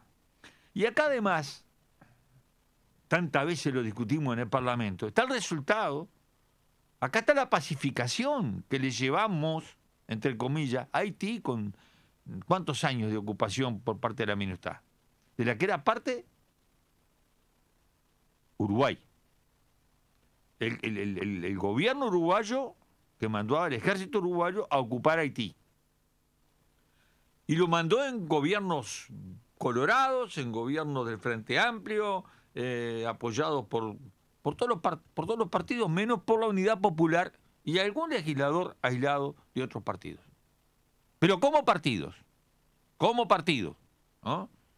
Hablando de disciplina partidaria, acá hubo una voz, cinco años en el Parlamento, que denunció férreamente esto. Y antes incluso, eh, en, el, en el final del gobierno de Valle, cuando ya estaba para asumir el Frente Amplio, el 26 ocupando una banca que estaba el compañero Fernando Vázquez, ya votó votó en contra de vuelta de la, de la presencia militar eh, eh, uruguaya en Haití, con ya la gran parte del frente, a excepción de Chiflé y otros, algún otro diputado, eh, votando a favor de esto. ¿Y por qué traigo este tema hoy, otra vez con Haití? Bueno, porque ayer hablamos del, del la necesidad de rescatar el- el internacionalismo como un valor de la izquierda. No es que nosotros estamos encerrados en una caja de cristal y después el mundo por afuera ni incide ni nos importa. Vaya se incide y vaya se importa. Vaya se incide y vaya se importa. Ahí, en estos días hemos visto además cómo está jugando la diplomacia eh, imperialista a full en, en- estos tiempos y en estas tierras, ¿no? Entonces, hoy se vive otra situación tremendamente crítica, además de lo político, de la violencia, de la, de la, de la permanente injerencia del imperialismo en los asuntos internos de Haití, una situación dramática desde el punto de vista humanitario. Y creo que tenemos una, una oportunidad de, de- recuperar en algo un sentido de dignidad como país ante este pueblo al que hemos también nosotros, por culpa de los gobiernos que mandaron tropas invasoras, al que también hemos golpeado. Habría muchas cosas para hacer, ¿no? Este, desde el reclamo, el reclamo que está haciendo Haití a Naciones Unidas por la peste del cólera, que le trajeron la minuta, en fin. Pero creo que fue en el año do- 2000 2017, creo que fue. Eh, nosotros visitamos Haití ahí después del, del, huracán Matthew, que, que bueno, después del terremoto que había habido hace años, otra vez arrasó con partes enteras del, del- de, de Haití. Y en el Parlamento, en la Cámara de Diputados, impulsamos eh, la votación de lo que se llama una minuta de aspiración. ¿Qué es esto? Es un pedido que el Parlamento le hace, o una, un, pedido que el Parlamento, la Cámara de Diputados en este caso, le hace al Poder Ejecutivo, o le hizo a aquel Poder Ejecutivo, para que tomara una determinación sobre un tema concreto. Eso es una minuta de aspiración. Cuando el Parlamento no tiene posibilidad de definir, definir gastos, por ejemplo, se hace una minuta de aspiración. ¿Qué planteaba esa minuta de aspira- aspiración? Que Uruguay, resarciendo de alguna manera tanto daño que le hicimos a los hermanos haitianos, enviase una partida importante de leche en polvo. En aquel momento había, eh, me acuerdo, problema para exportar, había mucha leche en polvo, y que mandase también unidades potabilizadores de agua, las famosas UPAs que fabrica OCE. Eso, esa, esa, esa minuta de aspiración que, que impulsamos nosotros, salió votada por unanimidad en la Cámara de Diputados. Y estoy casi seguro que fue en el 2017, o fines del 2016, o principio del 2017. Y se la mandamos al Poder Ejecutivo, que en aquel momento presidía el doctor Tabaré Vázquez. Nunca, nunca se mandó ni una bolsa de leche en polvo. Ojalá que algún legislador de esta de este tiempo, de esta legislatura, nos pueda escuchar y retome aquella iniciativa, retome aquella iniciativa que votaron unánimemente todos los partidos, o sea que no tengo por qué pensar que ahora cambiaran, eh, vayan a cambiar el voto, y insistan ahora con este Poder Ejecutivo para que se tome esta decisión y se, y se ayude al hermano pueblo haitiano, al que nosotros también somos responsables en parte de haber sometido a una, a una ocupación ignominiosa al servicio de los intereses del imperialismo. Estaba leyendo un informe sobre Afganistán ayer y decían, eh, creo que, que la diplomacia rusa hablaba de, va, analistas internacionales, después lo repetían también diplomáticos rusos, eh, la preocupación por eh, la- la exportación de, drogas desde Afganistán, este, y que ahora en estas circunstancias podría amplificarse. Eh, llevan años las tropas yanquis ocupando Afganistán. Eh, se multiplicó el cultivo eh, de amapola para opio. O sea, creció mediante durante la ocupación la producción de drogas. Lo mismo pasaba en Haití. Con plena ocupación era el punto de entrada más importante de droga para, para Estados Unidos. Da la impresión que estas ocupaciones militares, cuando además está el ejército de Estados Unidos, eh, se desarrolla ampliamente el negocio de la, producción y venta de drogas. Pero no, no me voy del tema. Queríamos traer esto y ojalá que alguien nos escuche y podamos en parte resarcir tanto daño que le hemos hecho al hermano pueblo haitiano. Teníamos otros temas, tema de derechos humanos, bueno, quedarán para otra oportunidad. Simplemente, una vez más, al final insistir en esa línea que estamos eh, cada día este, trayendo a, a compartir con ustedes, que es la necesidad tra- de, perdón, de crecer, de desarrollar, de fortalecer el trabajo orgánico, la militancia presencial, el desarrollar nuestra organización. Bueno, en esa línea eh, queremos anunciar que el, el sábado vamos a estar eh, en una reunión reagrupando compañeros allí en la zona de, eh, vamos a decir, General Flores propios, barrio Fraternidad, bueno, son varios barrios que ahí se juntan y eh, que hemos venido trabajando desde hace tiempo. Ahora ah, había cierta dispersión por la situación sanitaria y este sábado vamos a hacer una primera reunión eh, en Quesada, en la calle Gualeguay. Después vamos a decir bien la dirección, el sábado 16.30. Así que la convocatoria, eh, yo no, por ejemplo, a Hugo no lo he podido llamar, no tengo el teléfono, pero sé que hay varios compañeros que están en la vuelta, incluso hay compañeros que se van a acercar de, de la zona ya del hipódromo, que también está re- reorganizándose, bueno, van a arrimarse porque es en la misma línea de General Flores, para darle un impulso a todo el trabajo organizativo en esta parte de Montevideo. Este es, sin duda, el- el esfuerzo principal al que tenemos que abocarnos en este tiempo. Eh, nos despedimos por acá y mañana se encontrarán con la compañera profesora Romy Silva y el viernes con el compañero Leonardo Lucerto. Hasta entonces.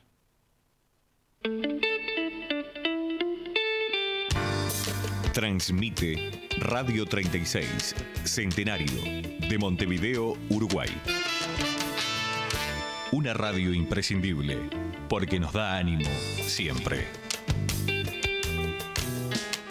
El siguiente spot publicitario se emite en forma gratuita, según el artículo 95 de la Ley 19.307, de Presidencia de la República. Campaña de bien público en el marco de la Ley 19.307. En la vida transitamos distintos caminos. A veces son difíciles, pero resultan más livianos si los transitamos en compañía. Hoy en nuestro país hay niños, niñas y adolescentes que necesitan ese impulso para recorrer uno de los caminos más importantes de su vida, el camino para llegar a casa. Súmate al programa Familia Amiga y sé parte, porque recorrer el camino en familia es su derecho. Conoce más en familiaamiga.inau.gov.ui o llamando al 0800 2513. INAU, Presidencia de la República. Un vino BCP al alcance del pueblo. Tradición de buena uva, madurada en barriles de roble. Adquiera los vinos del Parador Suri solo en venta en la radio.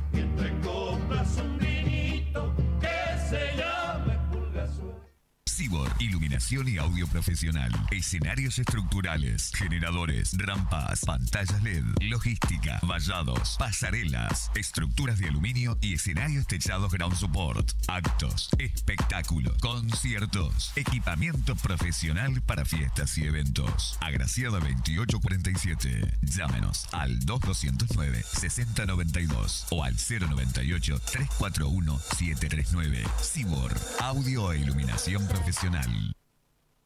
Planes 50 aniversario en previsión con derechos inmediatos. Varias opciones para que elija la que más le convenga. Todas con la cuota más accesible. Consulte al 0800 81 60 o ingrese a nuestro sitio web y súmese a la mayoría. Tus 50 dejan libre aquel beso que te guardo.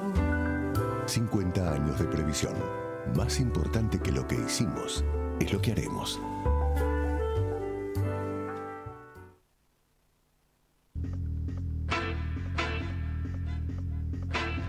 Puesta al día, edición central. Un compacto de 60 minutos informando a la manera de Centenario, la radio imprescindible. Centenario.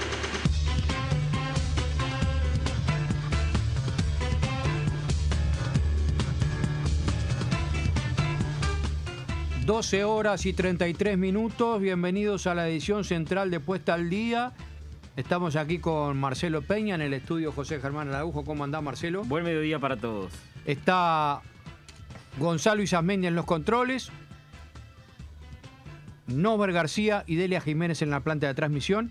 Poco movimiento, por lo menos en la zona metropolitana, Marcelo. Sí, exactamente. Obviamente el feriado marca que, que hay poca gente en la calle, pocos comercios abiertos y obviamente Hoy lo decíamos en Mañanas de Radio, para la gente que tiene que salir y tomar el transporte colectivo, no, que tenga cuidado porque hay menos frecuencia de Con tiempo, obviamente. sí. Exactamente. Eh, antes de ir a los datos de, proporcionados desde el INUMET, estabas comentando, antes de salir al aire, una, una cosa que, que va a ocurrir o que ocurrió ya en la ciudad de Buenos Aires vinculado a la conmemoración de la independencia de nuestro país. Sí, según la página de Buenos Aires Ciudad, este, la página web, informa que eh, el 25 de agosto se verán iluminados eh, algunos monumentos. Dice que el Ministerio de Espacios Públicos e Higiene Urbana porteño encenderá las luces de color azul de distintos monumentos los días 25 y 26 de agosto de 18 a 23 horas con 59 minutos para celebrar la independencia de Uruguay. El 25 se verán iluminados la Floralis, el Planetario, la Usina del Arte y el Puente de la Mujer. Y mañana 26 el Obelisco, además del Planetario, la Usina del Arte y el Puente de la Mujer. ¿Qué te parece? Me llamó la atención por eso cuando abrimos A el lo mejor tenemos, bueno, a lo mejor no, tenemos muchos compatriotas, incluso amigos argentinos que escuchan la Centenario, tal vez nos manden alguna fotografía. Exacto. Mañana, ¿no? Exacto. Eh, yo sé que está, por ejemplo, Maite, está permanentemente sintonizada y nos ve eh, a través de la, de la pantalla. Maite, Marcelo es el que el de gorrito de lana, yo soy el pelado. El, el pibe es Marcelo. Ahí va. Vamos a los. No, eh, los, los datos de meteorología. Sí, tenemos en este momento 13 grados, 6 décimas de temperatura en Montevideo, cielo nuboso. El viento sopla del sureste a 13 kilómetros en la hora. y La presión a nivel del mar, 1016.2 hectopascales. La humedad alcanza el 85% y la visibilidad es de 18 kilómetros. Para el resto de esta jornada, 14 grados de máxima, estamos ahí, 7 de mínima, algo nuboso y nuboso. Para mañana, eh, para mañana jueves, perdón, 4 de mínima, 18 de máxima, claro y algo nuboso con probables heladas. Y el viernes 7 de mínima, 15 de máxima, claro y algo nuboso, lo que indica Inumete que hasta el viernes inclusive por ahora el informe no pronostica lluvias.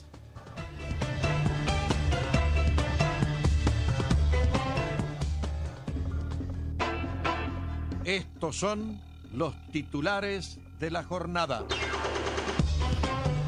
Ayer se realizó la marcha número 27 desde el obelisco al filtro, reclamando justicia por la masacre de Jacinto Vera de hace 27 años y la impunidad se perpetúa. Impunidad basada en hechos registrados supuestamente en democracia. Dos asesinatos y decenas y decenas de heridos después de una sanguinaria represión policial. El representante del 26 de marzo, Unidad Popular, Eduardo Rubio, reivindicó el derecho de asilo y la solidaridad internacional como parte de la identidad histórica de la izquierda, la recuperación de la memoria y los valores que son la esencia misma de la identidad de los revolucionarios. Desalojaron 13 fiestas clandestinas con hasta 600 personas en Montevideo. El Servicio de Convivencia Departamental y la División Tránsito realizaron y desplegaron un operativo durante la Noche de la Nostalgia. Los barrios en los que fueron detectadas las fiestas son Punta Carretas, Cordón, Parque Rodó, Maracaná, Malvin Norte, Peñarol, Prado y Abayubá. En tanto, se constataron incumplimientos a la normativa sanitaria en un total de 18 establecimientos a quienes se les aplicará multas de 4 a 54 unidades reajustables. Además, en un total de 16 establecimientos fueron multados por realizar espectáculos públicos sin permiso y cuatro establecimientos de donde surgieron ruidos molestos. Maldonado registró 90 contra, este, en este caso, intervenciones. Maldonado registró en este caso 90 y más de 300 espirometrías. En Rocha hubo cuatro detenidos. La Dirección General de Tránsito dispuso de más de 100 efectivos junto a la Policía Caminera, Jefatura de Policía y la participación de Prefectura, indicó la comuna. Uruguay alcanzó la inmunidad de rebaño. Un 70% de la población ya cuenta con las dos dosis de la vacuna contra el COVID-19, informó, se informó desde el Ministerio de Salud Pública. Según la última actualización del monitor del Ministerio de Salud Pública emitida a las 12.50 horas, nuestro país tiene el 74,76% de su población vacunada con al menos una dosis, mientras que con ambas dosis ese porcentaje llegó al 70%. Los datos de ayer indican que se produjeron 123 contagios, fallecieron 5 pacientes, 1.300 personas están cursando la enfermedad y 13 están internadas en centros de tratamiento intensivo. Según los datos publicados por el SINAE, se validaron 9.134 test ayer y se constataron 123 nuevos contagios, frente en este caso a los del día lunes, con 6.484 test y 96 casos positivos. El porcentaje de resultados positivos llegó ayer al, al 1,35% y el lunes había sido del 1,48%. Luego de dos días sin fallecidos por COVID-19, ayer se produjeron cinco decesos, como decíamos, acumulando 6.020 desde que se declaró la pandemia. Al día de hoy los enfermos activos son 1.307 y en la anterior eh, jornada de análisis, estamos hablando del lunes, eran 1.318. De ellos hay 13 internados en CTI frente a los 14 del lunes. El índice de la Universidad de Harvard, que calcula la incidencia de la enfermedad cada 100.000 habitantes en base al promedio de casos de los últimos siete días, se redujo a 0.04, ubicándose en 3,53. Los departamentos de Florida y Tacuarembó se sumaron a Río Negro bajo el color verde de ese indicador. Los restantes departamentos están con el color amarillo. El Poder Ejecutivo ajusta detalles para la apertura progresiva de fronteras. El proceso comenzará el próximo miércoles primero de septiembre. El gobierno determinó que desde el primero de septiembre podrán ingresar al país extranjeros con propiedades en Uruguay que estén inmunizados y que presenten una prueba PCR negativa. Los diputados del Frente Amplio pedirán una comisión investigadora por la gestión del ex ministro Cardoso. La bancada de diputados del Frente Amplio denunciará irregularidades en la gestión del exministro de Turismo Germán Cardoso. Cardoso dijo, tengo la más absoluta tranquilidad de conciencia de haber actuado al amparo de lo que marcan las normas. El exministro de Turismo defendió su gestión al frente de la cartera tras renunciar al cargo el viernes pasado acusado de presuntas irregularidades en la compra de publicidad. También propuso una investigadora, pero quiere que también alcance la gestión anterior de quien fuera ministra de Turismo, Lilian Quechichán, porque las cosas que lo acusan a él también se hicieron antes. Felipe Schipani presentará un proyecto para modificar la base con la que se calculan los aportes de pensión alimenticia que realizan diplomáticos y militares cuando están en misión permanente en el exterior. La pensión se calcula sobre un ficto, que es el sueldo presupuestal de diplomáticos y militares que están en misión permanente en el exterior del país. Esa base es una cifra congelada de entre 4.000 y 11.000 pesos comprendida entre el escalafón más bajo y el más alto, el del embajador.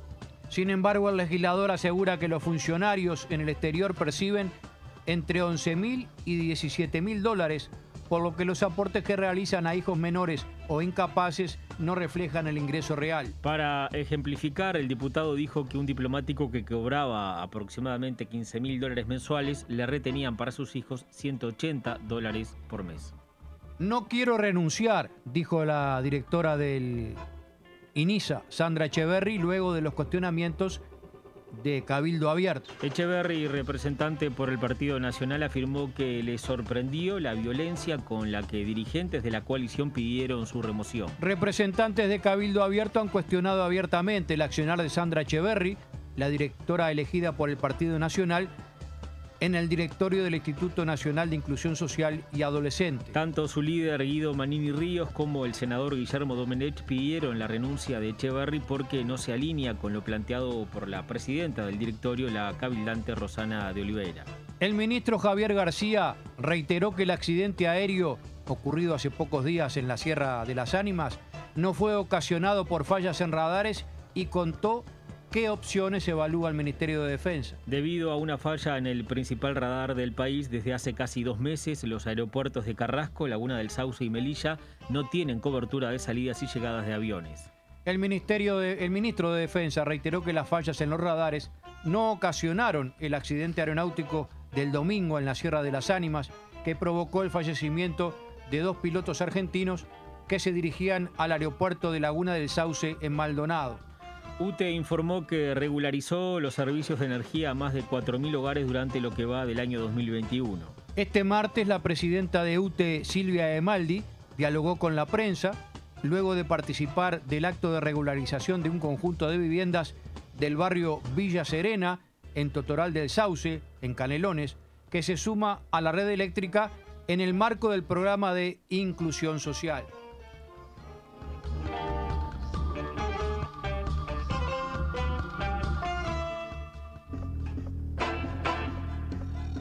Titulares internacionales.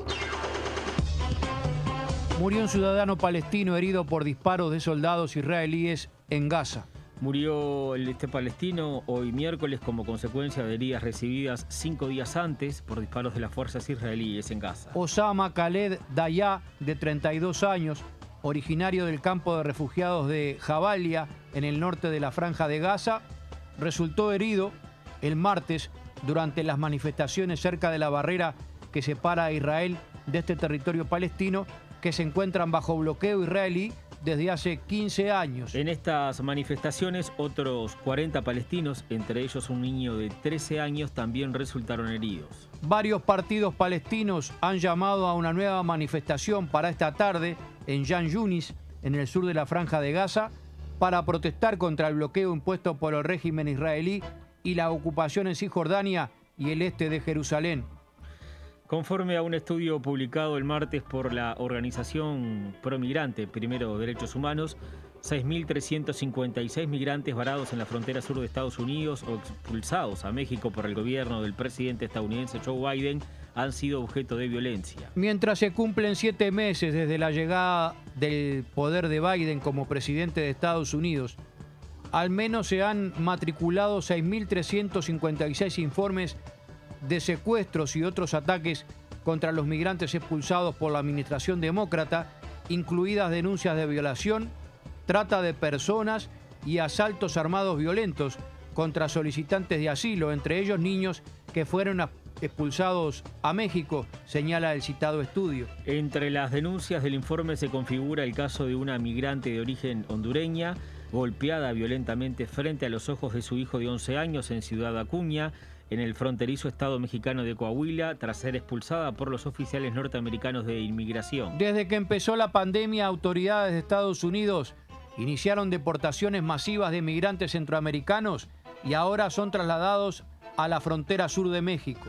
Según una encuesta realizada de mediados de junio a mediados de agosto de 2021, basada en los datos recopilados por la organización Promigrante al otro lado y analizados por Human Rights First, casi 83% de todos los solicitantes de asilo varados en los estados mexicanos fronterizos con Estados Unidos informaron haber sido víctimas de ataques o intentos de ataque o haber recibido amenazas en el último mes. Las deportaciones han provocado la preocupación de las agencias de la Organización de las Naciones Unidas que advirtieron a las autoridades estadounidenses sobre el tratamiento de los migrantes vulnerables que necesitan protección humanitaria. En este sentido, mediante un comunicado divulgado el 11 de agosto, el representante del Alto Comisionado de las Naciones Unidas para los Refugiados, ACNUR, Matthew Reynolds, manifestó su preocupación por la nueva práctica de Estados Unidos de expulsar por avión a los refugiados y migrantes, advirtiendo que en medio de la pandemia esta medida aumentará el riesgo de infección por el nuevo coronavirus causante de COVID-19. Las estadísticas señalan que durante el gobierno de Biden,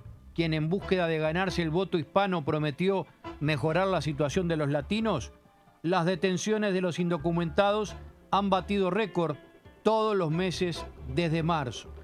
La representante permanente adjunta de Irán ante la Organización de las Naciones Unidas, Sara Esradi, señaló que todas las fuerzas extranjeras no invitadas deben salir de Siria sin condiciones previas. En una reunión del Consejo de Seguridad de las Naciones Unidas celebrada este martes, la representante permanente adjunta de Irán ante la Organización de las Naciones Unidas abordó el tema de los desarrollos políticos y humanitarios de la crisis siria, afirmando que conforme a la resolución 2585 del Consejo de Seguridad, todos los Estados miembros tienen que tomar medidas prácticas para responder a las necesidades inmediatas del pueblo sirio. Conforme a Radi, las actividades humanitarias van más allá de solo satisfacer las necesidades urgentes de las personas necesitadas y deben incluir también el apoyo a proyectos para proporcionar servicios esenciales como suministro de agua, salud, educación y vivienda. La diplomática iraní subrayó que la imposición de sanciones ilegales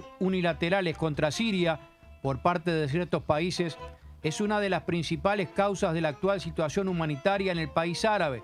El Consejo ha pedido efectivamente el levantamiento de tales sanciones, ha destacado Erzadi. Sin embargo, ha aseverado que esta solicitud no debe interpretarse en el sentido de que las sanciones impuestas en otras áreas son aceptables o que apoyar Siria en otros terrenos, especialmente en la reconstrucción, es menos importante. Dado que la resolución 2585 es el resultado de un compromiso en que también están involucrados los principales países que han impuesto los embargos, los instamos a que cumplan sus promesas, tomen en serio sus obligaciones en virtud de esa resolución y levanten todas las acciones ilegales contra Siria, indicó. La vicepresidenta de Estados Unidos, Kamala Harris, arribó este martes a Vietnam después de un retraso de tres horas por un probable y reciente incidente anómalo de salud en Hanoi. Así la número uno, en este caso la número dos, ¿no? del gobierno estadounidense, la vicepresidenta, ha padecido lo que su gobierno define como síndrome de La Habana, en alusión a misteriosos incidentes de salud que han reportado diplomáticos en la capital cubana durante los últimos cinco años. Aún no se ha podido determinar la causa, pero lo cierto es que varios estadounidenses con puestos diplomáticos en otros países han informado problemas de salud.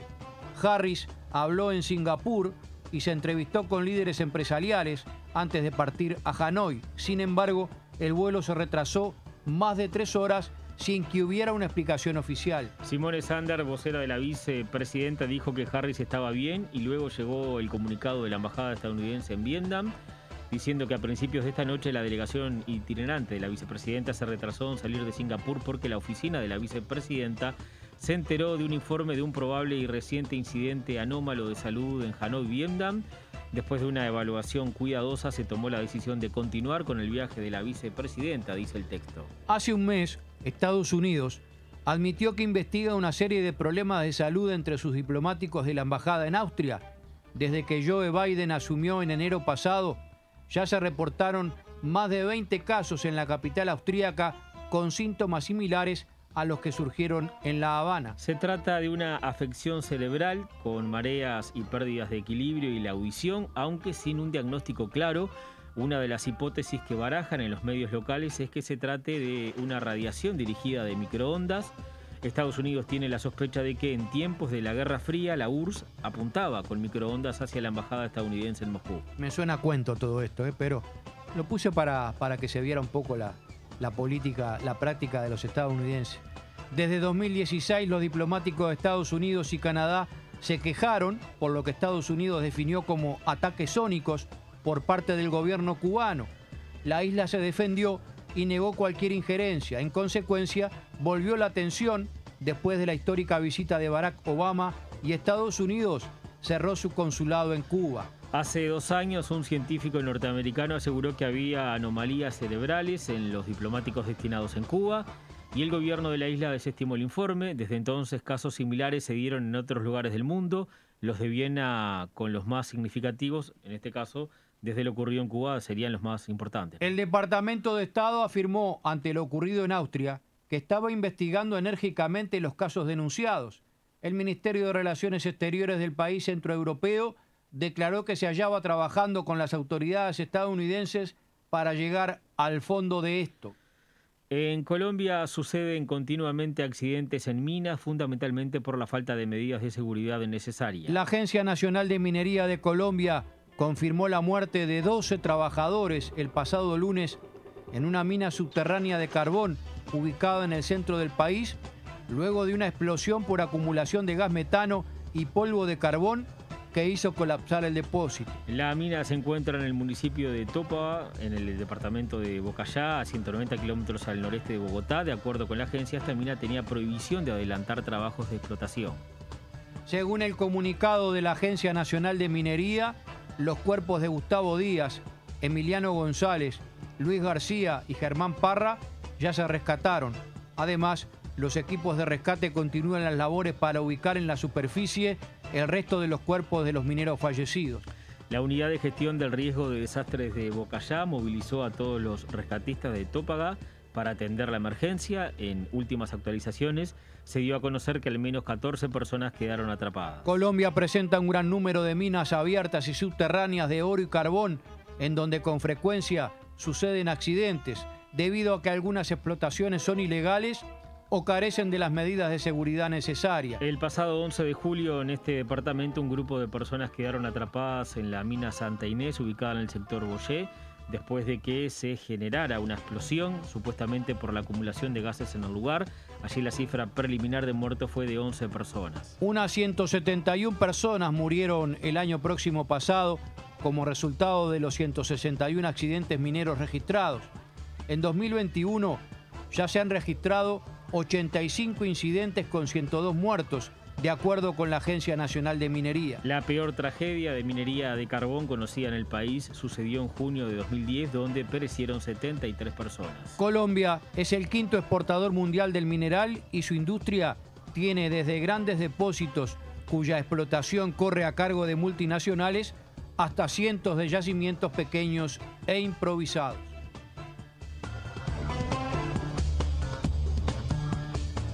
Faltan cinco minutos para las 13 horas. Hacemos la primera pausa. Ya volvemos.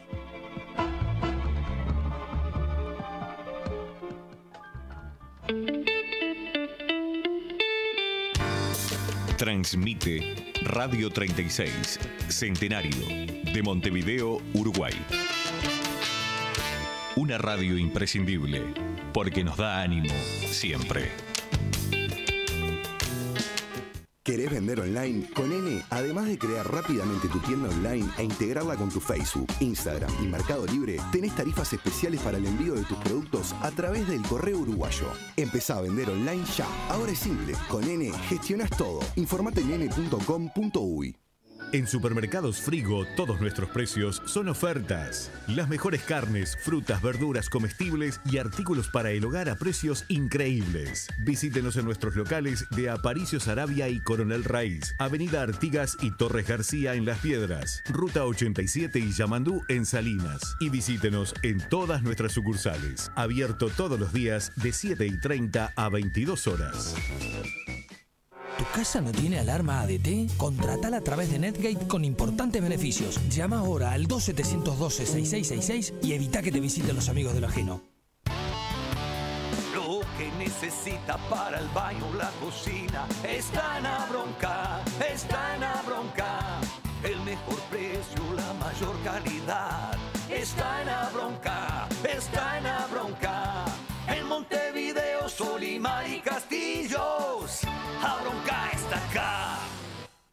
En este año tan especial estuvimos siempre contigo. Estuvimos para darte la mejor atención, para escucharte siempre. Estuvimos en cada llamada para darte una respuesta. Y cada vez que lo necesitaste, estuvimos ahí. Estuvimos con todo.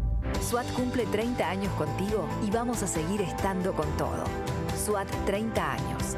Afiliate online en swat.com.uy o llamando al 2-711-0711. Cobertura parcial de asistencia médica. Ahora sí, en agosto y septiembre la Escuela Mapá comienza cursos prácticos presenciales de instructor en técnicas orientales y auxiliar en kinesiología, masoterapia oriental, masaje estético y técnicas de spa, auriculoterapia. Reinventate en este 2021. Consulta la web o llama 2409 1515 de Mapa Tres Cruces o por WhatsApp al 091 49 15 15. No te ama tan solo el del Palmar. Pizarro presenta Porque todas las quiero cantar, el nuevo álbum de Florencia Núñez. Fuente de fulgores por saber. Un homenaje a la canción rochense. Rochana mía. Porque todas las quiero cantar, de Florencia Núñez. Disponible en disquerías y tiendas digitales.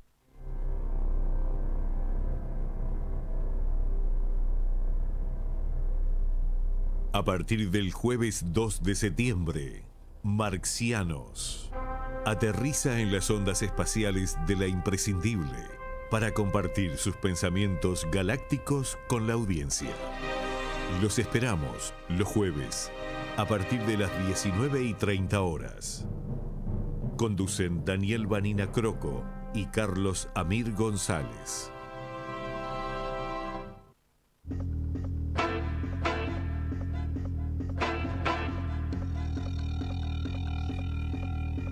12 horas 59 minutos. El Poder Ejecutivo ajusta detalles para la apertura progresiva de fronteras.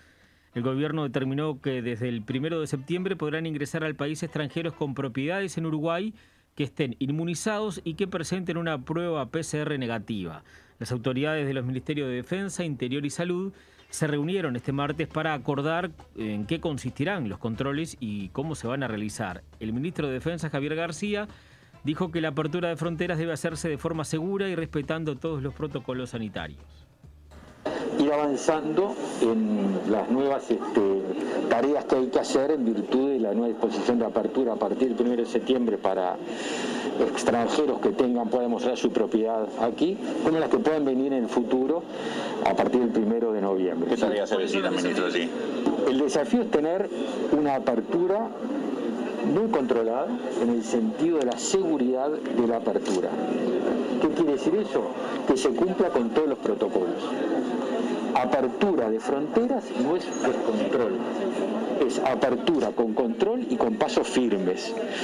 Y por eso, como nosotros tenemos dos áreas de ingreso al país por vecinos, en el área desde el punto de vista terrestre y fluvial, ¿no? en el norte este, Brasil y en el litoral Argentina, que tienen, por ejemplo, en el caso de las vacunas, documentaciones diferentes y formas diferentes, bueno, hay que ver para un caso qué es lo que se exige de documentos, para otro otro, en el caso de los PR, es decir, vamos a tomar todas las medidas y por eso también este, le pedimos que participara Salud Pública, eh, cuáles son los documentos, las cosas que hay que este, presentar para cumplir con todos los protocolos sanitarios. Vuelvo a reiterar, apertura con controles, con pasos firmes y para eso tenemos que tener las indicaciones necesarias para que en el caso de la Dirección de Migraciones será el Ministerio del Interior pueda exigirla, que es la primera oficina, y después los casos de los puestos fronterizos de las Fuerzas Armadas, exactamente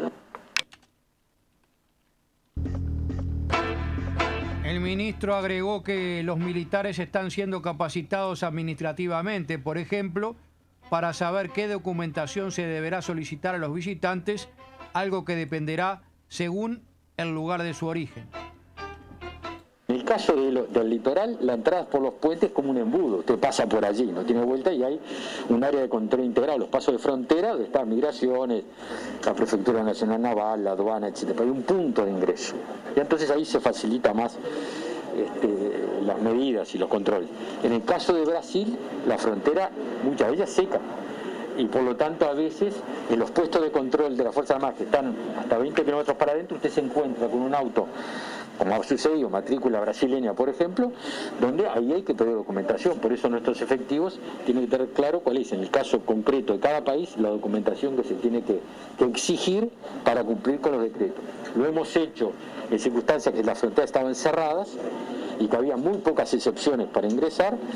Ahora hay que saber cuando hay otras posibilidades cuáles son las documentaciones que hay que solicitar. Con esta reunión que hizo con las tres fuerzas, ¿se sigue necesitando la misma cantidad de efectivos que usted decía de incremento o se pidió un poco más de gente para hacer todo este control? La misma cantidad de efectivos, en principio, porque las tareas que hay ahora también requieren mucha gente, lo cual no quiere decir la- el mismo dispositivo, porque puede significar que algunos puestos que estaban en algunos lugares ahora se transformen en patrullas este, móviles, ¿no? Para ir a lugares donde este, uno, eh, quien va a cometer un delito, no espera que esté, que controlado. Es decir, si uno está siempre en el mismo lugar, quien va a cometer irregularidades o delitos va a ir pasear ese lugar. Entonces hay que tener la capacidad de traslado. El dirigente del 26 de marzo, Unidad Popular, Eduardo Rubio, saludó el aniversario de la Coordinadora de Jubilados y Pensionistas del Uruguay, así como a sus sacrificados militantes, los que están y aquellos que lo dieron todo y que hoy no están físicamente acompañándolo. Y de pique quiero enviar un saludo y un abrazo fraterno a los compañeros, a los heroicos compañeros de la Coordinadora de Jubilados y Pensionistas del Uruguay. Una organización que representa cabalmente los intereses de los jubilados, con 37 años de historia, y hoy nos vienen allí a la mente algunas de las figuras que conocimos allí, de sus fundadores, de, de sus dirigentes, eh, que marcaron también un camino de coherencia, de firmeza que sostienen hoy los compañeros en la coordinadora, así que no nombro a ninguno para no dejar a nadie afuera, vaya el saludo y el abrazo fraterno a, estos jóvenes veteranos luchadores que no arrían, que no bajan banderas.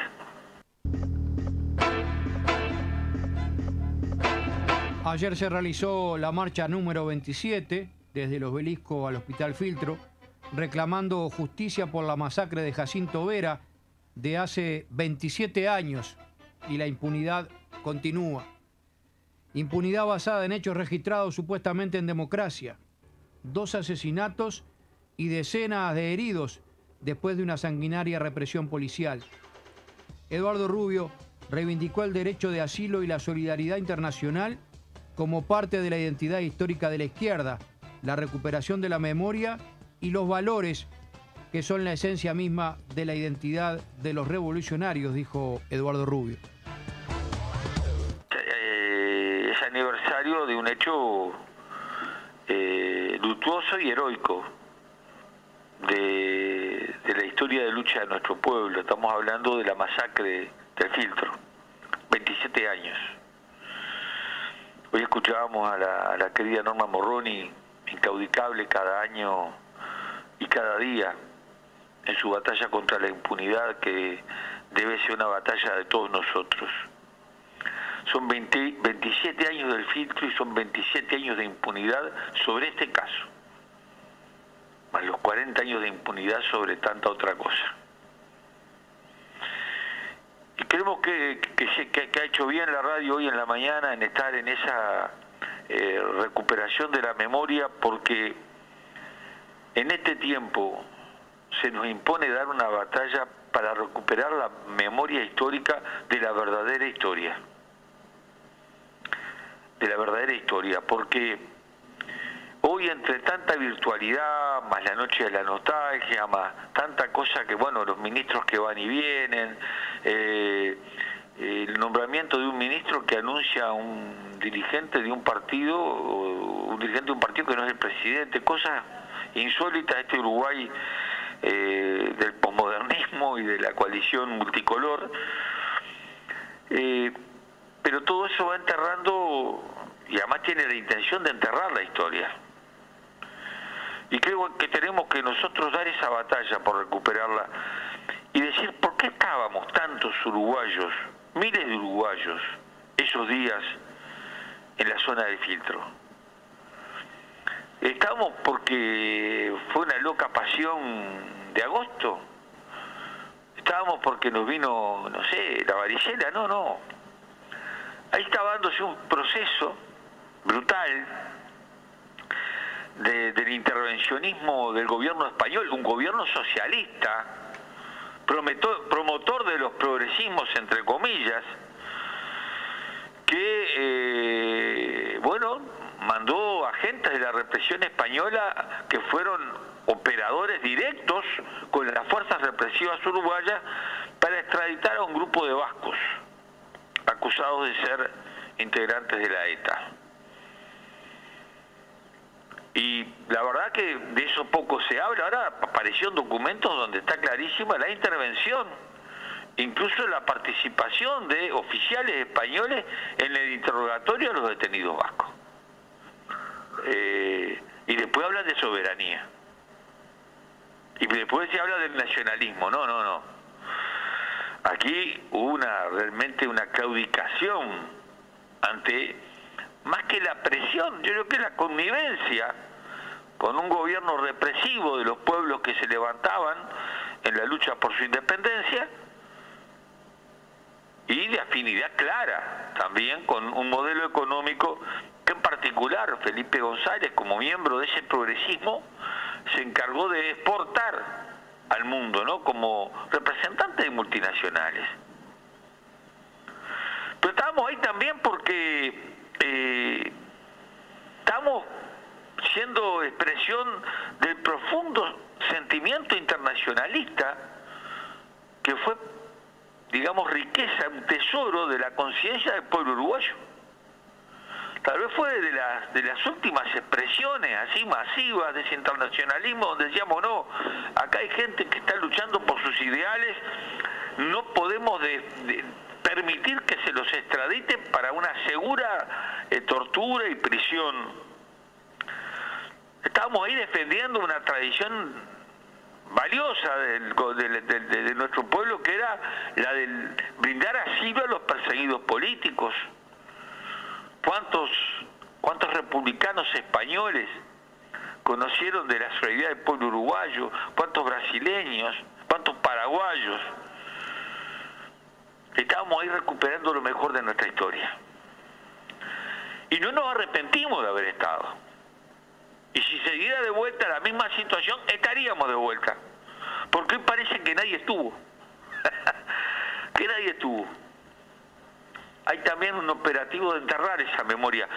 Y creo que además ese hecho fue uno de los de los escalones que se dieron a nivel del Frente Amplio en su derrape hacia, hacia el centro y el, abandono del principio, el principio histórico de la izquierda.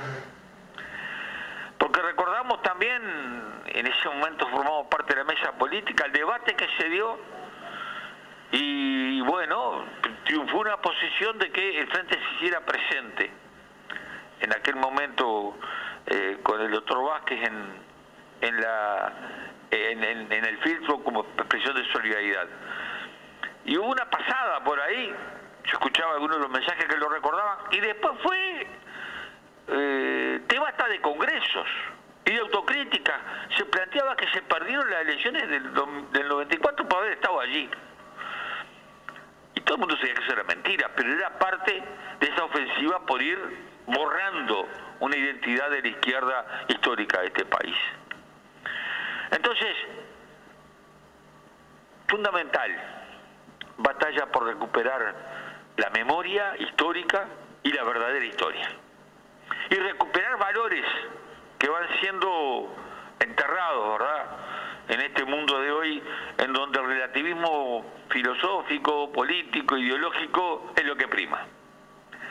Y donde lo que prima son los matices y no las diferencias de fondo, que son las que hacen eh, la realidad de la lucha política. Era el representante del 26 de marzo y de la Unidad Popular, Eduardo Rubio, hablando de lo que fue esa, esa noche, de, como lo decía él, expresión de lucha del pueblo solidario pueblo uruguayo con la represión eh, desatada desde el Ejecutivo encabezado por el padre del actual presidente de la República. Hacemos la pausa, ya volvemos.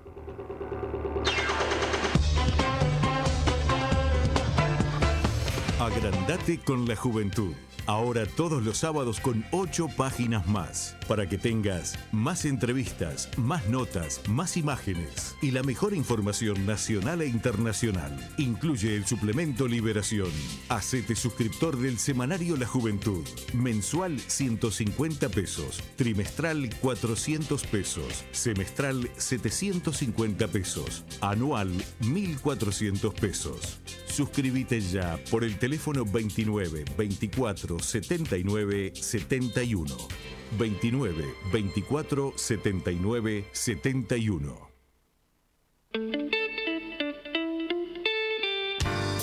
Transmite Radio 36, Centenario, de Montevideo, Uruguay.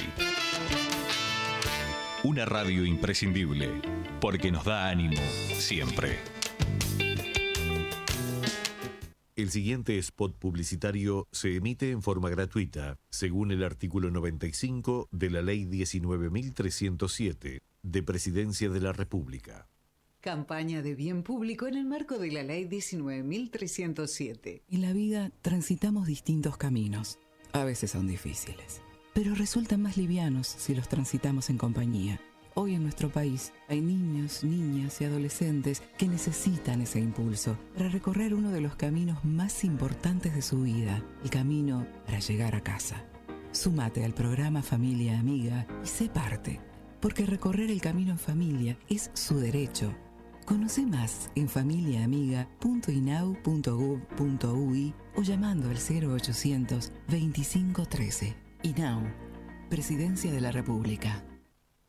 Autoservice Las Nietas. Somos productores de frutas y verduras y vendemos a precios inigualables. También bebidas, lácteos, productos de limpieza y comestibles de todo tipo. Aceptamos tarjetas de crédito, débito y ticket alimentación. Los esperamos en 8 de octubre 3991 esquina Silvestre Pérez, de lunes a sábados de 8 a 20 horas y domingos de 8 a 14 horas. Celular 094 98 91 27.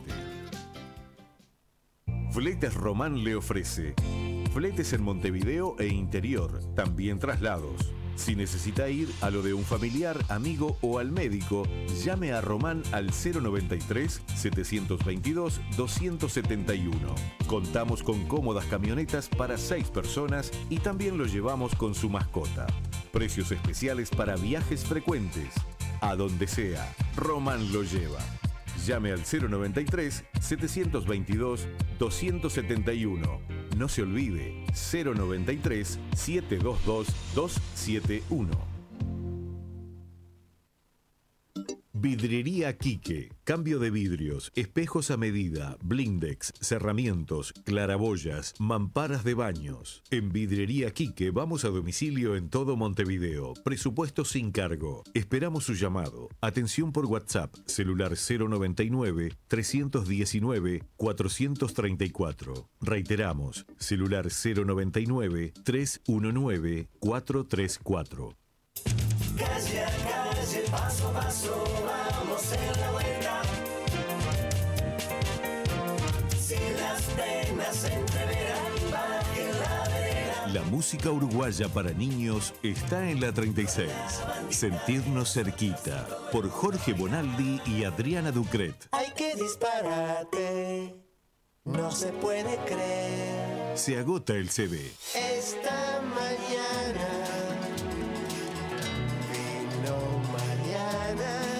Cómprelo aquí y a seguir colaborando con la 36.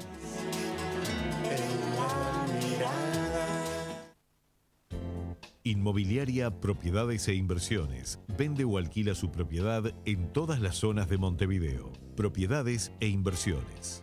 Somos confianza. Llámenos al 2903-7490 o visítenos en San José 1172 frente a Plaza Cagancha.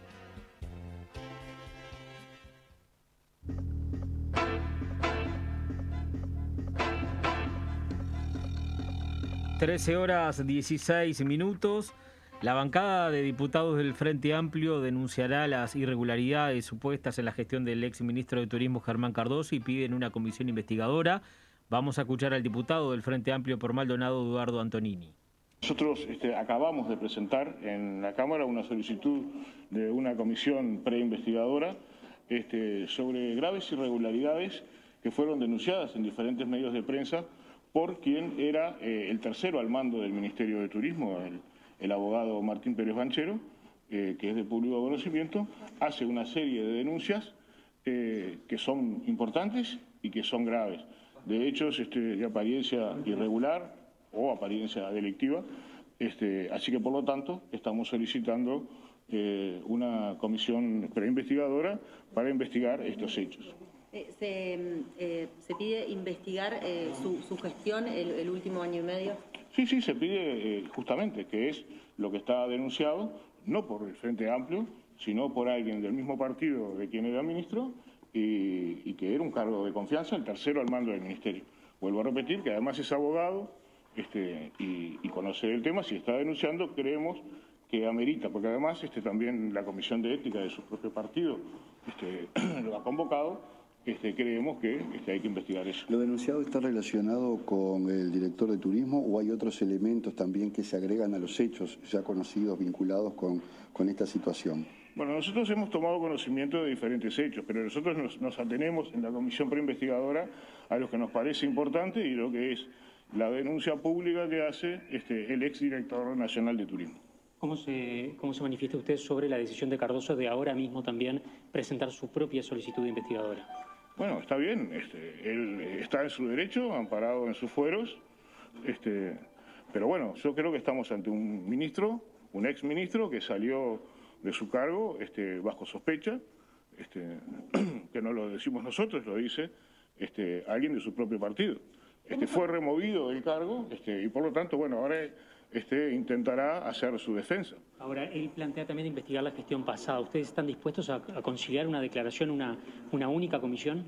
Bueno, lo que pasa es que, este, a ver, es muy fácil y ha sido una práctica constante este, en, en, lo que va de este periodo de gobierno, es decir, cuando aparece un hecho este, irregular, enseguida se dice, ah, pero el Frente Amplio, vamos a investigar para atrás. Yo lo que digo es, si fue ministro durante un año y medio, estuvo al tanto, no hay auditorías, no encontró nada irregular, recién ahora, después que él es cesado en su cargo, este, pretende hacer una cortina de humo este, para investigar la, la, gestión pasada, es una pregunta. ¿Pero estarían de, de acuerdo en acordar, eh, investigar también la gestión anterior? Es una decisión que la bancada tendrá que tomar en su momento. Nosotros en principio estamos presentando a esta investigadora porque quien está acusado no es ni la ex ministra ni las administraciones pasadas, quien está acusado es el que hasta, hasta ayer era el ministro. Ahora va a prosperar una sola investigadora y seguramente hay votos para la que presenta la, el oficialismo.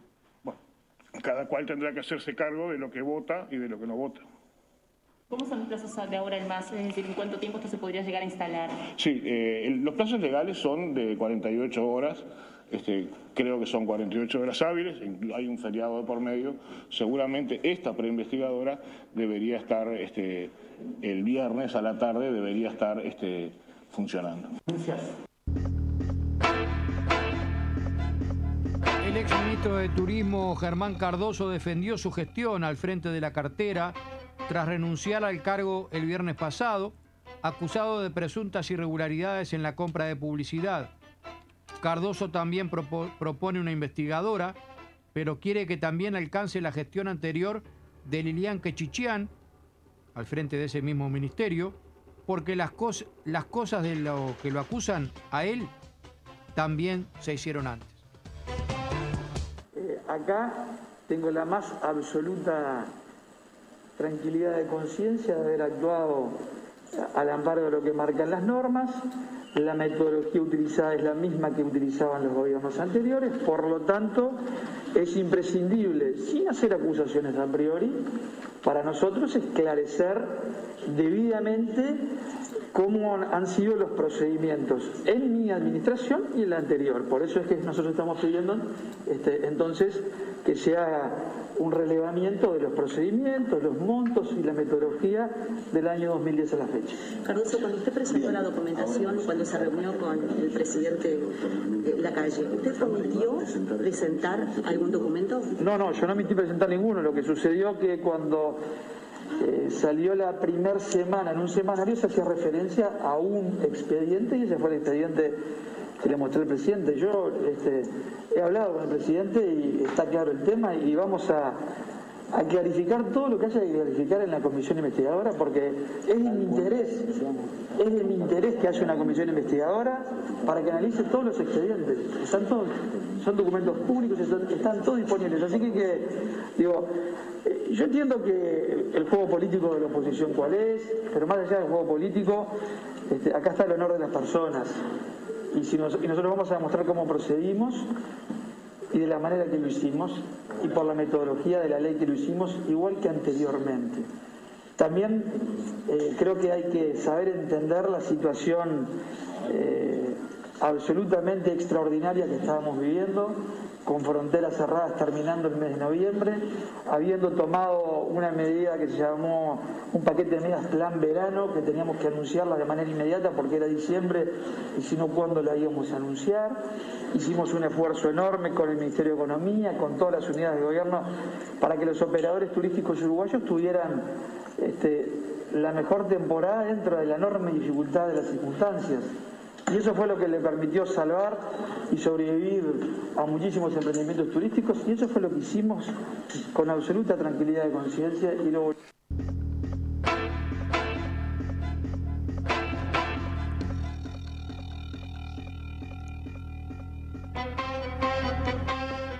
El diputado del Partido Colorado, Felipe Esquipani, presentará un proyecto para modificar la base con la que se calculan los aportes de pensión alimenticia que realizan diplomáticos y militares cuando están en misión permanente en el exterior.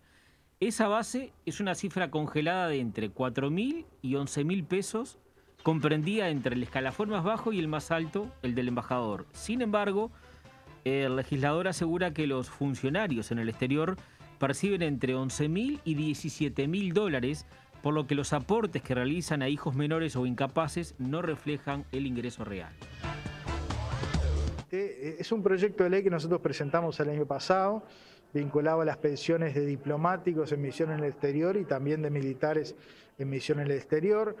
Básicamente lo que establecen las normas que nosotros hemos planteado derogar es que eh, cuando un militar o un diplomático está obligado a salir una pensión alimenticia y está en misión en el exterior, la pensión alimenticia se calcula en base al sueldo presupuestal, que no es el sueldo real, que es un sueldo ficto en pesos y que es 45, 50 veces menos al salario real que perciben. Entonces, esto le generaba a, a los hijos de estos funcionarios un perjuicio realmente importante porque recibían 45, 50 veces menos dinero por pensión alimenticia de lo que debían recibir y por eso nosotros le hemos planteado a la coalición la posibilidad de aprovechar esta instancia de, de rendición de cuentas, ya que se trata de normas presupuestales para derogarlas y bueno y terminar con, con esta injusticia. ¿no? Es una injusticia, como usted decía, y eh, obviamente se debe trabajar en ese aspecto. La dinámica de la estructuración en relación justamente al- a lo que es el, el cálculo final, ¿es de difícil acción o no? No, a ver, eh, este era un mecanismo que se utilizaba esporádicamente cuando había un reclamo judicial. Por lo general, lo que ocurre en la mayor cantidad de veces es que los padres arreglan, ¿no? convenian una pensión alimenticia un monto, pero eh, llegaba un juicio, eventualmente se podían invocar estas normas. Entonces, este, lo que ocurría habitualmente era que este, un diplomático que ganaba 10, 15 mil dólares le servía a, a su hijo eh, 2.500, 3.000 pesos. ¿no? Este, que eso no era de alguna manera este, acorde al, al salario, al ingreso que esa persona recibía, porque además nuestra legislación es clara, o sea, eh, las pensiones alimenticias se sirven en base a todos los ingresos que, que tienen las personas. ¿no? Y esto era una rémora que había quedado este, de, de normas muy vetustas que no habían sido derogadas y que todavía, bueno, al- algún abogado y algún tribunal invocaban para, para fallar en estos temas. El presidente de ACE, el doctor Leonardo Cipriani, defendió el presupuesto de ACE, criticado por el Frente Amplio, y argumentó mediante la eficiencia y reorganización lograda al mismo tiempo que se generaron ahorros del despilfarro que había, dijo el doctor Cipriani. Qué va a pasar después con estas unidades. Nosotros tenemos que pensar que nosotros en esta rendición de cuentas, sí es cierto, pedimos cero peso. Pero ¿por qué pedimos cero peso? Y estamos convencidos con todo el directorio y la parte gerencial que es así. Porque, porque no la necesitamos. ¿Por qué? Porque nosotros pedimos un presupuesto nacional, que fue el año pasado, que todos se tienen que acordar, que es con esa plata que nos manejamos. Y dentro del área del presupuesto nacional, que son 43.700 millones de pesos, o sea que casi mil millones de dólares. No son 41 mil millones como algún legislador también está diciendo, por ahí son 43 mil 770 millones y eso se puede mostrar con quien quiera. Nosotros la plata nos da y de hecho en el presupuesto nacional tienen que agarrar los legisladores que hoy en día tienen duda, ir a leer los artículos del presupuesto y hay una parte destinada a la creación de los CTI. Nosotros hicimos aumento, obviamente no todos los CTI que se aumentaron, sobre todo a nivel de Montevideo, van a quedar fijos. ¿Por qué? Porque hay que adecuarlo al número de pacientes. Y lo que sí tenemos que hacer es descentralizar, porque es injusto que un paciente del interior tenga que estar siempre viajando hacia Montevideo para atenderse. Digo, eso es, una, es algo que con el presidente de la República continuamente lo hablamos y vamos a redistribuir. Ya tenemos un CTI hecho de nuevo en 33 que ya cumplió un año. Tenemos hecho un, un CTI de excelente nivel y calidad y que también trabajó al, parámetro de todos los CTI de buen nivel en el departamento de Colonia, que va a quedar, y tenemos hecho el de las piedras.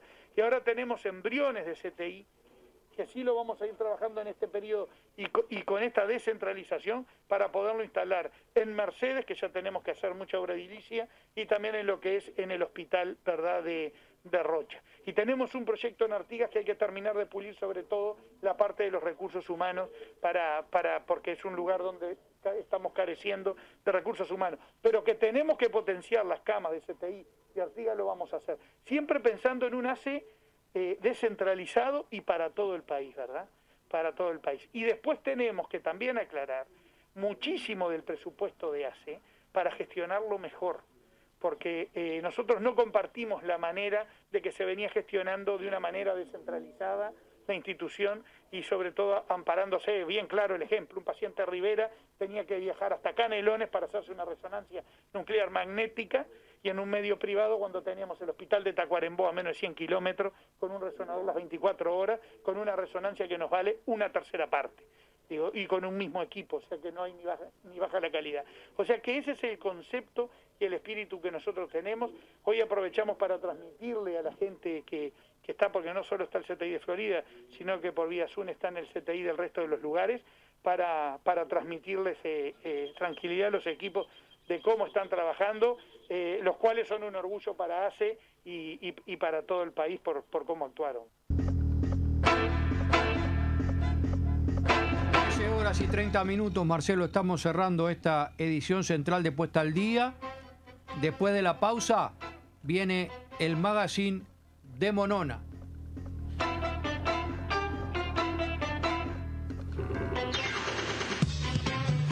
Puesta al Día, edición central.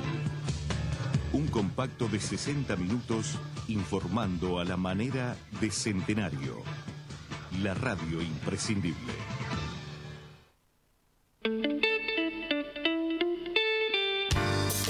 Transmite Radio 36, Centenario, de Montevideo, Uruguay. Una radio imprescindible, porque nos da ánimo siempre. Iluminación y audio profesional, escenarios estructurales, generadores, rampas, pantallas LED, logística, vallados, pasarelas, estructuras de aluminio y escenarios techados ground support, actos, espectáculos, conciertos, equipamiento profesional para fiestas y eventos. Agraciada 2847. Llámenos al 2209 6092 o al 098 341 739. Cibor, audio e iluminación profesional.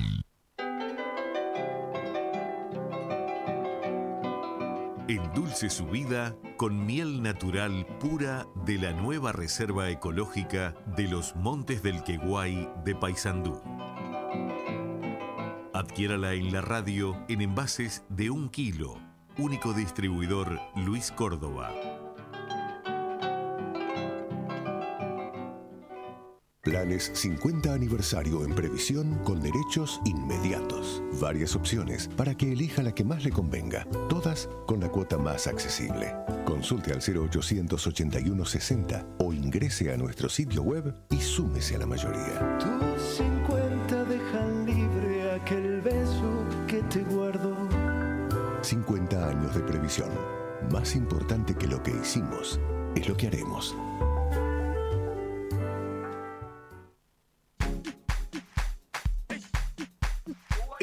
Llega a la 36 el Magazine de la Tarde.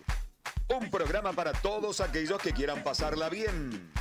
Gladys Heredia te presenta una hora con música, entretenimiento, cultura, salud e información. Con un gran equipo de columnistas especializados. A partir de este momento, prendete a la 36. Quédate con Monona.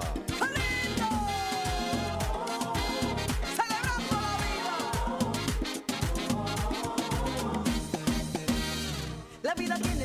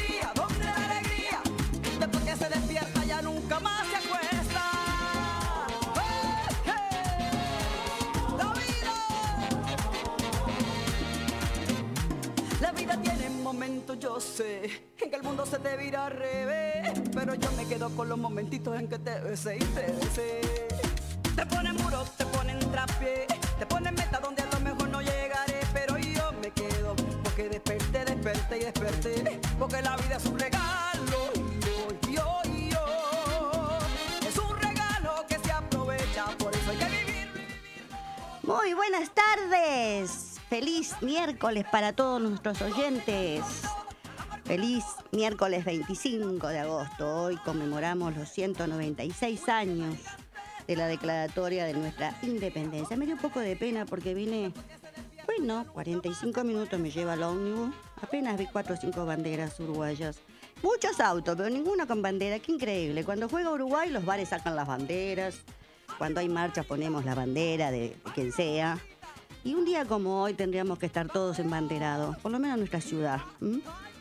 Este, toda embanderada, para que los niños pequeños admiren la bandera uruguaya y sepan lo que se conmemora. Pero bueno, son otros tiempos, otras ideas, otro concepto de lo que es la historia de nuestro país, que a muchos no les interesa, dicen que son historias viejas. Bueno, les damos las muy buenas tardes a todos y las muy buenas tardes al mundo de Marque que ya nos está escuchando. Pero este, antes de, irnos al programa hoy junto al mundo Marque, este, vamos, vamos a comenzar el programa de esta manera.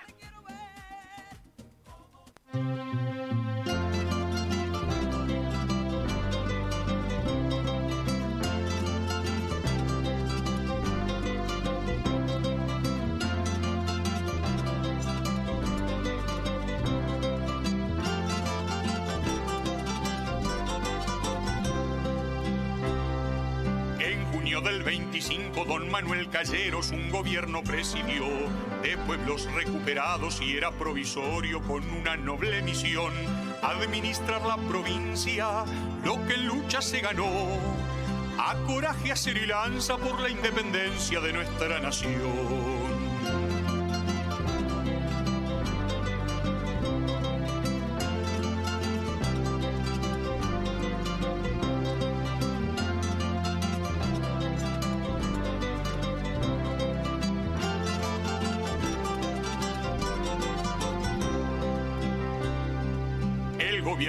Provisorio de nuestra provincia en Florida se instaló. De cada pueblo llegaron sus representantes a elegir gobernador y al presbítero La Robla presidente se nombró. En él recayó la gloria de ser elegido sin oposición.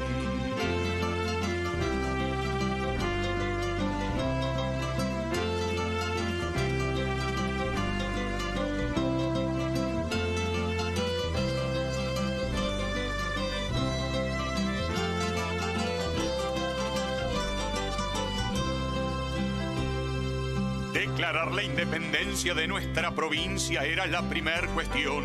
No sea cosa que se crean estos brasileros o cualquier conquistador, que seremos sus vasallos, libres somos desde hoy.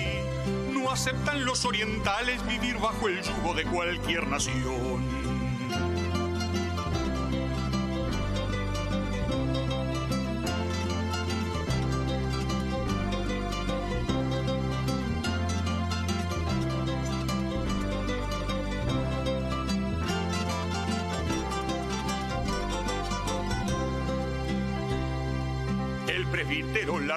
Don Manuel Calleros, Francisco Javier Muñoz, Lázaro Cortés y Anaya, Tomás Núñez, Sierra Pérez y Juan de León, Don Atanasio Lapido, Pereira y Suárez firmó, junto al diputado Barrios y del Pino el héroe que desembarcó.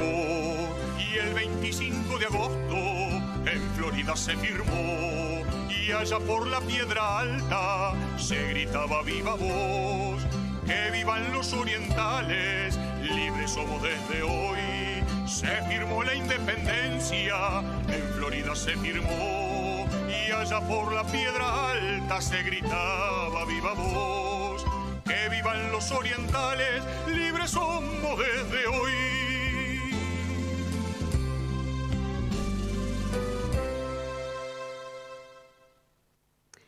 Bueno, Ricardo Fernández Más, cantautor, escritor, productor musical, periodista y docente de música. Nacido en Montevideo un 19 de marzo, tenía que ser de Pisces, un 19 de marzo de 1963. Él le puso música, aparte de lo que, todo lo que, este, a lo que le puso música a nosotros cuando íbamos a la escuela, que teníamos los libros de historia. Recordarán aquellos libros de historia bastante, eh, con 200 páginas, 150 páginas este, leímos tantas veces.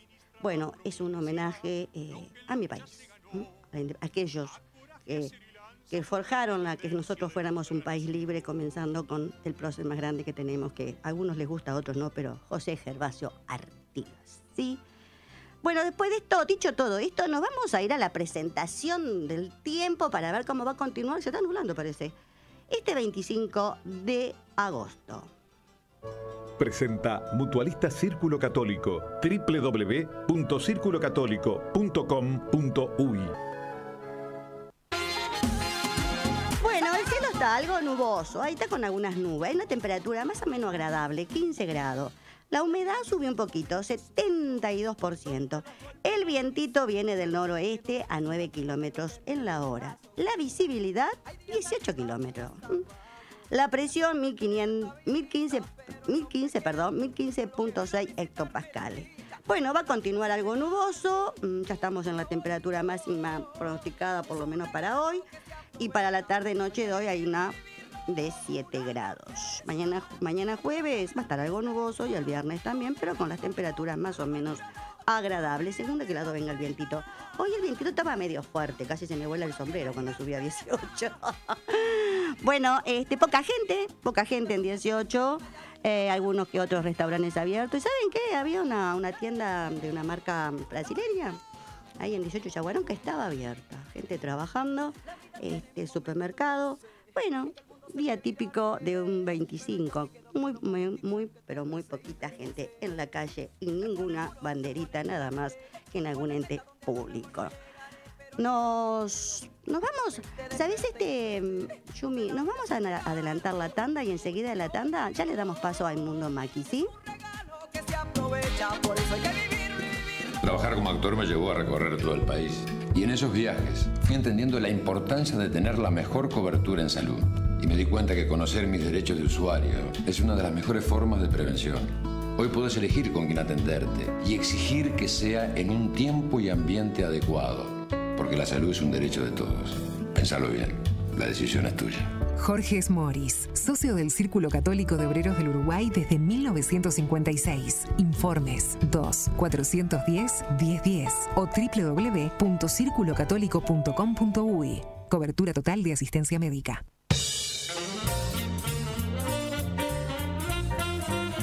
Asociación de Terapeutas Multidisciplinarios, masajistas profesionales, especialistas en tratamiento del dolor con vendas neuromusculares e imanes.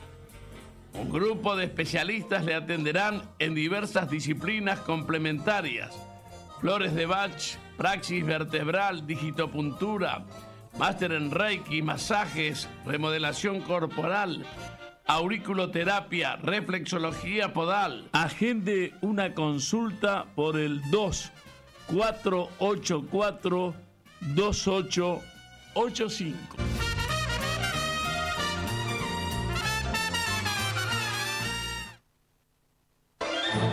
Gastronomía. Mm. La Escuela Mapá abrió inscripciones para cursos prácticos presenciales que comienzan en agosto y septiembre. Cocina Express, cocina profesional, maestro pizzero, roticero y sandwichero, panadería, repostería, barman profesional. Pero hay más, ¿eh?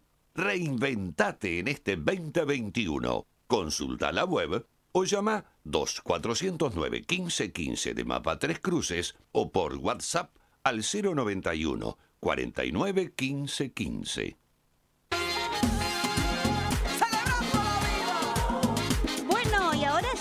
nos ponemos en contacto con El Mundo Maki. Buenas tardes. Buenas tardes, señora Gladys. Buenas tardes para usted, buenas tardes para los compañeros y, por supuesto, muy buenas tardes para la estimada audiencia.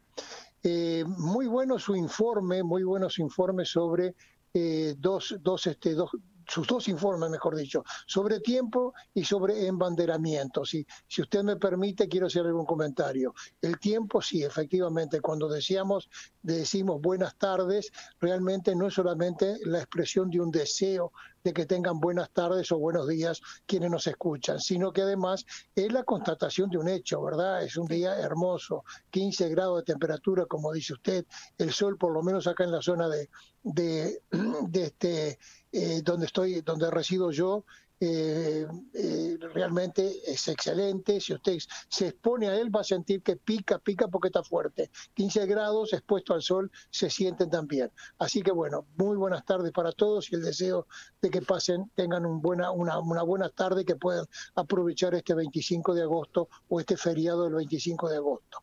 El otro temita que, que me, me pareció muy interesante lo que usted manifestó respecto el tema del embanderamiento. Es cierto, hemos perdido esa costumbre de embanderar no solamente los edificios públicos como se estilaba en este país algunas decenas de años atrás, yo recuerdo perfectamente bien que siendo bancario, en la época que habían en más de dos decenas de bancos y decenas y decenas de sucursales, cada, eh, cada sucursal o cada local bancario se embanderaba, se ponían las tres banderas, ¿verdad?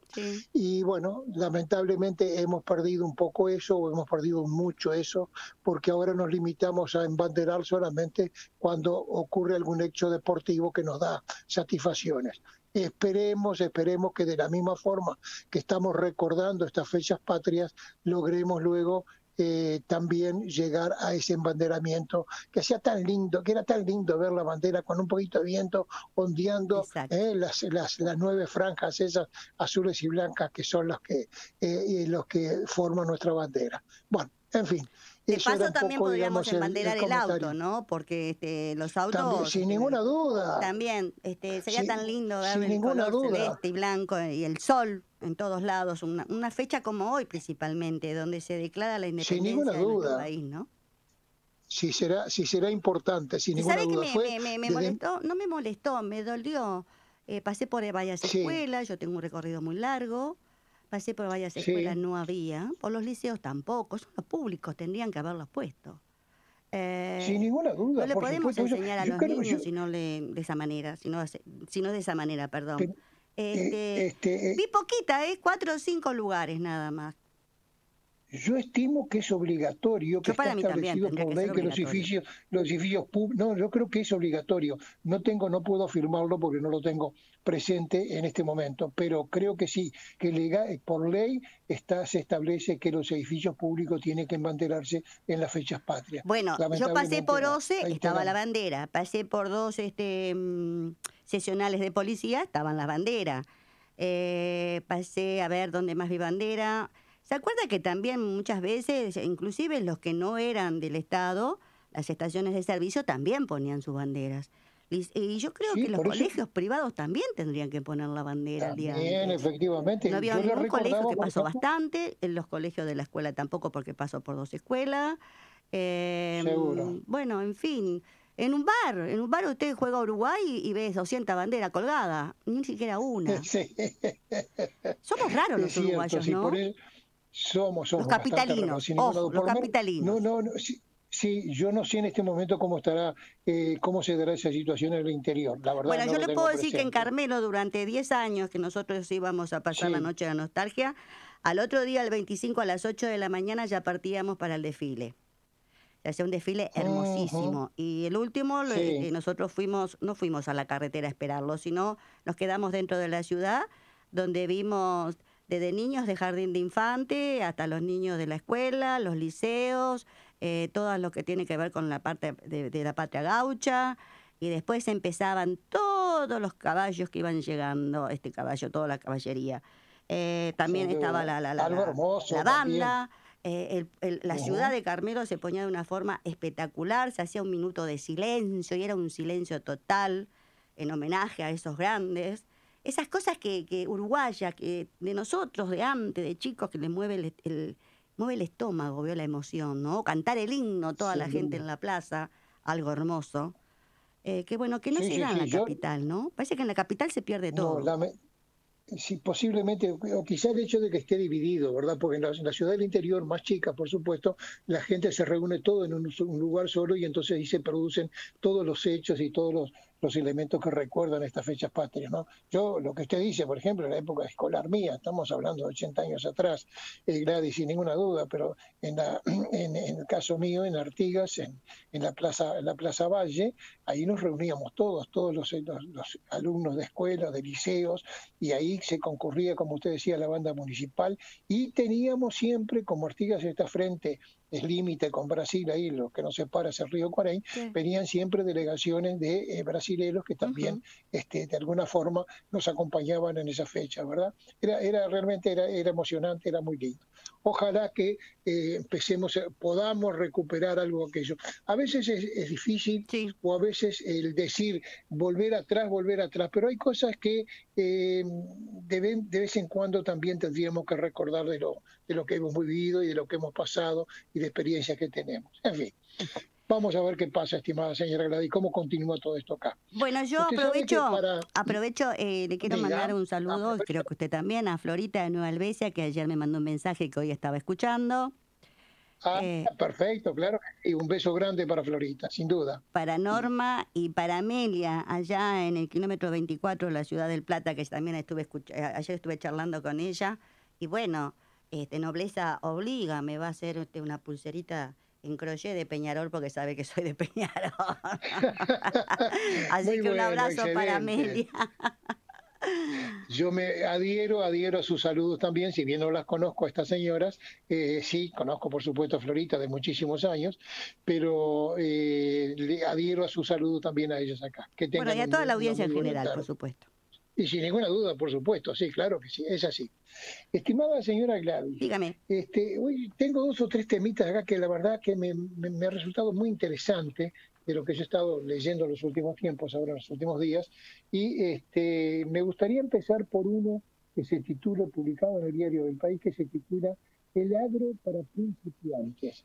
Y que una vez que ustedes lo escuchen, que la audiencia lo escuche, se va a dar cuenta que no es solamente para principiantes, porque estas cosas acá, incluso eh, las personas que hemos, hemos venimos del campo, que hemos vivido en el campo, de repente no los teníamos presentes, ¿verdad?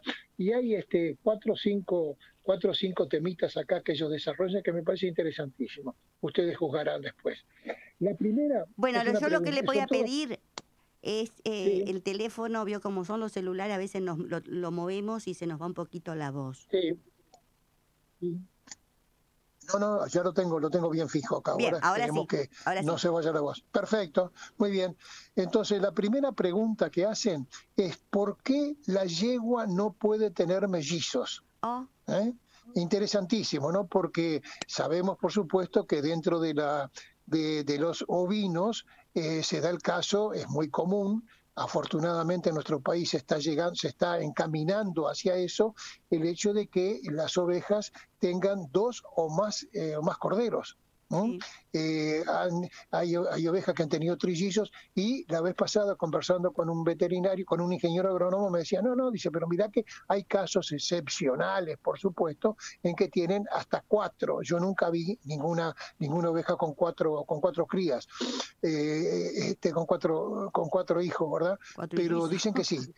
Cuatro hijitos, efectivamente, sí, pero dos eh, melliceros, sí, melliceros hay muchas. Más aún, el otro día estaba leyendo eh, que el hecho de que hayamos tenido una reducción muy importante, importantísima en nuestro stock ovino, recuerde que eh, llegamos a tener 25, 26 millones de cabezas de, de ovinos, de ovejas, ¿verdad? Ovejas, capones, corderos, en fin, etcétera, etcétera. Eh, y en este momento nos quedan poco más de 6 millones y se supone que este año, por una, una extracción grande que ha habido, porque ha habido una, se ha faneado muchos, unas cuantas decenas de miles, algún centenar de, de miles de cabezas, eh, que baje un poquito todavía. Y entonces se estarían encaminando, se estarían encaminando eh, cada vez seleccionando más, eh, por medio de la genética, por supuesto, el hecho de que las ovejas puedan llegar a tener eh, dos crías.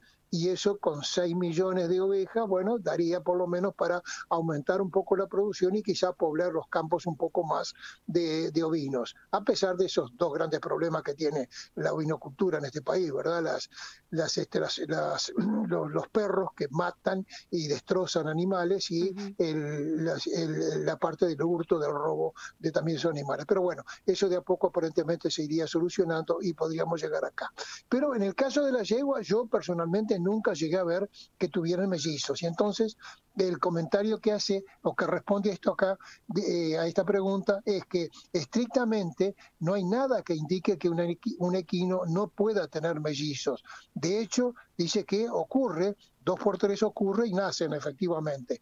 Pero de todas formas, de cualquier manera, la yegua es capaz de mantener en óptimas condiciones a solo un feto. Y por ahí viene la escasez de, de- de situaciones o de casos en los cuales nacen, nacen mellizos, ¿verdad? Entonces, por eso dice que es muy poco común que nazca- nazcan mellizos y eso se debe a que la placenta de- del animal no tiene suficiente alimento para los dos potrillos. El más débil de los dos muere en la placenta. Esto no quita de cualquier manera que existan oportunidades en donde ambos aguantan y terminan naciendo, efectivamente. Un caballo puede tener, puede vivir hasta 30 años, inclusive puede llegar hasta los 40 años. Yo recuerdo animal, haber visto animales ya prácticamente que casi ni se movían, pero con, con 40 años, según me decían mis mayores, ¿verdad? Pero de cualquier manera, el promedio de vida de, de un caballo, de un equino, está entre más o menos los 18, los 20, los 22 años. Y siempre depende, por supuesto, de dónde esté, dónde esté el alimento que tenga, el campo, el tipo de campo en el cual se desarrolle. Y sobre la cantidad de crías que da una yegua en vida, depende casi, casi en un 100% del destino que se le dé al animal a la yegua, teniendo en cuenta que a los dos o tres años ya se puede preñar, eh, incluso algunas, algunas lo hacen antes, se le puede sacar unas 15 crías en su vida. Fíjese usted, una, un animal que sí, exactamente, pobre, pobre animal. Bueno, Eso en cuanto al tema este de los mellizos o las yeguas melliceras. Un segundo, una segunda pregunta que hace esta, se hacen acá es ¿cuánto pollo comimos los uruguayos en el 2020? ¿No? Un tema lindo también. En Uruguay se consume, eh, consumimos mucho menos pollo, bastante menos pollo que en otros países de la región. Según lo- los datos que, estadísticos que da el Instituto Nacional de Carnes, INAC, en 2020 el consumo por cabeza per cápita de carne aviar en nuestro país llegó a los 20 kilos con eh, 800 gramos y creció algo, un 2,3% con respecto al 2019. O sea que venimos incrementando el consumo de, el consumo de, de- de carne, de carne aviar. La meta que tiene la, Cámara Uruguaya de Productores Avícolas es incrementar 50% el consumo en un plazo de tres años, y lo cual en definitiva es muy, es muy este, es esperable que se pueda, se pueda lograrlo, ya que, por ejemplo, en Brasil, en el año 2020, el consumo de carne aviar alcanzó los 45 kilos. Si nosotros estamos en 20, un 50%, llegaríamos a 30 y estaríamos todavía en las dos terceras partes de lo que, de lo que consumen los brasileros. Por, por habitante. Y el año pasado también en Brasil subió un 5% respecto a 2019. En 2019 habían comido 42 kilos y algo, en el 2000, eh, eh, digo bien, en el 2020 los 40, llegaron a 45.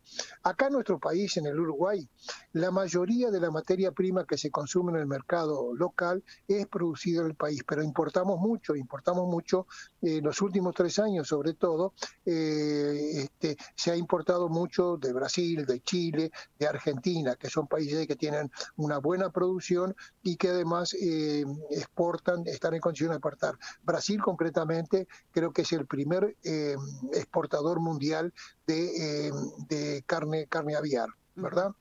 en el Uruguay la cadena aviar, es decir, todo lo que eh, se mejor dicho, la cantidad de gente que utiliza o que trabaja dentro de esa son más o menos eh, unos 4.000 puestos directos y eso a su vez genera puestos indirectos. De manera que sería importante el desarrollo de, esta, de este tipo de, producción. El otro día leía justamente una entrevista que le hacían al presidente de eh, la Cámara este Uruguaya de, de, Productores Avícolas, CUPA, se llama Cámara Uruguaya de Productores Avícolas, y decía que precisamente uno de los, la forma que podemos eh, aumentar acá la producción avícola es eh, logrando eh, exportar y eh, aparentemente, por lo que él decía, desde el punto de vista eh, bromatológico, eh, estamos en condiciones excelentes porque no tenemos algunas de las plagas que están, están, están desarrollándose en países como Brasil, que tiene algún problema, una, una plaga con un nombre que en este momento no lo recuerdo, pero que efectivamente hace que haya, tenga alguna dificultad para, para poder exportar.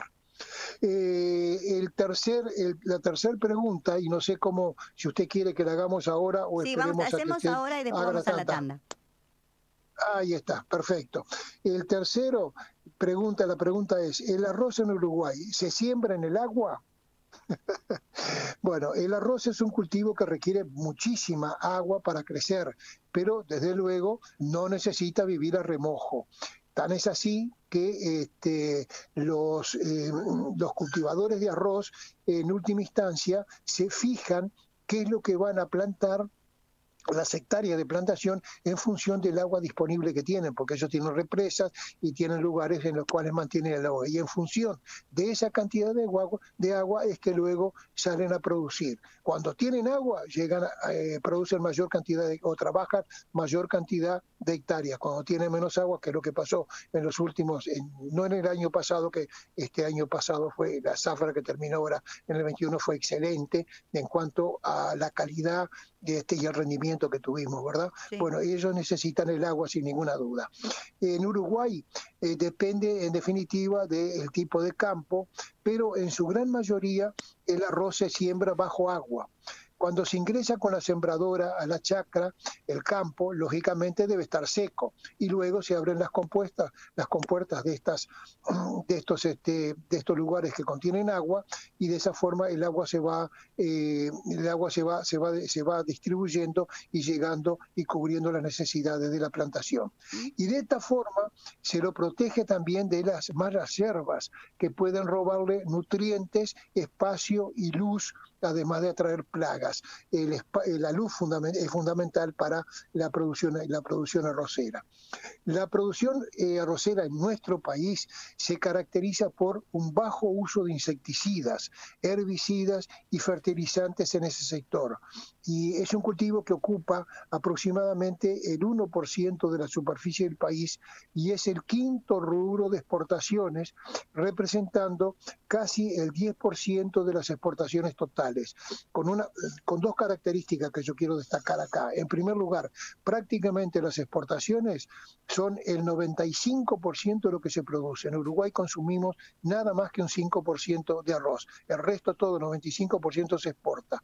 Y es el 10% de las exportaciones y dentro de, el, las exportadores mundiales estamos en séptimo lugar, a pesar de nuestro pequeño trabajo y de, que, de nuestro pequeño, pequeño país, la superficie que dedicamos a ello, que no son más de 140, 150 mil hectáreas, este, estamos en el séptimo lugar en función de la calidad que producimos y la cantidad, que fueron las dos situaciones que se dieron el año, el año pasado.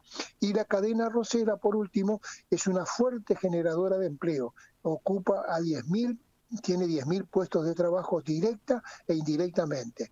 Y eh, la, la, producción arrocera acá en el Uruguay se basa en la rotación de pasturas, el riego es por inundación y se combina con la producción ganadera. Todos elementos de los últimos tiempos que hacen a este cultivo del arroz. Bueno, no sé si quiere ir un poco a la tanda y nos quedan dos preguntas más acá que valdría, vale la pena verla. No, nos vamos a la tanda, como siempre, esto es interesantísimo lo suyo, ¿eh? Bueno, perfecto. Nos quedan dos preguntitas más que creo que vale la pena escucharlas. Muy bien. Hacerlas y ver cómo las responden. Adelante, señora Gladys.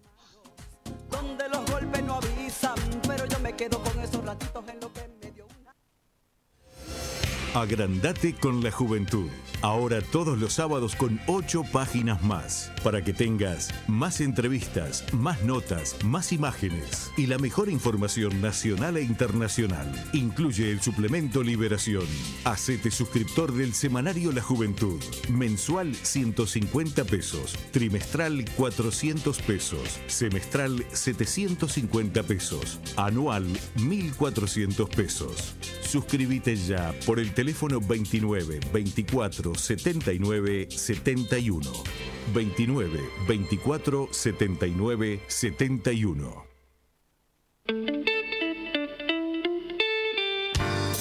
Transmite Radio 36, Centenario, de Montevideo, Uruguay. Una radio imprescindible, porque nos da ánimo siempre.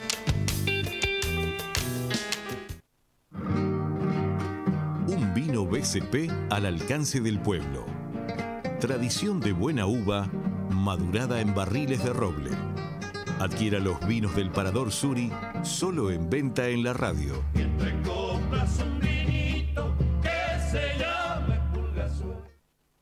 En este año tan especial estuvimos siempre contigo. Estuvimos para darte la mejor atención, para escucharte siempre. Estuvimos en cada llamada para darte una respuesta. Y cada vez que lo necesitaste, estuvimos ahí. Estuvimos con todo.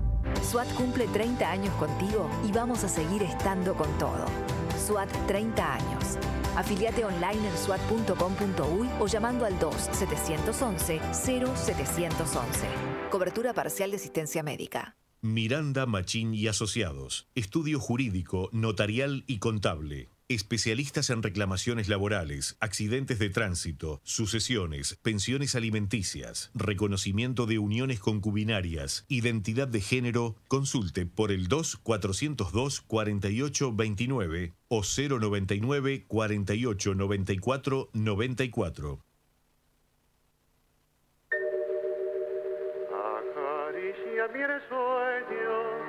A Gardel hay que escucharlo en la vitrola, con toda la distorsión y la pérdida imaginables.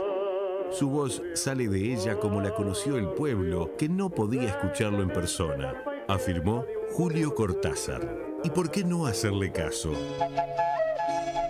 Ahora tenés la posibilidad de acceder a discos de pasta y de vinilo a precios módicos. Discos en excelente estado de todos los géneros musicales y de todas las épocas. Pasa por la 36 en 18 de julio 1357, apartamento 202 y disfruta de la mejor música con el mejor sonido. Ya está comprobado, en artículos sanitarios lo mejor está en Abronca. Desde el centro del departamento y hacia toda Rocha, Abronca Castillos. En ruta 9, kilómetro 265, frente al Trébol. Abronca Castillos, teléfono 44 75 81 19. Aceptamos todas las tarjetas. No se olvide de mencionar a la 36. En Montevideo, Solimar y Castillos. Abronca está A solo 60 kilómetros de Montevideo, tenés una escapada ideal para descansar, disfrutar y divertirte. El complejo de turismo social de Amul, en el balneario Ordey de Quillú, está abierto todo el año. Cabañas para 3, 4 y 8 personas totalmente equipadas. Camping La Casa del Cura, con luz y agua potable, baños con agua caliente, parrilleros y heladera. Si integrás un sindicato u otra organización social, comunicate con nosotros y conoce los convenios que ofrecemos, con descuentos de hasta 50%. Vení al Complejo de Turismo Social de AMUL. Consultas y reservas al 099 120 064 o comunicate a turismosocialamulp@gmail.com. Seguinos en Facebook, Complejo de Turismo Social de AMULP. Y nutrido de esperanza, rumbeando al trabajo avanza, va marchando el albañil. ¿Quiere reformar su hogar? ¿Necesita hacer trabajos de sanitaria, revestimientos o albañilería? Llámenos. Somos trabajadores. Le aseguramos un buen servicio al mejor precio. Contáctenos al 092-870-397 o al 095-738-455.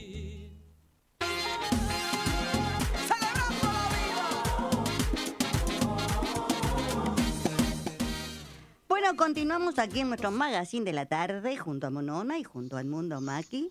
La verdad que me he quedado sorprendida, me encantó este enfoque que le dio usted a todo lo que tiene que ver con lo del campo, lo avícola, este, la avícola, el arroz, eh, eh, los caballos. Pero, mm, mire usted, me quedé ahí pensando, qué increíble. Nosotros somos, arroz, el arroz está en el quinto lugar de los productos uruguayos Séptimo, que se séptimo. ¿No? Sí, quinto lugar de exportación y séptimo como exportadores en el, en el mundo. Qué increíble, ¿no? Sí, sí, la verdad que sí. Para ser un país tan chiquito, con tan poca extensión territorial este, y con tan poca cantidad de, de hectáreas que se destinan, Exacto. porque tenemos la limitación del agua, efectivamente, eh, realmente estamos ahí. La productividad que hemos tenido el año pasado fue llegaron a algunas chacras llegaron a tener 12 mil kilos por hectárea, una cosa fantástica que prácticamente no se da en todo el mundo. El promedio fueron 9 mil y pico de kilos por hectárea el año pasado. Realmente algo espectacular, un desarrollo de primerísima calidad. Por eso, Gladys, es importante tener en cuenta que estos productos que normalmente eh, se denominan commodities, porque dice que no tienen valor agregado, no están así de ninguna manera. Acá hay inversiones, hay estudios, hay genética, de que es justamente lo que ha permitido lograr esa cantidad y esa calidad por hectárea que tenemos. Lo mismo ocurre en el, en el resto de la producción agropecuaria y fundamentalmente también lo que tiene que ver con la carne, ¿verdad? Es decir, no, eso, esos productos ya dejaron de ser, a mi juicio, ya dejaron de ser commodity porque estamos exportando eh, mano de obra, estamos exportando genética, estamos exportando, eh, si- dando trabajo científico que están permanentemente haciendo estudios sobre, sobre las distintas áreas estas que estamos hablando. De manera que lo de commodity, a mi juicio, por lo menos va quedando de lado y se transforman en productos que ya dejan de entrar en esa categoría para transformarse en algo bastante más importante con una muy buena incorporación de mano de obra, porque sin ninguna duda que se necesita mucha gente para todo el trabajo, ¿eh? el para plantar, para cosechar, para transportar, para llevarlos hasta los molinos arroceros, luego todo el trabajo en los molinos arroceros, luego el la ida al puerto, carga el barco y de ahí a los distintos mercados del mundo. Creo que ese es un poco el enfoque que tenemos que darle porque realmente eh, eso es el- lo que ha llevado el progreso enorme que ha tenido todo lo que tiene que ver con la agricultura nuestra. Efectivamente es así. Muy bien. No sé si tiene otro comentario sobre eso porque tengo, nos quedan dos, dos preguntitas que parecen muy interesantes también. Vamos a las preguntas. Bien, la cuarta pregunta en definitiva dice así, ¿cuál es la carne vacuna más cara del mundo?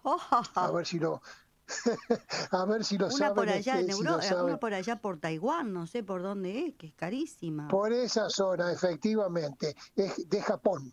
De Japón. Eh, la carne de Japón, efectivamente, es una raza japonesa que en japonés se llama Wagyu. W-A-G-Y-U, que también se la conoce con otro nombre como Kobe, K-O-B larga E. Exactamente, Kobe, que es, es muy afamada y es la- la- esta, esta rata precisamente es, la es el, el principal referente del producto. El precio de esta carne, escuche bien esto acá, puede llegar a entre 200 y 300 euros por kilo. Estamos hablando de algo así como 10 a 15 mil pesos uruguayos por kilo. Cuando nosotros pagamos cada más cara 500, 600, 700 pesos, ¿verdad? Bueno, esta carne puede llegar a valer eso también. Eh, hay muchas variedades según la región, la región de Japón que se mire. Uno de los más caros dice que es el Matsusaka Wagyu y existen referencias de ventas de una vaca de esta región que se vendió, parece cosa de loco, pero se vendió, dice acá, en 400 mil dólares. una señor. vaca. Una ¿no? vaca, Una sí. vaca. Bien, exactamente. Ahora fíjense cuál es la razón por qué eh, llega, se llega a estos valores. Esta Usted nos va a contar cómo la crían, ¿verdad? eh, exactamente, bien, voy por ese lado, efectivamente, sí. Dice que solo es criado este, este, estos animales eh, que producen esta carne, eh, solo es criado por granjeros certificados.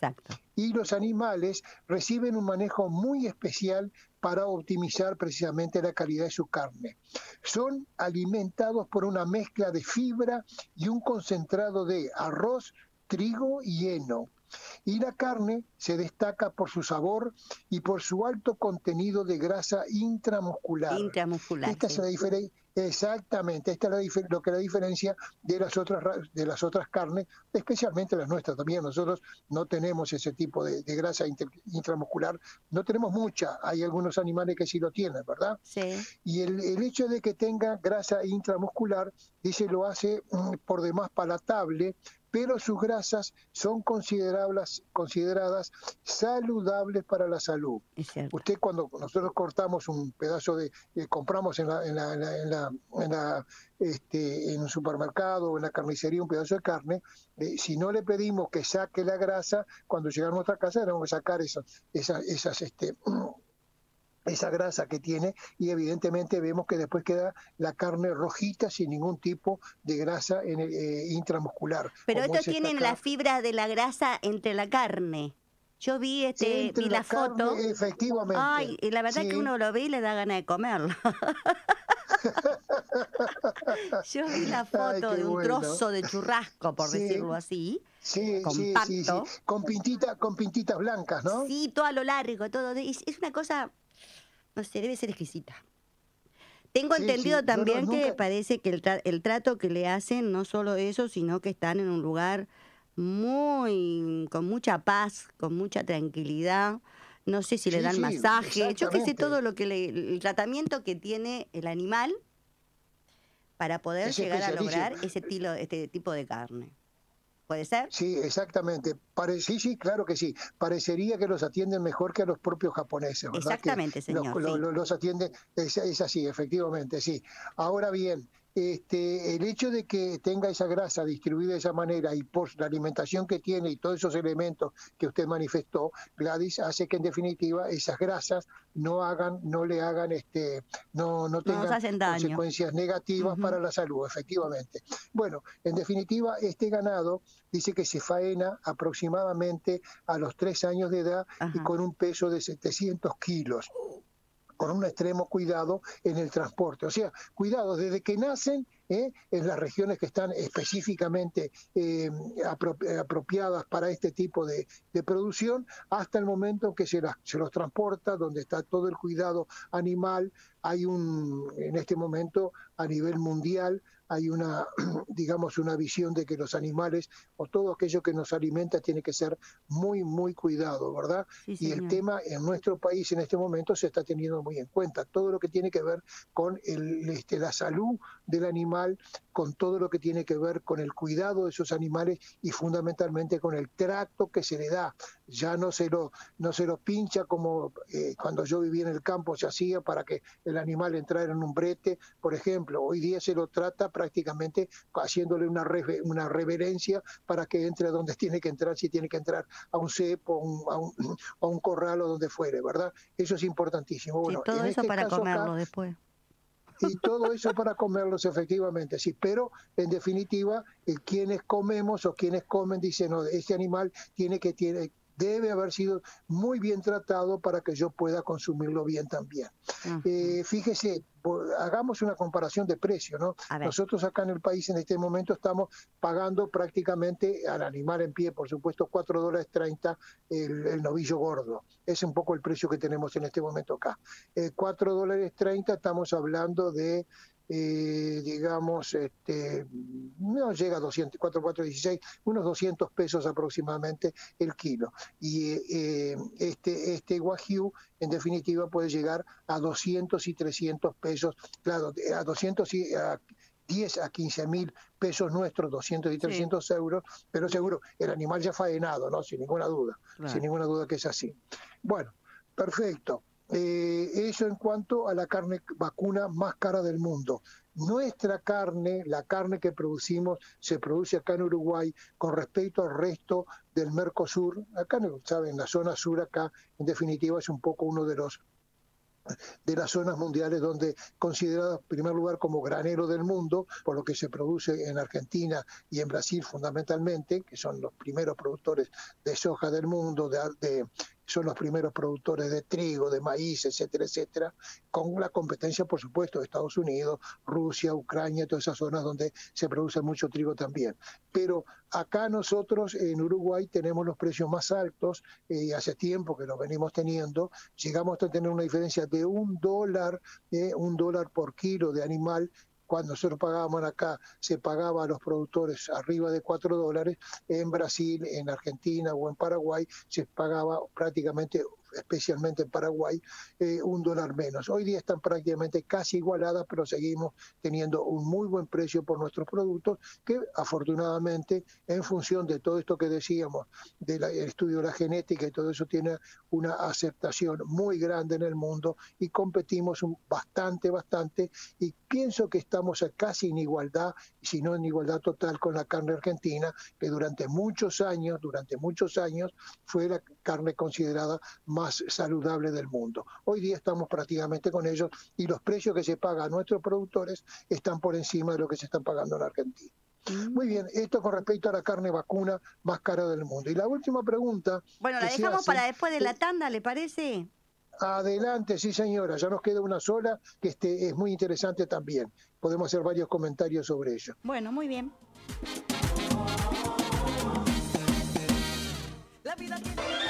Ahora sí, en agosto y septiembre la Escuela Mapa comienza cursos prácticos presenciales de refrigeración y aire acondicionado, mecánica de motos, electricidad automotriz, chapa y pintura, tornería en metales. No perdiste el año. Reinventate en este 2021. Consulta la web o llama 2409 1515 de Mapa Tres Cruces o por WhatsApp al 091 49 15 15.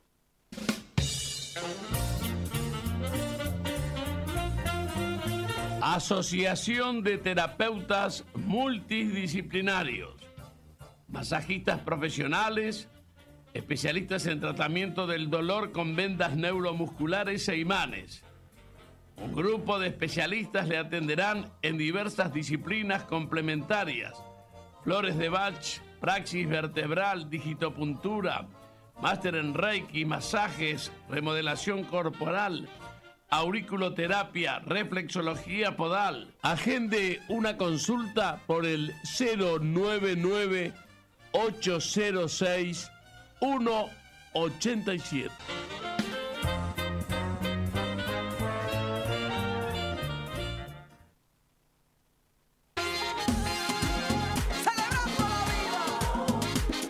Continuamos junto al mundo Mati. Me quedé pensando.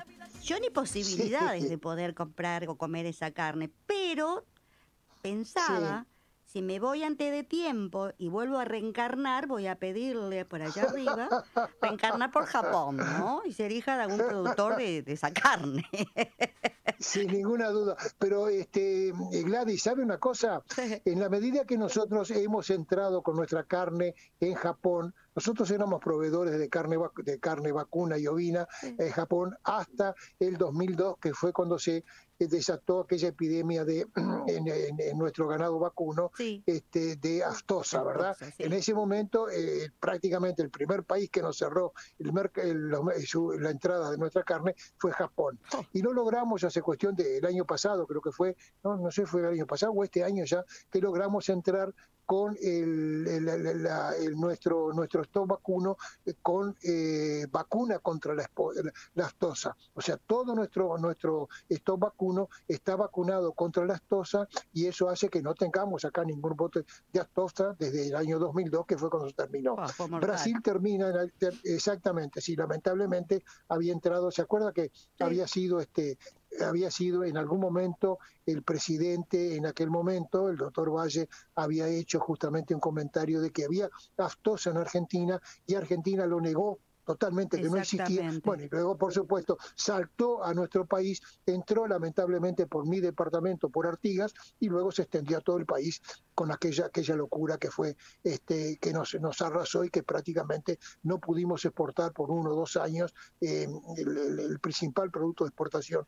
que tenemos que sigue siendo a esta altura la carne. Dejando Ahora, la política de lado, decir- pobre Valle le pasó de todo en aquella, en esos cuatro años. Sí, ah, sí, esa, esa, exactamente, sí, es cierto, pobre Valle. Eh, vino ese problema, vino el problema de este, la- Los bancos. el, el- el corralito, el corralito en Argentina, las corridas bancarias en este, en el en Argentina que se trasladaron al Uruguay, ¿no? Afortunadamente hoy día ese cordón umbilical financiero que teníamos con Argentina está cortado y ya por más que allá haya corralito, por más que allá este, no vendan dólares o vendan hasta 200 dólares eh, por mes por, por, por cabeza, eh, no se da acá la situación, nosotros tenemos un mercado eh, cambiario absolutamente libre y eso hace y eso hace precisamente que muchos argentinos estén viniendo a radicarse acá. Y un artículo que yo quiero justamente comentarle, después que terminemos esto acá, eh, que me queda todavía un- un- una pregunta más, es sobre una, un artículo eh, que, quiero comentarle, reitero, de una eh, periodista y es, y es senadora argentina, que yo no la conocía, se llama María Eugenia Estensoro, y habla precisamente sobre el hecho de cómo nos estamos beneficiando, pero con un muy muy buen muy buena este muy buena idea cómo nos estamos beneficiando nosotros de, estas situaciones desgraciadas que pasa en la República Argentina. Eh, que no, pero todo esto vino derivó de que el hecho de que nosotros este, hayamos entrado nuevamente a Japón y estemos vendiéndole carne, Japón es uno de los mercados que paga que junto con Corea del Sur y algún otro allá del Asia, de los que paga mayor precio por nuestras carnes, ¿verdad? Y entonces este, hay, hay reciprocidad. Hay algún importador uruguayo que ha traído ha traído este, este, esta carne Wagyu en Uruguay. O sea que hubo o hay en este momento lugares donde, eh, algún lugar donde se vende. No sé, lo desconozco porque a mí me hubiera gustado saber dónde había para ver si tenía posibilidad de repente, sacando el 5 oro o la lotería, ir a comprar algún kilito para probar así como usted Ah, usted quiere comprar un kilo. Yo con 200 gramos ya me conformo.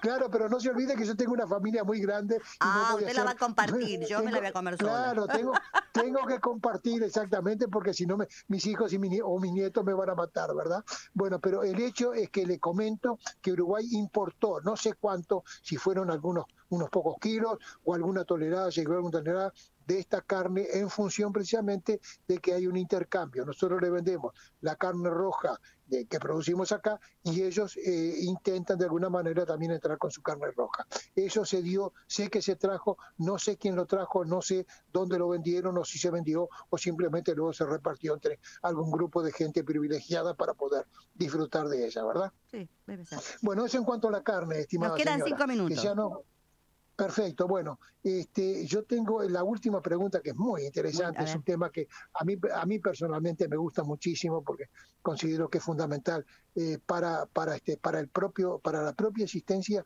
del universo, de nuestra Tierra, ¿verdad? Pregunta, ¿con cuántas abejas se produce un kilo de miel? ¿Usted tiene idea? La verdad que no. Bueno, la respuesta es así. Para producir un kilo de miel se necesita, el trabajo de 2.500 abejas obreras y a su vez cada una de ellas deberá hacer entre 10 y 15 vuelos diarios. ¿Mm? 2.500 abejas, obreras por supuesto, los zánganos sabemos que en definitiva no cumplen una única función reproductiva y después ya después desaparecen, ¿no? Aparte no trabajan, por eso son zánganos, ¿no? O de ahí viene la expresión esa, zángano para el que no trabaja precisamente en función de la actividad que cumplen, ¿no? Este, bueno, dijimos que eh, tiene que eh, trabajar 2.500 2.500 abejas abejas. obreras abejas y haciendo 10 a 15 vuelos diarios. Promediemos en 12 y estamos hablando de 30.000 vuelos diarios que, produce, que hacen esas 2.000 que se necesitan para producir un kilo de miel. Cada colmena, en definitiva, Gladys, y eso dependiendo de la zona en la que esté ubicada y de la población de abejas que tiene cada colmena, puede producir entre 30 y 40 kilos de miel.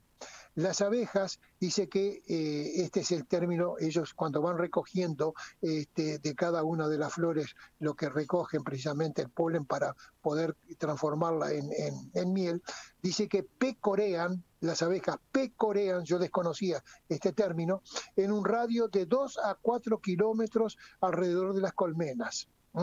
Y, excepcional- y excepcionalmente pueden llegar, pero es una excepción, hasta 14 kilómetros. Fíjese, de 2 a 4 promediamos 3 kilómetros, 30 cuadras del lugar donde está y llegan, pueden llegar a 14 kilómetros. Estamos hablando de una distancia muy grande, pero eso es excepcional.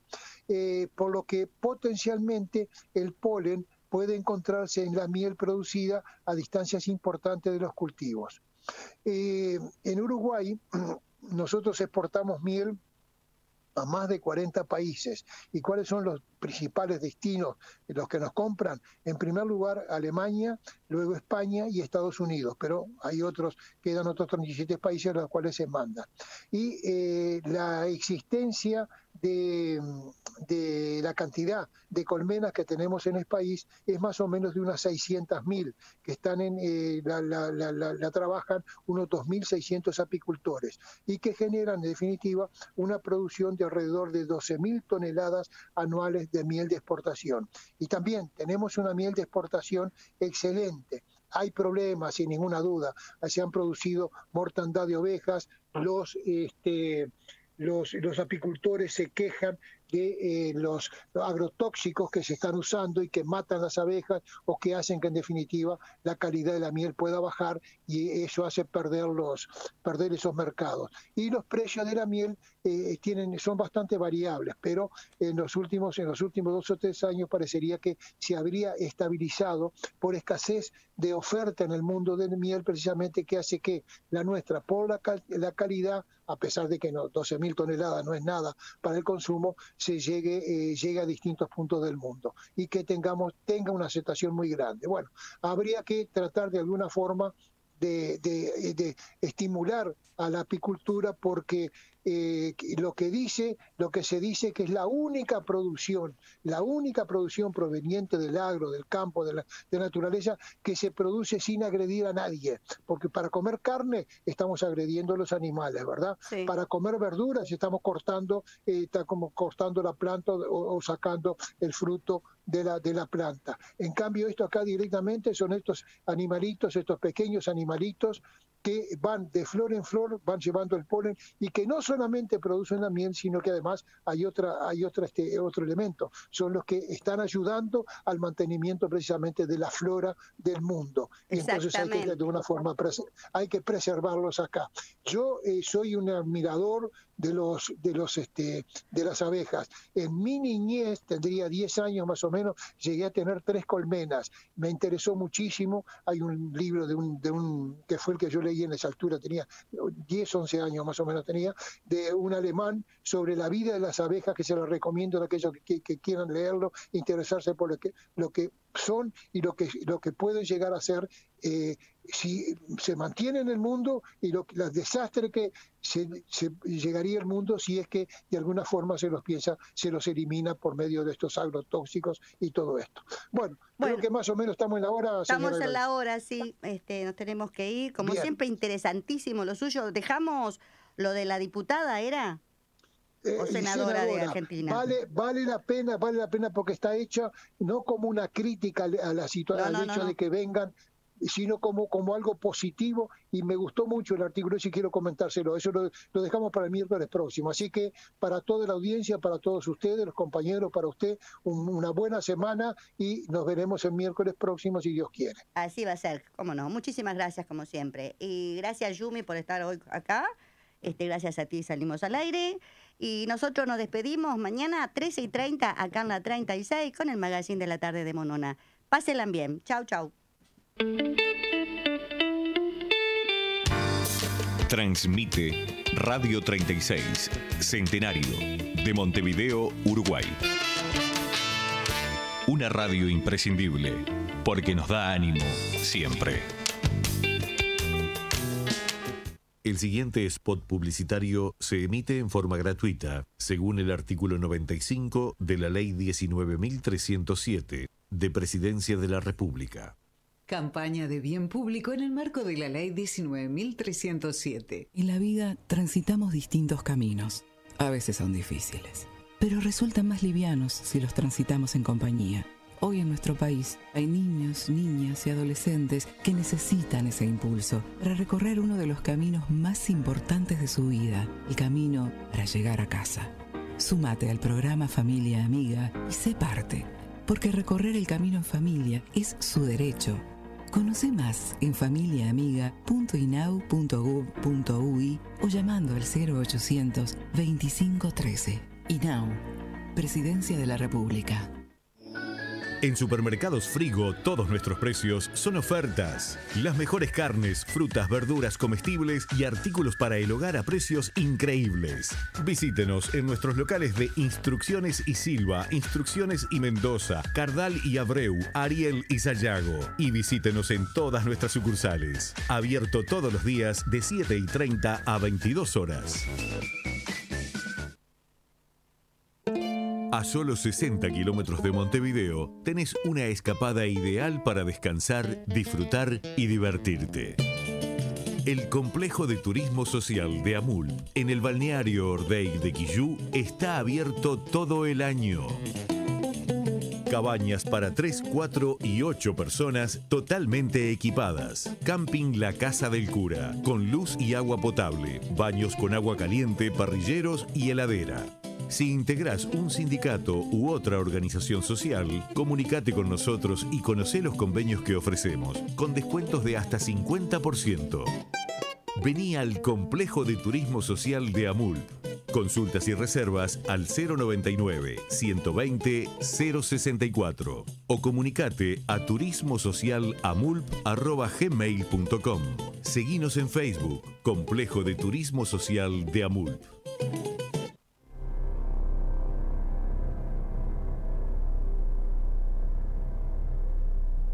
A partir del jueves 2 de septiembre, Marxianos aterriza en las ondas espaciales de la imprescindible para compartir sus pensamientos galácticos con la audiencia.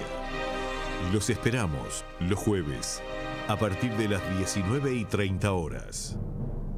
Conducen Daniel Vanina Croco y Carlos Amir González.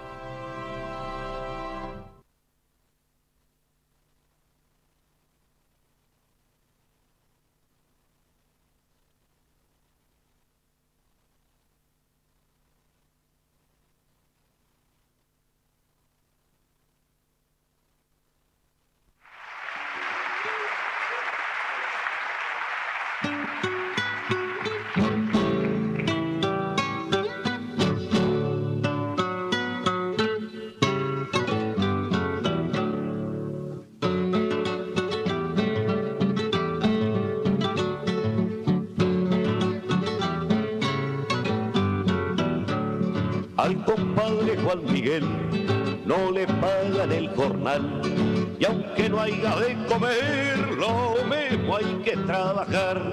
Pobre compadre Miguel, la vida que le ha tocado.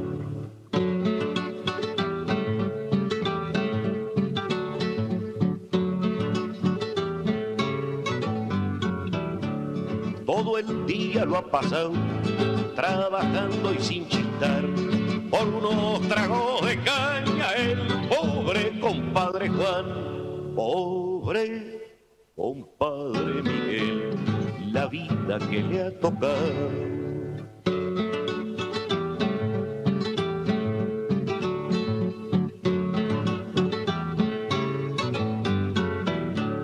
El doctor el comisario siempre le hablan de la ley, que hay que respetar lo ajeno aunque no haya de comer. Pobre compadre Miguel, la vida que le ha tocado.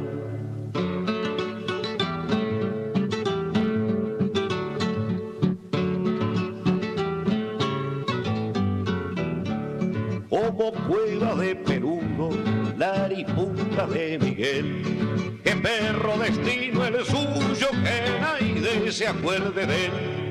Pobre compadre Miguel, la vida que le ha tocado.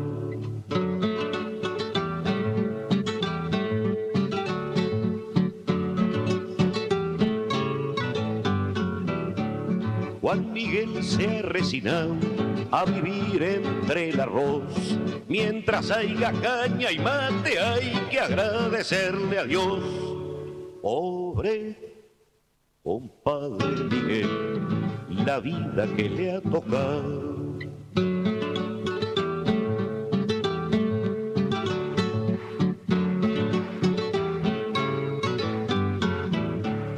Pero un día habrá de ser esto se ha de terminar y la suerte del compadre para su bien ha de cambiar.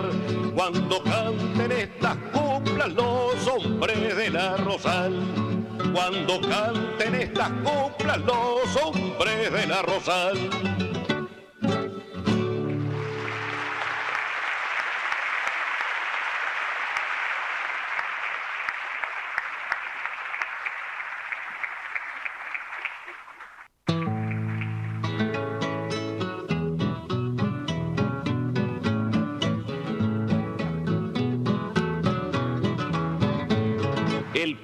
Parejero, el patrón, anda suelto en el corral, le está brillando el pelaje y es de tanto comer maíz. Y yo que soy que lo cuido, ando medio fraquerón, la cama donde me acuesto es puro cuero escapón. Vaya con la diferencia entre el parejero y yo, me gana bien la carrera, la ya que lo dio.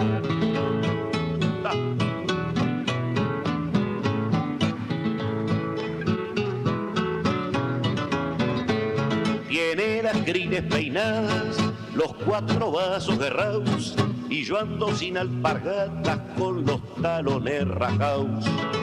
En el establo el caballo tiene muy buena ración y en mi plato de la cocina anda de fiesta un ratón. Vaya con la diferencia entre el parejero y yo, me gana bien la carrera la pu, ya que lo tiró.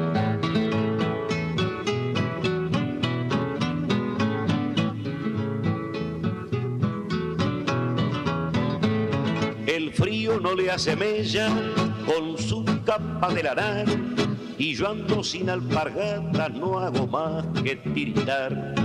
Pero el patrón no comprende verme en esta situación porque nació en cuna de oro y él no suda mi sudor. Vaya con la diferencia entre parejero y yo, me gana bien la carrera la pucha que lo tiró.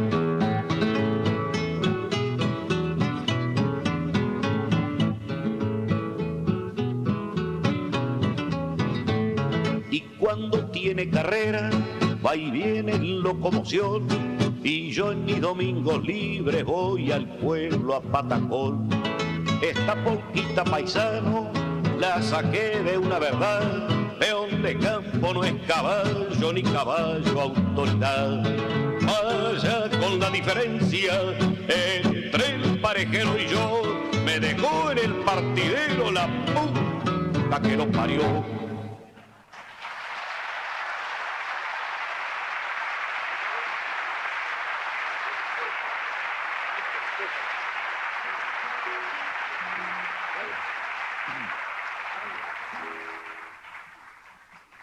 Milonga para una niña.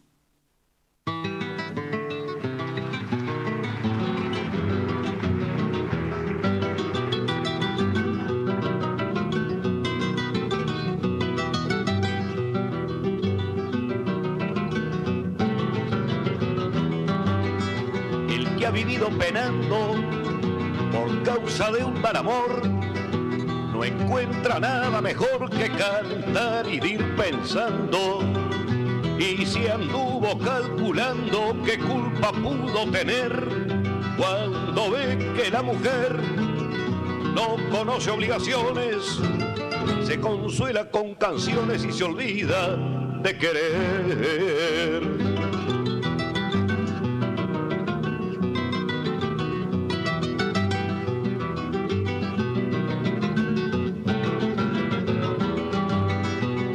Niña, te pido que no me guarde rencor. Yo no puedo darte amor, ni vos podés darme olvido. Yo sé que en cualquier descuido me iba a bolear contra el suelo. Y aunque me ofrezcas consuelo, yo no lo puedo aceptar. Puedo enseñarte a volar, pero no seguirte el vuelo.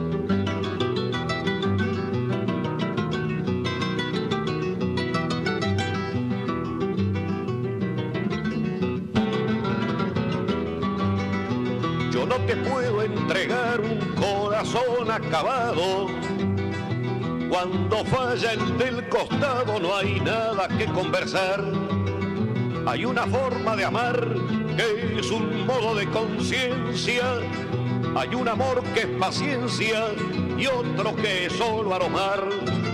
¿Cuál amor te podría dar quien amara tu inocencia?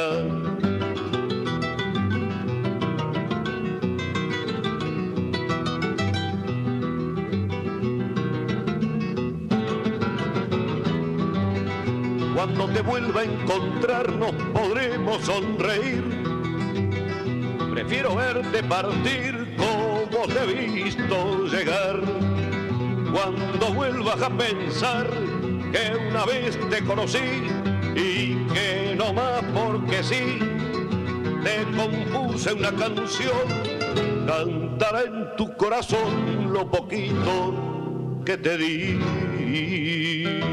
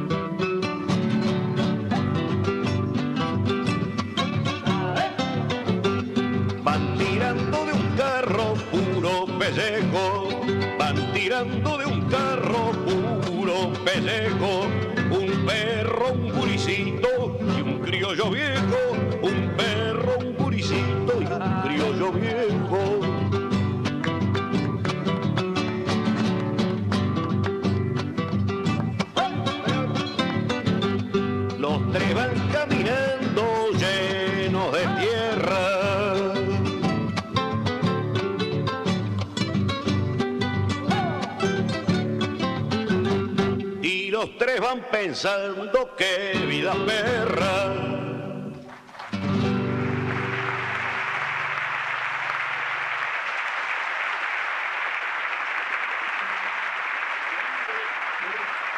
Deme para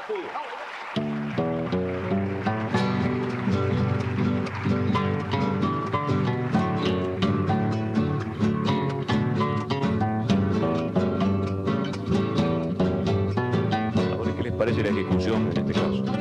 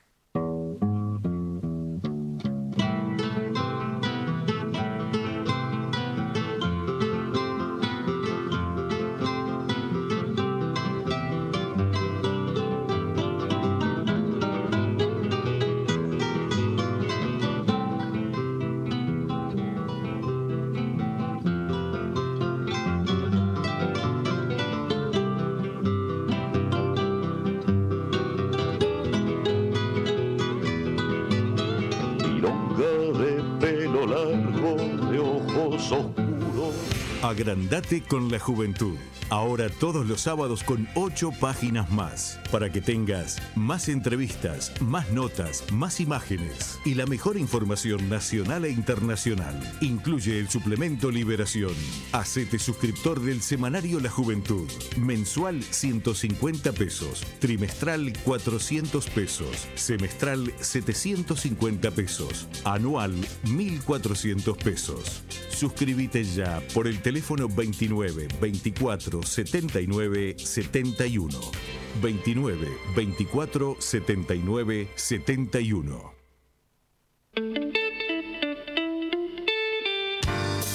Transmite Radio 36, Centenario, de Montevideo, Uruguay.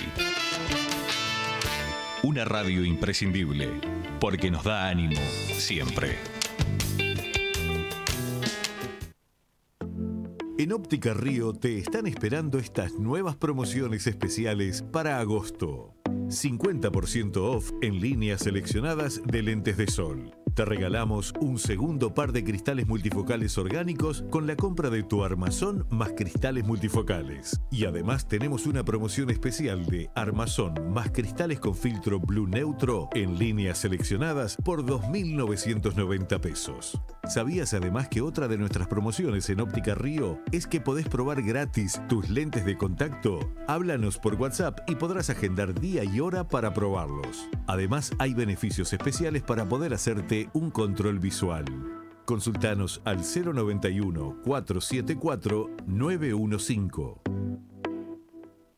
En este año tan especial estuvimos siempre contigo. Estuvimos para darte la mejor atención, para escucharte siempre. Estuvimos en cada llamada para darte una respuesta. Y cada vez que lo necesitaste, estuvimos ahí. Estuvimos con todo. SWAT cumple 30 años contigo y vamos a seguir estando con todo. SWAT 30 años. Afiliate online en swat.com.uy o llamando al 2-711-0711. Cobertura parcial de asistencia médica.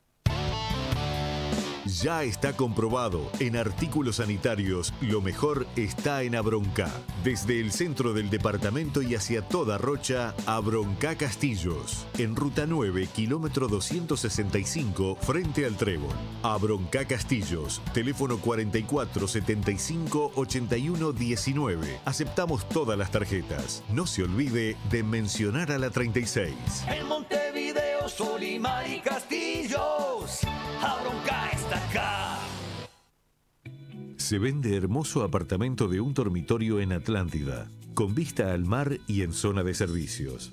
Viva en Atlántida, principal ciudad de la costa de Canelones y gane en calidad de vida. Por consultas, llamar al 099-690-969. 099-690-969.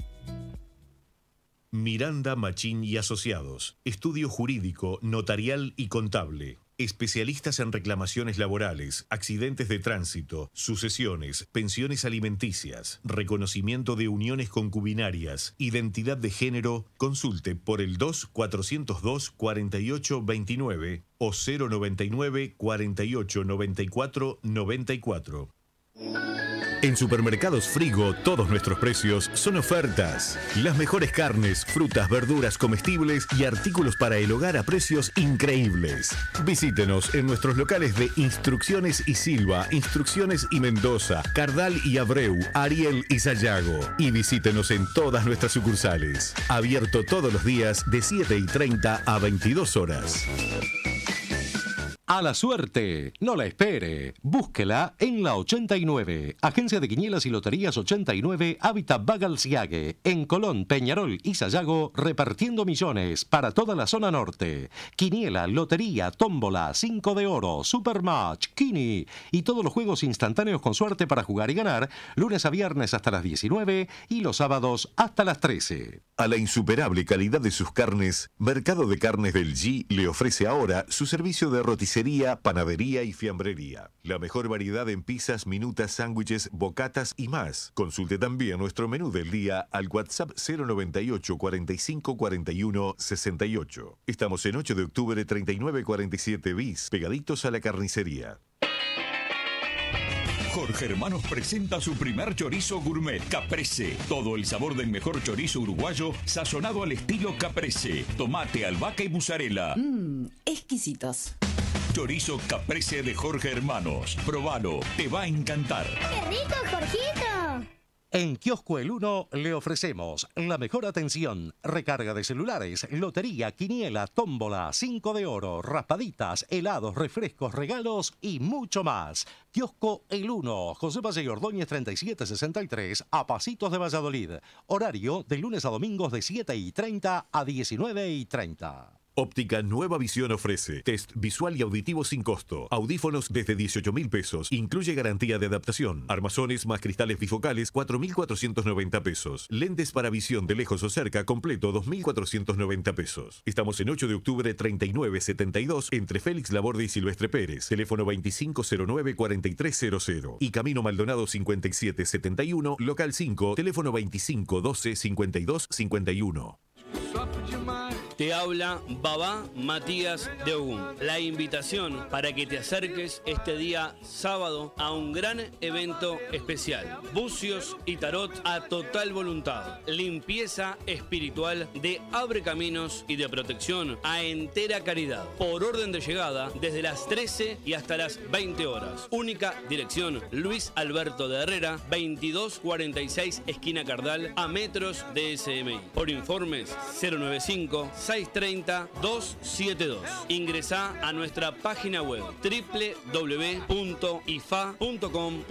y escuchá nuestro programa online desde tu celular. También podrás agendarte para una consulta personal de lunes a viernes o una consulta telefónica a través de WhatsApp o videollamada. Desde todo Uruguay a cargo de Babalago y Faculé Aguarení. Opelé, Bucios y Tarot. 095 630 272. Miranda Machín y Asociados. Estudio jurídico, notarial y contable. Especialistas en reclamaciones laborales, accidentes de tránsito, sucesiones, pensiones alimenticias, reconocimiento de uniones concubinarias, identidad de género, consulte por el 2-402-4829 o 099 4894 94.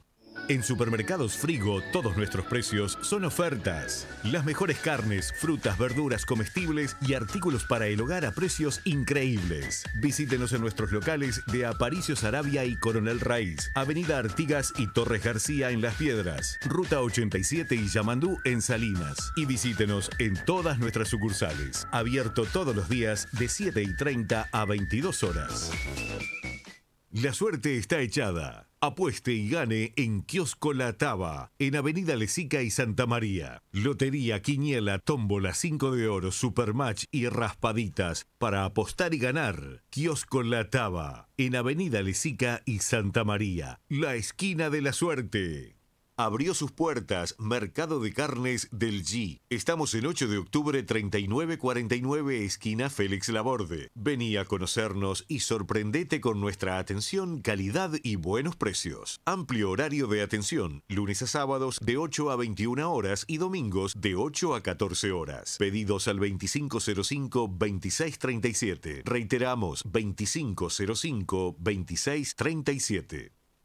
Así, así me gusta a mí, calentito y bien crocante, los faroles adelante, abriendo paso al tambor. Mi comparsa es la mejor, este año no hay quien pueda, mira la de la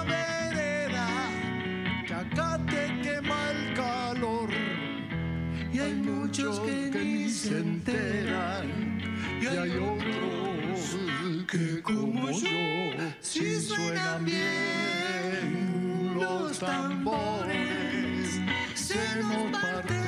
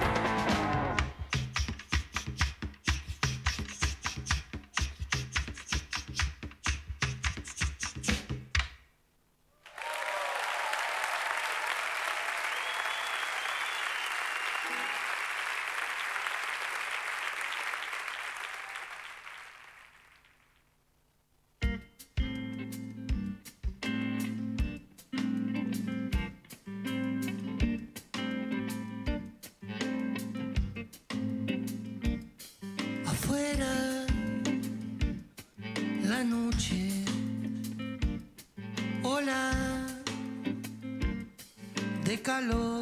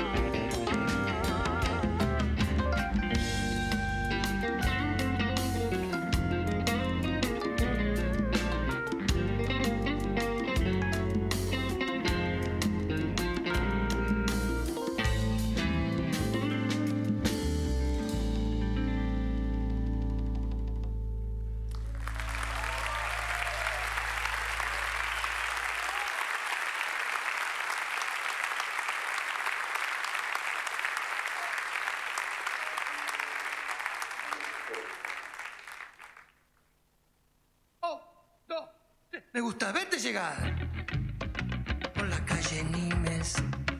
Ni me explico por qué, ni me salgo del compás. Para verte llegar de tardecita por la calle Nimes. Ni me escondo en la silla, ni me salgo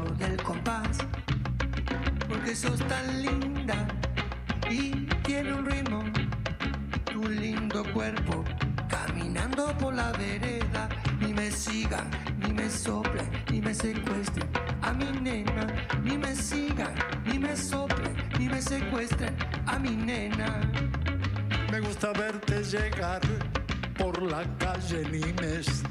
Ni me explico por qué, ni me salgo del lugar. Para verte llegar de tardecita por la calle Nimes. Ni me escondan la silla, ni me saquen del compás. Porque sos tan linda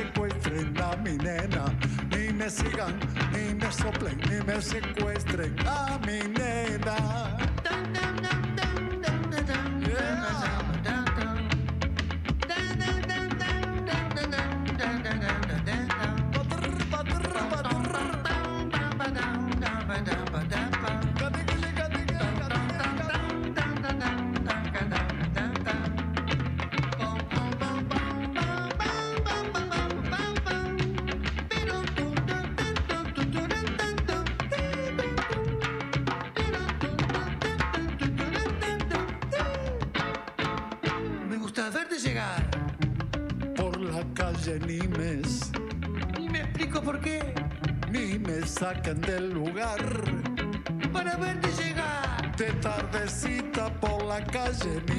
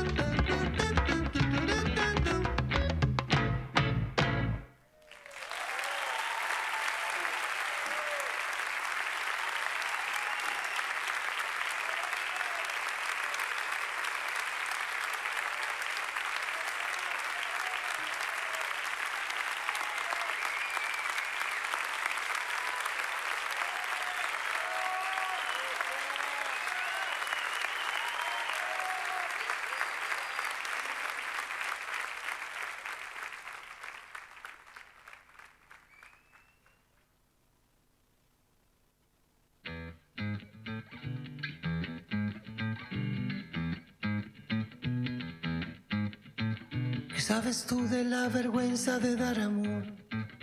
¿Qué sabes tú de la vergüenza de dar amor? Uno se pregunta lo que sienten. Uno se pregunta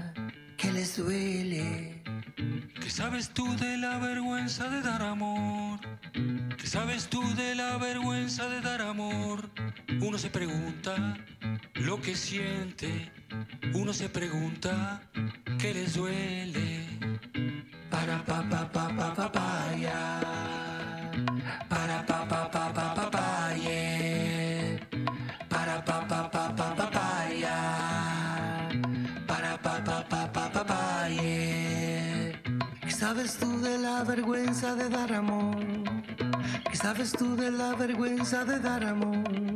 Uno se pregunta lo que sienten. Uno se pregunta qué les duele. Para pa pa pa pa pa pa ya. Para pa pa pa pa pa pa yeah. Para pa pa pa pa pa pa ya. Para pa pa pa pa pa pa yeah. Sin embargo es tan hermoso dar amor.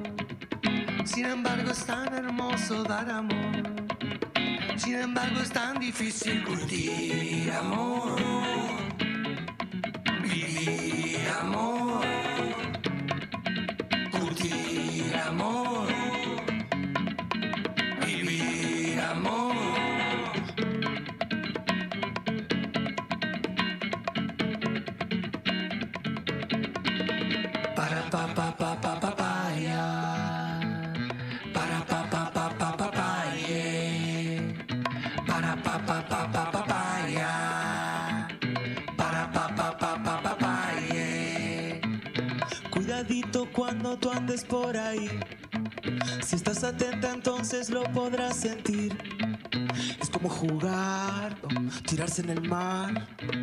Vas a empapar y a cantar.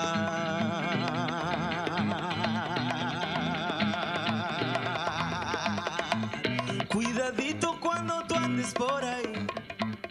Después de entrar no querrás salir. Es una sensación re loca. Te cambia todo cuando te toca. Ya vas a aprender que es como andar de viaje. Es como una poesía del mandrake.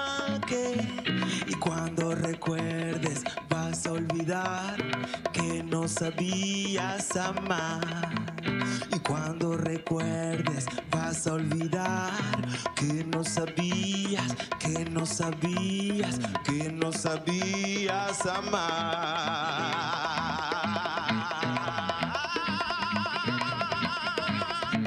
¿Qué sabes tú de la vergüenza de dar amor? ¿Qué sabes tú de la vergüenza de dar amor? Uno se pregunta, Uno se pregunta lo que siente, lo que siente. Uno se pregunta, Uno se pregunta qué les duele, qué les duele. Uno se pregunta, Uno se pregunta lo que siente, lo que siente. Uno se pregunta, Uno se pregunta qué les duele, qué les duele. Para pa pa pa pa pa pa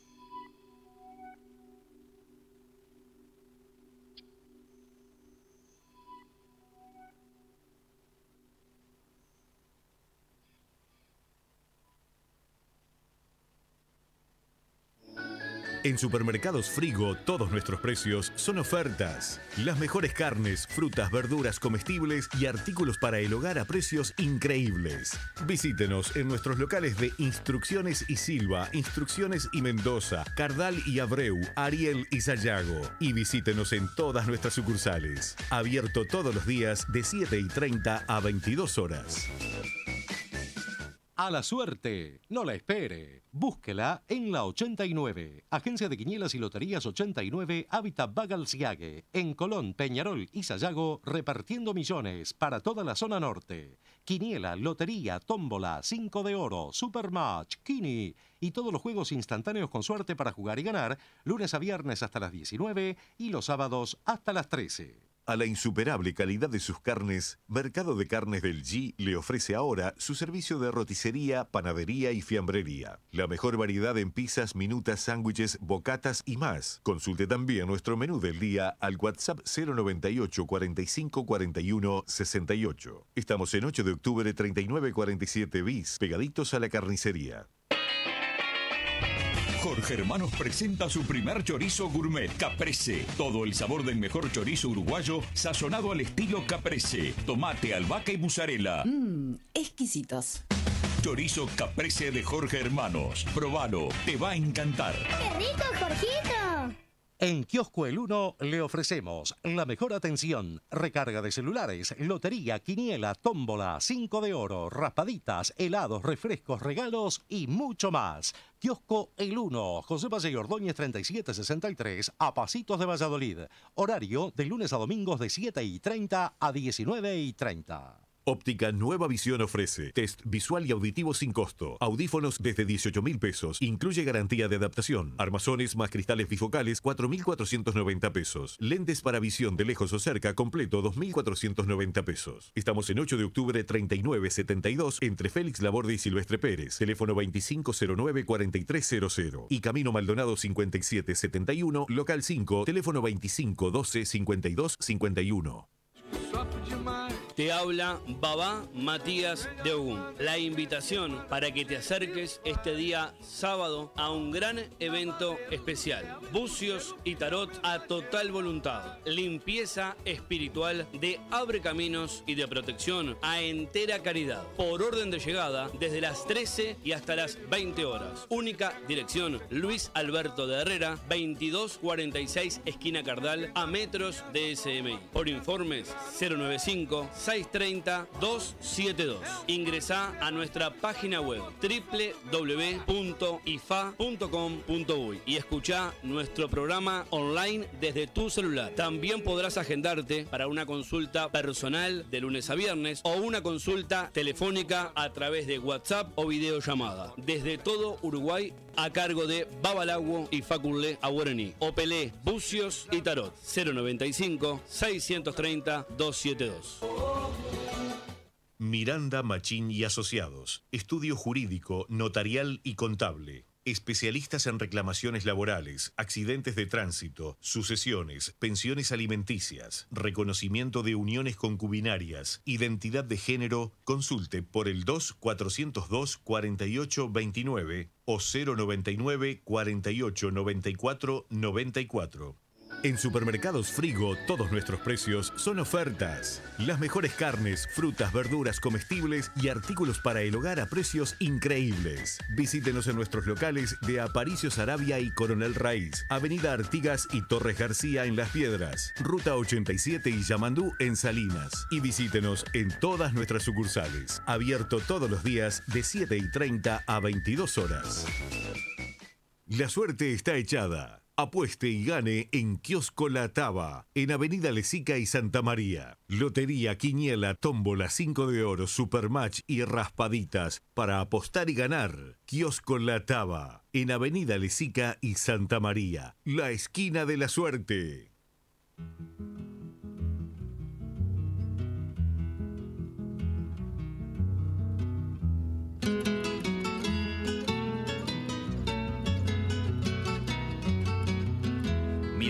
Está completo, te pide a cada instante todo el secreto.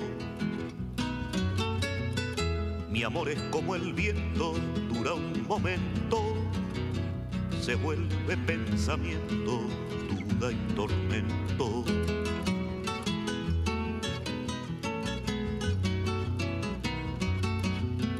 Tu amor mío no es tuyo, me pide en cada prenda que lo comprenda. Mi amor es tuyo y mío, oh plaja de ante, te pide cada noche rosas fragantes.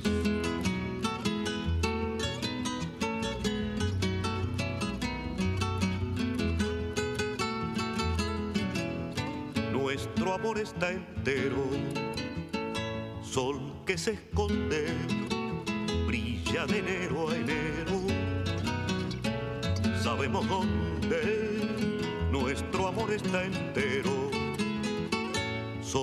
se esconde, brilla de enero a enero. Sabemos dónde.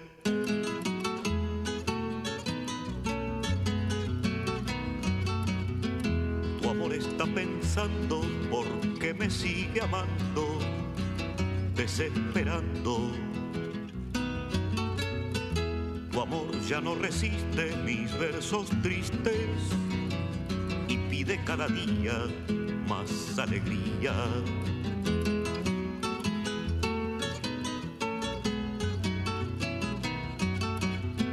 Mi amor se te parece, te pide varias veces lo que te ofrece. Tu amor que cuando crece siente que lo merece, también pide milagros, panes y peces.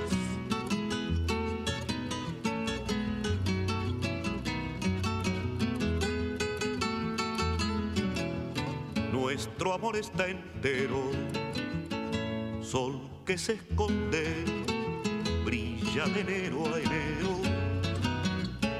Sabemos dónde nuestro amor está entero, sol que se esconde, brilla de enero a enero. Sabemos dónde.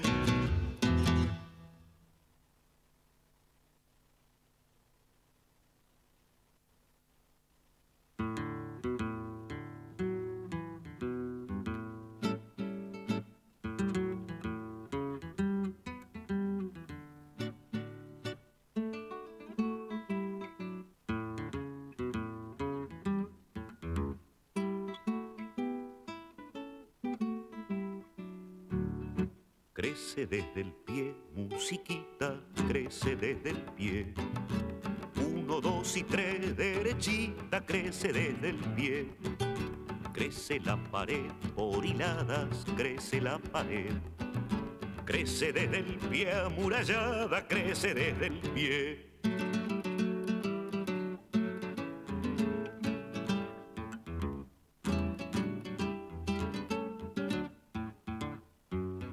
Crece desde el pie, musiquita, Tres, derechita, crece desde el pie. Crece la pared, por hilada, crece la pared. Crece desde el pie, amurallada, crece desde el pie. Dentro de su lata la mata, crece desde el pie. Crece desde el pie la fogata, crece desde el pie.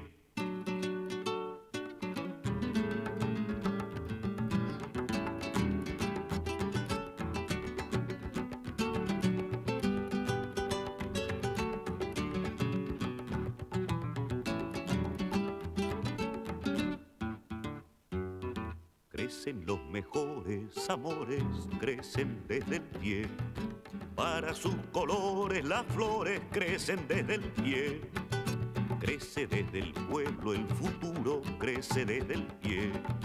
Animada el rumbo seguro, crece desde el pie. Cantan para usted los cantores, crecen desde el pie. Un poco de fe y los tambores pueden florecer.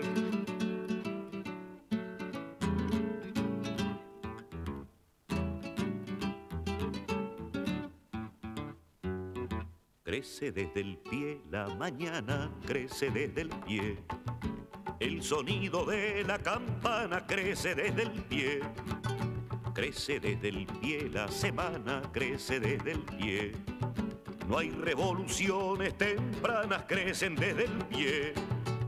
No olvides que el día y la hora crecen desde el pie. Después de la noche la aurora crece desde el pie.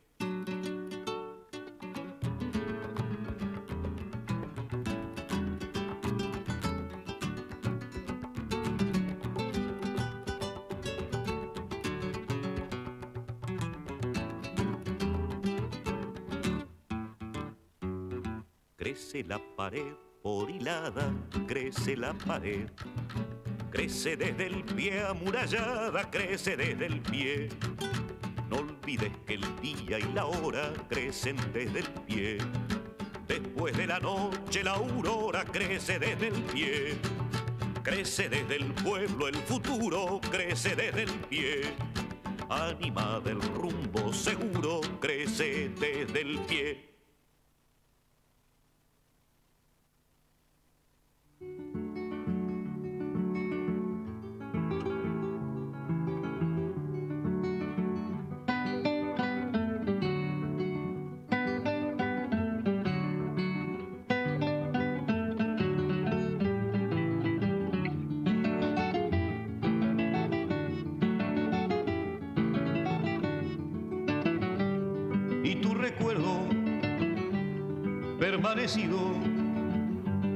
Me está diciendo, me está diciendo que no hay olvido.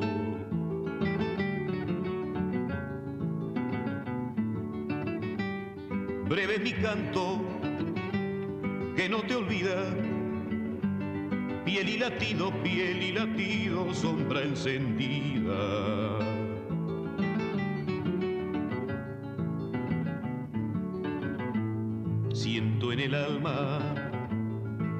Puñales, filos metidos, filos metidos en manantiales.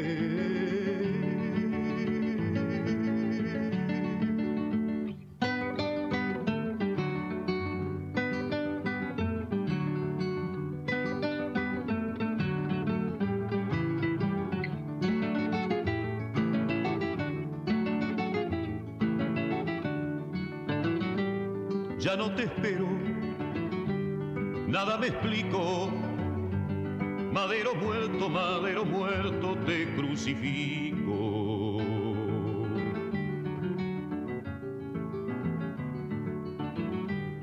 ¿A qué has venido? Vuelve al pasado. Déjame solo, déjame solo, quien te ha llamado.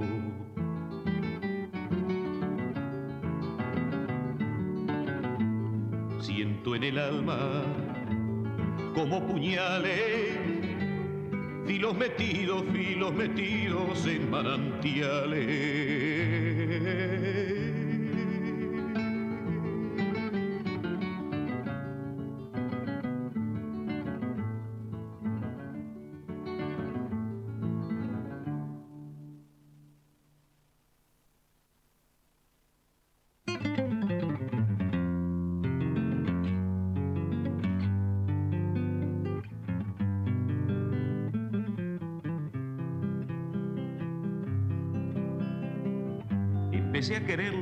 Sí, por nada. Fue como un dormirme sobre la guitarra y soñar milongas, cifras y zambas. Llegaba como llega el día en las enramadas, un puñado de trino, un murmullo de ala y un beso prendido en el pico, como una calandria. Yo andaba curando una herida que hacía tiempo sangraba de despecho y rabia, y ella, con sus besos y sus manos blancas, tejió telaraña para cicatrizar.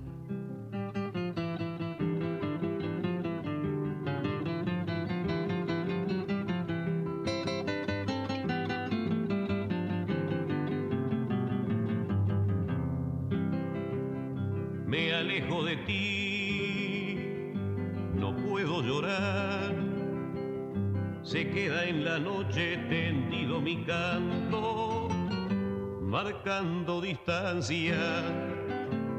Qué triste ha de ser el mañana sin una esperanza. Qué oscuro el camino, la vida, si no hay luz en el alma.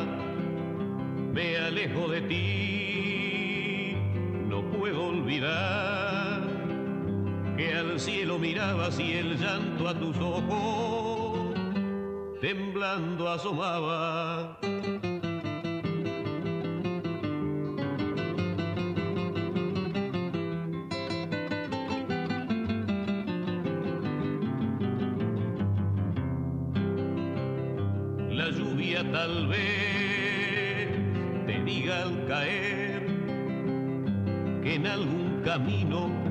Con llanto mi pobre pañuelo. No esperes en vano el regreso tras de tu ventana. Las nubes que hoy cruzan el cielo no has de ver mañana. Me alejo de ti, no quiero llorar, pero emocionado mirando el camino, mis ojos se empañan.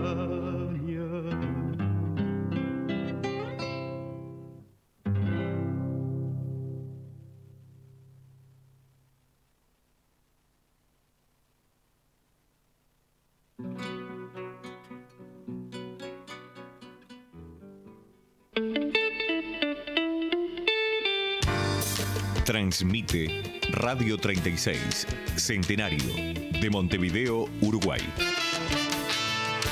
Una radio imprescindible, porque nos da ánimo siempre. Noticias al toque en dos minutos.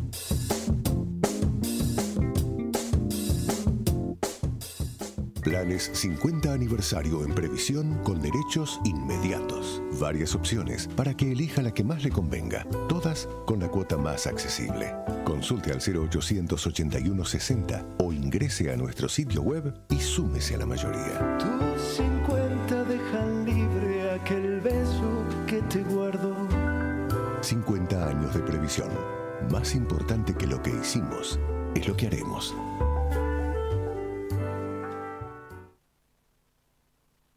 ¿Estás empezando un emprendimiento digital y querés vender online? Llegó N, la nueva plataforma de e-commerce que te lo hace todo más simple. Porque con N podés crear rápidamente tu tienda online e integrarla con tu Facebook, Instagram y Mercado Libre para que vendas en todos lados. Y además, resolvés el envío con importantes descuentos. Con N gestionas todo. Empezá a vender online ya. Informate en n.com.uy. El lugar donde nace el calor, la humedad. Curopa presenta su nuevo álbum. La gente, vos y yo como manada, vos y yo como manada, vos y yo. El lugar. La noche y el día es igual. Curopa, el lugar. Escúchalo en tiendas digitales. Edita Bizarro. ¿Tu casa no tiene alarma ADT? Contratala a través de Netgate con importantes beneficios. Llama ahora al 2712-6666 y evita que te visiten los amigos de lo ajeno. En este año tan especial estuvimos siempre contigo. Estuvimos para darte la mejor atención, para escucharte siempre. Estuvimos en cada llamada para darte una respuesta. Y cada vez que lo necesitaste, estuvimos ahí. Estuvimos con todo. SWAT cumple 30 años contigo y vamos a seguir estando con todo. SWAT 30 años. Afiliate online en swat.com.uy o llamando al 2-711-0711. Cobertura parcial de asistencia médica. Calle a calle, paso a paso, vamos en la vuelta. Si las penas se entreveran, baje la vereda. La música uruguaya para niños está en la 36. Sentirnos cerquita. Por Jorge Bonaldi y Adriana Ducret. Hay que disparate, no se puede creer. Se agota el CD. Esta mañana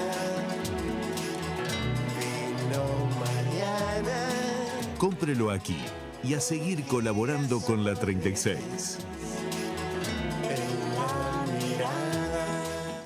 Audiencia de la 36. Les recordamos que todos los domingos a las 9 de la mañana cuentan con el espacio de RGM Negocios Inmobiliarios que les trae la actualidad del mercado inmobiliario y con el tradicional listado de ventas y alquileres. Venta de casa en Positos, Libertad y Avenida Brasil. Casa de estilo en tres plantas a reciclar, 200 mil dólares.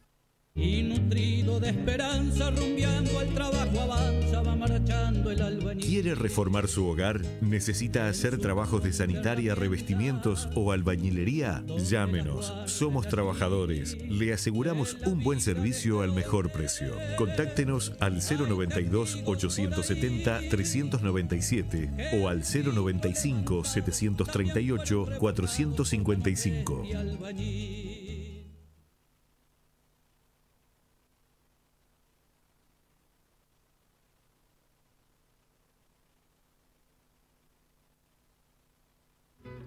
Lo esconde, no se ve, le infunde magia y vida y luego lo devuelve. Y se escapa, lo engaña, lo deja, lo quiere. Y el balón le persigue, le cela, le hiere. Y se juntan y danzan y grita la gente. Y se abrazan y ruedan por entre las redes. Y se estremece la gente. Y lo ovaciona la gente.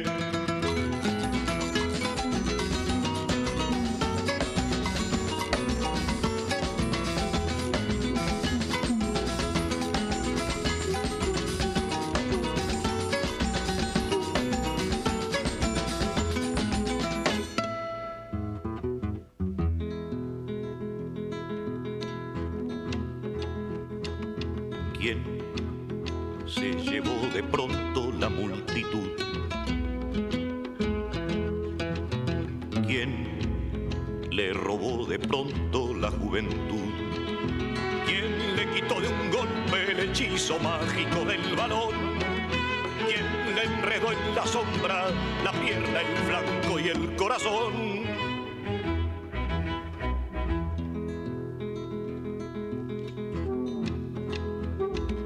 ¿Quién le llenó su copa en la soledad?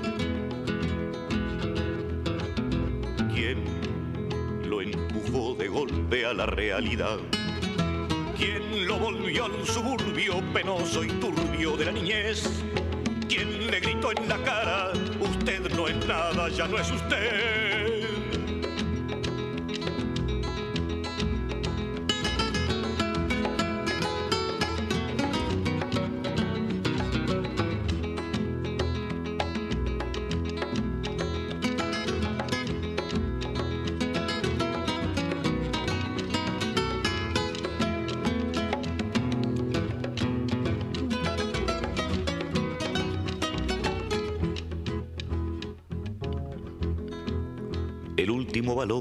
Para con el pecho y junto al pie lo duerme. Lo mira y solo ve cenizas del amor que estremeció a la gente. Y lo pierde en la hierba, lo deja, lo olvida. No lo quiere, le teme, no puede, no atina. Y se siente de nuevo enterrado en la vida. Y el balón se le escapa entre insultos y risas. Y se enfurece la gente y le abuchea a la gente.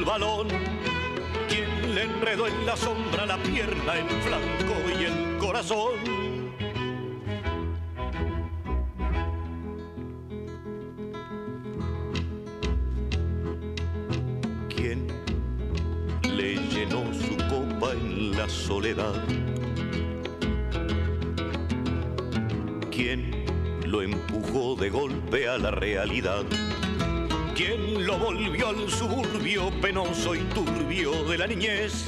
¿Quién le gritó en la cara, usted no es nada, ya no es usted? Ya no es usted, señor, ya no es usted, ya no es usted, señor, ya no es usted, ya no es usted, señor, ya no es usted.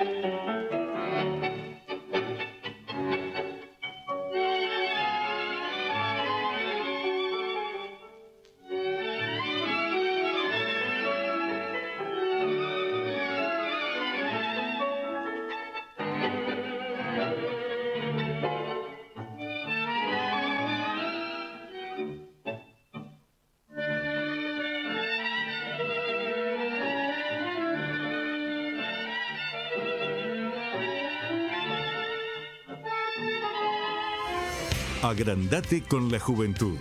Ahora todos los sábados con ocho páginas más, para que tengas más entrevistas, más notas, más imágenes y la mejor información nacional e internacional. Incluye el suplemento Liberación. Hacete suscriptor del semanario La Juventud. Mensual 150 pesos, trimestral 400 pesos, semestral 750 pesos, anual 1400 pesos. Suscríbete ya por el teléfono 29 24 79 71. 29 24 79 71.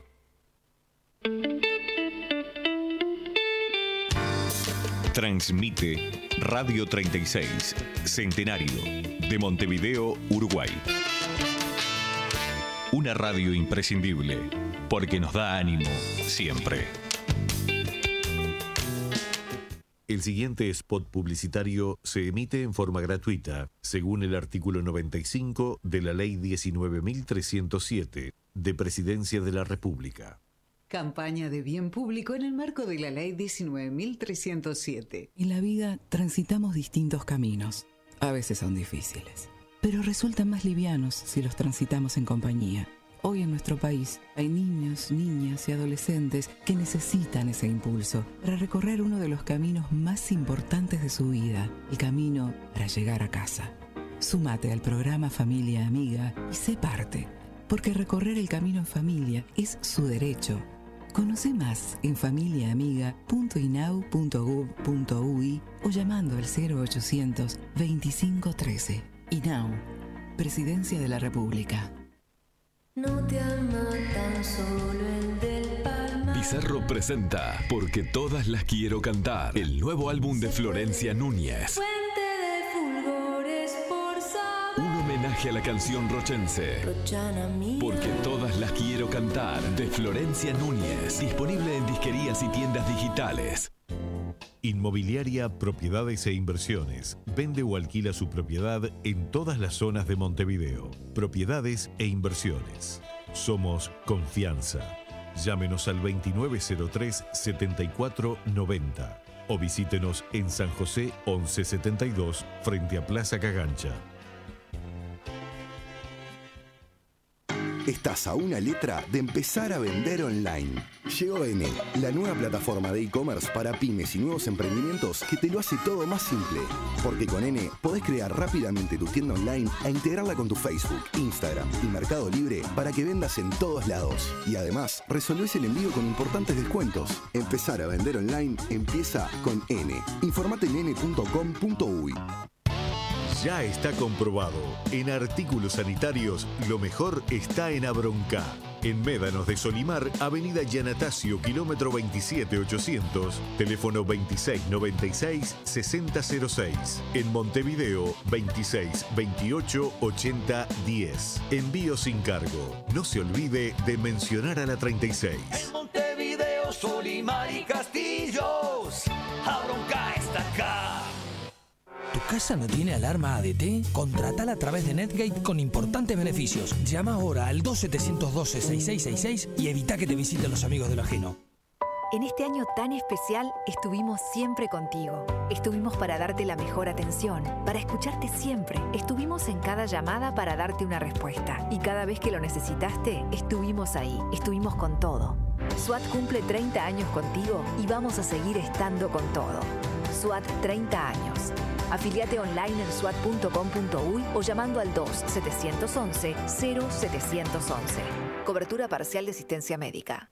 Cerrajería Revelo, en Nuevo París. General Hornos 5131 y Tampico. Atención 24 horas. Teléfono 091 203 095. Fletes Román le ofrece fletes en Montevideo e interior, también traslados. Si necesita ir a lo de un familiar, amigo o al médico, llame a Román al 093-722-271. Contamos con cómodas camionetas para seis personas y también lo llevamos con su mascota. Precios especiales para viajes frecuentes. A donde sea, Román lo lleva. Llame al 093-722-271. No se olvide, 093 722 271. A solo 60 kilómetros de Montevideo tenés una escapada ideal para descansar, disfrutar y divertirte. El complejo de turismo social de Amul en el balneario Ordey de Quillú está abierto todo el año. Cabañas para 3, 4 y 8 personas totalmente equipadas. Camping La Casa del Cura, con luz y agua potable, baños con agua caliente, parrilleros y heladera. Si integras un sindicato u otra organización social, comunícate con nosotros y conoce los convenios que ofrecemos, con descuentos de hasta 50%. Vení al Complejo de Turismo Social de Amul. Consultas y reservas al 099 120 064 o comunicate a turismosocialamulp@gmail.com. Seguinos en Facebook, Complejo de Turismo Social de Amulp.